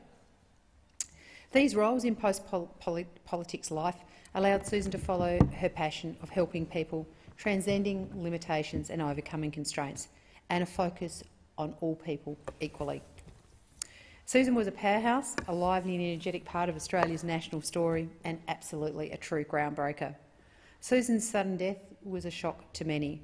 While I did not know Susan personally, I know that as a parliament, the memory of Susan as a woman leader uh, will be honoured right from well into the future. I know uh, the Minister for Women would have been like to have been here today to make remarks and associate herself with the condolence motions being given today, because I know that Susan played a very, very important role uh, in Minister Payne's life, and she, as she did for so many other women in this parliament. Without a doubt, every one of us here today is a beneficiary of the legacy that she leaves us. So to her partner, to her children uh, and to her friends and her close ones, we offer our heartfelt condolences. To Susan, we give you our thanks. I'll go to Senator Mackenzie and then I'll come to you, Senator Brown. Thank you very much, Mr President. As Leader of the Nationals in the Senate, I rise today to acknowledge the passing of former Senator and Minister, the Honourable Susan Ryan, and associate the National Party, obviously, uh, with the comments of um, senators and, and leaders here today. Whilst uh, we can argue the toss on structural change or cultural change when it comes to women's changing and evolving role in society and in parliament as one of the key institutions of our liberal democracy. Um, I think all of us in this chamber uh, can be very proud of, albeit our different approaches, uh, to increasing the number of women's involvement in parliamentary life and in public debate and, and how that will actually have flow-on benefits into the broader community. Uh, but for Senator Susan Ryan to be the first uh, means that uh, the burden is heavier and you need to get it just right so that there will be successive uh, women after you. And uh, I just I think it's amazing um, what she was able to achieve. Um, the slogan I think that Senator Wong mentioned, "A woman's place is in the uh, the Senate, at the House and the Senate, was um, a T-shirt I was given also on getting pre-selected. So I think it resonates um, with a lot of us that that get here. Um, that slogan, and I, you know, I think her, that being the first woman to hold a ministerial office uh, is something to note. Also that she championed education uh, to the point it is the National Party constituency that really benefited from uh, that increase in higher education places uh, and that increase in Year 12 attainment. Um, previously, previous to uh, the Hawke government's reforms, really um, the percentage of Australian uh, young people that headed off to university was quite um, was incredibly small and predominantly came from uh, elite families in capital cities. Uh, and so really opening that up uh, increased the enfranchisement and the inclusion of uh, people that don't go to grammar schools, uh, which is also a good thing. Um, and I say that as a proud grammarian, but uh, you know that that's, that was a great reform. Um, her lasting legacy, though, is the landmark Sex Discrimination Act and the Affirmative Action Act. And I think uh, you know, Senator Waters has, has, stood up and proudly proclaimed uh, how many uh, female senators uh, the Greens have, and, and I know uh, the Labor Party has some structural mechanisms to ensure that uh, they, they get um, a certain number of, of female senators and, and, House representatives in this place. But for a party like the National Party uh, to actually proudly stand here and have 80 per cent of our senators to be female uh, without a structural readjustment, but with actually a grassroots uh, full enfranchisement of our membership, voting for every single one of the strong, articulate, intelligent women that our divisions have sent here, I think speaks more broadly um, to what we can all do on both sides of the chamber to increase the diversity of our parliament and that we come here with different value systems, obviously, and therefore represent the broader Australian public. Um, but we can all do we can all do better in our own uh, ways. So when she came to the Senate in 1975, there were just six women. And I think, Senator Ruston, you made great commentary about how um, this chamber really reflects uh, the work of Susan Ryan and all who've gone after her uh, on both sides of the ministry uh, to increase the inclusion of women. Um, also being a single mum and a minister is pretty tough. And uh, to be the first person that did that way before uh, you know, partners might have chosen to look after kids or that there was even childcare available, I think is quite incredible um, feat and speaks to her determination and strength to represent her community and her government. Sympathies uh, to her uh, family and friends uh, and vale Susan Ryan. Uh, thank you. Senator Seselja. Uh, thank you, um, Acting Deputy President. And I, as a Senator for the ACT, want to pay a special tribute to the Honourable Susan Ryan uh, and send condolences to her family and to her loved ones. Um, it is interesting, as has been pointed out, uh, Susan Ryan, uh, like a couple of us in this chamber, uh, had a background first uh, in what was the precursor to the ACT Legislative Assembly as, as Senator Gallagher and myself uh, did uh, before going on to represent the ACT and having the great honour to represent the ACT as a senator from 1975 as the first of one of the, as one of the two uh, first two uh, senators representing the Australian Capital Territory, and it's great to follow in the footsteps of others. Um, and and we talk about the legacy uh, of Susan Ryan in terms of being a trailblazer for women, and we've seen that obviously uh, in the ACT Legislative Assembly. we've seen a number of female chief ministers. We've seen them on both sides with Rosemary Follett. we saw it, of course, with Kate Carnell on the Liberal side, with Senator, now Senator Katy Gallagher, of course, as well, uh, and a number in senior positions. And I make the point, a similar point to what was made in terms of uh, female representation as we celebrate the fact that there are a majority in the Senate in the ACT Legislative Assembly, we see the same. Uh, and in fact, uh, we see it on both sides. We see both uh, the Labor Party and the Liberal Party uh, having a, a, majority of women in the ACT Legislative Assembly uh, as we, as we speak. Uh, we've gotten there through different parts. Uh, the ACT Liberals have chosen not to get there uh, through the use of quotas, uh, but we do believe uh, that we have outstanding representatives uh, one way or another, and, and it's been a great privileged to see that uh, and see that evolution. And I think in Canberra we see it uh, most particularly. Uh, in, of course, in um, her opportunities that she had to serve in the Hawke ministry, first as the minister assisting the Prime Minister on the status of women, and then, of course, as the Minister for Education. Some of those achievements in both of those portfolios have been touched on, but one of the ones in education, which I think Susan Ryan was, of course, most proud of, was changes to the Year 12 12 retention rate, and so I'd commend uh, that work. Uh, she later uh, had a, had, a, very distinguished career, of course, um, after politics, uh, after leaving uh, this place and going on to a number of very important positions, a number of which have been mentioned, including in universities and superannuation, uh, and as as the Age Discrimination Commissioner. And it was in that role, um, so Susan Ryan was uh, one of my senators when I was growing up here in Canberra, uh, uh, along with the great uh, Margaret Reid, uh, former President of the Senate. Uh, we were well represented, and so I didn't know her in that role, obviously as a, as a young boy growing up in the 1980s. she was one of the senators representing me, but I did have the opportunity to meet her in that later role as Age Discrimination Commissioner and I did find her to be a, a thoroughly decent, a, a highly engaging, uh, highly intelligent, uh, very impressive human being. But uh, I also found uh, that, you know, given her reputation, uh, I was quite struck uh, by the great humility which she displayed in the way that she dealt with those around her.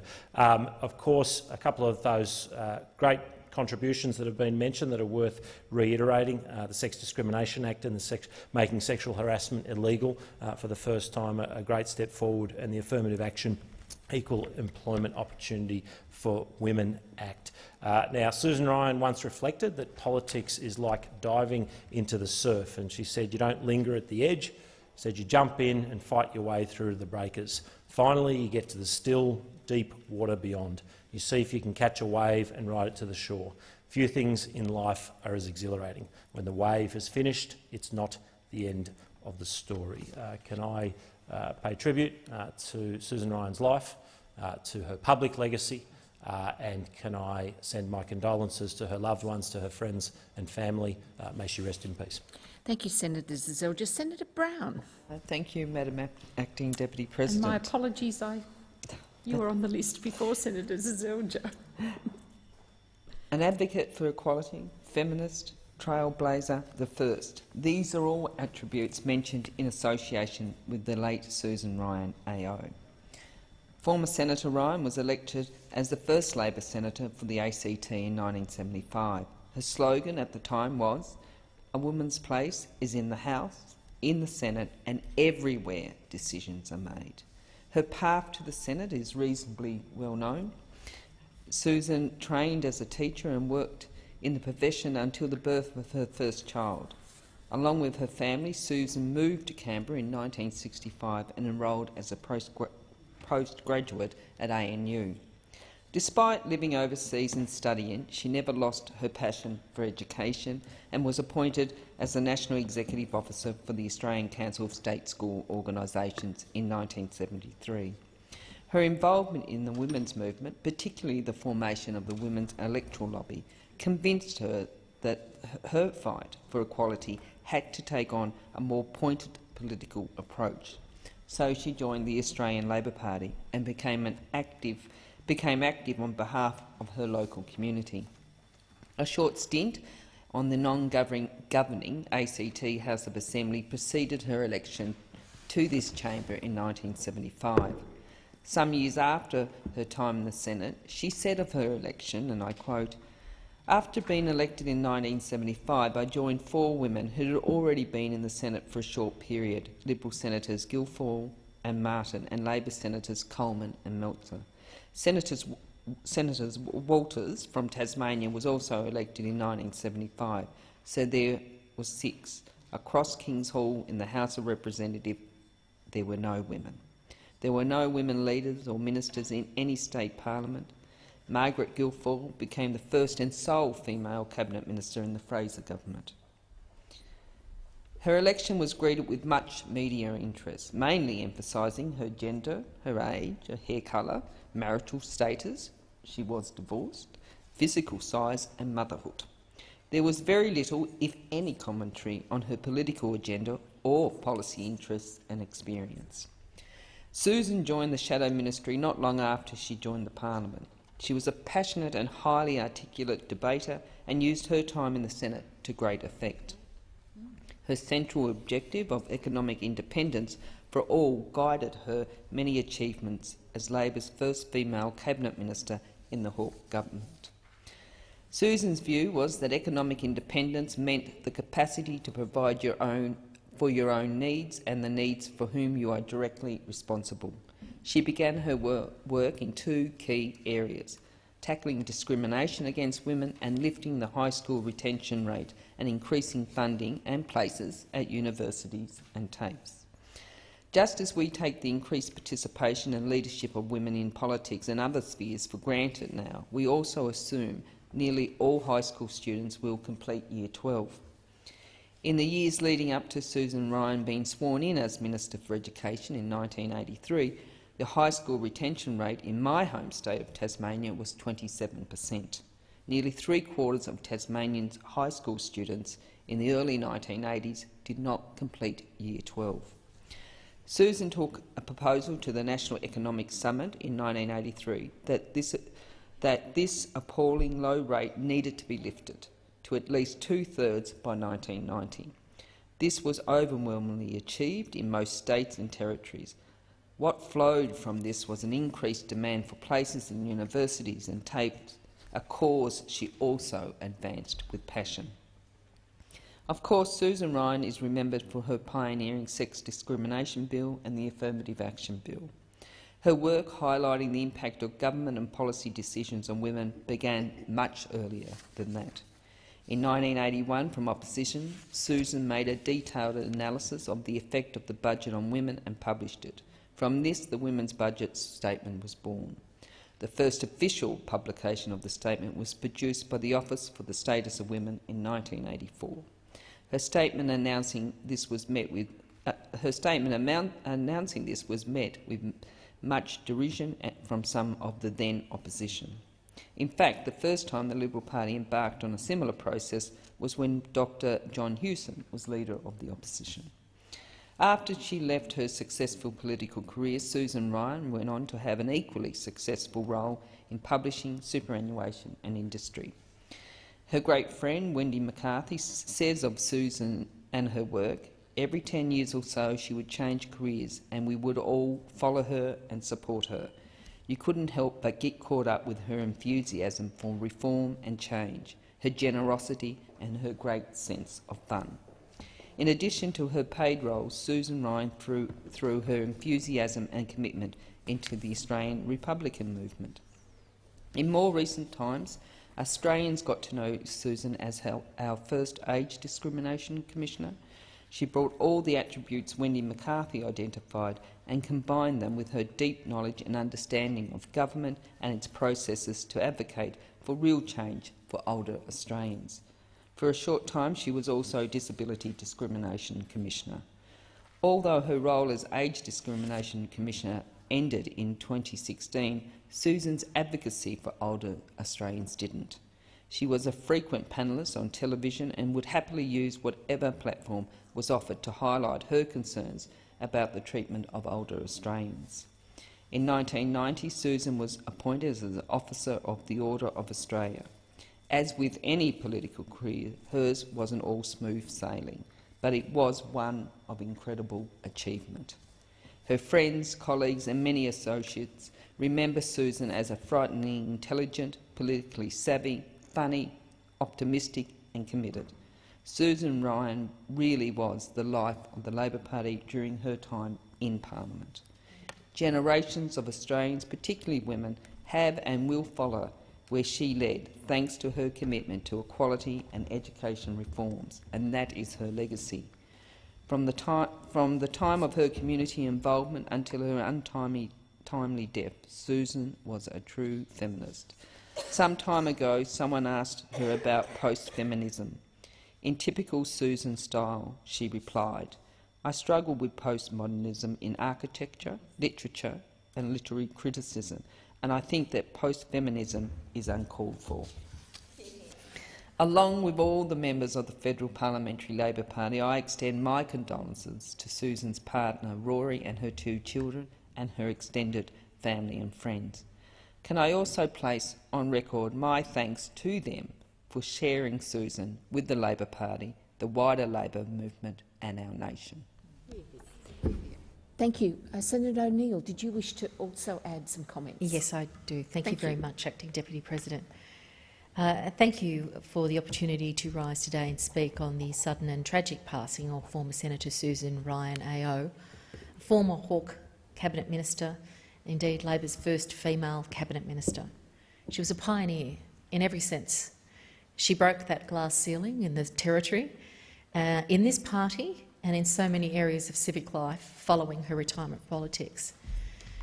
And she was a loving and proud mum and grandma as well. To her family, I want to say I'm so sorry for your great loss. And I thank you for your great generosity in sharing her with the nation, whose history she changed. I want to associate myself also with remarks of uh, those who've contributed to this condolence motion this afternoon. And I think uh, Senator Wong's framing of the life of Susan Ryan as a critical driver of significant historical change uh, is a very accurate summary of the powerful, powerful impact that Susan Ryan had on our nation. Born in Sydney in 1942, she grew up in the great Labor suburb of Maroubra, achieving a BA at Sydney Teachers College before working as a school teacher, a small business owner and second secretary at the Australian Embassy in Vienna. After moving to Canberra, she graduated with a Master of Arts degree from ANU and became a foundational member of the Belconnen branch of the ALP and the Women's Electoral Lobby, one of countless political actions she would take for the empowerment of Australian women. She was subsequently elected to the ACT House of Assembly in 1975 and before becoming one of the first two senators for the ACT, elected on that much uh, re repeated uh, mantra that's featured in the speeches this afternoon, the unabashedly feminist, feminist statement, a woman's place is in the House and the Senate and everywhere decisions is, are made. She made history as a 33-year-old single mother and eight years later would change history as a pivotal member of the Hawke government. In her role as a cabinet minister, she was able to make those changes for women that were so desperately needed at that time. When Hawke was elected in 1983, she was made Minister for Education and Youth Affairs and the first ever Minister for the Status of Women.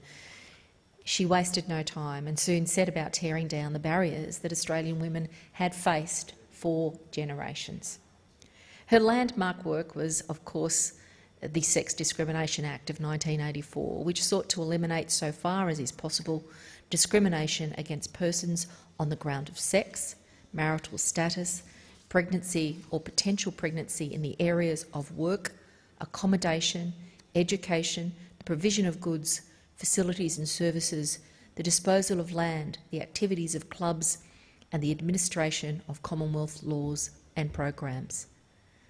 This wide-ranging Act ensured that the rights of women were protected by legislation. It was a giant step forward for women all across the country. This Act, along with the Affirmative Action Equal Employment Opportunity for Women Act, embodied the greatest beliefs of the Labor movement, that through fair and equitable employment in a fair and equitable society, humanity can flourish and people can build a life worth living. Her tenure as Education Minister was no less successful, with Paul Keating remarking that her great achievement was to lift Year 10 retention rates in schools, which was an abysmal 3 in 10 when she took office in 1983, to, the end, to end at 9 in 10 in 1996. This also included the doubling of the number of female graduates from high school.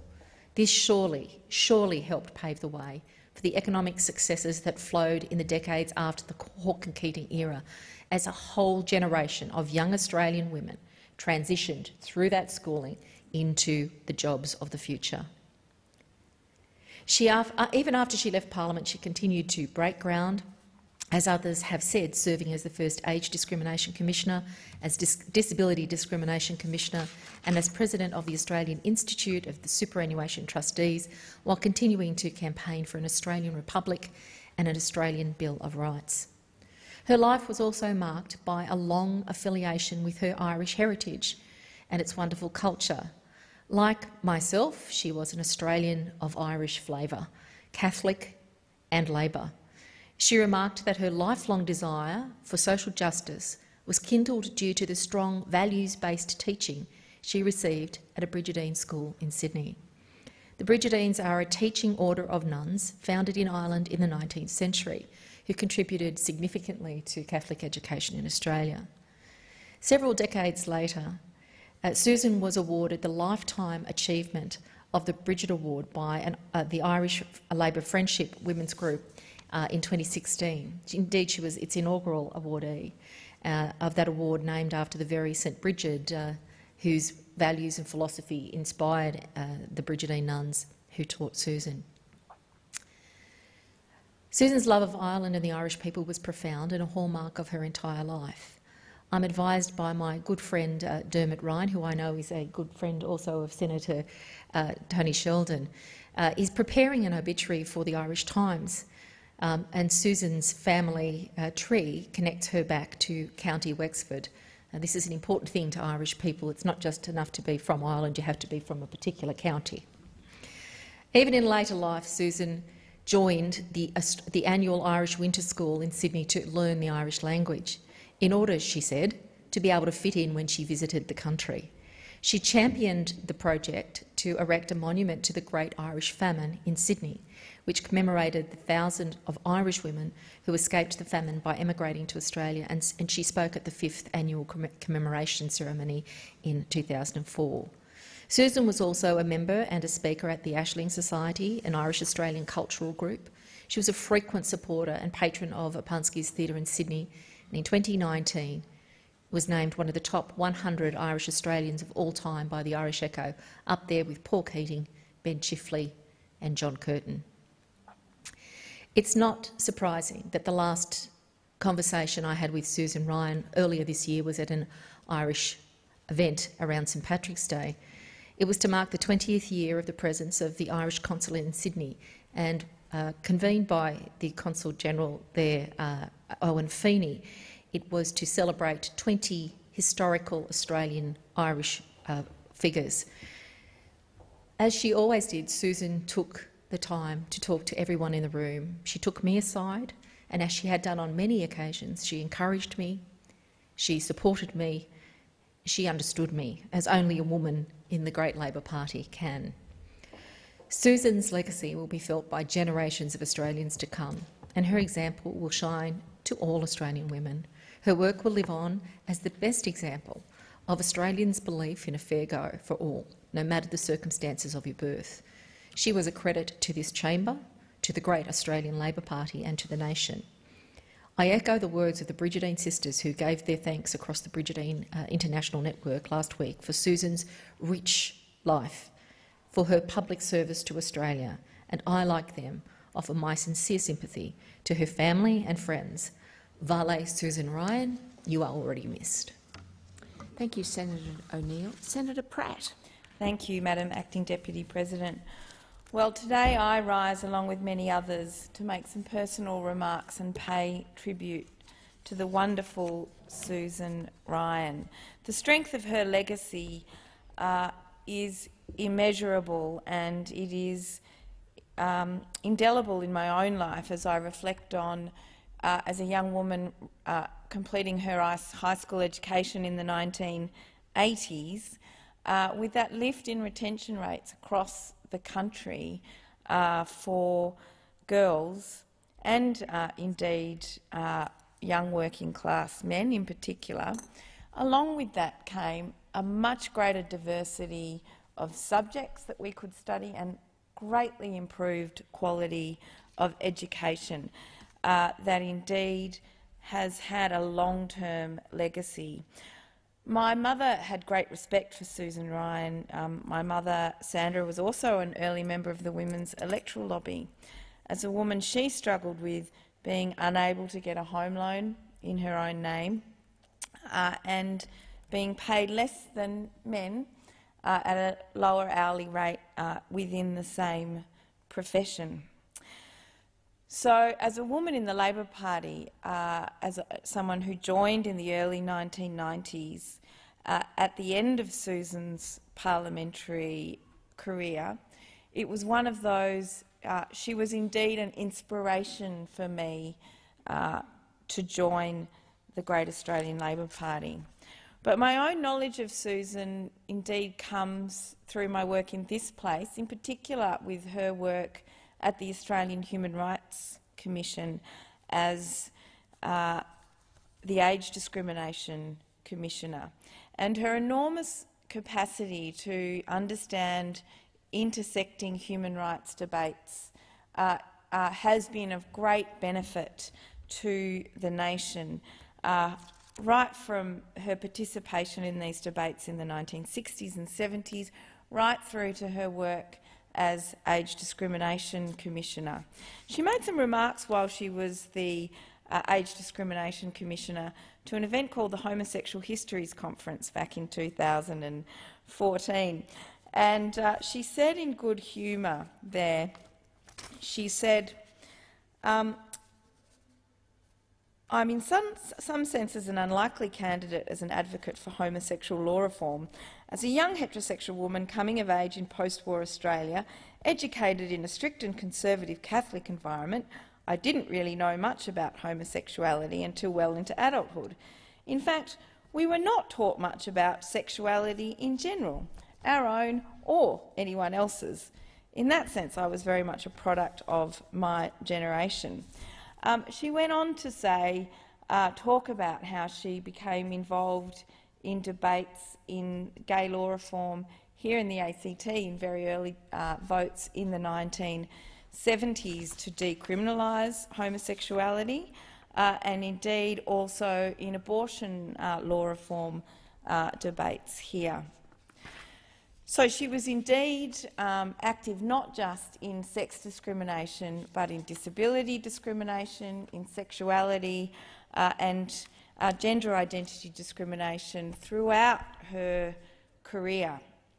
Uh, in, as, the, as the Age Discrimination Commissioner, she was also at the Human Rights Commission at a very important point in time for the LGBTI community when this parliament, under the Labor government, considered the reforms to the Sex Discrimination Act, to amend the Sex Discrimination Act uh, so that uh, not only did it cover sex discrimination, but it also uh, covered sexuality, gender identity uh, and uh, being intersex.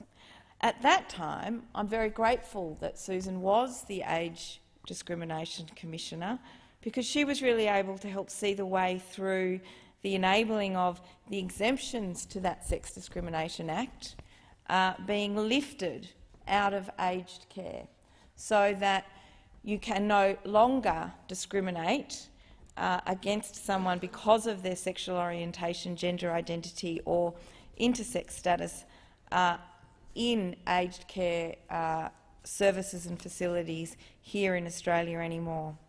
This is a principle that needs to extend across all Commonwealth uh, and community services so that there aren't exemptions for uh, any primary service that should be someone's right to access. So I am profoundly uh, grateful for the inspiration of Susan Ryan's life.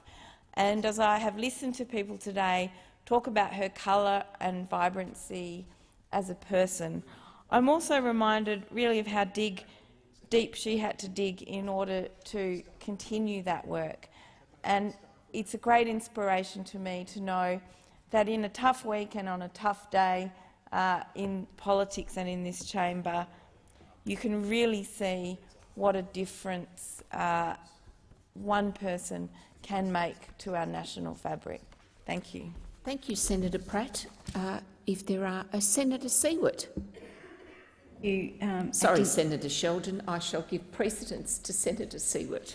Uh, thank you, and I, I, will be brief because um, people have said so many wonderful things about Susan Ryan, and I firstly would like to offer my condolences to uh, Susan's uh, family, friends and colleagues.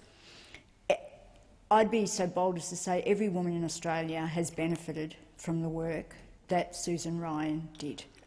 And I I think there's a number of young women today that don't still don't really get or believe that women were forced to resign. Some women were forced to resign when they got married.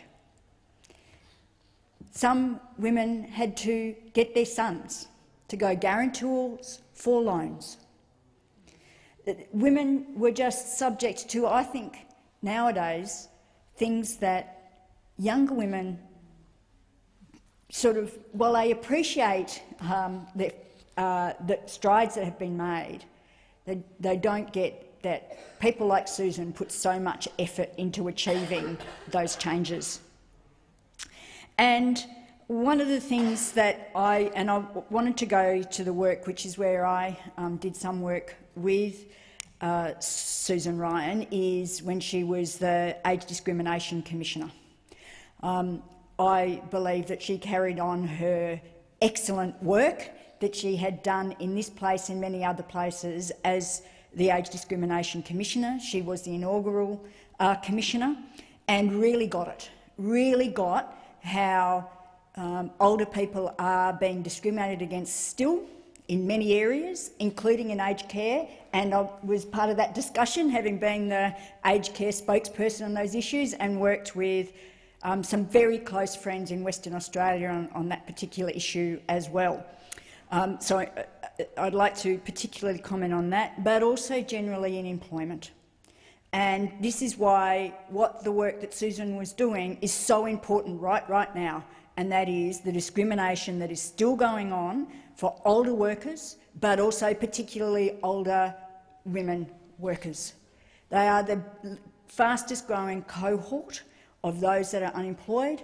They are ageing into uh, poverty into, on the, uh, as older women not being able to find work, on very low income support payments. They're ageing into the um, poverty uh, as they um, wait to be able to move on to the age pension, using up all their, their savings. It's absolutely imperative that these issues are dealt with, and Susan knew that. She was working on that. She held forums, and I attended some of those in terms of how do, how do we work with business and with employers to ensure that older workers are, are taken on, um, and raising those issues and, and always, always there were the issue around older women. Um, and then, as has also been pointed out, um, she then became the um, disability um, Dis, uh, Discrimination Commissioner as well, taking the same, and again I had that portfolio at the time, taking the same gusto into those issues, disability discrimination issues as well. Um, not only did we have a number of discussions, and, and Susan uh, was very active throughout the country, but also asking questions across the estimates table um, when she was commissioner, and she was she was also always very glad and uh, in, in, and to talk about the issues across the estimates table. Um, she made an enormous contribution to this country, particularly to the women of this country. She'll be remembered for, um, for all the work uh, that she did. And it also reminded me um, in terms of some of the things from your childhood and your young adulthood that you take with you your whole life. And the work that she did, I, I have taken with me all, throughout my life, and um, it was an honour to be able to, at, just in a small degree, work with her on these really important issues. So, um, Vale, Susan Ryan, you won't be forgotten. Thank you, Senator Siewert. Senator Urquhart. Thank you very much, Madam Acting Deputy President. All of us women of the Senate stand here on the shoulders of a magnificent woman, Susan Marie Ryan. When she was elected to one of the two newly created ACT Senate seats in 1975, as, as I think everyone in this place has said, she was campaigned on the slogan, a women's place is in the Senate. And it is. In fact, the only Labor senators from Tasmania are women. We're all women. How very pleased she must have been when the Senate finally achieved gender equality a little over a year ago. How much we owe her. Many adjectives have been used to describe Susan, whose Senate career from 75 to 86 was only part of a long and multi multifaceted working life dedicated to equality and human rights. She has been described as a luminary, a fierce champion, a trailblazer, a feminist hero and a Labor giant. She was all these things and more. And she will be remembered as a fierce champion for women's rights and others discriminated, other discriminated Australians after her sudden death just 11 days ago. Those before me have outlined her groundbreaking positions and work as a minister in the Hawke government, so I won't go over that. But Labor leader Anthony Albanese has said that she changed Australia for the better, and I do agree with that. This is something that we must all aspire to. In her lifetime, she saw and influenced incredible changes. We must not forget a world where women were pillarised for seeking elected office, where women could be sacked simply for falling pregnant, where equal pay was a faraway dream, where the idea of a woman taking up a blue-collar trade or becoming a CEO was unheard of, in fact shunned. And rights for older Australians and those living with disability were barely imaginable. Many of these things today that we take for granted were issues which were championed by Susan, and she stood up to years of vilification because of this work. Paul Keating said her great achievement was to set in motion lifting Year 12 retention rates from 3 in 10 in 83 to 9 in 10 by 96. This revolutionised education in Australia, most particularly for girls, he said, and he was correct. The best thing all 38 of us, all today's sen uh, women senators can do is to pledge that we will pursue her leg legacy. We will confront the obstacles and rise above them. We owe Susan Ryan a debt best paid by redoubling our commitment to equality for all Australians, a commitment to not seeing older workers thrown on the trash heap because of a recession, to not seeing Australians with disability ignored, denied opportunity and resources, to ensure that discrimination does not hobble the lives of Australian women and to ensure that regardless of your sexual orientation, gender, cultural background, ethnicity, age or ability, you get a fair go in this country we love.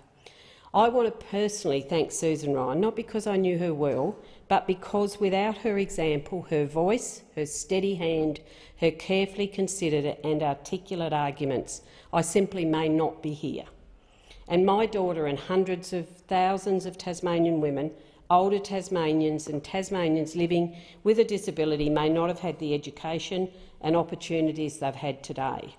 In saying that, I note that the job is not done. With recession upon us and so many young Australians wondering where they will find a place in life, with so many older Australians worried about being left out of the workforce, and others frightened that their retirement and old age may not be one where they will have the resources to allow them to live with dignity and receive the care that they need.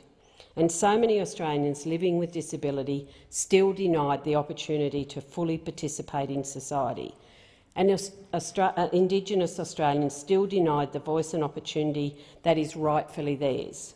With the cost of obtaining an education moving out of reach for many and the cost of childcaring leaving many women unable to carve out a career of their dreams. And is, there is still much, so much more to struggle for and to win. And we will do that with our path illuminated by the bright light held in Susan Ryan's steady, intelligent, guiding hands. My sincere condolences to her partner Rory Sutton, her children and all who loved her. Thank you, Senator Urquhart. Senator Sheldon, who's been patiently waiting. Good. Thank you very much, uh, Acting Deputy President. I rise today to honour the life of Susan Ryan, architect of the world-leading Discrimination Act, first female Labor cabinet minister and icon for social justice in Australia. The woman, who, the woman who, as Education Minister, more than doubled the high school retention rate, including for girls. One of, one of our best fighters. Talks volumes of her values and capacity when you look at the fact that she works so hard for the rights of humanity, women and men, the able and disabled, and most recently for older Australians and Australians living with disabilities as Aged and Discrimination Commissioner and Disability, sorry, Age and Disability, Disability and Discrimination Commissioner. And of course, a, a major ally to the increase in the voice of Aboriginal and Torres Strait Islanders and young people. And of course, how sorry we are we can't get to hear her views this week on the Coalition's federal budget, a budget which has had its two biggest failings, the ignoring of the impact of this recession on women and older workers. Susan Ryan died suddenly last week.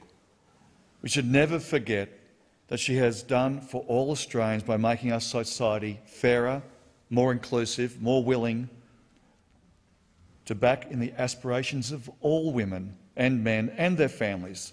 She's lived a life of firsts.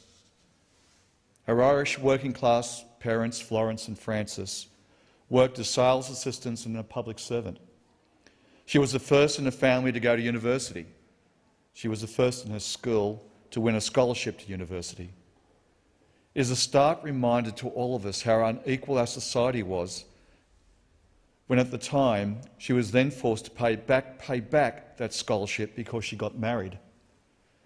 We should all remember that it was not long ago that all women had to resign from the public service when they got married, and that they could be fired from any job when they became pregnant. She was also, of course, the first female member of the Labor cabinet when she joined the Hawke Cabinet in 1983 as Education and Youth Affairs Minister. Even when she left the parliament, she kept fighting for the rights and power of working people. She was Deputy Chair of the Australian Republican Movement from 2000 to 2003. And of course, there was her important work on strengthening superannuation. In her seven years as the President of the Australian Institute of Superannuation Trustees, until 2007, she fought for the right for all Australians to have access to a dignified retirement and for super funds to continue to play a role in democratising financial systems in Australia. Acting Deputy President, we have come a long way since the 1950s and 60s, where Susan Ryan was educated as a Brigidine Catholic in the Brigidine Catholic College in Sydney's eastern suburbs where a passion for social justice was encouraged and when she was a brilliant debater and a fearless advocate for her schoolmates. But we must never forget how hard it was to get even basic employment protections for women and how stubborn inequalities persist in Australia still, like the gender pay gap and the harassment and discrimination experienced by women every day in our workplaces and institutions. I want to say something about dogged activism of Susan Ryan as well. She was a respected legislator and a pragmatic political operator. but her pragmatism and wily role in Cabinet was first and foremost in the service of her ideals. She did not court power for its own sake. She focused on outcomes and she often clashed with her Cabinet colleagues on points of principle. She worked hard across the factions and across the aisle to give all working people real power to shape their own destinies. She was also loved for a sense of humour. In Susan's memoirs, Catching the, the Waves Life, uh, in and out of politics, I'm, she said, I am by temperament quite gregarious, but the combination of my gender and my politics meant the position I occupied most often was that of a shag on a rock. Well, however, now, due to her de determination and drive, she is no longer isolated and she's exposed many people who adore her now and share her views and are determined to continue her accomplishments. I also want to share an anecdote from a good friend of mine that Susan was also a good mate of, uh, Dermot Ryan, uh, which my colleague mentioned before Dermot. Um, very active uh, person in the Irish Labor uh, groups within Australia, and now um, uh, has just recently written a tribute uh, to uh, Susan. And he said this in a tribute he recently wrote. What we really stood out was shared memories of her warmth and her sense of fun and mischief. At social events, she moved seamlessly from singing a hymn to singing the Internationale. She was a committed Australian Republican and was also uh, an Irish Republican. Whenever we met, she would cheekily address me as Comrade Ryan, my favourite Irish unionist. Knowing full well, of course, the unionist was, has a very different meaning in Australia to Ireland. My own late mother, having shared her name, I would retort, hello there, my second favourite Susan Ryan. A fighter for a just society for women and men, Susan Ryan has earned a place in the hearts of the Labor movement and all Australians. I offer my condolences and solidarity to her family and friends. Vale Susan Ryan. Thank you, Senator Sheldon. Senator Lyons. To rise uh, to associate my comments in relation to the passing of Susan Ryan with all senators in here, although I would have to say, um, unlike Senator um, Sheldon and O'Neill, uh, I'm neither Catholic nor Irish, um, but nevertheless I have a place in the Labor Party. Susan Ryan was first and foremost a feminist. She was a trailblazer, an activist and a Republican. She was a first in so many fields, but none, in my view, as important as being elected as the first female senator for the ACT and to go on to be the first woman in the Hawke cabinet. Indeed, when I joined the party in the early 80s, Susan Ryan was there, and she was someone that I looked up to uh, in this place all the way from Western Australia, and I looked at her in awe. But nevertheless, she showed us, uh, as women in the Labor Party, that there was a place for us because we could see what we could be. She uh, was truly amazing, and the, the, um, the bills that she introduced, the sex discrimination bill in particular, have stood women in good stead. And that has enabled women to really advance in our society. But it is sad, as a number of people have reflected on, that we've still got a long way to go. And um, as a feminist in the Labor Party, Susan certainly made um, pathways for the rest of us. And she would be there, she would um, have applauded the fights that we had to get our affirmative action policies in place. And today she would have been honoured when our leader, Mr Albanese, dedicated our Labor's uh, our Labor budget statement to Susan Ryan. She was the first to have a particular statement for women, and today, uh, when we uh, launched our statement, it was in honour of Susan Ryan. I met Susan when I was um, the National Assistant Secretary of United Workers Union in her role as the Age Discrimination um, Commissioner when I uh, had responsibility for aged care in the union. And she was just as strident there as she was a member of the Hawke cabinet. And yes, she was warm, and that certainly came across, but she was fierce in her advocacy. Um, I would like to end my contributions by paying my most sincere condolences to Rory, her partner, her children, Justine and Ben, and to most of all I say thank you to Susan Ryan for being that feminist, for paving the way for other Labor women. Thank you. Thank you, Senator Lyons. Senator Gallagher. Uh, thank you very much. I also uh, rise to speak, I think as the final speaker on this uh, condolence motion for the Honourable Susan, sorry, almost final speaker. Um, no, behind you. For the Honourable Susan Ryan AO and associate myself with um, all of the uh, previous contributions that have been uh, so lovely um, and um, comforting, I think, in terms of uh, the sudden and tragic passing of Susan within the last fortnight. Susan was not the first woman in this place, but she was a woman of many firsts. She was the first senator for the ACT, the first Labor senator for the ACT, the first Labor woman appointed to a front bench position, and the first Labor woman appointed to a ministry, and of course the first Labor woman to enter cabinet. She achieved all of these firsts in what was firmly a man's world, joining the federal parliament at a time when only, uh, there were only six women and all were in the Senate. I can only imagine what that was like for her.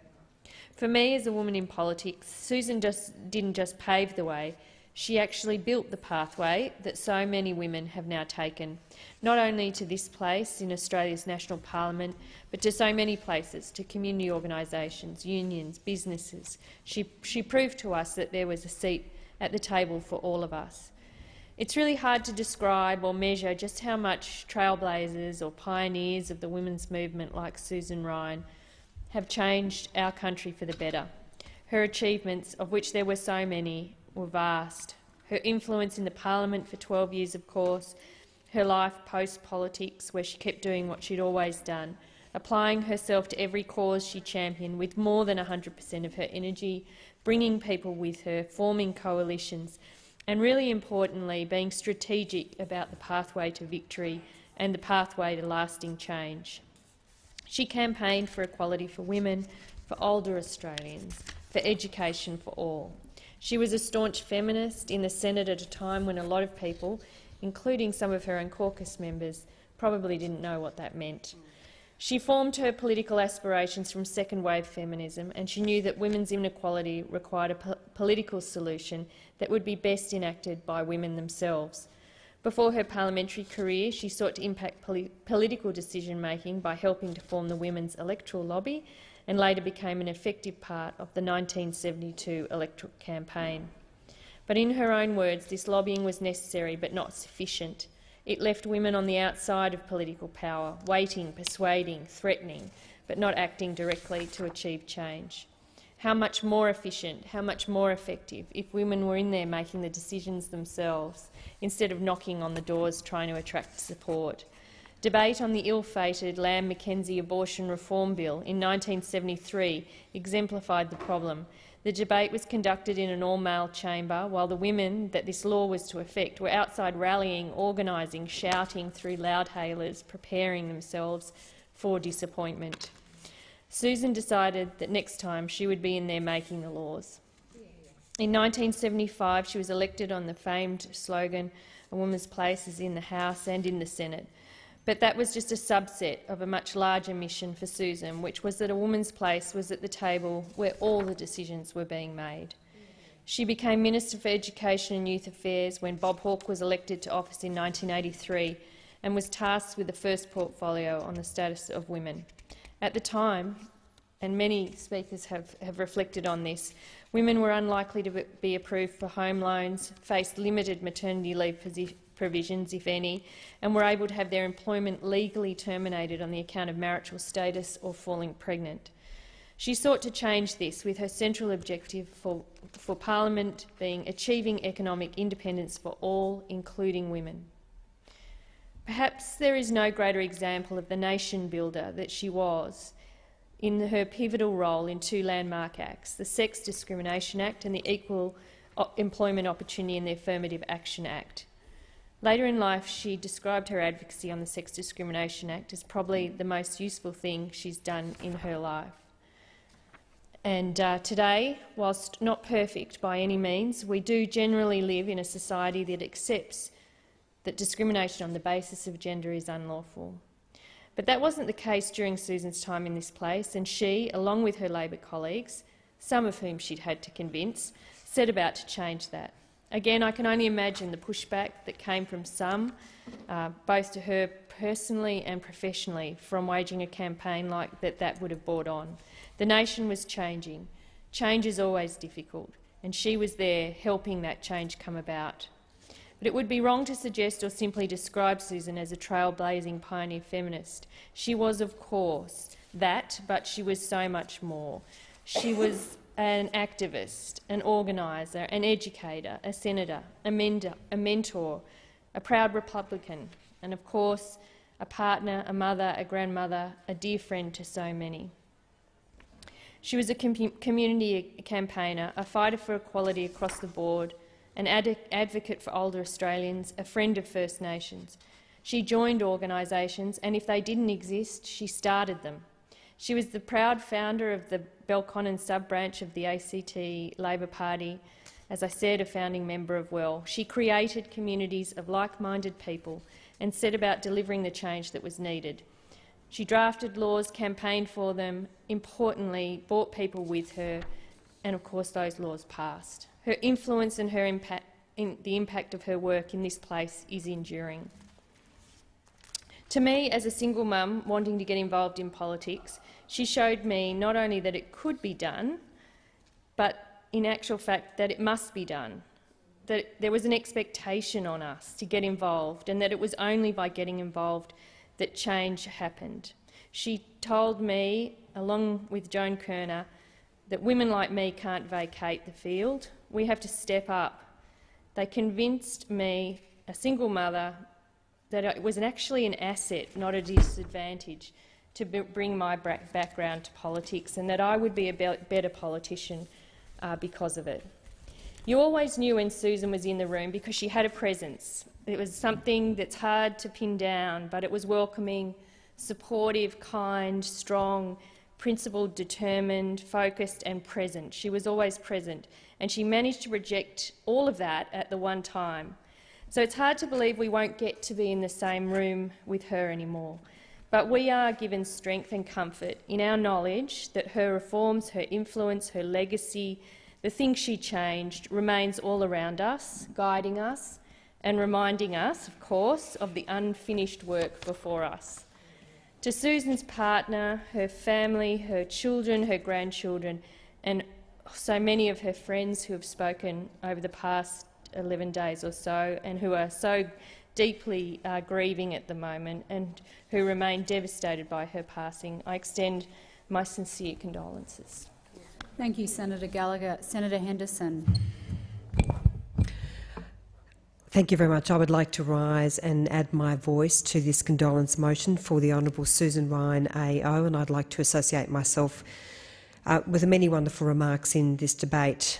A trailblazer as a senator, as the first woman to hold a cabinet role in a federal Labor government, as Minister for Education and Youth Affairs, and as Minister assisting the Prime Minister for the Status of Women in the Hawke government and later as Special Minister of State. Susan Ryan was indeed a trailblazer. I remember the mark that she made when I was a young girl and as a young journalist during the time that she successfully steered through the passage of the Sex Discrimination Act. Of course, much has changed in the Australian Senate since Susan Ryan was elected in 1975. My swearing in as a senator in October last year marked the first time that the number of female senators reached 50 per cent. When Susan Ryan was elected, there were only a handful of women senators. In the wake of the tumultuous dismissal of the Whitlam government, she was elected as one of the ACT's two senators And observing her from afar as I did, I always got the impression that she was much more of a warrior for women and education than for party politics, and I think this was to her great credit and also, of course, um, very much to her legacy. Uh, her election pitch, as we've heard so often in this debate, was a woman's place is in the House and the Senate and everywhere that decisions are made. But I want to particularly acknowledge Susan Ryan's work in the area of sex discrimination. Uh, in November 1981, Susan had introduced a private senator's bill to outlaw sexual discrimination and the bill did not pass, but it did pave the way for the sex discrimination bill, which of course was passed uh, eventually uh, in 1983.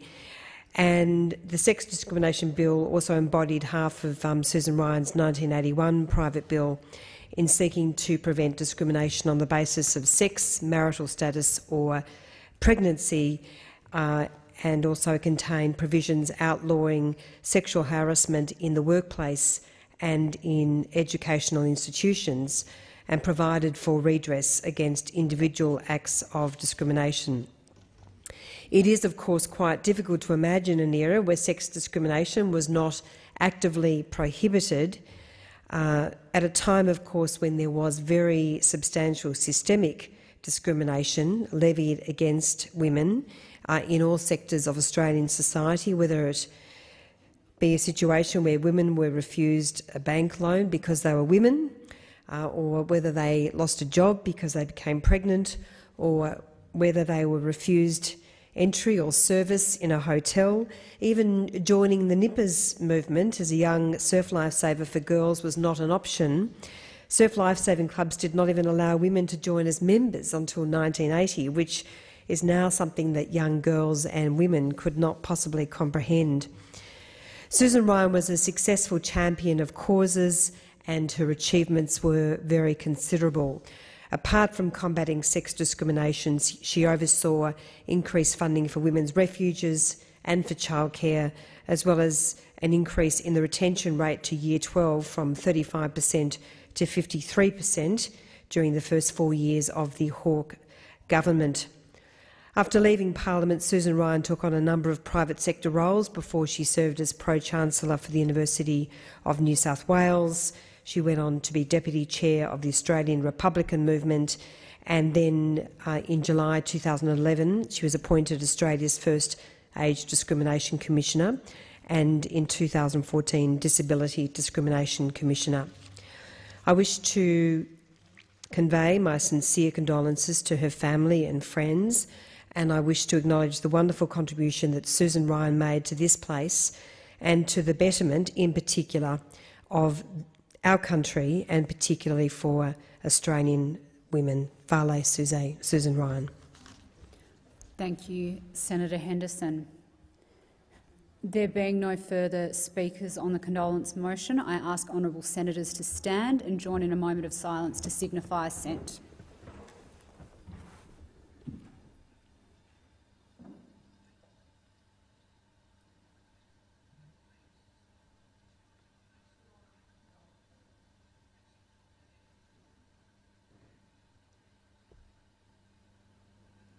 The motion is carried. I now move on to the tabling and consideration of committee reports and government responses. Senator Smith. Thank you, Madam Acting Deputy President. On behalf of the Appropriations, Staffing and Security Committee, I present the report of the committee on the estimates for the Department of the Senate 2020-21, and I move that the Senate take note of the report. The question is that the Senate take note of the report. All those in favour say aye. Those against say no. My apologies, Senator Smith. Was there Thank something? You. And I, I seek leave to continue my remarks. And you seek leave to continue your remarks. Thank you very much, Senator Smith. Uh, Senator Smith again. Thank you, Madam Acting Deputy President. On behalf of the Deputy Chair of the Joint Select Committee on Australia's Family Law System, Senator Hanson, I present the interim report of the committee and I move that the Senate take note of the report and seek leave to continue my remarks. Thank you. Is leave granted? Leave is granted. Uh, Senator Lyons. Thank you. I present the Procedure Committee's second report of 2020 entitled COVID-19 in the Senate and I move that the Senate take note of the report. Um, Madam Acting Deputy President, on the 3rd of September 2020, the Senate agreed to a resolution moved by the Leader of the Government in the Senate and the Leader of the Opposition in the Senate, affirming the right of the Senate to determine its meetings and meetings of its committees. The resolution reminded state and Commonwealth executive officers to have regard to the powers, privileges and immunities of the Senate and senators in devising and implementing public health measures. Wherever possible, where such measures affect the capacity of senators to undertake their parliamentary duties, they should be developed in consultation with representatives of the Senate. The resolution referred consequential matters to the Procedure Committee. The report I have tabled today records the committee's oversight of arrangements to ensure that the sittings and estimates hearings scheduled for the remainder of the year can proceed in a COVID-safe manner. As part of those arrangements, the committee endorsed the continued application of the rules for remote participation during the budget week sitting and noted that estimates hearings were also expected to make extensive use of video participation by both senators and witnesses. Final arrangements would be a matter for committees themselves. The report also identified several operational matters as critical to ensuring that the schedule's estimates hearings proceed in a safe manner and is overseeing the development of appropriate protocols for senators, staff and witnesses implementing current health advice. The committee will continue to have a watching brief over these matters as long as it's necessary. The other issue, Madam Acting Deputy President, um, arises in this place from time to time when we have uh, ballots which are necessary and uh, we believe, um, and certainly I, as the chair of the Procedures Committee, believe that it is time that we uh, referred to the Procedures Committee the issue of pairs uh, when the Senate has to hold a ballot. Um, I commend the report to the Senate. Thank you, Senator Lyons. If no one else wants to make comment on uh, to, uh, to, take note of a response to that report, I might apologize, Senator Ayres. I'm going to call Senator Polley because I understand she wanted to take note of the family law report that was just tabled. If it's okay with you, is that right? Yeah. Oh, okay. Thank you very much. I rise to speak to the tabling of the interim report of the Parliamentary Joint Committee on Australian Family Law System in my capacity as a member of that committee. The interim report contains a comprehensive review of the evidence the committee has heard to date.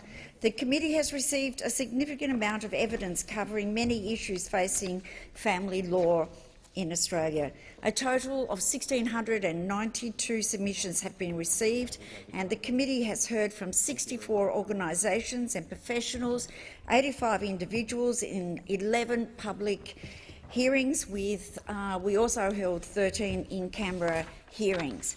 The committee um, has continued uh, its work, although we haven't been able to travel for obvious reasons during this pandemic.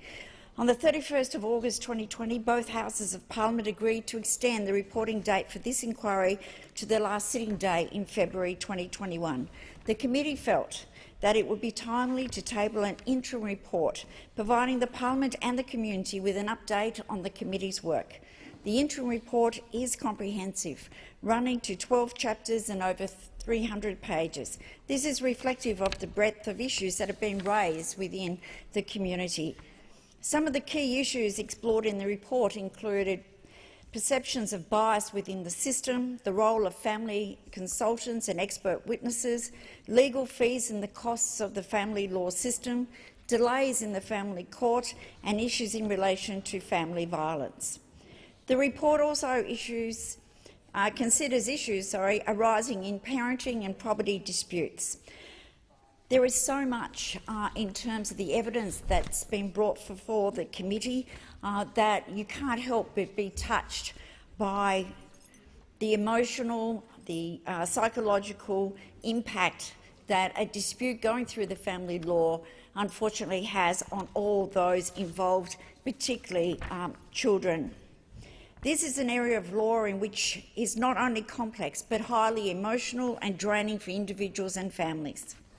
When relationships break down and families separate, often the family law system works to ensure the most appropriate outcome for the parties is involved. But I'd say from the evidence that we've received, I don't believe that there's any family that ends up in the family court that isn't permanently scarred by the experience. It is extremely expensive, it's costly and it's time consuming. The personal stories of pain and anguish were not lost on any members of the committee. And I'd just like to, at this point in time, to thank all of those that are on this select committee because it has been uh, an enduring uh, commitment to continue this inquiry through this COVID pandemic. I note that this committee should never have really existed, though. That's reality. This committee was formed uh, as part of a political deal that was done.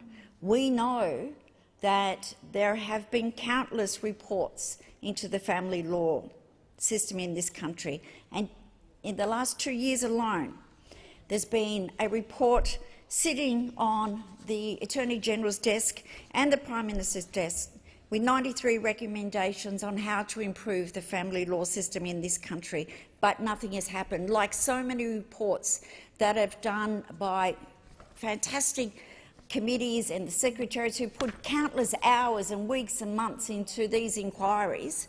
And what happens with those recommendations? They just sit and gather dust. This is the time to actually act, to change and to invest and to properly resource the family law system in this country. While we can make recommendation after recommendation. If there is not the will of the parliament and there's not the will of the government, nothing will happen, and it must happen. I want to be clear here and make my perspective um, very clear, and that is it is very hard when allegations are made in evidence is given to committees when you only ever hear one side of that particular story. It is confronting to hear the tragedies, the heartache and the pain that is caused through relationships breakdown. But a lot of time the, the um, contributions that was given by witnesses was um, heart-wrenching. It actually touched people through to their soul, in my view. When I was first um, put onto this committee, we were all advised that there would be counselling available for committee members and for witnesses. And I, for one, thought, well, that won't really be necessary. But I understand now why people do need counselling. This is um, such an important area of law in this country that affects not just those individual families and extended families, but it affects our communities. But I'd also like to just put on the record uh, an issue from my home state of Tasmania, where I live in Launceston, where we have been lobbying, and I know uh, uh, Mark Dreyfus from the other place, uh, the Shadow Attorney General, and myself and others have been lobbying for many years to have improvements done to the Launceston Family Law Court. And finally, finally, in this budget, and I commend the government uh, for finally, after too many years I might add, but they're actually doing this. My concern still is that this funding is over four years. I would urge the government to do everything that it can to ensure that that new family law court in Launceston makes that transition as soon as possible because the benefits, as I said, go way beyond those individual uh, families uh, that go through the court system, those uh, that sit on the bench, their lawyers and advocates, um, everyone will benefit if that um, court can be relocated um, as soon as possible. But the $5.4 million um, for the relocation um, over four years, I just don't want to see that happening, uh, that we're back here um, in a few years saying where, when is that going to happen. So I urge those people on the other side to join with me and urge that that relocation happens sooner rather than later. Senator O'Sullivan. Thank you, Mr President. On behalf of the Joint Committee of Public Accounts and Audit, I present the 2021 Budget Day statement of the committee and I move that the Senate take note of the report and I seek leave to have my remarks uh, Continue your incorporated remarks. in the Hansard. Ah, th thank you. And you seek leave to continue your remarks too. Senator O'Sullivan, now I'll take it Senator Polley did the same at the end to keep that document on the notice paper. Thank you. Senator Ayres. I present the report of the Rural and Regional Affairs and Transport References Committee on water quality outcomes in the Great Barrier Reef, together with a Hansard record of proceedings and documents presented to the committee, and I move that the Senate take note of the report, uh, and I seek leave to continue my remarks. Oh, Senator Green. Very um, uh, happy to speak on this um, oh, report if Thank I can. You. Yep.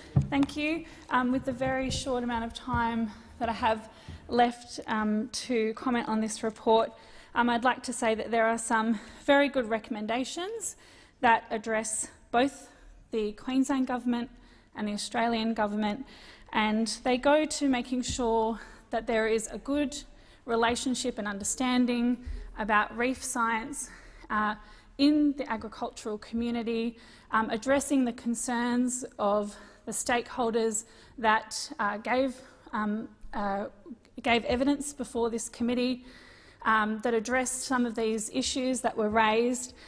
But what, I, what, what, what was very clear from the beginning of this inquiry was that this was a politicised inquiry that was brought through the Senate to try to tee up a campaign so the LNP could go out there, try to win votes in Queensland before the Queensland election.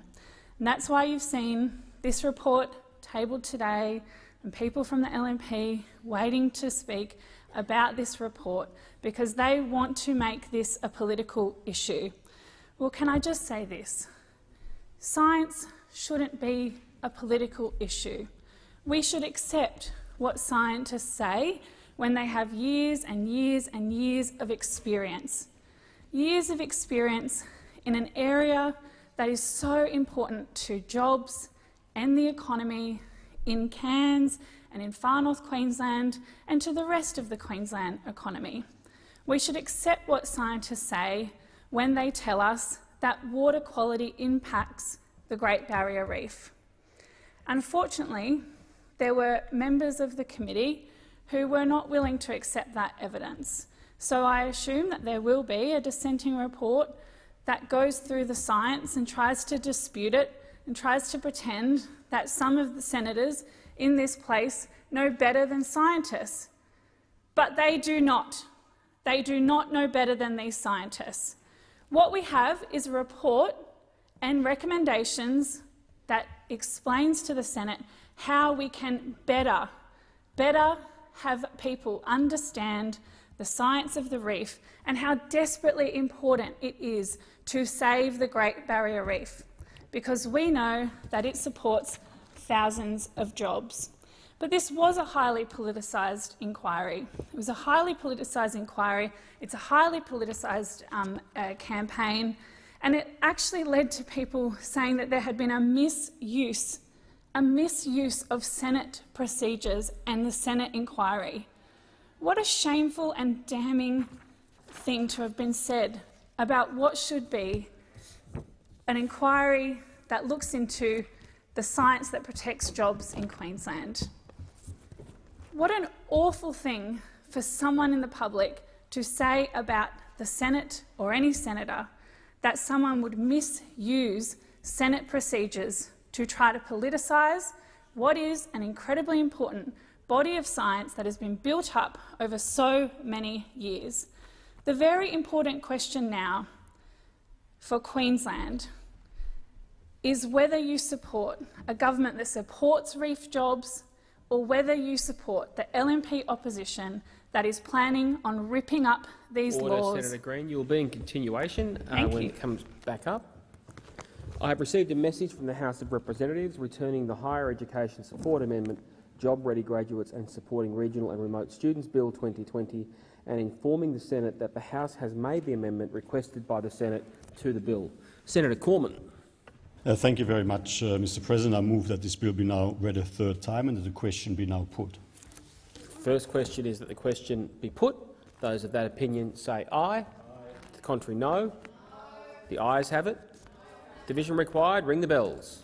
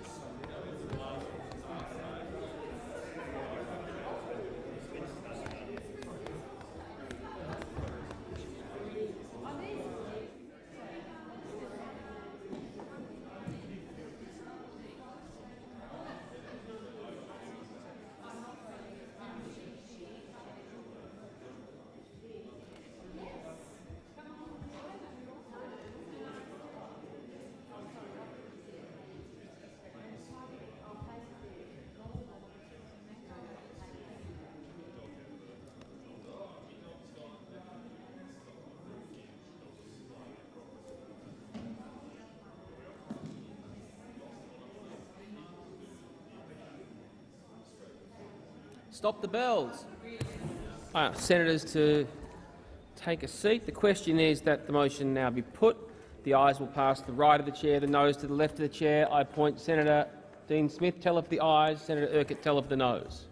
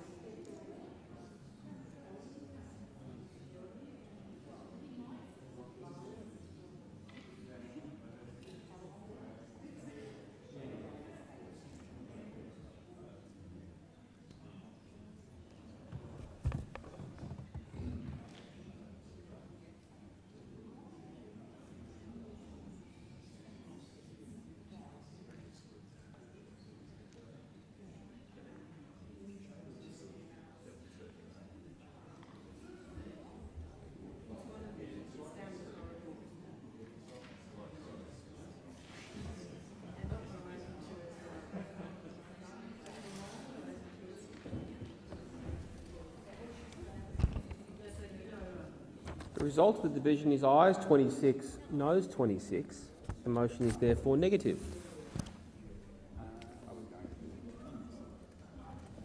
So we proceed to debate. Yeah. We either. Oh. So we either, if no one wishes to speak, we put the motion.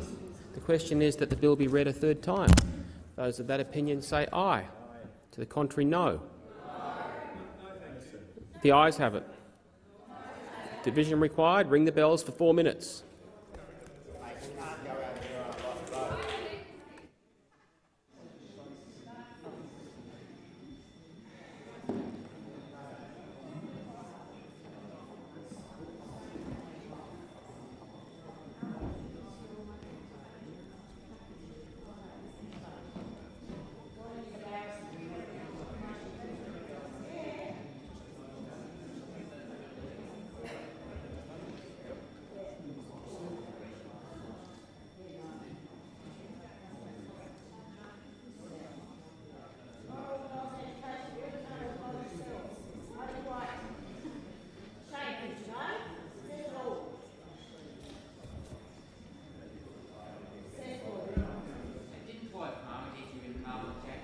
Order. Let's not. Let, order. Let's not. Let's not um, have interjections across the chamber while the bells are going. Yes. Thank you, Senator Watt.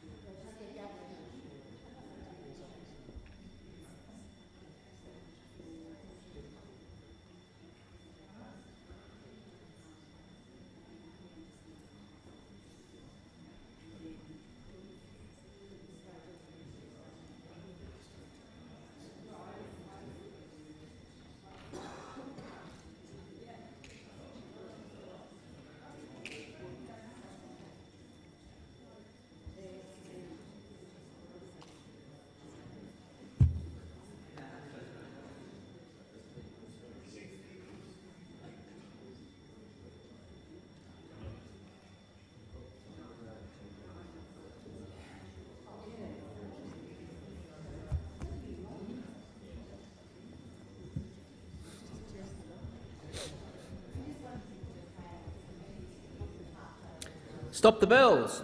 The question is now that the bill be read a third time. The ayes will pass to the right of the chair, the noes to the left of the chair. I point Senator Dean Smith, teller for the ayes, and Senator Urquhart, teller for the noes.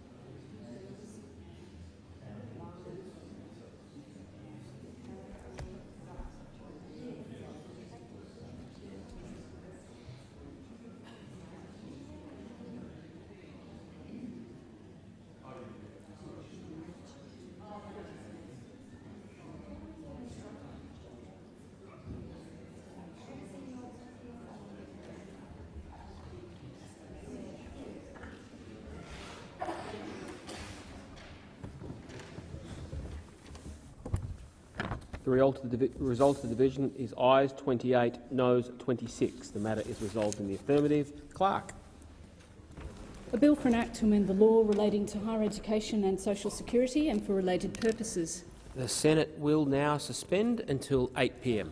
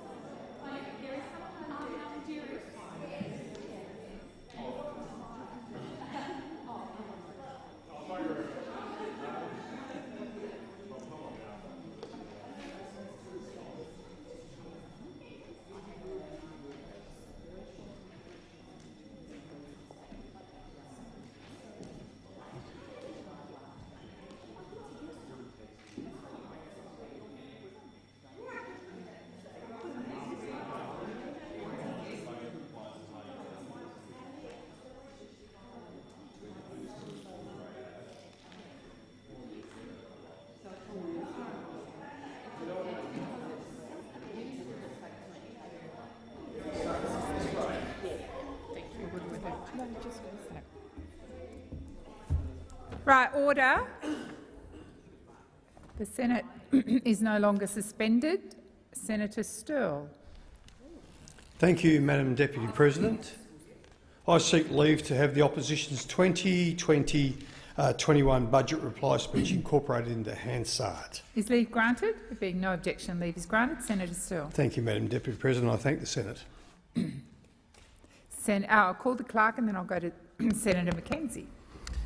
Government Business Order of the Day number 24, 2020-21, Budget Statement and Documents. Senator McKenzie. Uh, thank you very much, Madam uh, Deputy President. I rise tonight to make a contribution in Budget Week uh, as National Party Senate Leader, noting that today the Deputy Prime Minister handed down uh, a regional statement about how our budget as a government uh, affects and supports rural and regional Australians, the 7 million of us that live, work and love uh, our regions right across our country. And what we handed down today and what he spoke about today was how this budget shows our government standing with regional Australia through its most difficult times. As we had started into 2020, come out of drought, bushfires and then hit by COVID-19. And our government makes a commitment through the measures outlined in this budget to stand with them as together we face COVID recession. It's a plan that outlines our opportunities going forward and is reminiscent, I think, of the courage and leadership shown by the Menzies-McEwen government uh, post-World War II. And I just want to reflect for a moment on the words of Sir John McEwen, uh, Country Party leader during that period. Australia is one of the few countries in the world that is not only self-sufficient in food and important raw materials, but has an export surplus in these things. We have a sophisticated workforce and a sophisticated field of management that enables us in a highly competitive world to continue to grow as a manufacturing country. It would be a great mistake if our manufacturing potential were to be neglected or underestimated. So, considering our self-sufficiency in food and materials, our capacity for industrial growth and our tremendous land area capable of absorbing additional population from around the world, I look forward with a high level of confidence to the future of Australia. These words were said by Blackjack McEwen decade, half a century ago, and it was his vision for our country. Following a war, leaving Britain behind, taking in immigrants from around Europe, fleeing war-torn Europe, how do we build a nation that is independent, sovereign and prosperous? And it is by securing our national security and our economic security. And he chose to do that uh, through pursuing a policy of full employment.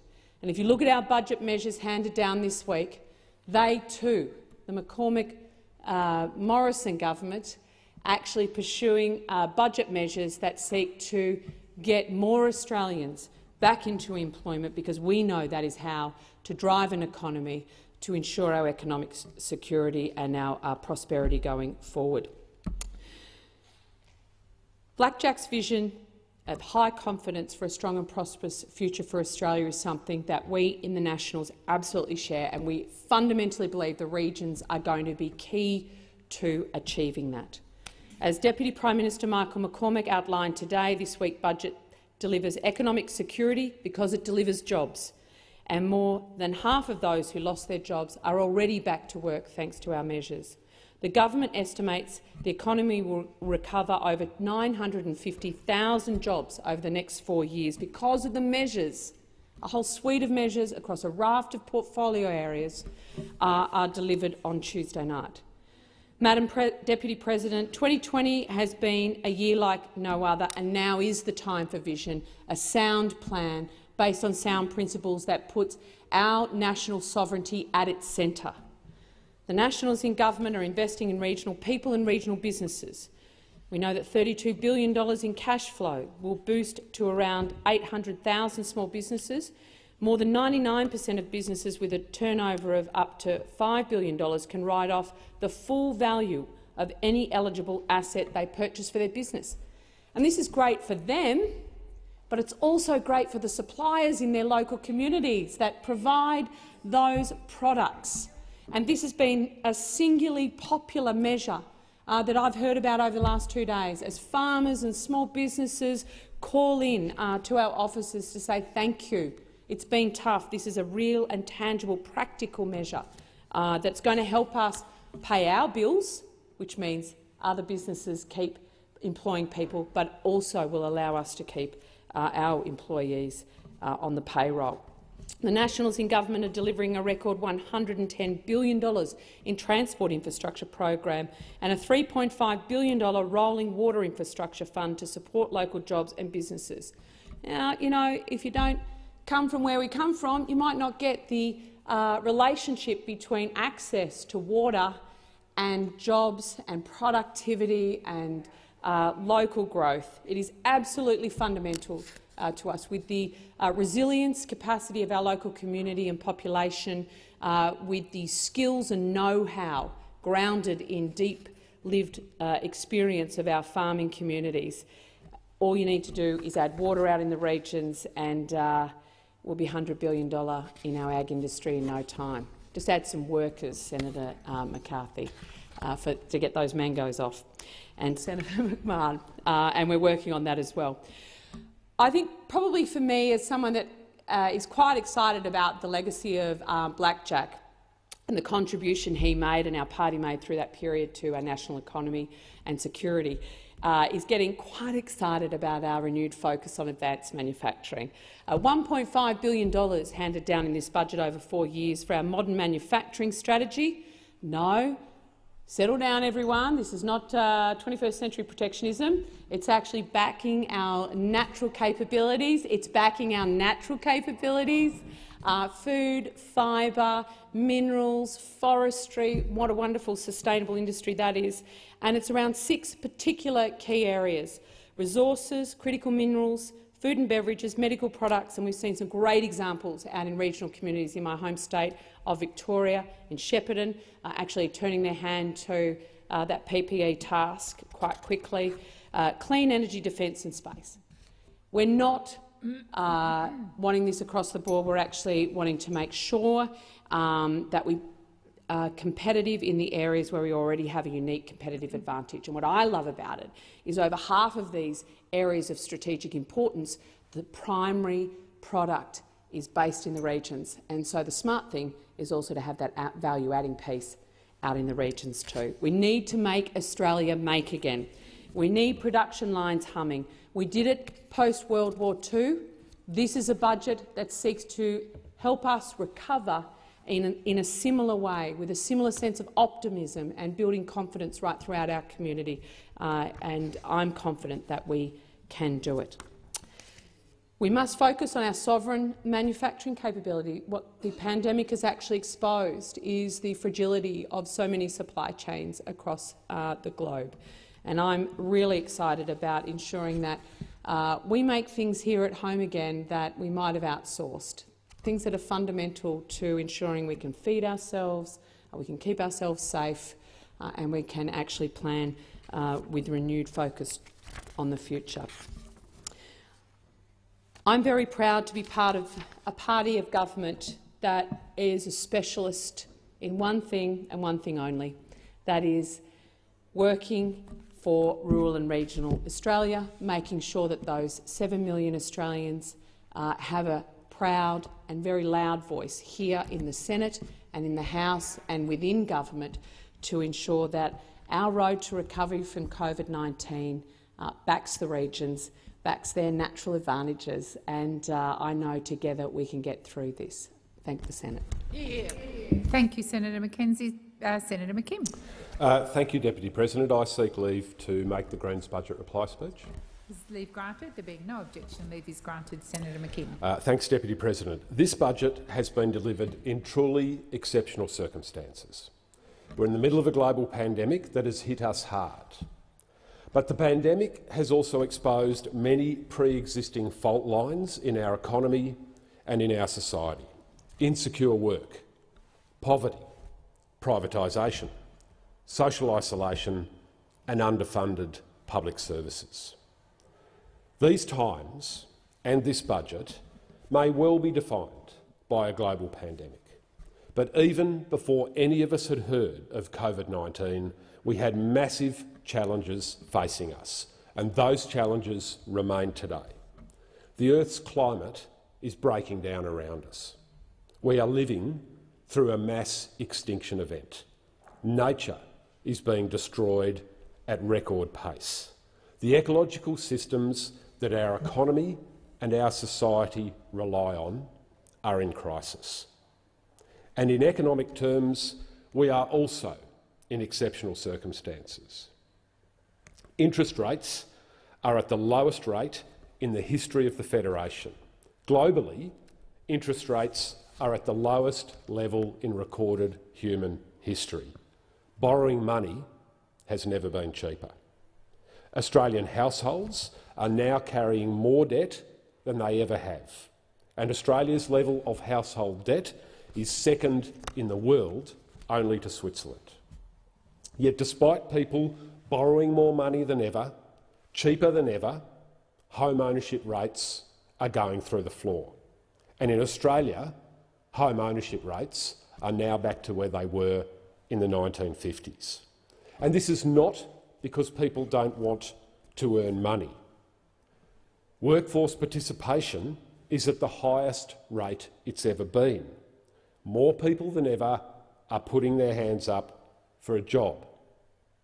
But wages growth is at the lowest rate that it's been since the Australian Bureau of Statistics started keeping records on it in the 1950s. So we've got wage growth at record lows, but we've got the proportion of national income going to company profits at record highs. The end result of all this is that wealth inequality is entrenched, it's significant and it's rising. Record low interest rates, record high household debt, falling home ownership, record workforce participation, record low wages growth, record high company profits, rising wealth inequality.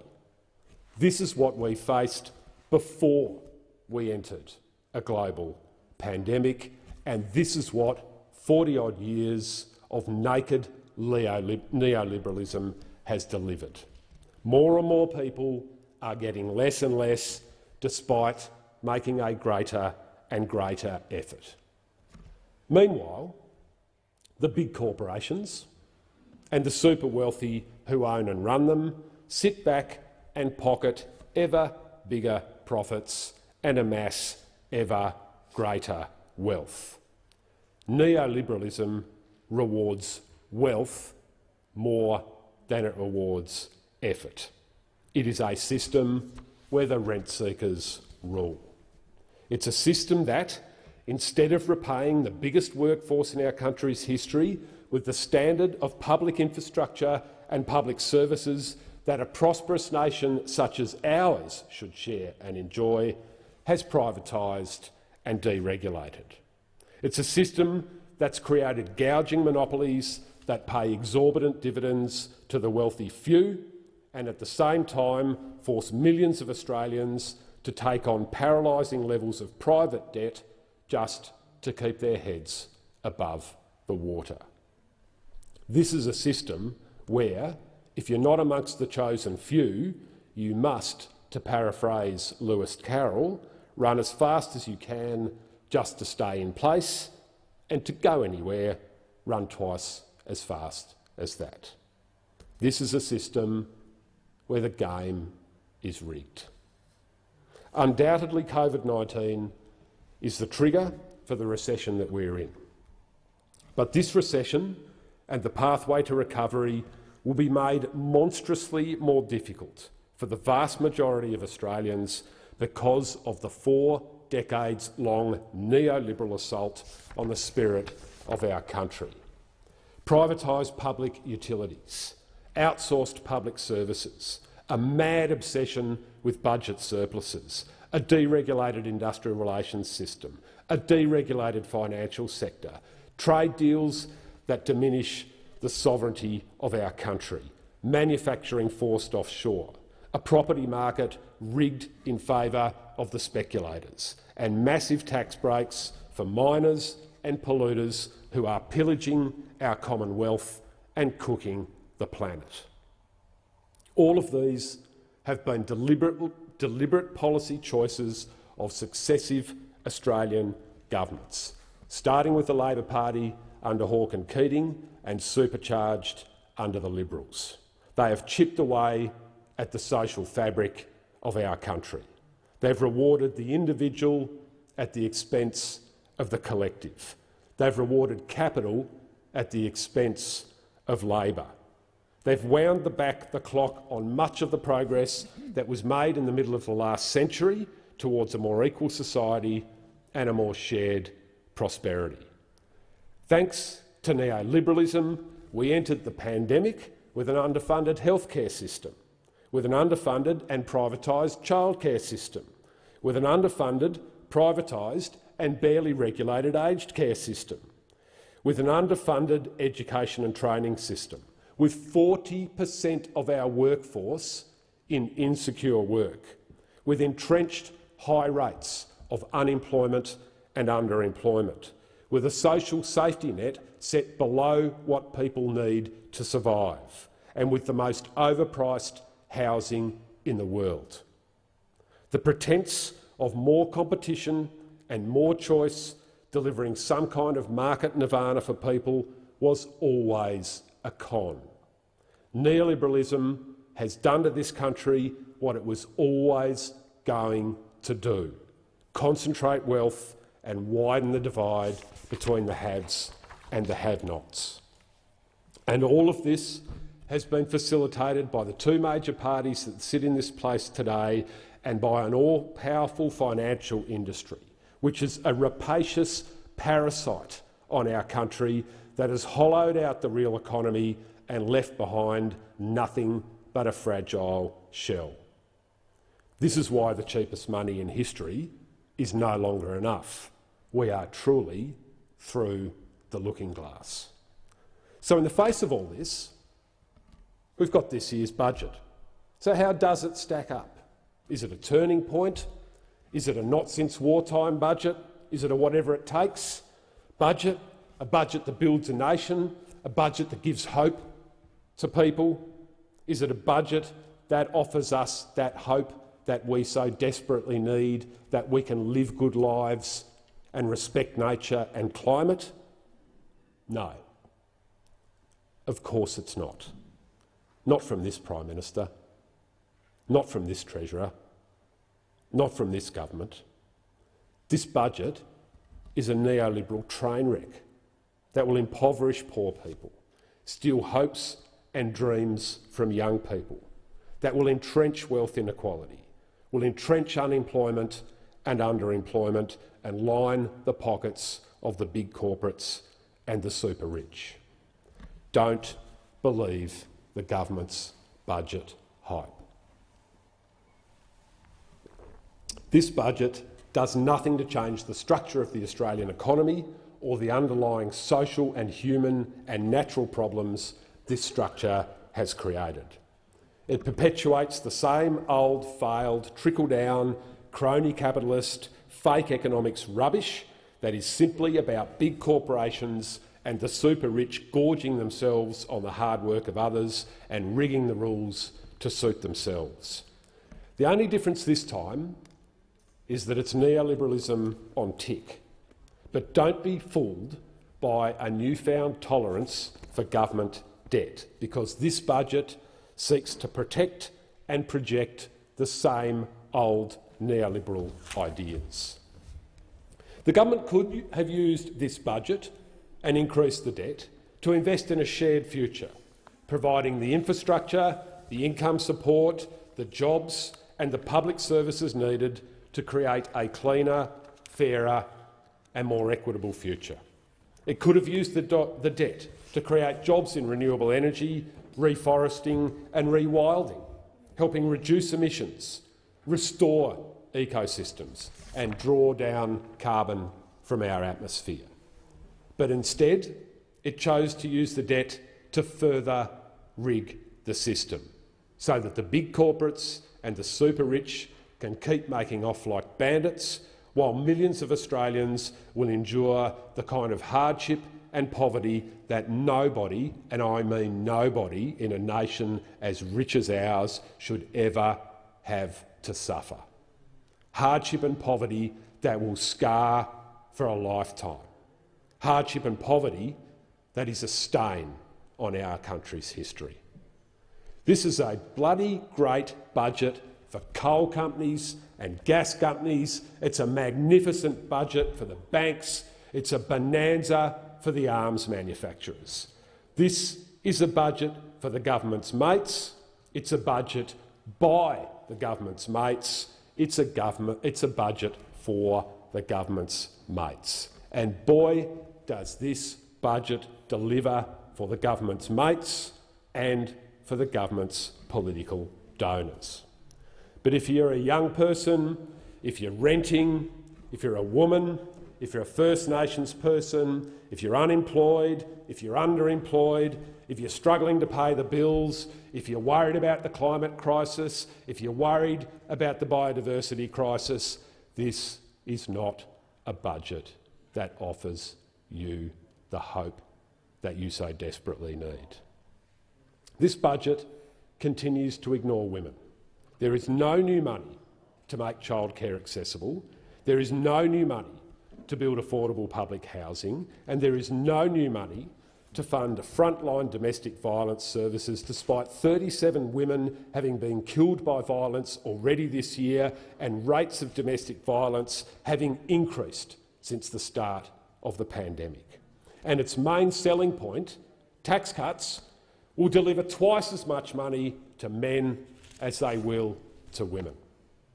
People working in arts and entertainment were some of the first to be hit by the social distancing requirements. The sector has suffered tremendously through the lockdown and will be one of the last to recover.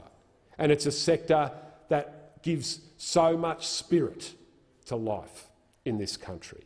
Yet the Treasurer could not even find it within himself to utter the word art in his budget speech earlier this week. Arts and entertainment workers were largely excluded from JobKeeper and many are now faced with trying to survive on $40 a day on JobSeeker. Clearly, the $112 billion a year arts and entertainment sector does not matter to the Morrison government. And universities have been literally decimated by this crisis. A full 10% plus of their workforce is gone. And what's the government's response? Slash support, deliberately and on multiple occasions exclude them from JobKeeper and massively hike the price of getting a degree. There's no new money in this budget for environment conservation and effectively nothing to help protect our threatened natural species and natural ecosystems in the middle of the sixth great mass extinction event in our planet's history. There's no serious action to close the gap, a shameful betrayal of promises made just four months ago. Meanwhile, the surveillance state will continue to grow, our rights and liberties will be further eroded and more power concentrated into the dangerous hands of the Department of Home Affairs. This budget also turns Australia's back on the world's displaced people. It cuts Australia's humanitarian intake, our refugee intake, by 20,000 places over the next four years. What is happening to this country? This budget gouges almost a billion dollars of support for refugees and people seeking asylum and give it, gives it straight to the big corporates and the super wealthy in tax breaks and $99 billion every year in corporate welfare. And with more than a dash of good old-fashioned xenophobia and racism, this budget uh, shamefully introduces an English language dictation test for partner visas. I'm hearing echoes of the White Australia policy. There is no funding in this budget for the desperately needed federal anti-corruption watchdog, and the Liberals, of course, have taken revenge on the National Audit Office for exposing sports frauds by slashing its funding. The centrepiece of this budget is the bringing forward of the stage two tax cuts, supported by the Australian Labor Party. That will see millionaires get two and a half thousand bucks a year extra in their pockets, the working poor get 250 bucks a year in their pockets, and the unemployed can line up for their regular kick in the teeth because they will get nothing because a tax cut is worth nothing to you if you haven't got a job. Don't be fooled by the spin. The additional offset for low and middle income earners is a one-off. It'll be gone in a year's time. There's a temporary boost for the millions and a permanent boost for the millionaires. And stage three, which will arrive in four years' time, unless it's brought forward in the meantime, is even worse. By that point, the top 10% will be getting 50% of the additional benefit. Stage three was voted for by both major parties in this place when it was legislated. And under both stage two and stage three of these tax cuts, tax cuts that overwhelmingly benefit high-income earners, men get twice the benefit that women get. These tax cuts will further entrench gender inequality and further disrespect the massive contribution that women have made and continue to make to our country. Borrowing money to give the wealthiest Australians a tax cut is obviously patently unfair. But it's also really bad economics. There is nothing Keynesian about using the public purse to enrich the already very wealthy. There is nothing, nothing smart about tax cuts that leave behind young people, unemployed people and women. These tax cuts will not create jobs. These tax cuts will not trickle down. These tax cuts will not work. And how do we know they won't work? Well, we tried them last year and they didn't work. So last year, when increased tax offsets landed in people's bank accounts, household incomes rose by the highest rate in a decade. But in the same quarter, household consumption grew by what was then the lowest rate in a decade. Even before we were in recession, people were saving. They weren't spending because the economy was already stretched to breaking points, as was so many household budgets.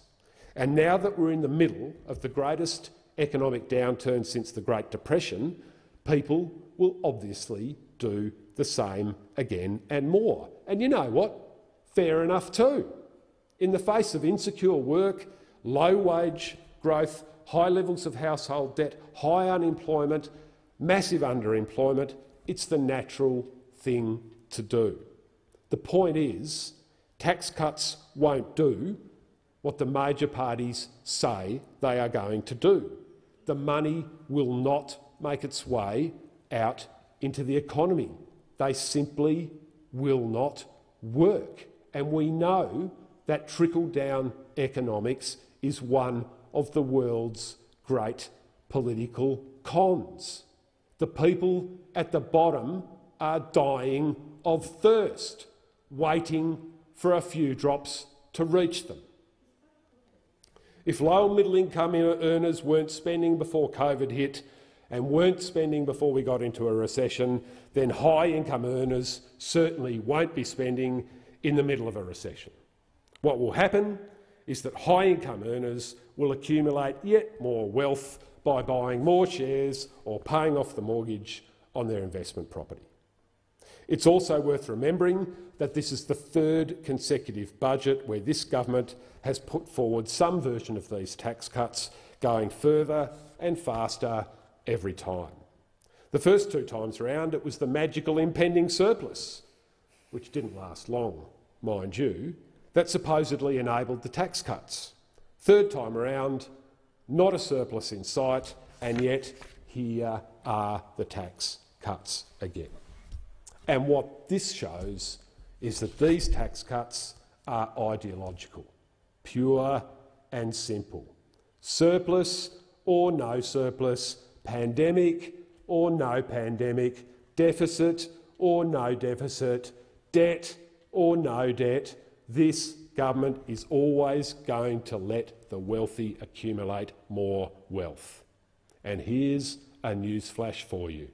Tax cuts are of absolutely no benefit if you don't have a job.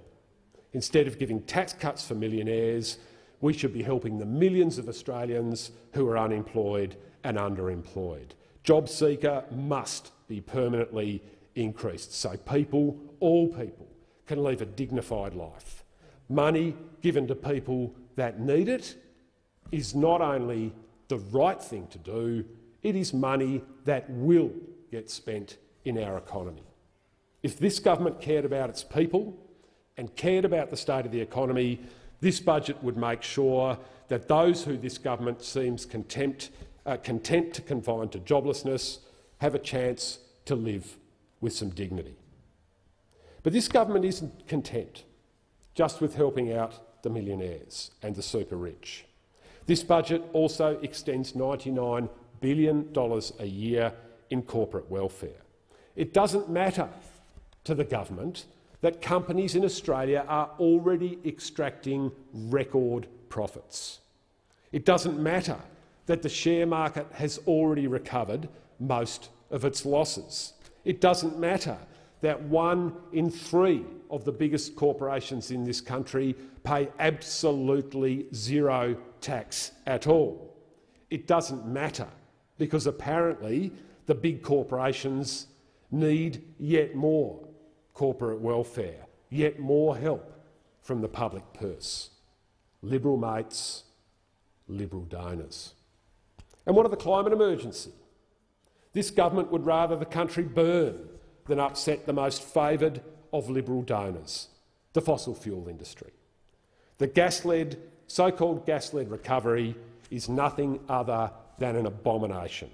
It's been designed by hand-picked gas company executives who want to turn our country into a petro-state. The International Energy Agency has spelt out there is no room for any new carbon-emitting energy source if the Paris targets are to be met. But this government could not care less.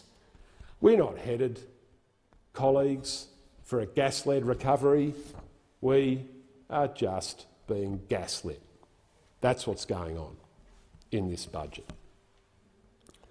Now, budgets are about choices, and these choices that are made in budgets reflect a government's priorities.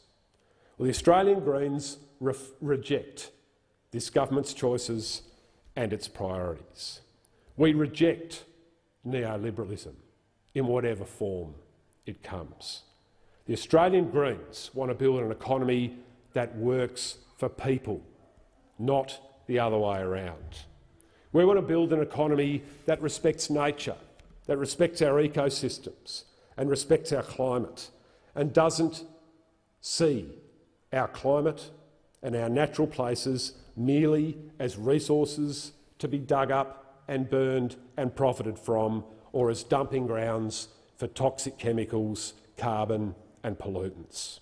If we can remake our society to protect us from a virus, we can remake it to look after everyone, to look after climate and to look after nature. The Greens plan responds to the magnitude of the challenges we face and the three intersecting crises the pandemic, rising wealth inequality and the climate and biodiversity emergency. This is a choice that our parliament can make. Our plan is built around a government-backed jobs and income guarantee. That would ensure that everyone has an income that they need to live with dignity, and it will also get us back to full employment as quickly as possible. No one should get left behind, and the Greens plan ensures that no one will be. That is a choice that this parliament can make. Our plan is built around massive government investment in health, in education, in public and active transport, in the whole range of public services that people need and want and delivered at a high quality. It's built around massive investment in manufacturing and renewable energy, far beyond that which is included in the government's budget. These will be the building blocks of a fairer and cleaner economy. We can't afford not to do this. And this is a choice that our parliament can make. Our plan is built around our Create Australia strategy, a jobs-rich plan for the creative industries in our country, underpinned by a commitment to get artists into our schools and libraries, a decent kickstart to get more Australian content onto our screens and live performances back to our stages. And this is a choice that our parliament can make. And for young people who, as with all recessions, are copping the brunt of it, our plan is built around a next-gen guarantee, free education, a living income and a guaranteed decent job if you want it. Our nation's future depends on trusting in and believing in the next generation. And this is a choice that our parliament can make. With the money that this budget commits to tax cuts, we can have a green recovery that creates hundreds of thousands of good, decent and well-paid jobs, ensures everyone has an income they can live on and creates a clean, strong and stable economy. We can set everyone up to live a good and dignified life while we respect nature and our planet's climate. A plan to do this is not just possible, it's necessary. And this is a choice that our parliament can make. I'll sign off with a quote from David Attenborough, made only hours ago. He said this, nature will flourish when those that have a great deal perhaps have a little less. Thanks, David. The Greens couldn't agree more. Senator Patrick. Thank you, Madam Acting Deputy President. I rise tonight to respond to the government's budget handed down earlier this week. It's a post-COVID budget. It's a budget that takes us from a predicted $11 billion surplus for this year to one of uh, $213.7 billion of deficit. Gross debt was uh, expected to be 27 per cent of GDP in, in 2019-20. Gross debt is now expected to be 48, uh, sorry, 44 per cent of GDP uh, at uh, 30 June 2021 and increased to 51.6 per cent of GDP at uh, 30 June 2024 just describing the environment. Now, the government's announced a wide range of revenue uh, measures, uh, reducing uh, tax receipts whilst at the, at, the same, uh, at the same time spending up big. Now, spending big might be appropriate as we recover from COVID, as long as it's spent effectively. Spending money is easy. Spending money wisely is a much harder thing to do. Now, I'm not going to present an alternate plan. That's not the role of an independent. My job is to give honest commentary as to what I've seen uh, uh, presented by the government. I've decided I'm not going to talk about what's in the budget, however. I'll have plenty of opportunities to do that as implementing legislation comes uh, before this chamber.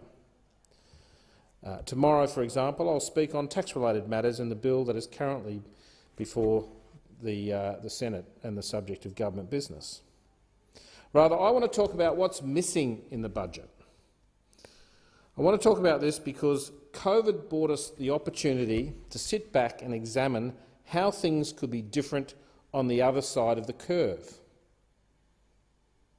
But that opportunity has been squandered by government, a government without, without vision or brave thought. They've just delivered same old, same old approaches. Tax cuts, instant write-offs, tax concessions, spending on this, spending on that. even having engaged the NCCC, uh, a body of purported visionaries, we still don't have anything uh, visionary that, that's come out of that uh, particular forum, a forum that has cost the taxpayers a lot of money. So just looking at the revenue, let's go to revenue. Now revenue will fall by 55 billion in this financial year and 283 billion over the four years to 2023. And that's revenue based on a number of widely optimistic assumptions. It makes the assumption, the budget makes the assumption that there's not going to be any second or third COVID waves. It basically relies on a vaccination being fully in place by late 2021. We've seen uh, the government talking about uh, vaccinations and, and their optimism, talking about dates and then having to slip them, and then slipping them again, and then slipping them again. Uh, at the COVID committee, I asked about the logistics of rolling out a vaccination across Australia. You know, who, who would be first? Uh, who are the priorities? How uh, things, how the vaccination would be dispatched across Australia? Uh, the government certainly doesn't have that uh, uh, well planned at this point in time. The reality is vaccinations take time. We can be very optimistic, and I have no problem with being optimistic, but I prefer the approach by the philosopher Seneca, who said, you know, hope for the best, but plan for the worst. I looked at the, the, uh, the so one of the, one of the assumptions in the, in the budget in the in the budget uh, interesting, in fact, I went back to uh, 2019-20 and saw that the uh, Treasury's estimates for the price of iron ore were $55 per tonne FOB. I then looked at what this budget said, and amazingly it said they predicted the iron ore price would be $55 per tonne FOB by the end of the June uh, quarter 2022. I don't know if this is a cut and paste error. Now, I acknowledge that $55 a tonne uh, is in fact a conservative number, but it leaves me questioning the modelling assumptions uh, in relation to the, uh, the economic outlook and modelling assumptions that simply are not spelt out in detail in the budget. Again, on assumptions, the number of jobs. There's no detail as to how the government came to the figures that have been used in the budget. We have to accept those on blind faith. Still talking about revenue, I would have thought this uh, crisis would have been the opportunity to uh, engage in significant revenue reform, but it's completely absent. Simplifying the tax system with a few broad-ranging taxes would, would have been good. So personal income tax, corporate tax, private consumption or GST, and economic rents from natural resources and land. It's the Ken Henry model. That's the sort of thing we could have been doing to simplify things. Of course, we would still retain taxes for special purposes, things like tobacco taxes to encourage people not to smoke. Uh, also, perhaps uh, around traffic congestion. We will uh, instead retain a complex tax system with other state taxes, job-killing taxes, such as payroll tax, not addressed.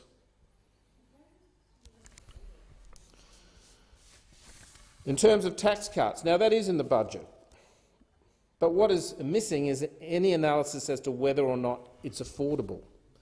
Now, I say that having been through a comprehensive process the last time we looked at it. And as a crossbencher, having the special privileges of access to Treasury and examining exactly what, uh, what was going on inside budget paper number one. And uh, the, the argument at that time presented to me was that uh, we are on the verge of a surplus, now is the right time for tax cuts. Turns out now we're at a $213 deficit and it's the right time for tax cuts. So I'll just put, uh, uh, put on the record that I have reservations about these tax cuts. This entire chamber will vote tomorrow on tax cuts, blind as to any analysis as to whether or not it's affordable.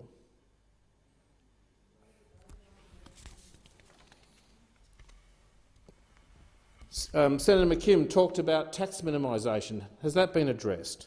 There's nothing to address the, the 220 companies that had revenues over five tax transparency years of $850 billion and paying no tax.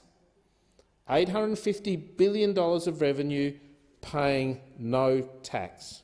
Companies like ExxonMobil, they last paid corporate tax in 2013. Over the five years 2013-14 to 2017-18, $42 billion in revenue, no corporate tax paid. And they told the Senate Economics Committee in 2018 that the company wouldn't pay corporate tax until 2021. They spent uh, $10 million uh, fighting um, the tax office in relation to tax. Now, the interesting thing is, uh, on the verge of them uh, suggesting they'll pay tax, what are they doing? They're leaving the country. They're selling out of the Bass Strait, leaving the country. They've come in here, they've taken uh, all of our oil and gas, paid very little in PRRT, and they're leaving the country. What mugs we are. By contrast that with, with uh, what Equinor does in Norway. They, uh, in 2018-19, they paid uh, taxes of $22 billion. They also paid a revenue to the state, because the state owned, of about $3 billion. These are huge amounts of money, and that's just one example of how to do it right. And we do not do it right here in Australia when it comes to rent resources tax. Lendlease, five years of tax uh, transparency data show that they've had uh, $43 uh, in revenue and paid not a brass razoo in tax. And we're rewarding them. This year, we've given them over a billion dollars of defence contracts to build facilities at Osborne, HMAS Watson and HMAS Stirling. They're not alone. Origin Energy, $59 billion, only $108 million tax paid.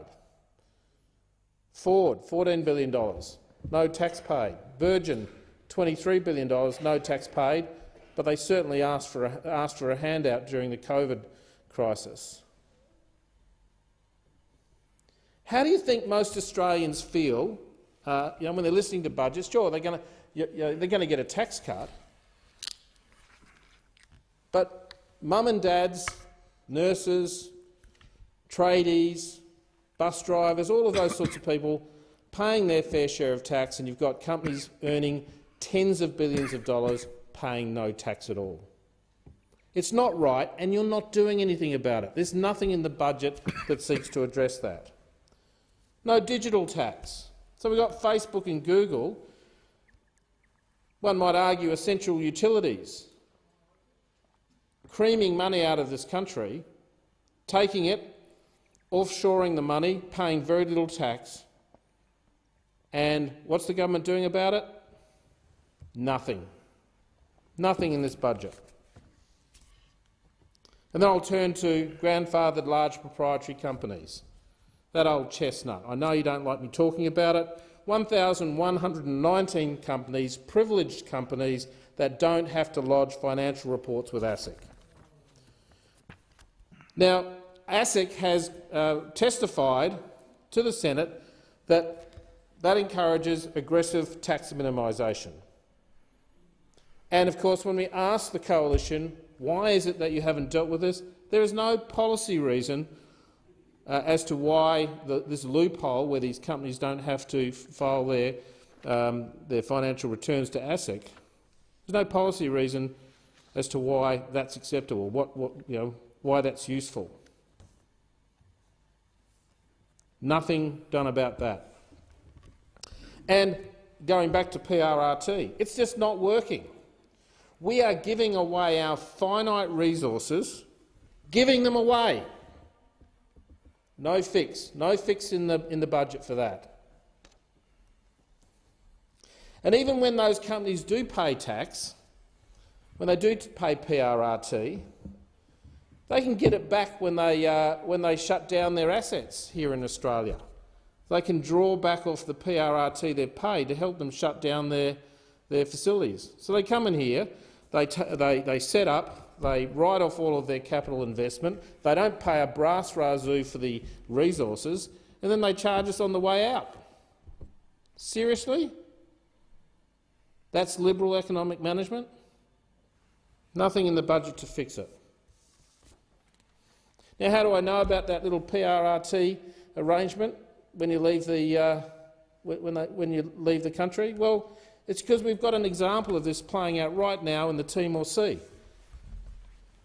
The Northern Endeavour, an FPSO, like a floating uh, uh, processing and storage and offtake vessel, sold by Woodside to a company called Noga, and the Commonwealth basically drove that company into liquidation. And I say this because it's on the record. Before they went into liquidation, I warned NOPSEMA, I warned the minister that this was going to happen. They've been driven into liquidation, and that means now there's an asset out there, Northern Endeavour, that is now the responsibility of the taxpayer. We paid $28 million in 2019-20 to operate this vessel in, in lighthouse mode. The, new, the budget now tells us another 47 million for this financial year. We've got this uncontrolled cost. No explanation as to how we're going to deal with this vessel that was owned by Woodside. In fact, the bizarre thing is now we're actually paying consulting fees to Woodside to try and sort the mess out. And at the same time, we've got Exxon departing Australia. They've got JP Morgan trying to sell their ageing assets in the Bass Strait. They'll sell them, and we'll end up in the same situation where the taxpayer ends up operating those stranded assets in light, lighthouse mode. I'll now come to spending, education and training. Well, I do welcome the vet spending and the apprenticeships. But of course we all know about the higher education funding and how damaging that is going to be for Australia, for our students, for our future. And no money for TAFE. Then I look at our procurement policies. What we should be doing post-COVID is directing government agencies to 4.7 of the Commonwealth procurement rules. I know that particular clause because I helped negotiate it into the Commonwealth procurement rules back when the ABCC negotiations were going on. That clause requires officials to look at the economic benefit that flows from a tender, from a contract. How many jobs does it create? How much capital investment here in Australia? What's the supply chain effect here in Australia? It's been in the Commonwealth procurement rules, hasn't been used. We simply, you know, one of the first contracts we saw going uh, out uh, you know, in, uh, in, the COVID crisis, when we you know, we've suddenly hit the realisation that uh, we don't have much resilience, went to Amazon, AWS, instead of to Australian companies. Don't if, I don't know if you understand how angry that makes Australian taxpayers. You know, we, we should be learning post-COVID about reliance. What we've seen is supply ch uh, chain shortages as a result of COVID. Now, the interesting thing is it's passive disruption to our supply chains. Passive di disruption. Not like people are trying to stop uh, goods getting to Australia. It's just not getting here. Imagine if we're in a conflict situation, and there's a possibility that might occur, when there's active disruption, active disruption. And do we see that being addressed? Not through this budget. We're exposing ourselves. We haven't learnt. And then we look at things like defence spending. Now, I know better than most people in this place that we need a strong defence force. I understand how it works. I understand its role, its deterrence role. I understand, uh, you know, as much as we would never like to see them used, the importance of having well-trained, well-equipped forces.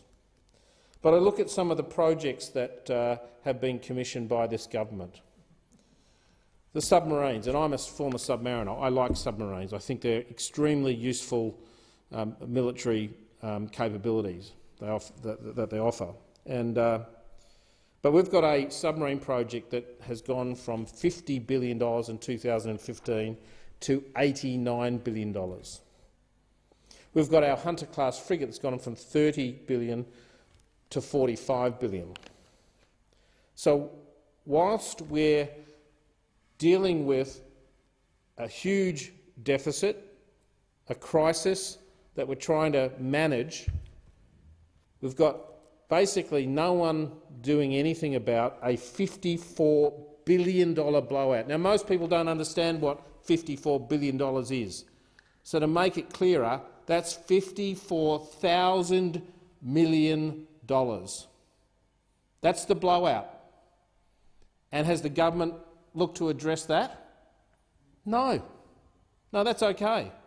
We'll, we'll go and get a billion dollars back off, uh, off our universities and our students. Just got no idea on how to fix that problem. They remain silent. It's, it's incompetence.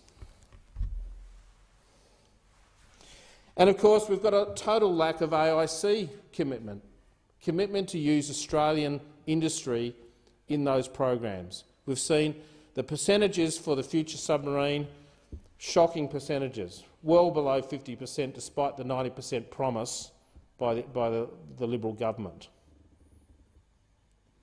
We, we chose a submarine designer, restricted ourselves to one supplier, and that supplier is now exercising its commercial advantage, charging us all uh, as much as it likes along the way, then this is not my words, this is the Auditor General, criticising that particular decision.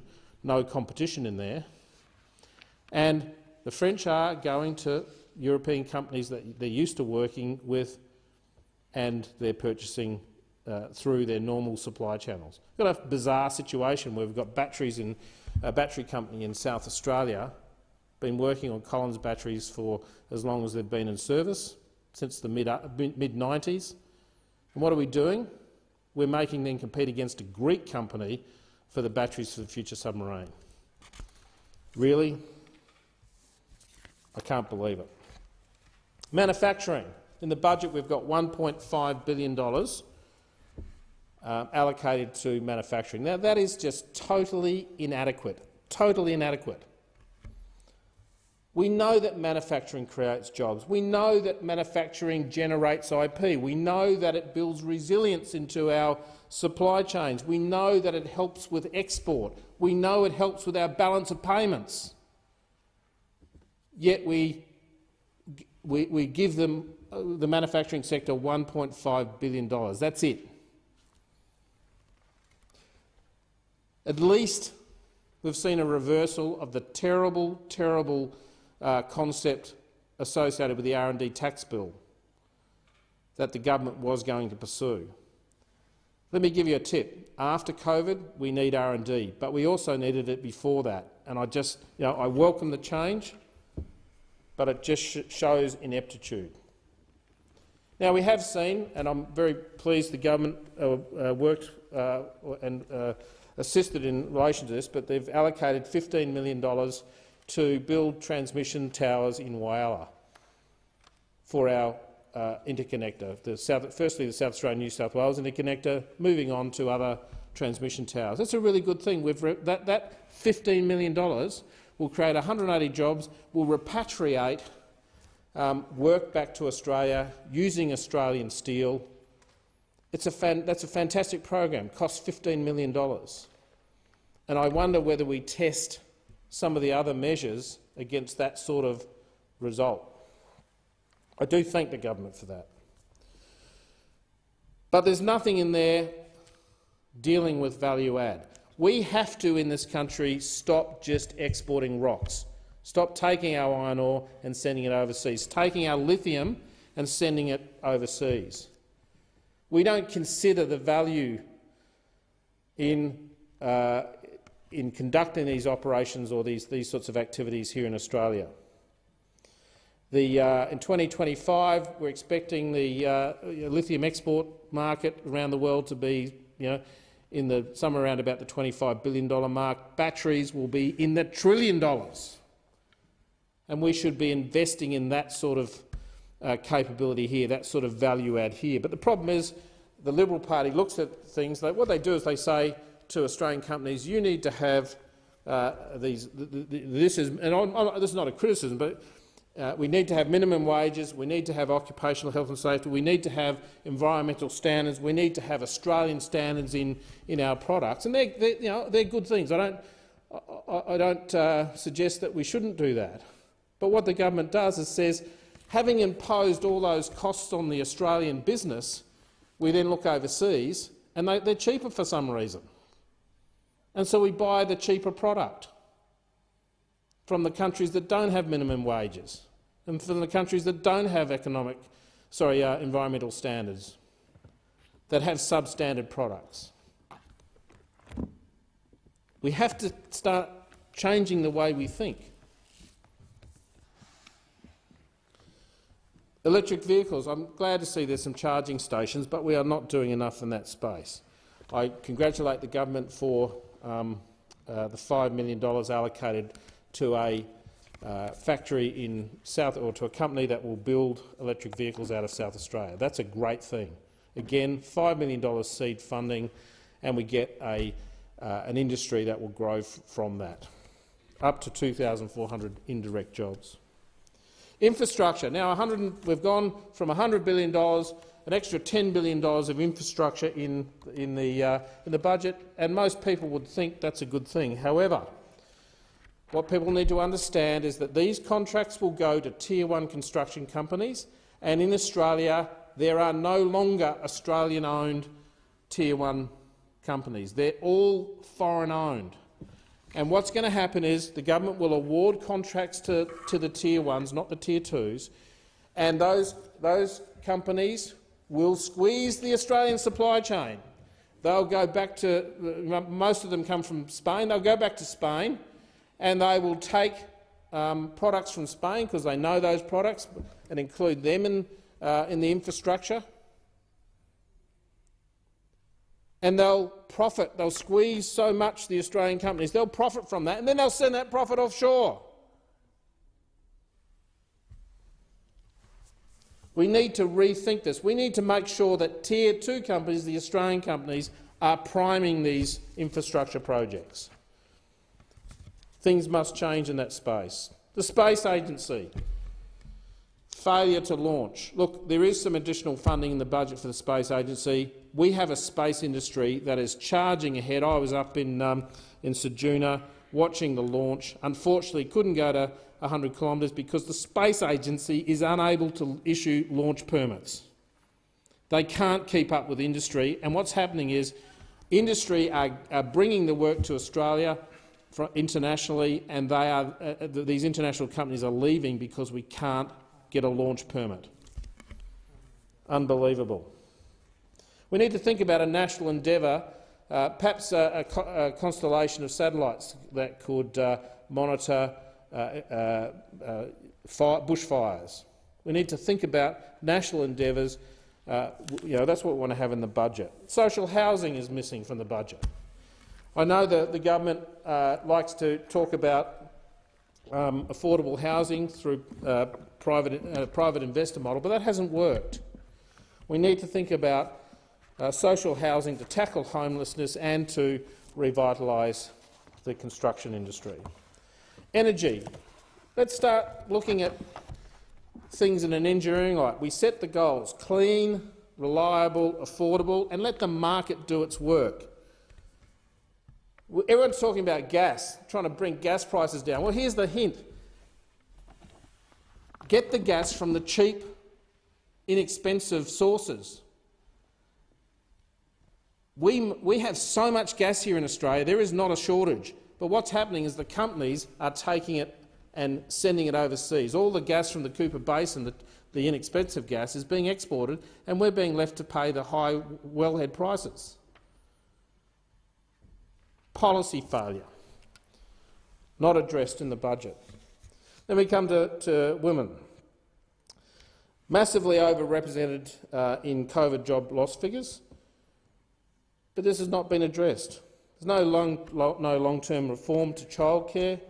Where's the funding for domestic violence and legal services? We've had Minister Ruston, her, her, her uh, response in, in relation to this is women can take advantage of driving on the new infrastructures and roads. To suggest the budget doesn't focus on women, I think is wrong. Seriously, that's the policy? As a woman, you get to drive a car. I, I, can see the next idea coming from the Prime Minister is going to be reinstating those old rules where, where a man has to walk in front of the woman uh, that's driving with a flag. That's going to create jobs. That's the next idea. I can just see it. Aged care is missing as well. 23,000 new home care package, package, packages fall woefully short of the 100,000 that are needed. And just as I wrap up, my favourite topic, dear to my heart, overs oversight and accountability, cutting the Auditor-General's budget as, as, as retribution for the good work that they've done disclosing uh, maladministration. No, no, no money, uh, shrinking budget for the ABC. Can't recognise the fire coverage they had. Um, don't, don't recognise the, the value of their the journalism. ICAC missing. There is no vision in this budget. It's a bit like the Governor-General's speech, which was not the Governor-General's speech, it was the Prime Minister's speech. There's no vision in there. No growing the pie, no making the pie tastier. We have lost huge opportunities in this budget. Thank you. Honourable uh, Senator Lambie. Oh, thank you, Acting Deputy President. I'll take the honourable bit, though. That's cool, because apparently I'm not Apparently, according to my first line, I'm not auditioning to be the Prime Minister or the opposition leader. I said they've taken all my dream, my hopes and dreams my office has from me today. I think that education thing's got right to them. Anyway, I'm never going to deliver a budget. Okay? The value of independence in the parliament isn't to play dress-up. We don't get elected to be you guys. We get elected to be everything but. But no matter how hard you try to keep this place to yourselves, we're here. And we're here with a mission, because we get a seat at the table to talk about things you wouldn't otherwise talk about. We can force issues into debate, and I reckon if we're going to do that, let's it with the issues that aren't getting discussed. So there's plenty about the budget that I have no issue with at all. So I just want to take a couple of minutes to say a few things about what I'd like to see more of. Because of these times of crisis are a chance to reset. We have an opportunity here to be using the emergency response to get the country on a path that's better than the one it was on before. We don't want to just go back to where we were. We want to aim higher. We should be sorting out the problems that we've been letting drift for way too long and thinking about how we want things to work when we get back to normal. We should be looking for ideas for the country that we never could have considered a possibility before and deciding to do things that we've been putting off for too long. The enormous spending measures in this budget are a chance to use the huge amounts of money that we're borrowing on behalf of the country to build a future that looks very different from our past. It is a chance to take a step back and look at what's been working for the country and what's not been going so well, and there is plenty of that. It's time to wipe the slate clean and say, let's build something new that will last beyond this crisis. Because you don't get a free pass to spend $100 billion very often. You don't get a get out of jail free card on a trillion dollars of debt very often. It takes a global pandemic for people to see that and go, yeah, that sounds fair enough.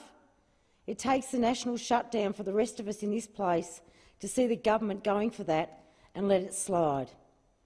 That kind of money is enough to completely reshape our country and the way our economy works. When you've got that sort of opportunity ahead of you, there's a lot that you can do with it. The choices you make reflect what your true priorities are. They show who you put first and who you will put last. They show what you think Australia should look like in 10 years from now. I'd have made different choices about how to spend that money than what the government did. First of all, I wonder whether they're actually putting enough into the economy to get us out of this mess in the first place. There are going to be more people out of work because of this crisis for years, and the people who are lucky enough to have a job won't see their wages go up for a very long time. And the assumptions that underpin the Treasurer's pictures of where we're going to be in a year from now seem pretty rosy to me. For one thing, he's assumed that we'll have a population-wide vaccine by the end of the year.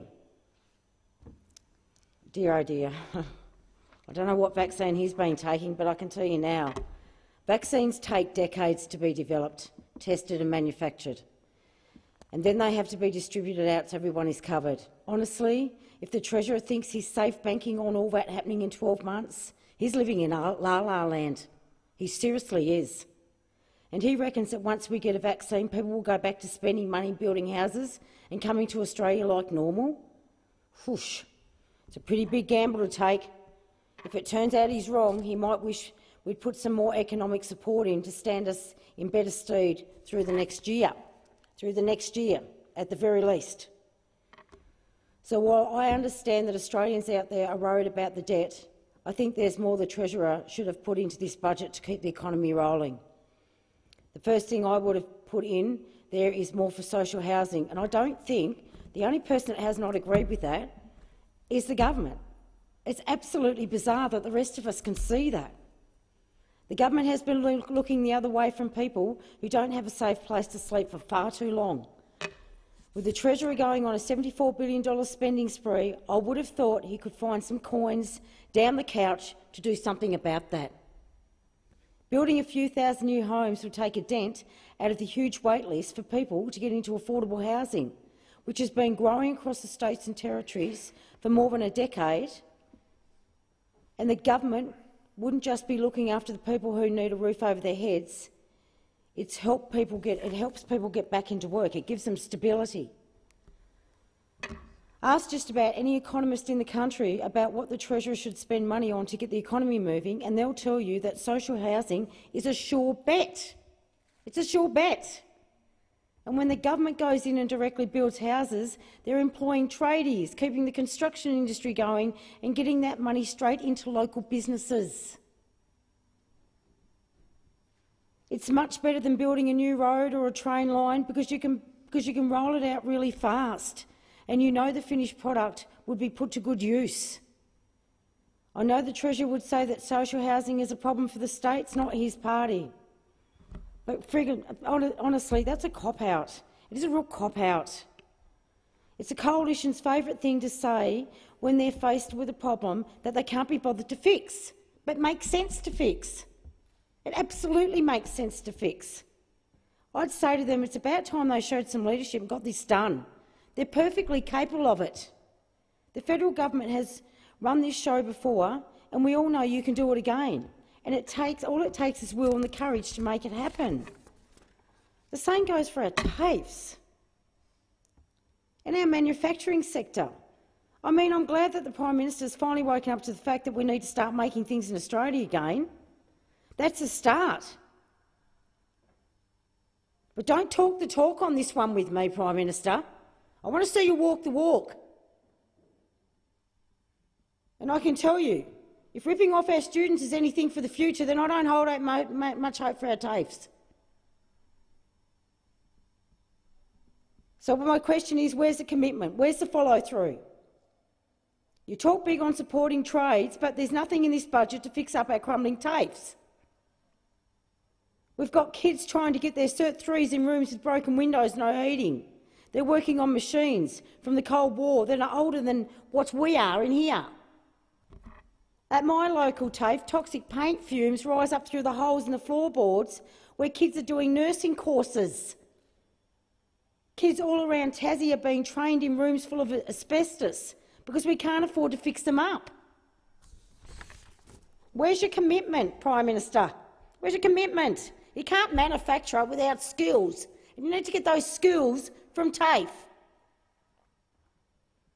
I wanted this manufacturing plan from the PM to lay out how we're going to fix this stuff. I'd hoped it meant we'd get some real reform for vocational education in this country. Surely it's obvious we aren't going to kickstart our manufacturing industry if the people who want to do a trade can't get the training they need to get to a worksite in the first place. Instead, we got 7 million a year for the organisations that paid Scott Cam a six-figure salary to put up a few flashy videos about trades on social media. Honestly. And our TAFEs are allowed to apply for some, some funding to offer free short courses for school leavers and job seekers. That's it? That's as good as it gets? Our TAFEs need more leadership, and they need a hell of a lot more than what you're offering, which is nothing. We're going nowhere. They need the Prime Minister to stand up and figure out how to get our vocational education sector back up to the job training of our kids for the jobs that we'll need to rebuild our economy. That's what I'd spend some money on. That's where my priorities would be, and I'd do some. That's where my priorities would be. I figure you're not doing that because you actually don't have a plan for the future. Because if you can't start at the basics here and tell our kids that want trades what trades are going to be available, then I'll tell you what, you have no bloody idea. I don't actually believe you have an idea or plan for manufacturing or building in this country. I don't think you are actually capable of it, and I'll call you out for it now. And do something about JobSeeker. We're in October. The extra money for people on JobSeeker ends in December, two and a half months from now. And that people on the dole are looking at going back to eating noodles, missing bills and not being able to turn on the aircon through the middle of summer. And we haven't even got to the May budget yet, when they're going to need their heating, because I imagine by then they'll be living, off, living with blankets from Vinnie's.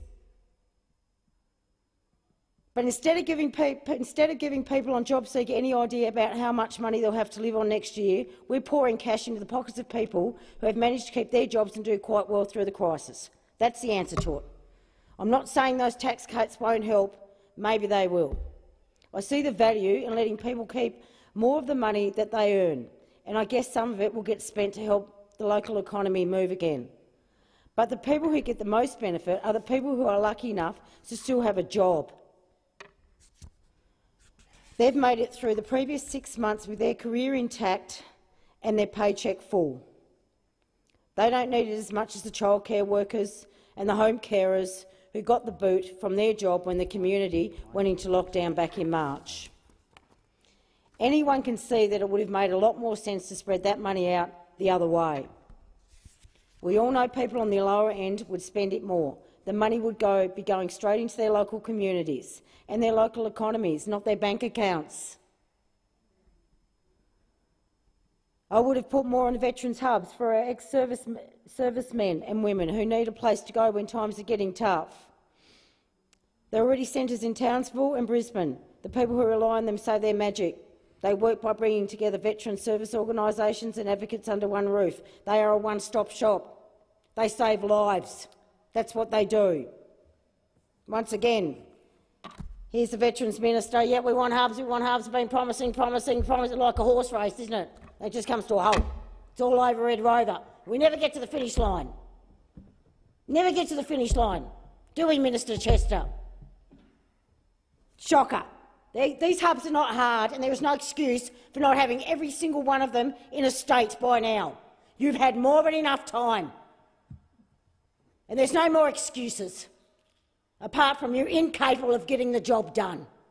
Maybe it's time, maybe it's time you went elsewhere. Go to another department. Bring someone else in that can actually get the job done. Because you are certainly not getting a job done for veterans. They, they create a community space for at-risk veterans to put their hand up and ask for help. Spending 20, if you think spending 26 million a year for the next four years uh, is, is certainly not going to be enough for our veterans to get the help that they need. And 64 million won't touch the sides in the Department of Veterans Affairs. The problems there are so big, It's not money.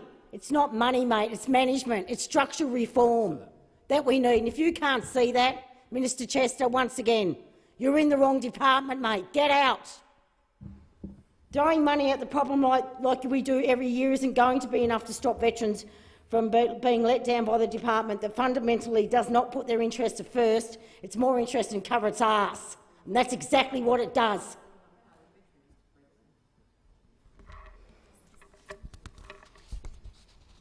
It's an institution that's lost its way, but is not there for veterans. Now, the ALP might have a crack at the government for debt, for debt and deficit. They've got to attack someone for something, so that's fair enough. But if it takes a trillion dollars to save 25 million people from losing their jobs, homes, savings and safety nets, spend it. If it costs more, spend more. Spend more. It'll save us in the long run.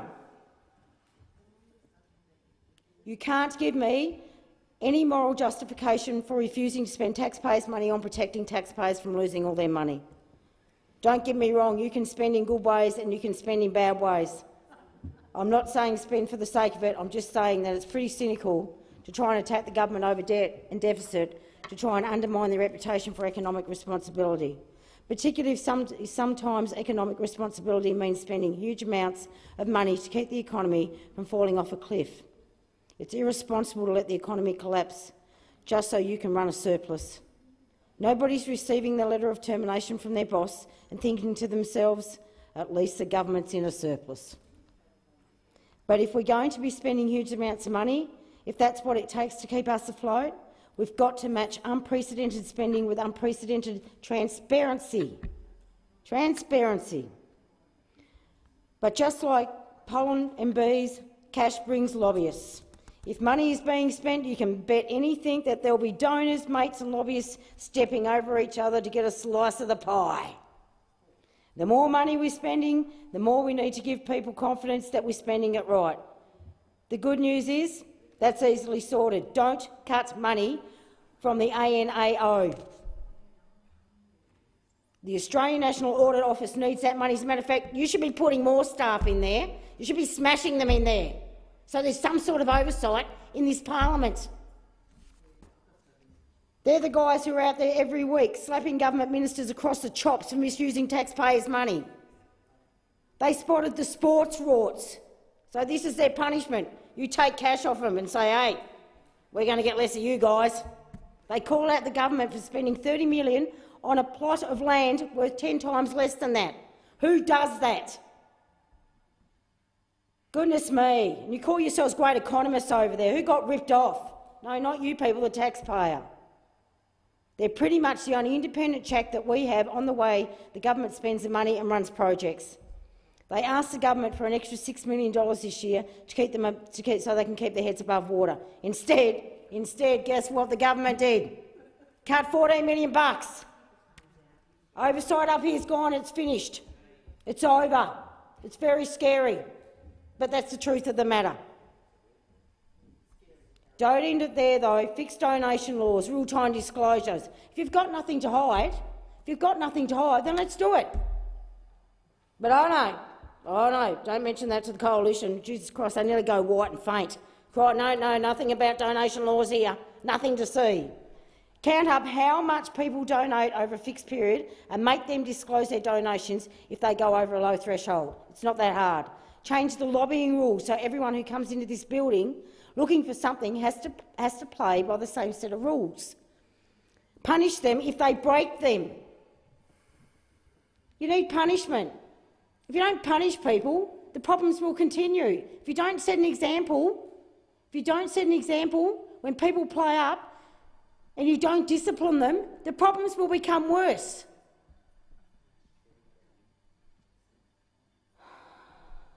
This one might be a little niche, but if the, if the non-government senators in this place want to inquire into something the government is doing, the government shouldn't get to vote against that. They should go through without debate. Wouldn't cost you anything, simple to do. What's wrong with you?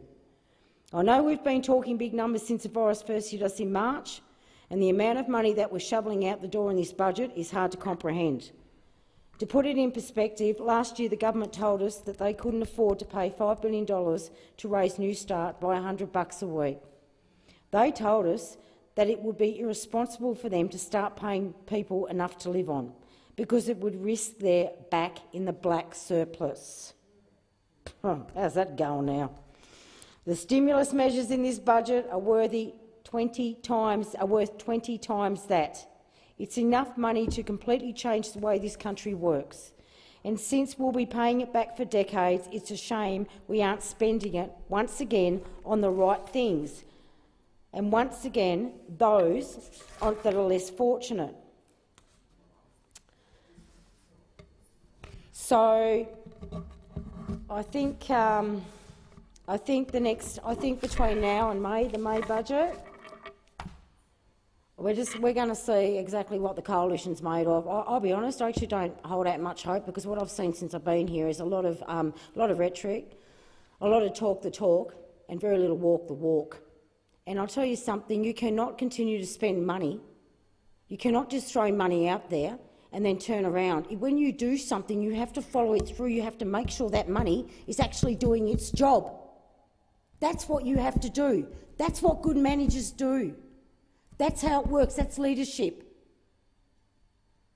And if we don't see that in this country, then all that money you're throwing out there is going to be wasted, and that is taxpayers. It belongs to them. But you have to start following through for the sake of this country. Every dollar counts. Every dollar.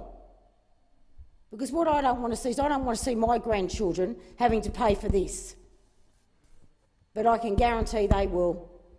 And their kids are probably going to be paying for it too. And it shouldn't be that. Thank you. Uh, Senator Lambie, can I ask that you seek leave to continue the remarks so we can keep this matter on the notice paper? Okay.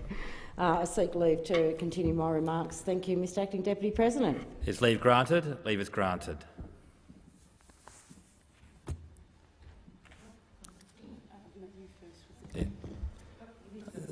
The President has received letters requesting changes in the membership of committees. Minister. I seek leave to move a motion to vary the membership of committees. Is leave granted? Leave is granted. I move that senators be discharged from and appointed to committees as set out in the documents available in the chamber and listed on the dynamic red. I put the question. Those for the question say aye. Against no. The ayes have it. Minister. I seek leave to move to authorise committees to meet during the sitting of the Senate tomorrow is leave granted? Leave is granted. I move that committees be authorised to meet in accordance with the list circulated in the chamber. I put the question. Those for the question say aye. Against no. The ayes have it. Senator Davey. Uh, I advise senators that a clerical error was made in the selection of Bills Committee report tabled today. The National Redress Scheme for Institutional Child Sexual Abuse Amendment Technical Amendments Bill 2020 should have been referred to the Community Affairs Legislation Committee and not the Legal and Constitutional Affairs Legislation Committee. I understand senators are in agreement in relation to the error. The corrected report will be available online.